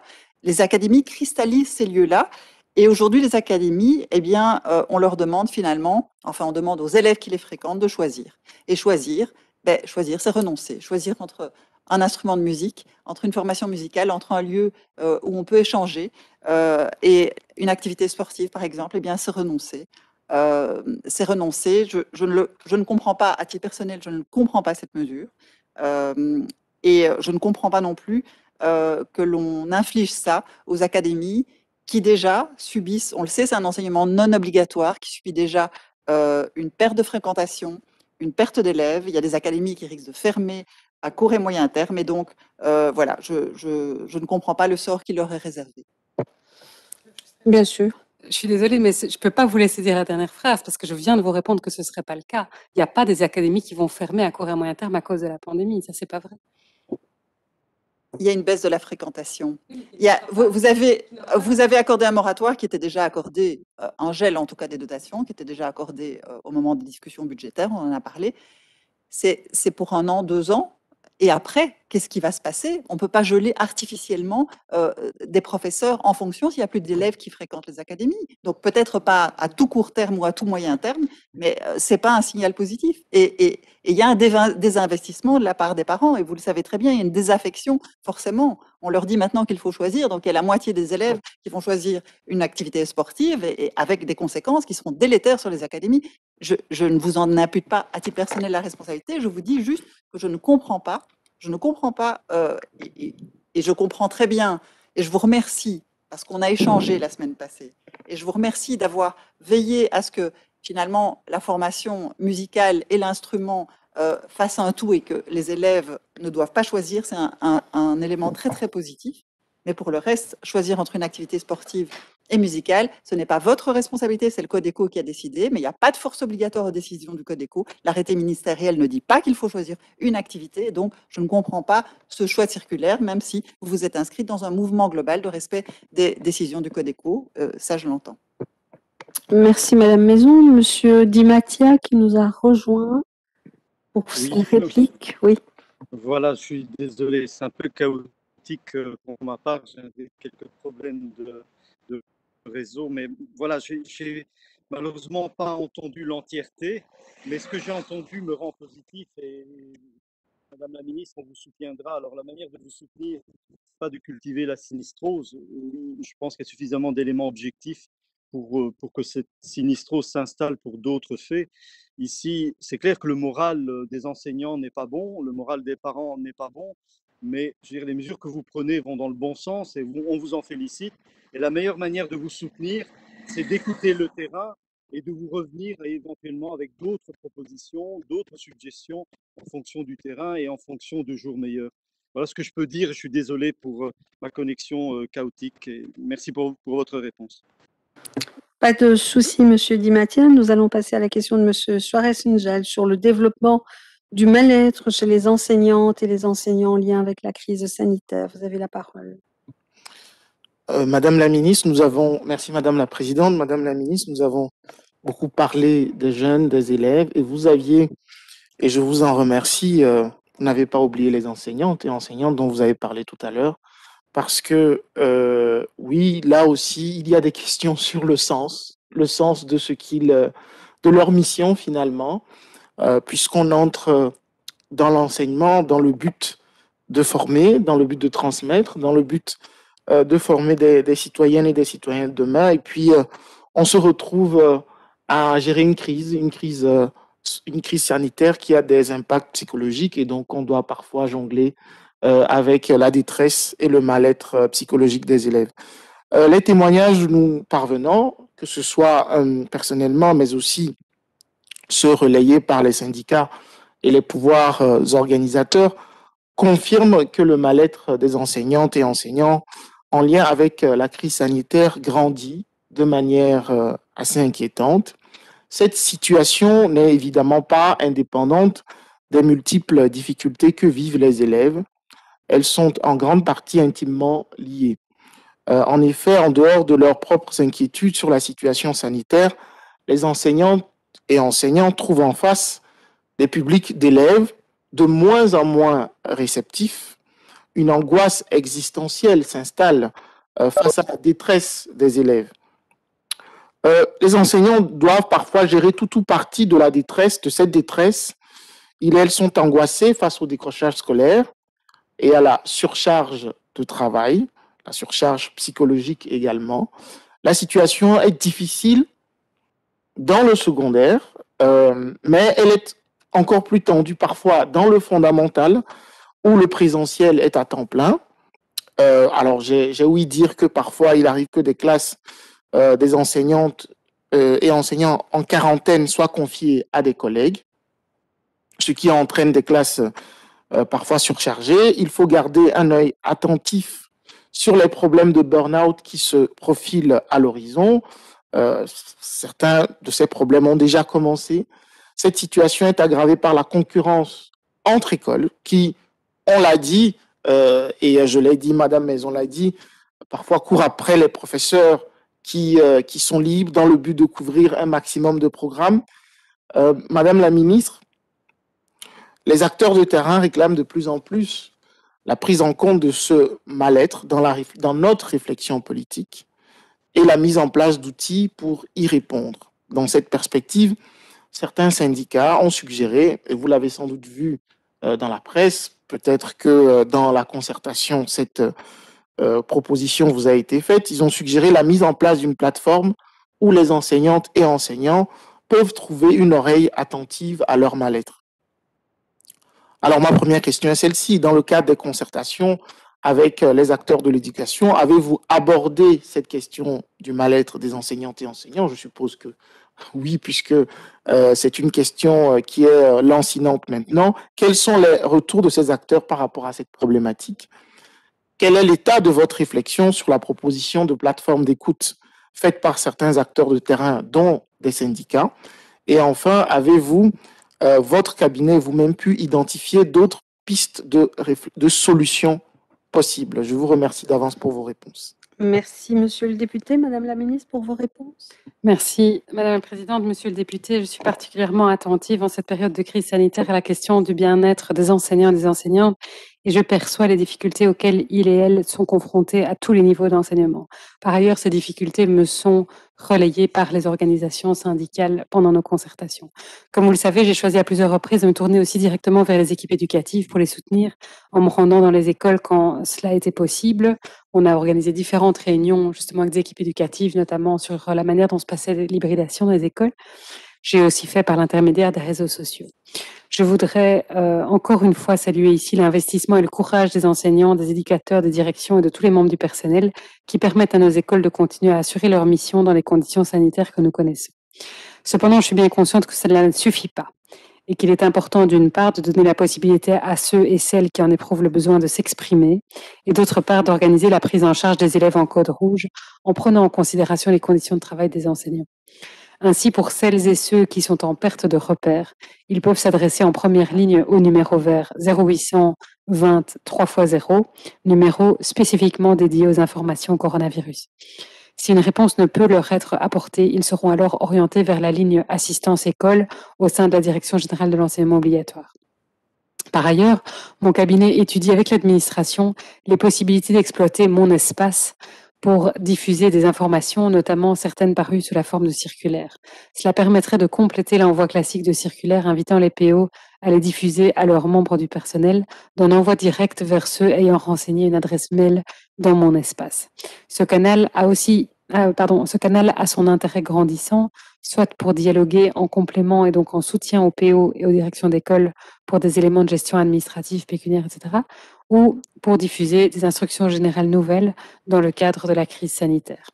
Quant à la prise en considération des conditions de travail des enseignants pour les niveaux où l'hybridation est de mise, j'insiste sur le fait qu'à l'instar des précédentes, la circulaire 78-68 précise que les modalités de mise en œuvre de l'hybridation sont laissées à l'appréciation des équipes éducatives et que les règles générales relatives à la charge des enseignants et des autres membres du personnel doivent être respectées. Enfin, je vous rejoins sur le constat que cette situation de mal-être des enseignants n'est évidemment pas indépendante des multiples difficultés que vivent les élèves et qu'elles sont en grande partie liées.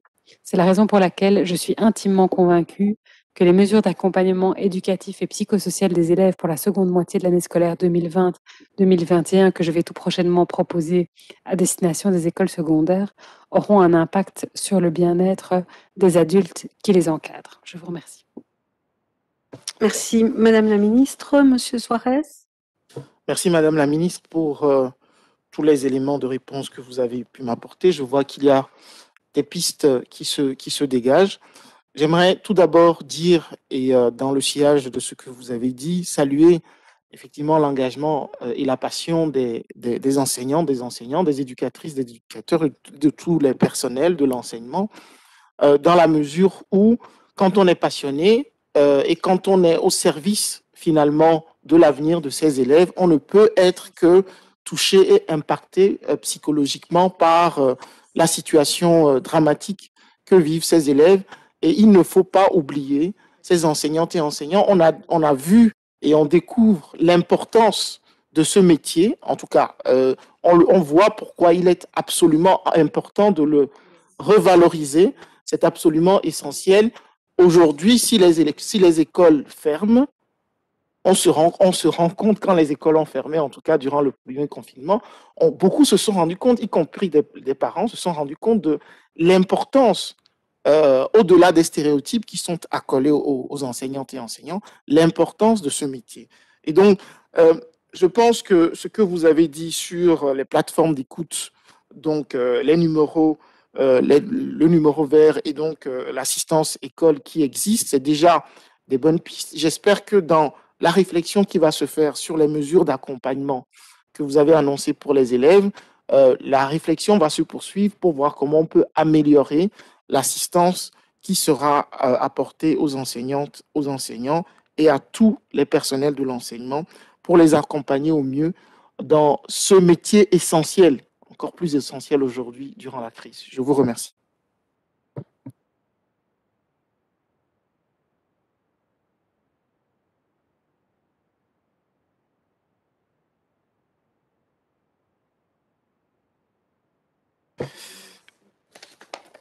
Alors, bien volontiers, je vais vous céder donc la parole, euh, Madame Gaouchi, sur euh, l'enquête Thalys. Vous avez la parole, Madame la députée. Merci, Monsieur le Président. Madame la Ministre, l'enquête Thalys pour uh, Teaching and Learning International Survey est menée sous l'égide de l'Organisation de coopération et de développement économique, l'OCDE, depuis 2008. Thalys 2008 2018 pardon, en représentait le troisième cycle et 48 pays y ont pris part. Pour la Fédération Wallonie-Bruxelles, il s'agissait d'une première participation.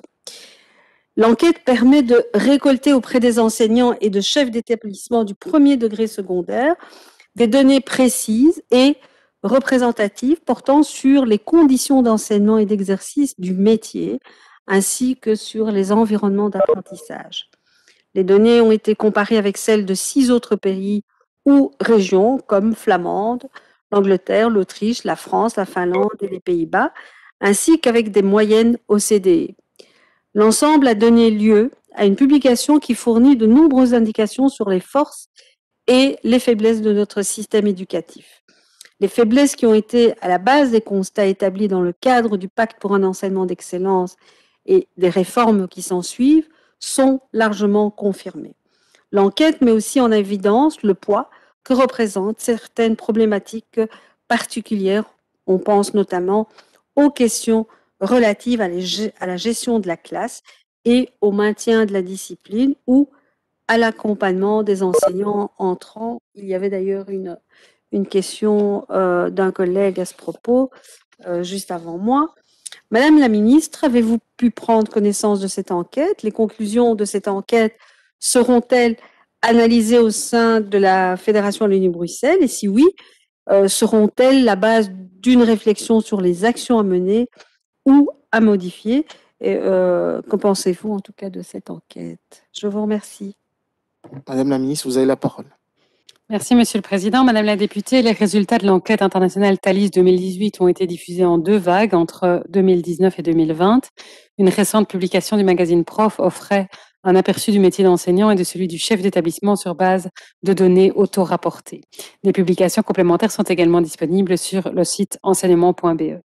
Comme vous le soulignez, les constats posés par Thalys en 2018 objectivent les enjeux euh, soulevés dans le cadre du pacte pour un enseignement d'excellence. Ils appuient de cette manière davantage encore la nécessité des réformes engagées en matière de travail collaboratif, de leadership pédagogique ou encore d'innovation pédagogique. La Direction générale du pilotage du système éducatif travaille actuellement à l'élaboration d'un tableau analytique et synthétique répertoriant les domaines investigués, les indicateurs et items mesurés, le positionnement de la Fédération Wallonie-Bruxelles et les mesures et réformes, décrétales ou non, y afférentes. Par ailleurs, j'ai récemment marqué mon accord pour réitérer l'inscription de la Fédération Wallonie-Bruxelles au prochain cycle de l'enquête qui doit se dérouler en 2024. Il s'agira ainsi de viser à mesurer l'évolution et l'impact des réformes entreprises par rapport aux indicateurs d'entrée récemment construits. Cette deuxième participation permettra également d'étendre. J'ai un problème de micro? Je, recommence. Euh, cette deuxième participation permettra également d'étendre le public cible investigué à l'enseignement fondamental. Jusqu'à présent, seuls les enseignants et chefs d'établissement du premier degré de l'enseignement secondaire étaient interrogés. Enfin, je considère la participation de la FOEB à plusieurs enquêtes internationales de ce type, citons également PISA, Pearls ou encore Teams, comme particulièrement bénéfique au pilotage de notre système éducatif. L'opportunité est ainsi saisie non seulement, comme je viens d'expliquer, d'effectuer des études longitudinales offrant des perspectives évolutives sur le temps long, mais aussi de comparer les résultats de la fédération avec ceux d'autres pays ou régions proches ou confrontés à des difficultés similaires. Je vous remercie. Madame la députée, vous avez la parole pour une réplique. Merci beaucoup, Monsieur le Président. Euh, Madame la Ministre, merci beaucoup pour euh, ces éléments de réponse qui me, me satisfont euh, vraiment, puisque vous pensez déjà à inscrire la Fédération Wallonie-Bruxelles pour la participation en 2024 de, la, de, de notre pays, mais aussi de travailler sur le fondamental, ce qui est, ce qui est intéressant. Même, et, et qui permettront en tout cas euh, de faire évoluer notre système d'enseignement. Donc merci beaucoup euh, de, tenir compte de ça et de, faire en sorte que euh, notre système d'enseignement évolue. Parce que lorsqu'on reçoit les études PISA, on a toujours, on a toujours un coup de massue sur la tête. Et donc, voilà, merci beaucoup. Je vous rends donc la présidente. Madame la Présidente. Merci, euh, Monsieur le Vice-président. Et euh, alors, nous avons une question de Monsieur, euh, de Madame Pécriot, pardon, euh, qui est présente parmi nous. Bonjour, Madame Pécriot. Euh, sur l'existence de cours et d'animation sur les thématiques et de l'environnement et de la biodiversité en Fédération Wallonie-Bruxelles. Vous avez la parole. Bonjour Madame la Présidente, mais elle fait peur parce que je jongle vraiment avec plusieurs commissions et je me disais j'étais au taquet. Alors j'entends monsieur, je dis oh, c'est pas vrai.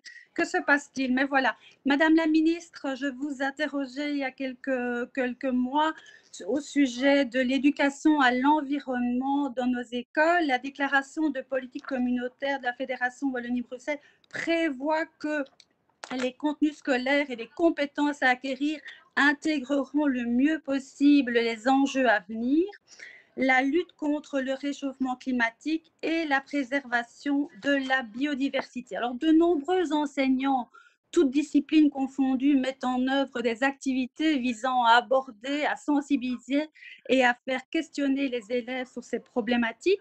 Il semble exister euh, des outils pédagogiques alimentant la réflexion des élèves et aidant les professeurs à élaborer des cours, des animations, des projets liés à la protection de l'environnement et à la préservation de la biodiversité. Alors, Madame la ministre, pourriez-vous nous indiquer qui sont les promoteurs euh, de ces outils. Les écoles bénéficient-elles d'une liste d'associations qui proposent des animations concernant cette thématique Comment vous assurez-vous que le contenu proposé par les animations et animateurs et les outils pédagogiques existants sont adaptés aux différents publics scolaires?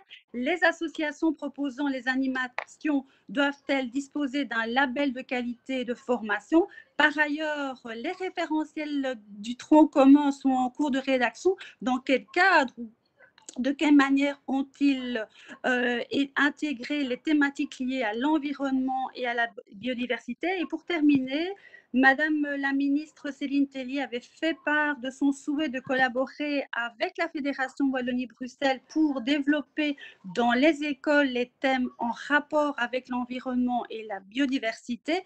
Avez-vous déjà eu des contacts avec votre collègue en charge de l'environnement en région wallonne à ce sujet? Et si oui, quelles sont les démarches conjointes qui sont envisagées? Merci pour vos réponses. Merci, Madame euh, Pécriot. Madame la ministre, pour vos réponses. Merci Madame la Présidente. Madame la députée, l'éducation relative à l'environnement et au développement durable se développe de plus en plus au sein de nos écoles. Des outils, des listes de contacts et des moyens financiers sont mis à disposition des écoles afin de les soutenir dans leur démarche. Le site enseignement.be et plus précisément sa page dédiée à l'éducation relative à l'environnement regroupe toute une série d'informations liées à cette thématique, des administrations régionales en charge de l'environnement aux associations qui travaillent sur ce thème, en passant par les acteurs de formation. La page propose également aux enseignants plus d'une centaine de fiches d'activités illustrant les portes d'entrée de l'éducation relative à l'environnement et au développement durable. Il est à noter que ces fiches ont été rédigées en collaboration avec le, le service général de l'inspection. Euh, les animations et outils proposés sont reconnus par les différents partenaires présents dans le cadre de l'accord de coopération en matière d'éducation relative à l'environnement et au développement durable, ce qui est un gage de leur sérieux méthodologique. Mais il n'existe pas à l'heure actuelle de label agréant ces associations. Quant à son lien au référentiel du futur tronc commun, l'éducation relative à l'environnement et au développement durable est, est incorporée au référentiel des sciences où les élèves se positionnent face à des enjeux sociétaux et planétaires liés à l'environnement, à la biodiversité, à la santé, à la consommation, etc., en s'appuyant sur des méthodes, des modèles et des concepts scientifiques et agissent en conséquence. Il est également intégré dans le cadre de la formation historique, géographique, économique et sociale. Ici, l'objectif est de permettre aux élèves d'interroger le développement durable au travers de l'évolution des territoires, du climat et de l'environnement, de nos modes de consommation et de production. Pour finir, j'ajouterai que les contacts avec les régions sont fréquents, notamment par le biais de l'accord de coopération en matière d'éducation relative à l'environnement et au développement durable, établi entre la Fédération Wallonie-Bruxelles, les régions wallonnes et bruxelloises. Un comité de pilotage qui est coordonné par les trois administrations élabore en ce moment le futur plan d'action pour 2021-2024. Je vous remercie. Merci Madame la Ministre. Madame Pécriot Merci Madame la Ministre d'avoir répondu à toutes mes questions. Euh, je relève notamment le, le point sur, sur le label, parce que je trouvais peut-être intéressant justement qu'il y ait une forme de labellisation. Ça fait peut-être référence à, à d'autres sujets. Mais en tout cas, c'est important qu'il y ait euh, cette, manière de, travailler avec, euh, notamment en ce qui nous concerne, la région Wallonne étant euh, comment active dans la commission de l'environnement. Je pose souvent à l'inverse les questions à Madame Tellier et je pense qu'il y a des choses et des ponts à mettre en place. Merci. Merci Madame Pécriot. Nous allons passer à la question de Monsieur Suarez sur les sollicitations de parents par certaines écoles pour des paiements supplémentaires dans le cadre des remédiations. Vous avez la parole, Monsieur Suarez. Merci Madame la Présidente. Euh, Madame la Ministre, euh, le gouvernement de la Fédération Wallonie-Bruxelles a débloqué en son temps des moyens financiers supplémentaires visant à aider les écoles à faire face aux problèmes de remédiation et de suivi différencier des élèves. Ces moyens ont été débloqués en tenant compte des problèmes engendrés par la crise sanitaire. Il s'agit entre autres de faire face aux difficultés pédagogiques que connaissent les élèves suite aux différents confinements et à l'année euh, scolaire particulière que nous avons connue. Des témoignages recueillis personnellement de différents parents, mais aussi des retours de la coalition des parents de milieux populaires. Il nous, il nous revient que dans certaines écoles, il a demandé aux parents de débourser des moyens supplémentaires pour l'organisation de remédiation. Tout le monde n'est évidemment pas logé à la même enseigne concernant ces paiements, puisque les parents défavorisés ne peuvent pas, ne peuvent pas assumer ces coûts supplémentaires. Madame la ministre, avez-vous eu des échos de cette demande de certaines écoles? Si oui, quelle est votre réflexion sur le sujet? Avez-vous abordé cette question avec les acteurs de l'éducation, qui sont le relais des écoles au sein de la concertation avec vous? Quelles sont les premières évaluations que vous faites de l'utilisation des fonds débloqués par le gouvernement pour aider les écoles dans ce cadre? Les acteurs de l'éducation vous ont-ils fait un retour sur l'utilisation de ces fonds par les écoles? Je vous remercie d'avance pour vos réponses. Merci, Monsieur Suarez. Madame la ministre? Merci Madame la Présidente. Monsieur le député, je n'ai pas connaissance ni mon administration de telles pratiques qui, si elles sont avérées, seraient interpellantes vu les moyens débloqués par la Fédération Wallonie-Bruxelles à cet effet. Je ne peux à ce stade qu'inviter les parents concernés à saisir la Direction générale de l'enseignement obligatoire afin de voir si ces demandes de paiement sont conformes au texte sur la gratuité et contrôler dans un deuxième temps si l'école a fait usage de périodes de remédiation octroyées par le décret de juillet 2020. S'agissant de l'utilisation de ces périodes, nous avons déjà abordé le sujet en réponse à d'autres questions parlementaires en début de séance. Je vous remercie. Merci, Madame la Ministre. Monsieur Suarez Merci, Madame la Ministre. Votre réponse est très claire. Euh, en tout cas, j'ai personnellement eu et j'ai eu des contacts donc euh, avec des acteurs de terrain qui signalent ces faits. C'est vrai que euh, y a certains parents, notamment ceux des milieux populaires, qui ne connaissent pas. En tout cas, je vais transmettre le message et euh, on va suivre, on va suivre ça. Et je pense que c'est quand même difficile pour des parents qui ont peu de moyens de débourser des moyens supplémentaires. Donc, on va, en tout cas, on va suivre ça. Et je suppose que euh, euh, si on fait remonter des plaintes, l'administration va les suivre afin que ces pratiques, c'est qu'on ait quand même une vision, comme vous l'avez dit, de ce qui a été fait de ces fonds euh, pour les remédiations. Je vous remercie. Merci, Monsieur Suarez. Nous passons à la question de Monsieur Sali. Alors, je ne vois pas Monsieur Sali. Il l'a retiré. Parfait. Euh, alors, nous passons à la question de Monsieur Belot, que je vois, sur les lacunes en natation chez les enfants. Je remets le son, voici. Un instant. Voilà, Madame la Présidente, euh, Madame la Ministre, bien que certaines piscines soient réouvertes, certaines restent bel et bien fermées. Par ailleurs, dans le but d'éviter des sorties impliquant les mélanges de groupes classés d'écoles, de prendre des transports en commun, de se rendre dans des lieux fermés où plusieurs groupes peuvent être présents dans le cadre d'une euh, activité en intérieur. En ce qui relève euh, des cours d'éducation physique plus précisément, si la charge d'un membre du personnel est fragmentée sur plusieurs implantations, le PO doit limiter autant que possible le nombre d'implantations fréquentées. Dans les écoles rurales qui comptent plusieurs implantations, l'organisation des cours de piscine nécessite parfois une tournée avec un bus scolaire des différentes écoles à destination d'un même bassin de natation. Cela implique par conséquent un mélange des classes entre elles, des implantations entre elles, ainsi que des écoles entre elles, par la présence de plusieurs écoles de communes différentes le même jour dans le bassin. Cela implique aussi des voyages dans un véhicule fermé avec une possibilité d'aération difficile en plein hiver et un mélange de surveillants entre eux. Je sais donc que la décision a été prise en plusieurs endroits d'annuler les cours de piscine. Les cours de gym sont par contre assurés plus facilement dans chaque implantation, moyennant, dans mon cas précis, d'un professeur affecté à chaque implantation, et ce pour éviter que les maîtres spéciaux ne circulent trop entre les implantations et ne mélangent les bulles. Il est en effet plus facile de confier des cours d'éducation physique à des enseignants, quitte à, à l'adapter légèrement, tandis que pour enseigner la natation, il faut pouvoir compter sur du personne habilité. Tout dépend de la configuration des écoles et je comprends que ce n'est pas facile d'uniformiser les mesures. Certains parents et responsables dans l'enseignement craignent que les enfants, surtout les plus jeunes, développent des lacunes en matière de natation, certains ayant été coupés dans leur apprentissage, d'autres n'étant pas encore capables de nager. Pensez-vous octroyer des aides aux écoles qui ont dû annuler les cours de natation afin de remédier au retard engendré dans cette discipline sportive pour les enfants?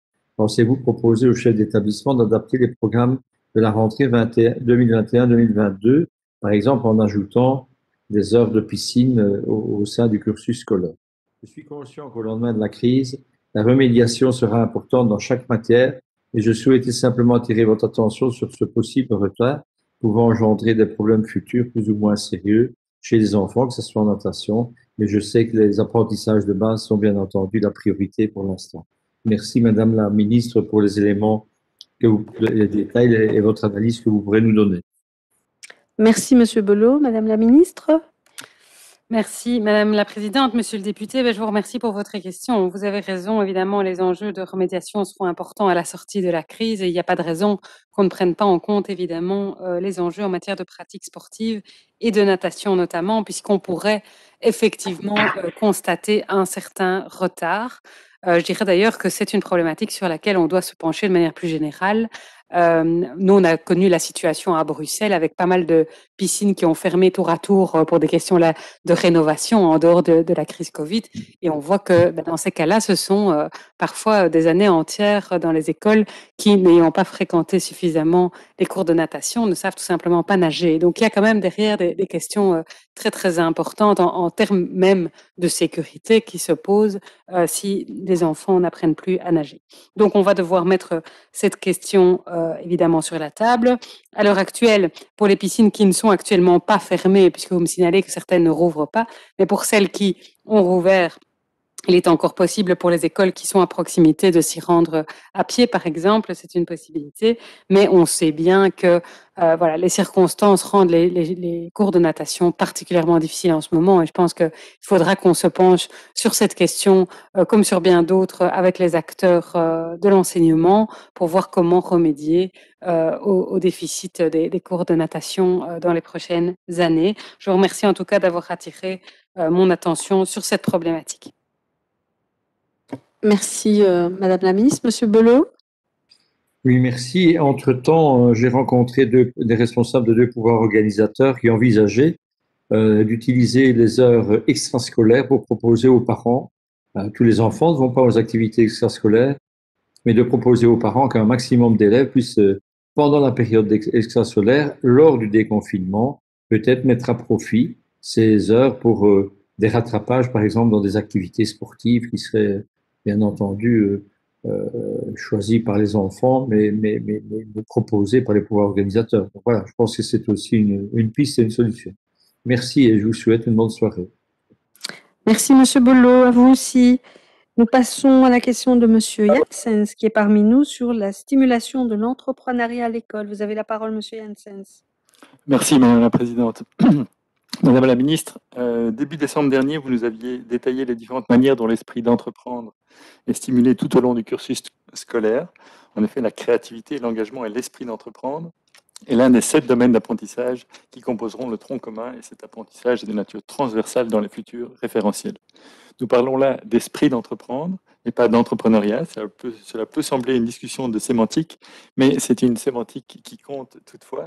Et je me permets de vous poser ces questions un petit peu détaillées parce qu'un acteur très engagé sur le sujet de l'entrepreneuriat euh, souhaitait euh, être rassuré sur, une série de, de, points que je vais développer ici. En Flandre, l'entrepreneuriat est une compétence à part entière et est stipulée comme telle. L'entrepreneuriat doit d'ailleurs s'inscrire en filigrane de tout type de classe, donc même la, la chimie, les langues.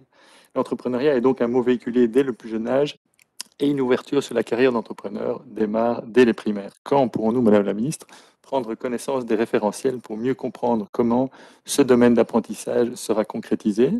Vous nous avez également rappelé l'existence en fédération de différentes initiatives telles que le plan d'action soutenu par la SOALFIN, le projet StoryMe en région de Bruxelles, de Bruxelles Capitale ou encore le programme de la SBL euh, FUNOC nous avons à ce sujet entendu des inquiétudes par rapport au soutien de ces programmes qui est complètement séparé de l'éducation. Ainsi, c'est aujourd'hui la SOALFIN qui gère les soutiens publics aux structures promouvant l'entrepreneuriat en Wallonie, notamment dans les écoles, telles que 100 000 entrepreneurs.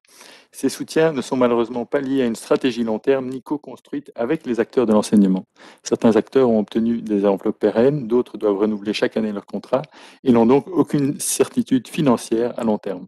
La SOALFIN ne semble pas avoir de stratégie, par exemple assurant la cohérence avec le pacte et avec les nouvelles compétences prévues dans les référentiels. En région de Bruxelles-Capitale, les projets cités semblent également gérés sans concertation avec le ministère de l'Éducation. Il est encore intéressant de, comparer notre approche euh, ici avec celle du nord du pays, en Flandre, Vlaio. Donc le Agentschap pour Innovation Naming soutient l'acteur principal, donc Vlajo, ce soutien s'est construit en partenariat avec le secteur de l'éducation de telle sorte qu'aujourd'hui, la moitié des sièges dans le conseil de Velajo est occupée par des représentants de l'éducation. Ils ont une vision à long terme, cohérente avec la stratégie d'amélioration du système éducatif en Flandre. et je reviens chez nous, le projet StoryMe que vous aviez cité, en décembre, est organisé uniquement par des acteurs privés. Il ne couvre qu'une petite partie des élèves bruxellois et est probablement euh, voué à disparaître dans les années à venir, ai-je entendu. Madame la ministre, la Fédération Wallonie-Bruxelles envisage-t-elle de travailler avec d'autres instances expertes en la matière afin que les objectifs en termes d'entrepreneuriat présents soient présents dans toutes les filières? Une stratégie commune et de long terme verra-t-elle le jour? Comment des initiatives telles que Step to You, 100 000 entrepreneurs, les jeunes entreprises, euh, dont les retours positifs de la part des écoles semblent unanimes, peuvent-ils imaginer grandir et augmenter leur impact à long terme? Je vous remercie. Merci, Monsieur Hansens. Madame la ministre, pour vos réponses. Merci Madame la Présidente. Monsieur le député, comme vous le savez, le tronc commun rassemble huit domaines d'apprentissage. C'est ce qui est prévu euh, dans l'article 1.4.2 à 3 du Code. Donc je vous les cite, les huit domaines, langue, éducation culturelle et artistique, formation mathématiques, scientifiques et techniques, éducation physique, bien-être et santé, sciences humaines et éducation à la philosophie et la citoyenneté, religion et morale, ou morale, pardon dont les cinq premiers s'incarnent au travers d'une ou plusieurs disciplines faisant l'objet d'un référentiel. Les trois autres domaines sont transversaux et s'incarnent dans l'ensemble des référentiels disciplinaires et l'esprit d'entreprendre y est bel et bien présent. En effet, s'il ne fait pas l'objet d'un référentiel en tant que tel, c'est parce qu'il est présent dans tous les référentiels disciplinaires. Ceci étant en voie de finalisation, je peux vous assurer que tous les attendus pouvant participer à la construction de l'esprit d'entreprendre ont été identifiés. Loin d'une perspective adéquationniste, il s'est agi pour les rédacteurs des référentiels de montrer comment les élèves pouvaient transformer des réflexions en actions et en projets effectifs.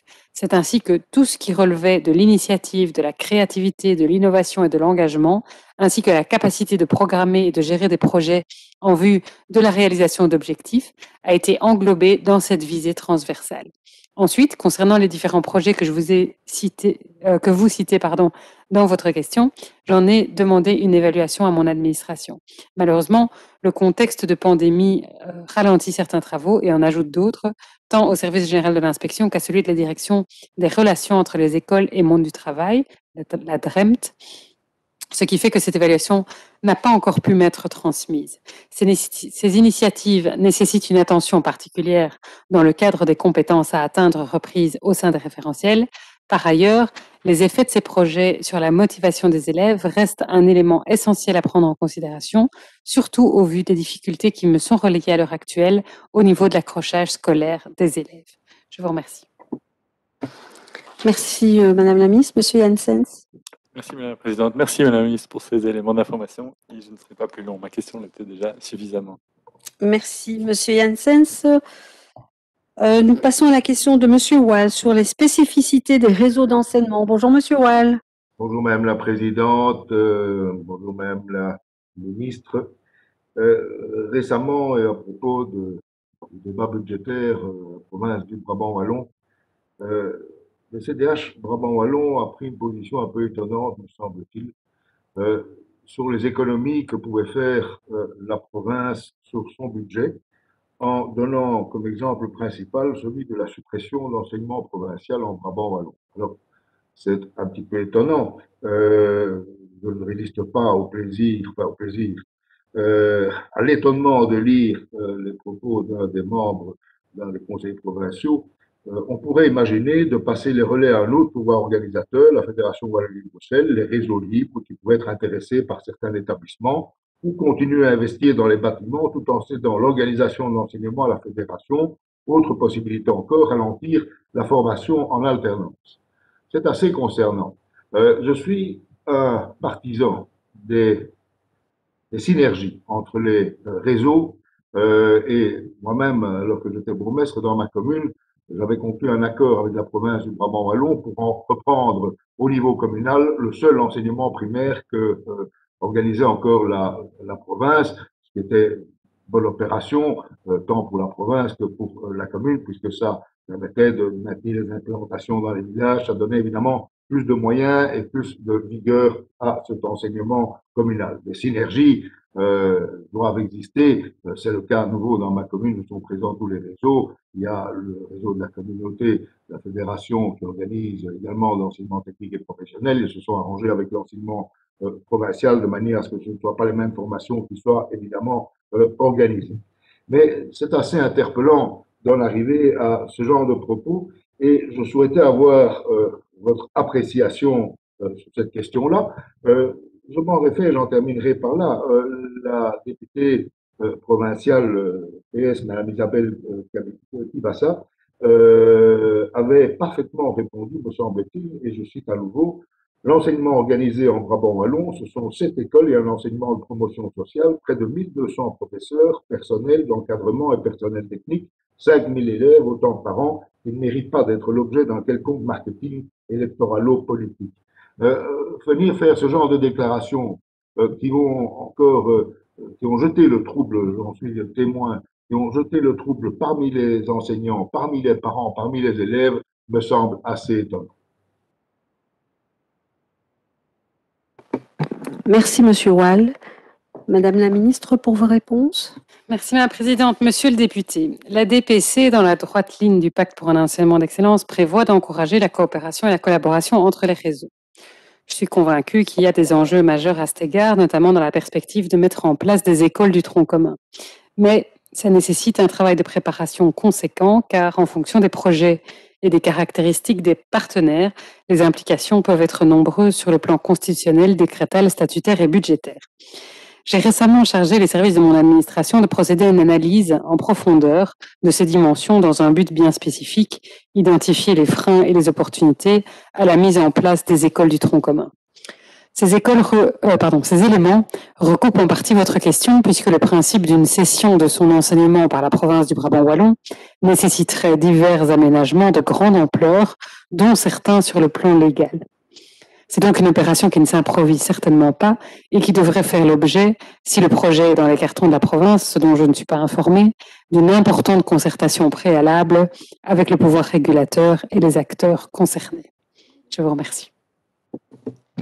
Merci, Madame la Ministre. Monsieur Wall euh, Oui, Madame la Ministre, je ne sais pas si vous m'avez bien entendu, euh, bien lu la question, mais euh, certainement pas dans les intentions de la province. J'ai cité la déclaration de Madame Isabelle Kibassa, euh, députée provinciale en charge de l'enseignement, qui dit tout le mal qu'elle penserait de, de, de, l'arrêt ou d'une cession de, de l'enseignement provincial. C'est plutôt une position, j'espérais, plus rassurante de votre part en ce qui concerne l'insécurité que, les déclarations du CDH Brabant-Wallon euh, ajoutées auprès des parents, auprès des enseignants et auprès des élèves. Euh, qu'il y ait une synergie, très certainement, euh, mais il est hors de question que euh, l'on puisse céder. Effectivement, il y a d'abord les impératifs légaux, nous en sommes bien d'accord. Je partage totalement votre point de vue, et je l'ai dit dans ma euh, dans ma question. Euh, je partage totalement les points de vue, votre point de vue sur le fait qu'il convient d'y avoir un maximum de synergie entre les réseaux organisés par l'enseignement public très certainement et même euh, par les, pouvoirs publics très certainement et même avec le libre. Ça me semble tout à fait impératif, mais je pense qu'il faut très vite couper ce genre de rumeurs qui, dans les circonstances actuelles, provoquent encore une inquiétude un peu plus importante auprès de 5000 élèves, de leurs parents et 1200, 1200 enseignants dans le réseau scolaire provincial de la province du Brabant. Merci. Merci, Monsieur Wall. Nous passons à la question de Monsieur Janssens sur l'avancement du chantier du rythme scolaire annuel. Merci, Madame la Présidente. Madame la Ministre, nous entendons depuis longtemps parler du débat euh, sur les rythmes scolaires. Nous sommes confiants que le changement est pour bientôt. Euh, vous avez affirmé plusieurs fois qu'il s'agissait pour vous d'une priorité. Nous en avions discuté en commission en, septembre dernier, notamment, vous ne vouliez pas improviser une telle réforme et nous le comprenions bien évidemment. Euh, pourriez-vous nous dire où vous en êtes, notamment dans le processus de concertation euh, qui avait été suggéré par la Fondation Roi Baudouin, avait eu l'occasion de, partager vos intentions avec votre homologue flamand et éventuellement de vous mettre d'accord sur un processus d'action en commun? Une feuille de route est-elle en place? Je vous remercie. Merci, Monsieur Janssens. Madame la Ministre? Merci, Madame la Présidente. Monsieur Janssen, vous avez raison de le souligner, la réforme des rythmes scolaires est inscrite dans la DPC et programmée dans la numéro 3 du pacte pour un enseignement d'excellence, après avoir passé 30 ans dans les cartons des gouvernements successifs. Aujourd'hui, ce que je constate au sein des acteurs de l'enseignement, c'est une unanimité favorable au changement des rythmes. Ça n'a pas toujours été le cas. Nous le devons, il me semble, au travail préparatoire du pacte, mais également à la conjoncture sanitaire, qui nous a permis d'expérimenter bon gré mal gré de nouveaux rythmes. Vu les implications aussi favorables pour nos enfants, nous ne pouvons faire fi de ce contexte. J'ai donc bien l'intention de mener à bien cette réforme et le gouvernement dans son ensemble a déjà convenu de l'agenda pour ce faire. Nous parlons de la rentrée de septembre 2022. Nous le savons, cette réforme représente un enjeu important pour l'amélioration des conditions d'apprentissage et de développement des élèves. Au-delà de l'univers scolaire, cette réforme aura aussi des répercussions sur l'ensemble de la société. C'est la raison pour laquelle nous travaillons aujourd'hui activement à préparer ces changements bien en amont pour permettre l'application la plus sereine possible de cette réforme dans tous les domaines de la société. Le travail réalisé par la Fondation Roi Baudouin en 2018 est à cet égard tout à fait bénéfique, puisqu'il nous a permis d'identifier très rapidement l'ensemble des acteurs que nous devions informer de nos intentions et entendre pour répercuter à qui de droit les points d'attention à considérer d'ici à septembre 2022 dans un souci de transversalité et d'optimisation opérationnelle, les cabinets de mes collègues ministres Valérie Glatini et Bénédicte Linard ont participé à chaque concertation et j'en profite pour les en remercier. À ce jour, nous avons d'ores et déjà rencontré l'ensemble des groupes consultés en 2018, à savoir les acteurs de l'enseignement, bien entendu, pouvoir organisateurs, organisations syndicales, associations de parents, mais aussi les secteurs périphériques à l'école, le secteur de la jeunesse, des sports, de la culture et des loisirs, les représentants des jeunes et des familles, le CEF, la Ligue des familles, les représentants du monde économique au travers des fédérations intersectorielles, des représentants des cultes, des transports publics bruxellois et wallons, des transports scolaires wallons. Nous avons également déjà tenu une réunion spécifique avec l'ONE et avons encore prévu de voir les représentants du transport scolaire bruxellois ainsi que ceux de, de Lane. Mes contacts sont également pris avec l'association avocat.be pour nous permettre d'approfondir les pistes qui permettront de prévenir le plus en amont possible les adaptations nécessaires dans l'organisation des gardes dans les familles séparées. Bien entendu, j'ai pris contact avec mes homologues flamands et germanophones pour connaître leurs intentions sur la question et leur faire savoir ma disponibilité à envisager une action commune dans la mise en œuvre des changements prévus en communauté francophone. À ce jour, je n'ai pas reçu de réponse. Pour la suite, nous prévoyons d'arrêter le modèle de réforme au gouvernement d'ici à la fin du printemps pour offrir suffisamment de délai aux différentes parties prenantes que je vous ai listées de se préparer pour la rentrée de septembre 2022. À cet égard, les concertations réalisées ont permis de confirmer que si le délai de préparation était rapide, il restait néanmoins réaliste. Une fois cette orientation prise, je communiquerai en retour de nos échanges envers les secteurs le contenu de la décision prise. Enfin, nous préparerons avec l'administration l'ensemble des textes réglementaires à modifier, entamerons les adaptations nécessaires dans les applicatifs métiers et engagerons le travail sur la communication à grande échelle qu'il conviendra d'avoir d'ici à septembre 2022. Je vous remercie. Merci, Madame la Ministre. Monsieur Hansens. Merci, Madame la Présidente. Merci, Madame la Ministre, pour toutes ces informations. On retient bien donc septembre 2022. Je suis simplement surpris que la, Flandre, si j'ai bien compris, ne, ne vous avait pas répondu. C'est ça, pas encore. D'accord. Et, merci pour toutes les informations que vous avez ramenées et que vous avez précisées. Et oui, oui, absolument, en effet. Merci, Monsieur Hansen. Est-ce que je peux vous demander de rester deux petites minutes pour me céder la parole pour ma dernière question? Merci. Et je cède volontiers la parole Madame Gauchi pour la question sur le Startex Day 2020-2021. Vous avez la parole. Merci, Monsieur Hansens. Madame la ministre, le Startech Day euh, est une compétition nationale visant à promouvoir les métiers techniques et technologiques. La crise sanitaire que nous connaissons n'a pas permis euh, la tenue de cette épreuve en 2020. Néanmoins, l'organisation de 2021 est à cette heure-ci encore programmée. Les filles et les garçons de 17 à 24 ans avaient jusqu'au 15 décembre 2020 pour s'inscrire. La finale de cette compétition devrait se dérouler en novembre 2021. Les gagnants de cette compétition pourraient peut-être alors intégrer les Red Beer euh, pour défendre les couleurs de notre pays lors de la compétition Euroskillis à Saint-Pétersbourg en 2022. L'enseignement technique souffre parfois de préjugés péjoratifs sur la pertinence, la qualité ou l'adéquation avec la réalité du terrain. N'est-ce pas là une publicité importante et une revalorisation appréciable des métiers techniques et de la qualité de l'enseignement dispensé au sein de nos établissements scolaires? Madame la ministre, une sensibilisation auprès des directeurs et des professeurs concernés par cette organisation est-elle mise en place afin de participer à cette compétition nationale? Nos écoles de la Fédération Wallonie-Bruxelles participent-elles à cette compétition? Des moyens supplémentaires sont-ils mis à la disposition des écoles de la Fédération Wallonie-Bruxelles participantes à ce style d'événement? Combien pardon, d'établissements scolaires de notre réseau participent à cette, à cette compétition? Et euh, disposez-vous disposez-vous d'informations complémentaires Je vous remercie, Madame la Ministre. Merci, Madame Gauchi. Madame la Ministre. Merci, Monsieur le Président. Madame la députée, WorldSkills Belgium réalise la promotion des inscriptions au processus des StarTech Days par un envoi en direct mailing à environ 1500 adresses, une lettre explicative, trois affiches et dix flyers par adresse. Son personnel se rend dans les écoles ou organise des séances d'information dans ou avec les cités des métiers et est présent massivement sur les réseaux sociaux. Des campagnes sont diffusées via Vivacité et l'avenir. À l'issue euh, des finales en novembre, le comité technique de WorldSkills Belgium désignera les jeunes sélectionnés pour participer au mondial des métiers WorldSkills Shanghai 2022. Il se basera sur les résultats obtenus en finale ainsi que sur le parcours du jeune au sein de sa Skills Team. Vu la pandémie, toutes les compétitions internationales ont été décalées d'un an. Euroskills Saint-Pétersbourg se tiendra donc en 2023 au lieu de 2022. Il reste toutefois une inconnue quant à la tenue d'Euroskills Grasse, qui aurait dû se tenir en septembre 2020, pardon, avant d'être reporté puis annulé en janvier 2021. L'événement pourrait finalement avoir lieu en septembre 21 si toutes les conditions sont réunies. La team belge qui se rendrait à Grasse serait constituée par les 20 jeunes déjà sélectionnés en 2020.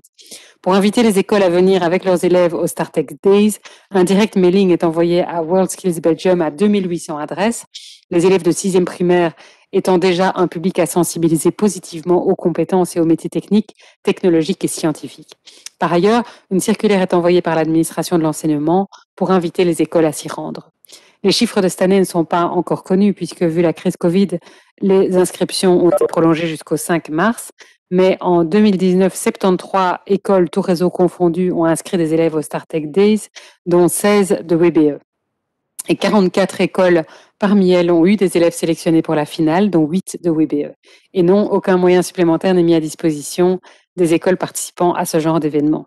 Si les compétitions internationales et les StarTech Days sont euh, des événements importants pour la promotion des filières qualifiantes et des métiers techniques, 80% des retours presse ou sur réseaux sociaux, WorldSkills Belgium a lancé en décembre une web TV dont les émissions hebdomadaires sont disponibles en première vision tous les mercredis à 19h sur Facebook ou sur son site internet et toujours visible en replay sur ce même site. De plus, des micro-programmes de 3 minutes intégrés dans les émissions et intitulés STEM by Skills ont pour objectif de premièrement présenter de très nombreux opérateurs francophones qui sont actifs dans la, sensibilisation aux compétences STEM et deuxièmement de présenter une expérience de manière ludique pour donner l'envie aux jeunes de s'intéresser aux sciences, aux mathématiques, aux technologies ou à la digitalisation, les virus, la cycloïde, les composants d'un GSM, la pompe à chaleur, les robots, etc également visible sur www.worldskills.be sous l'onglet Web TV. Ces capsules sont un bel outil pour les, enseignants, les enseignants pour aborder ces compétences avec les élèves en classe. Là, je pense qu'il y a vraiment euh, beaucoup de choses euh, à apprendre et à promouvoir en la matière. Madame Gauchi, pour la réplique. Merci, Monsieur le Président. Mais je, simplement remercier la ministre pour tous ces éléments euh, d'information et euh, j'ose espérer qu'elles pourront se tenir en tout cas cette année. Merci. Et je vous rends la présidence. Merci, Monsieur Hansens. Alors, ceci clôture notre commission, enfin, les questions et les, les interpellations, mais il, il, euh, il me revient euh, le devoir de vous informer que nous avons reçu un projet de motion en conclusion de l'interpellation de Madame Groupie à Madame Désir sur la prise en main de la détresse des jeunes. Le Parlement de la Fédération, je vais vous la lire euh, puisque le Parlement de la Fédération Wallonie-Bruxelles ayant entendu l'interpellation de Madame Gropi à Madame Caroline Désir sur la prise en main de la détresse des jeunes, considérant de nombreuses études qui alertent sur la détresse psychologique grandissante des jeunes en cette période de crise, considérant les témoignages de désespoir relayés par de nombreux jeunes via différents canaux, messages sur les réseaux sociaux, actions, cartes, cartes blanches, considérant les besoins des jeunes de s'exprimer, d'être entendus, d'avoir des relations sociales, de s'engager, de participer aux décisions, considérant que la Fédération Wallonie-Bruxelles dispose de moyens d'action au travers des politiques dont elle a la charge, écoles, centres PMS, services d'aide à la jeunesse, organisations de jeunesse, considérant les retours de terrain sur, les, des acteurs de l'enseignement et de la jeunesse, c'est-à-dire enseignants, éducateurs, animateurs de mouvements de jeunesse, entraîneurs sportifs, etc., considérant la continuité de la crise et même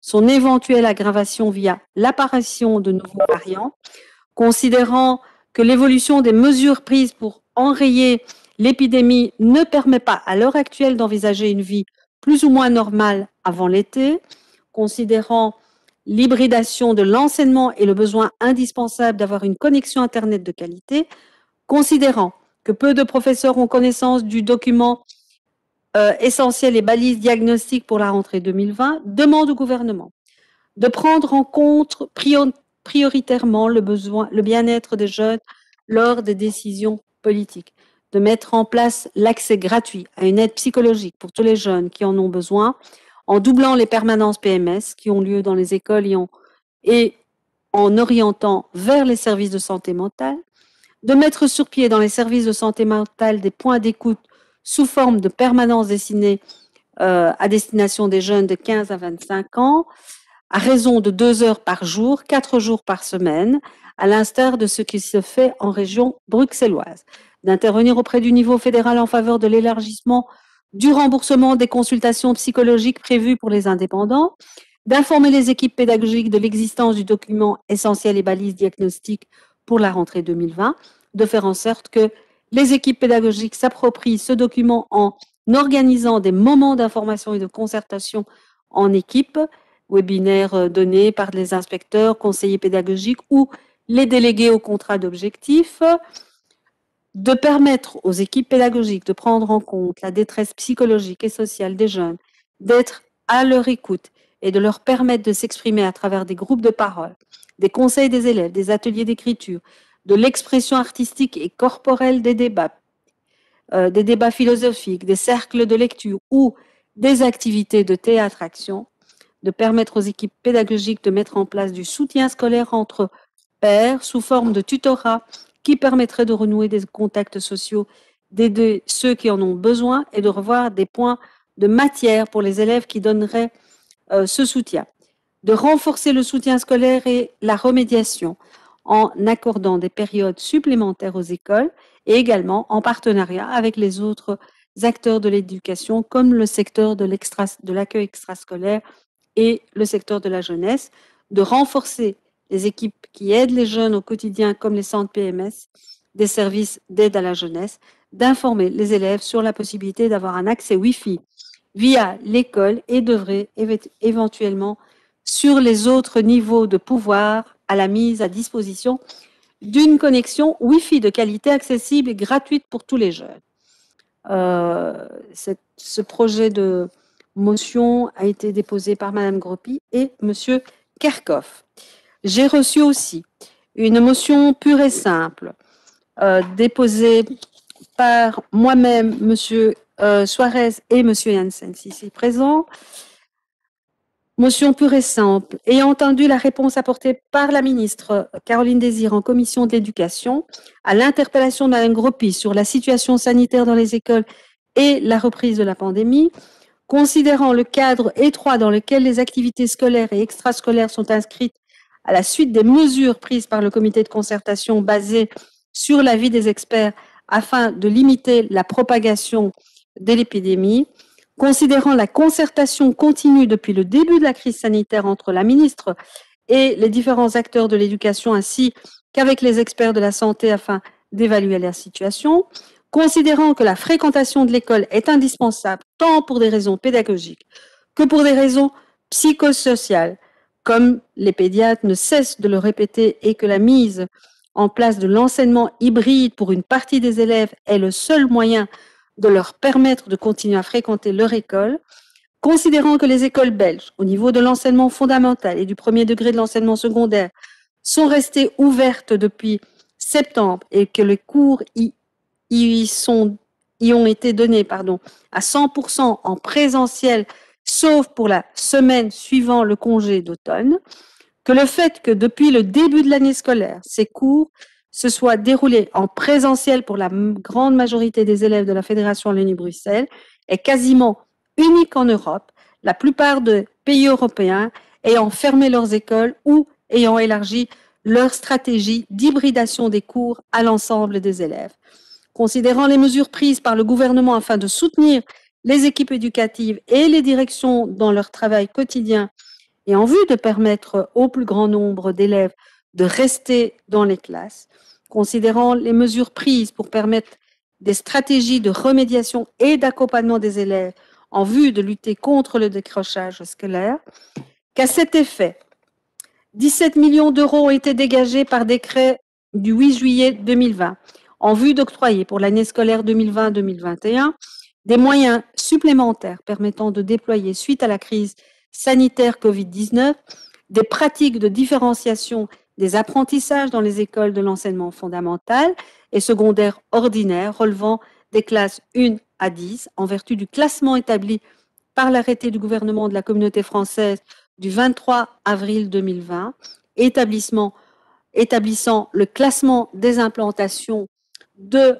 l'enseignement fondamental et de l'enseignement secondaire en application de l'article 4 du décret du 30 avril 2009, organisant un encadrement différencié au sein des, des établissements scolaires de la communauté française afin d'assurer à chaque élève des chances égales d'émancipation sociale dans un environnement pédagogique de qualité déposé.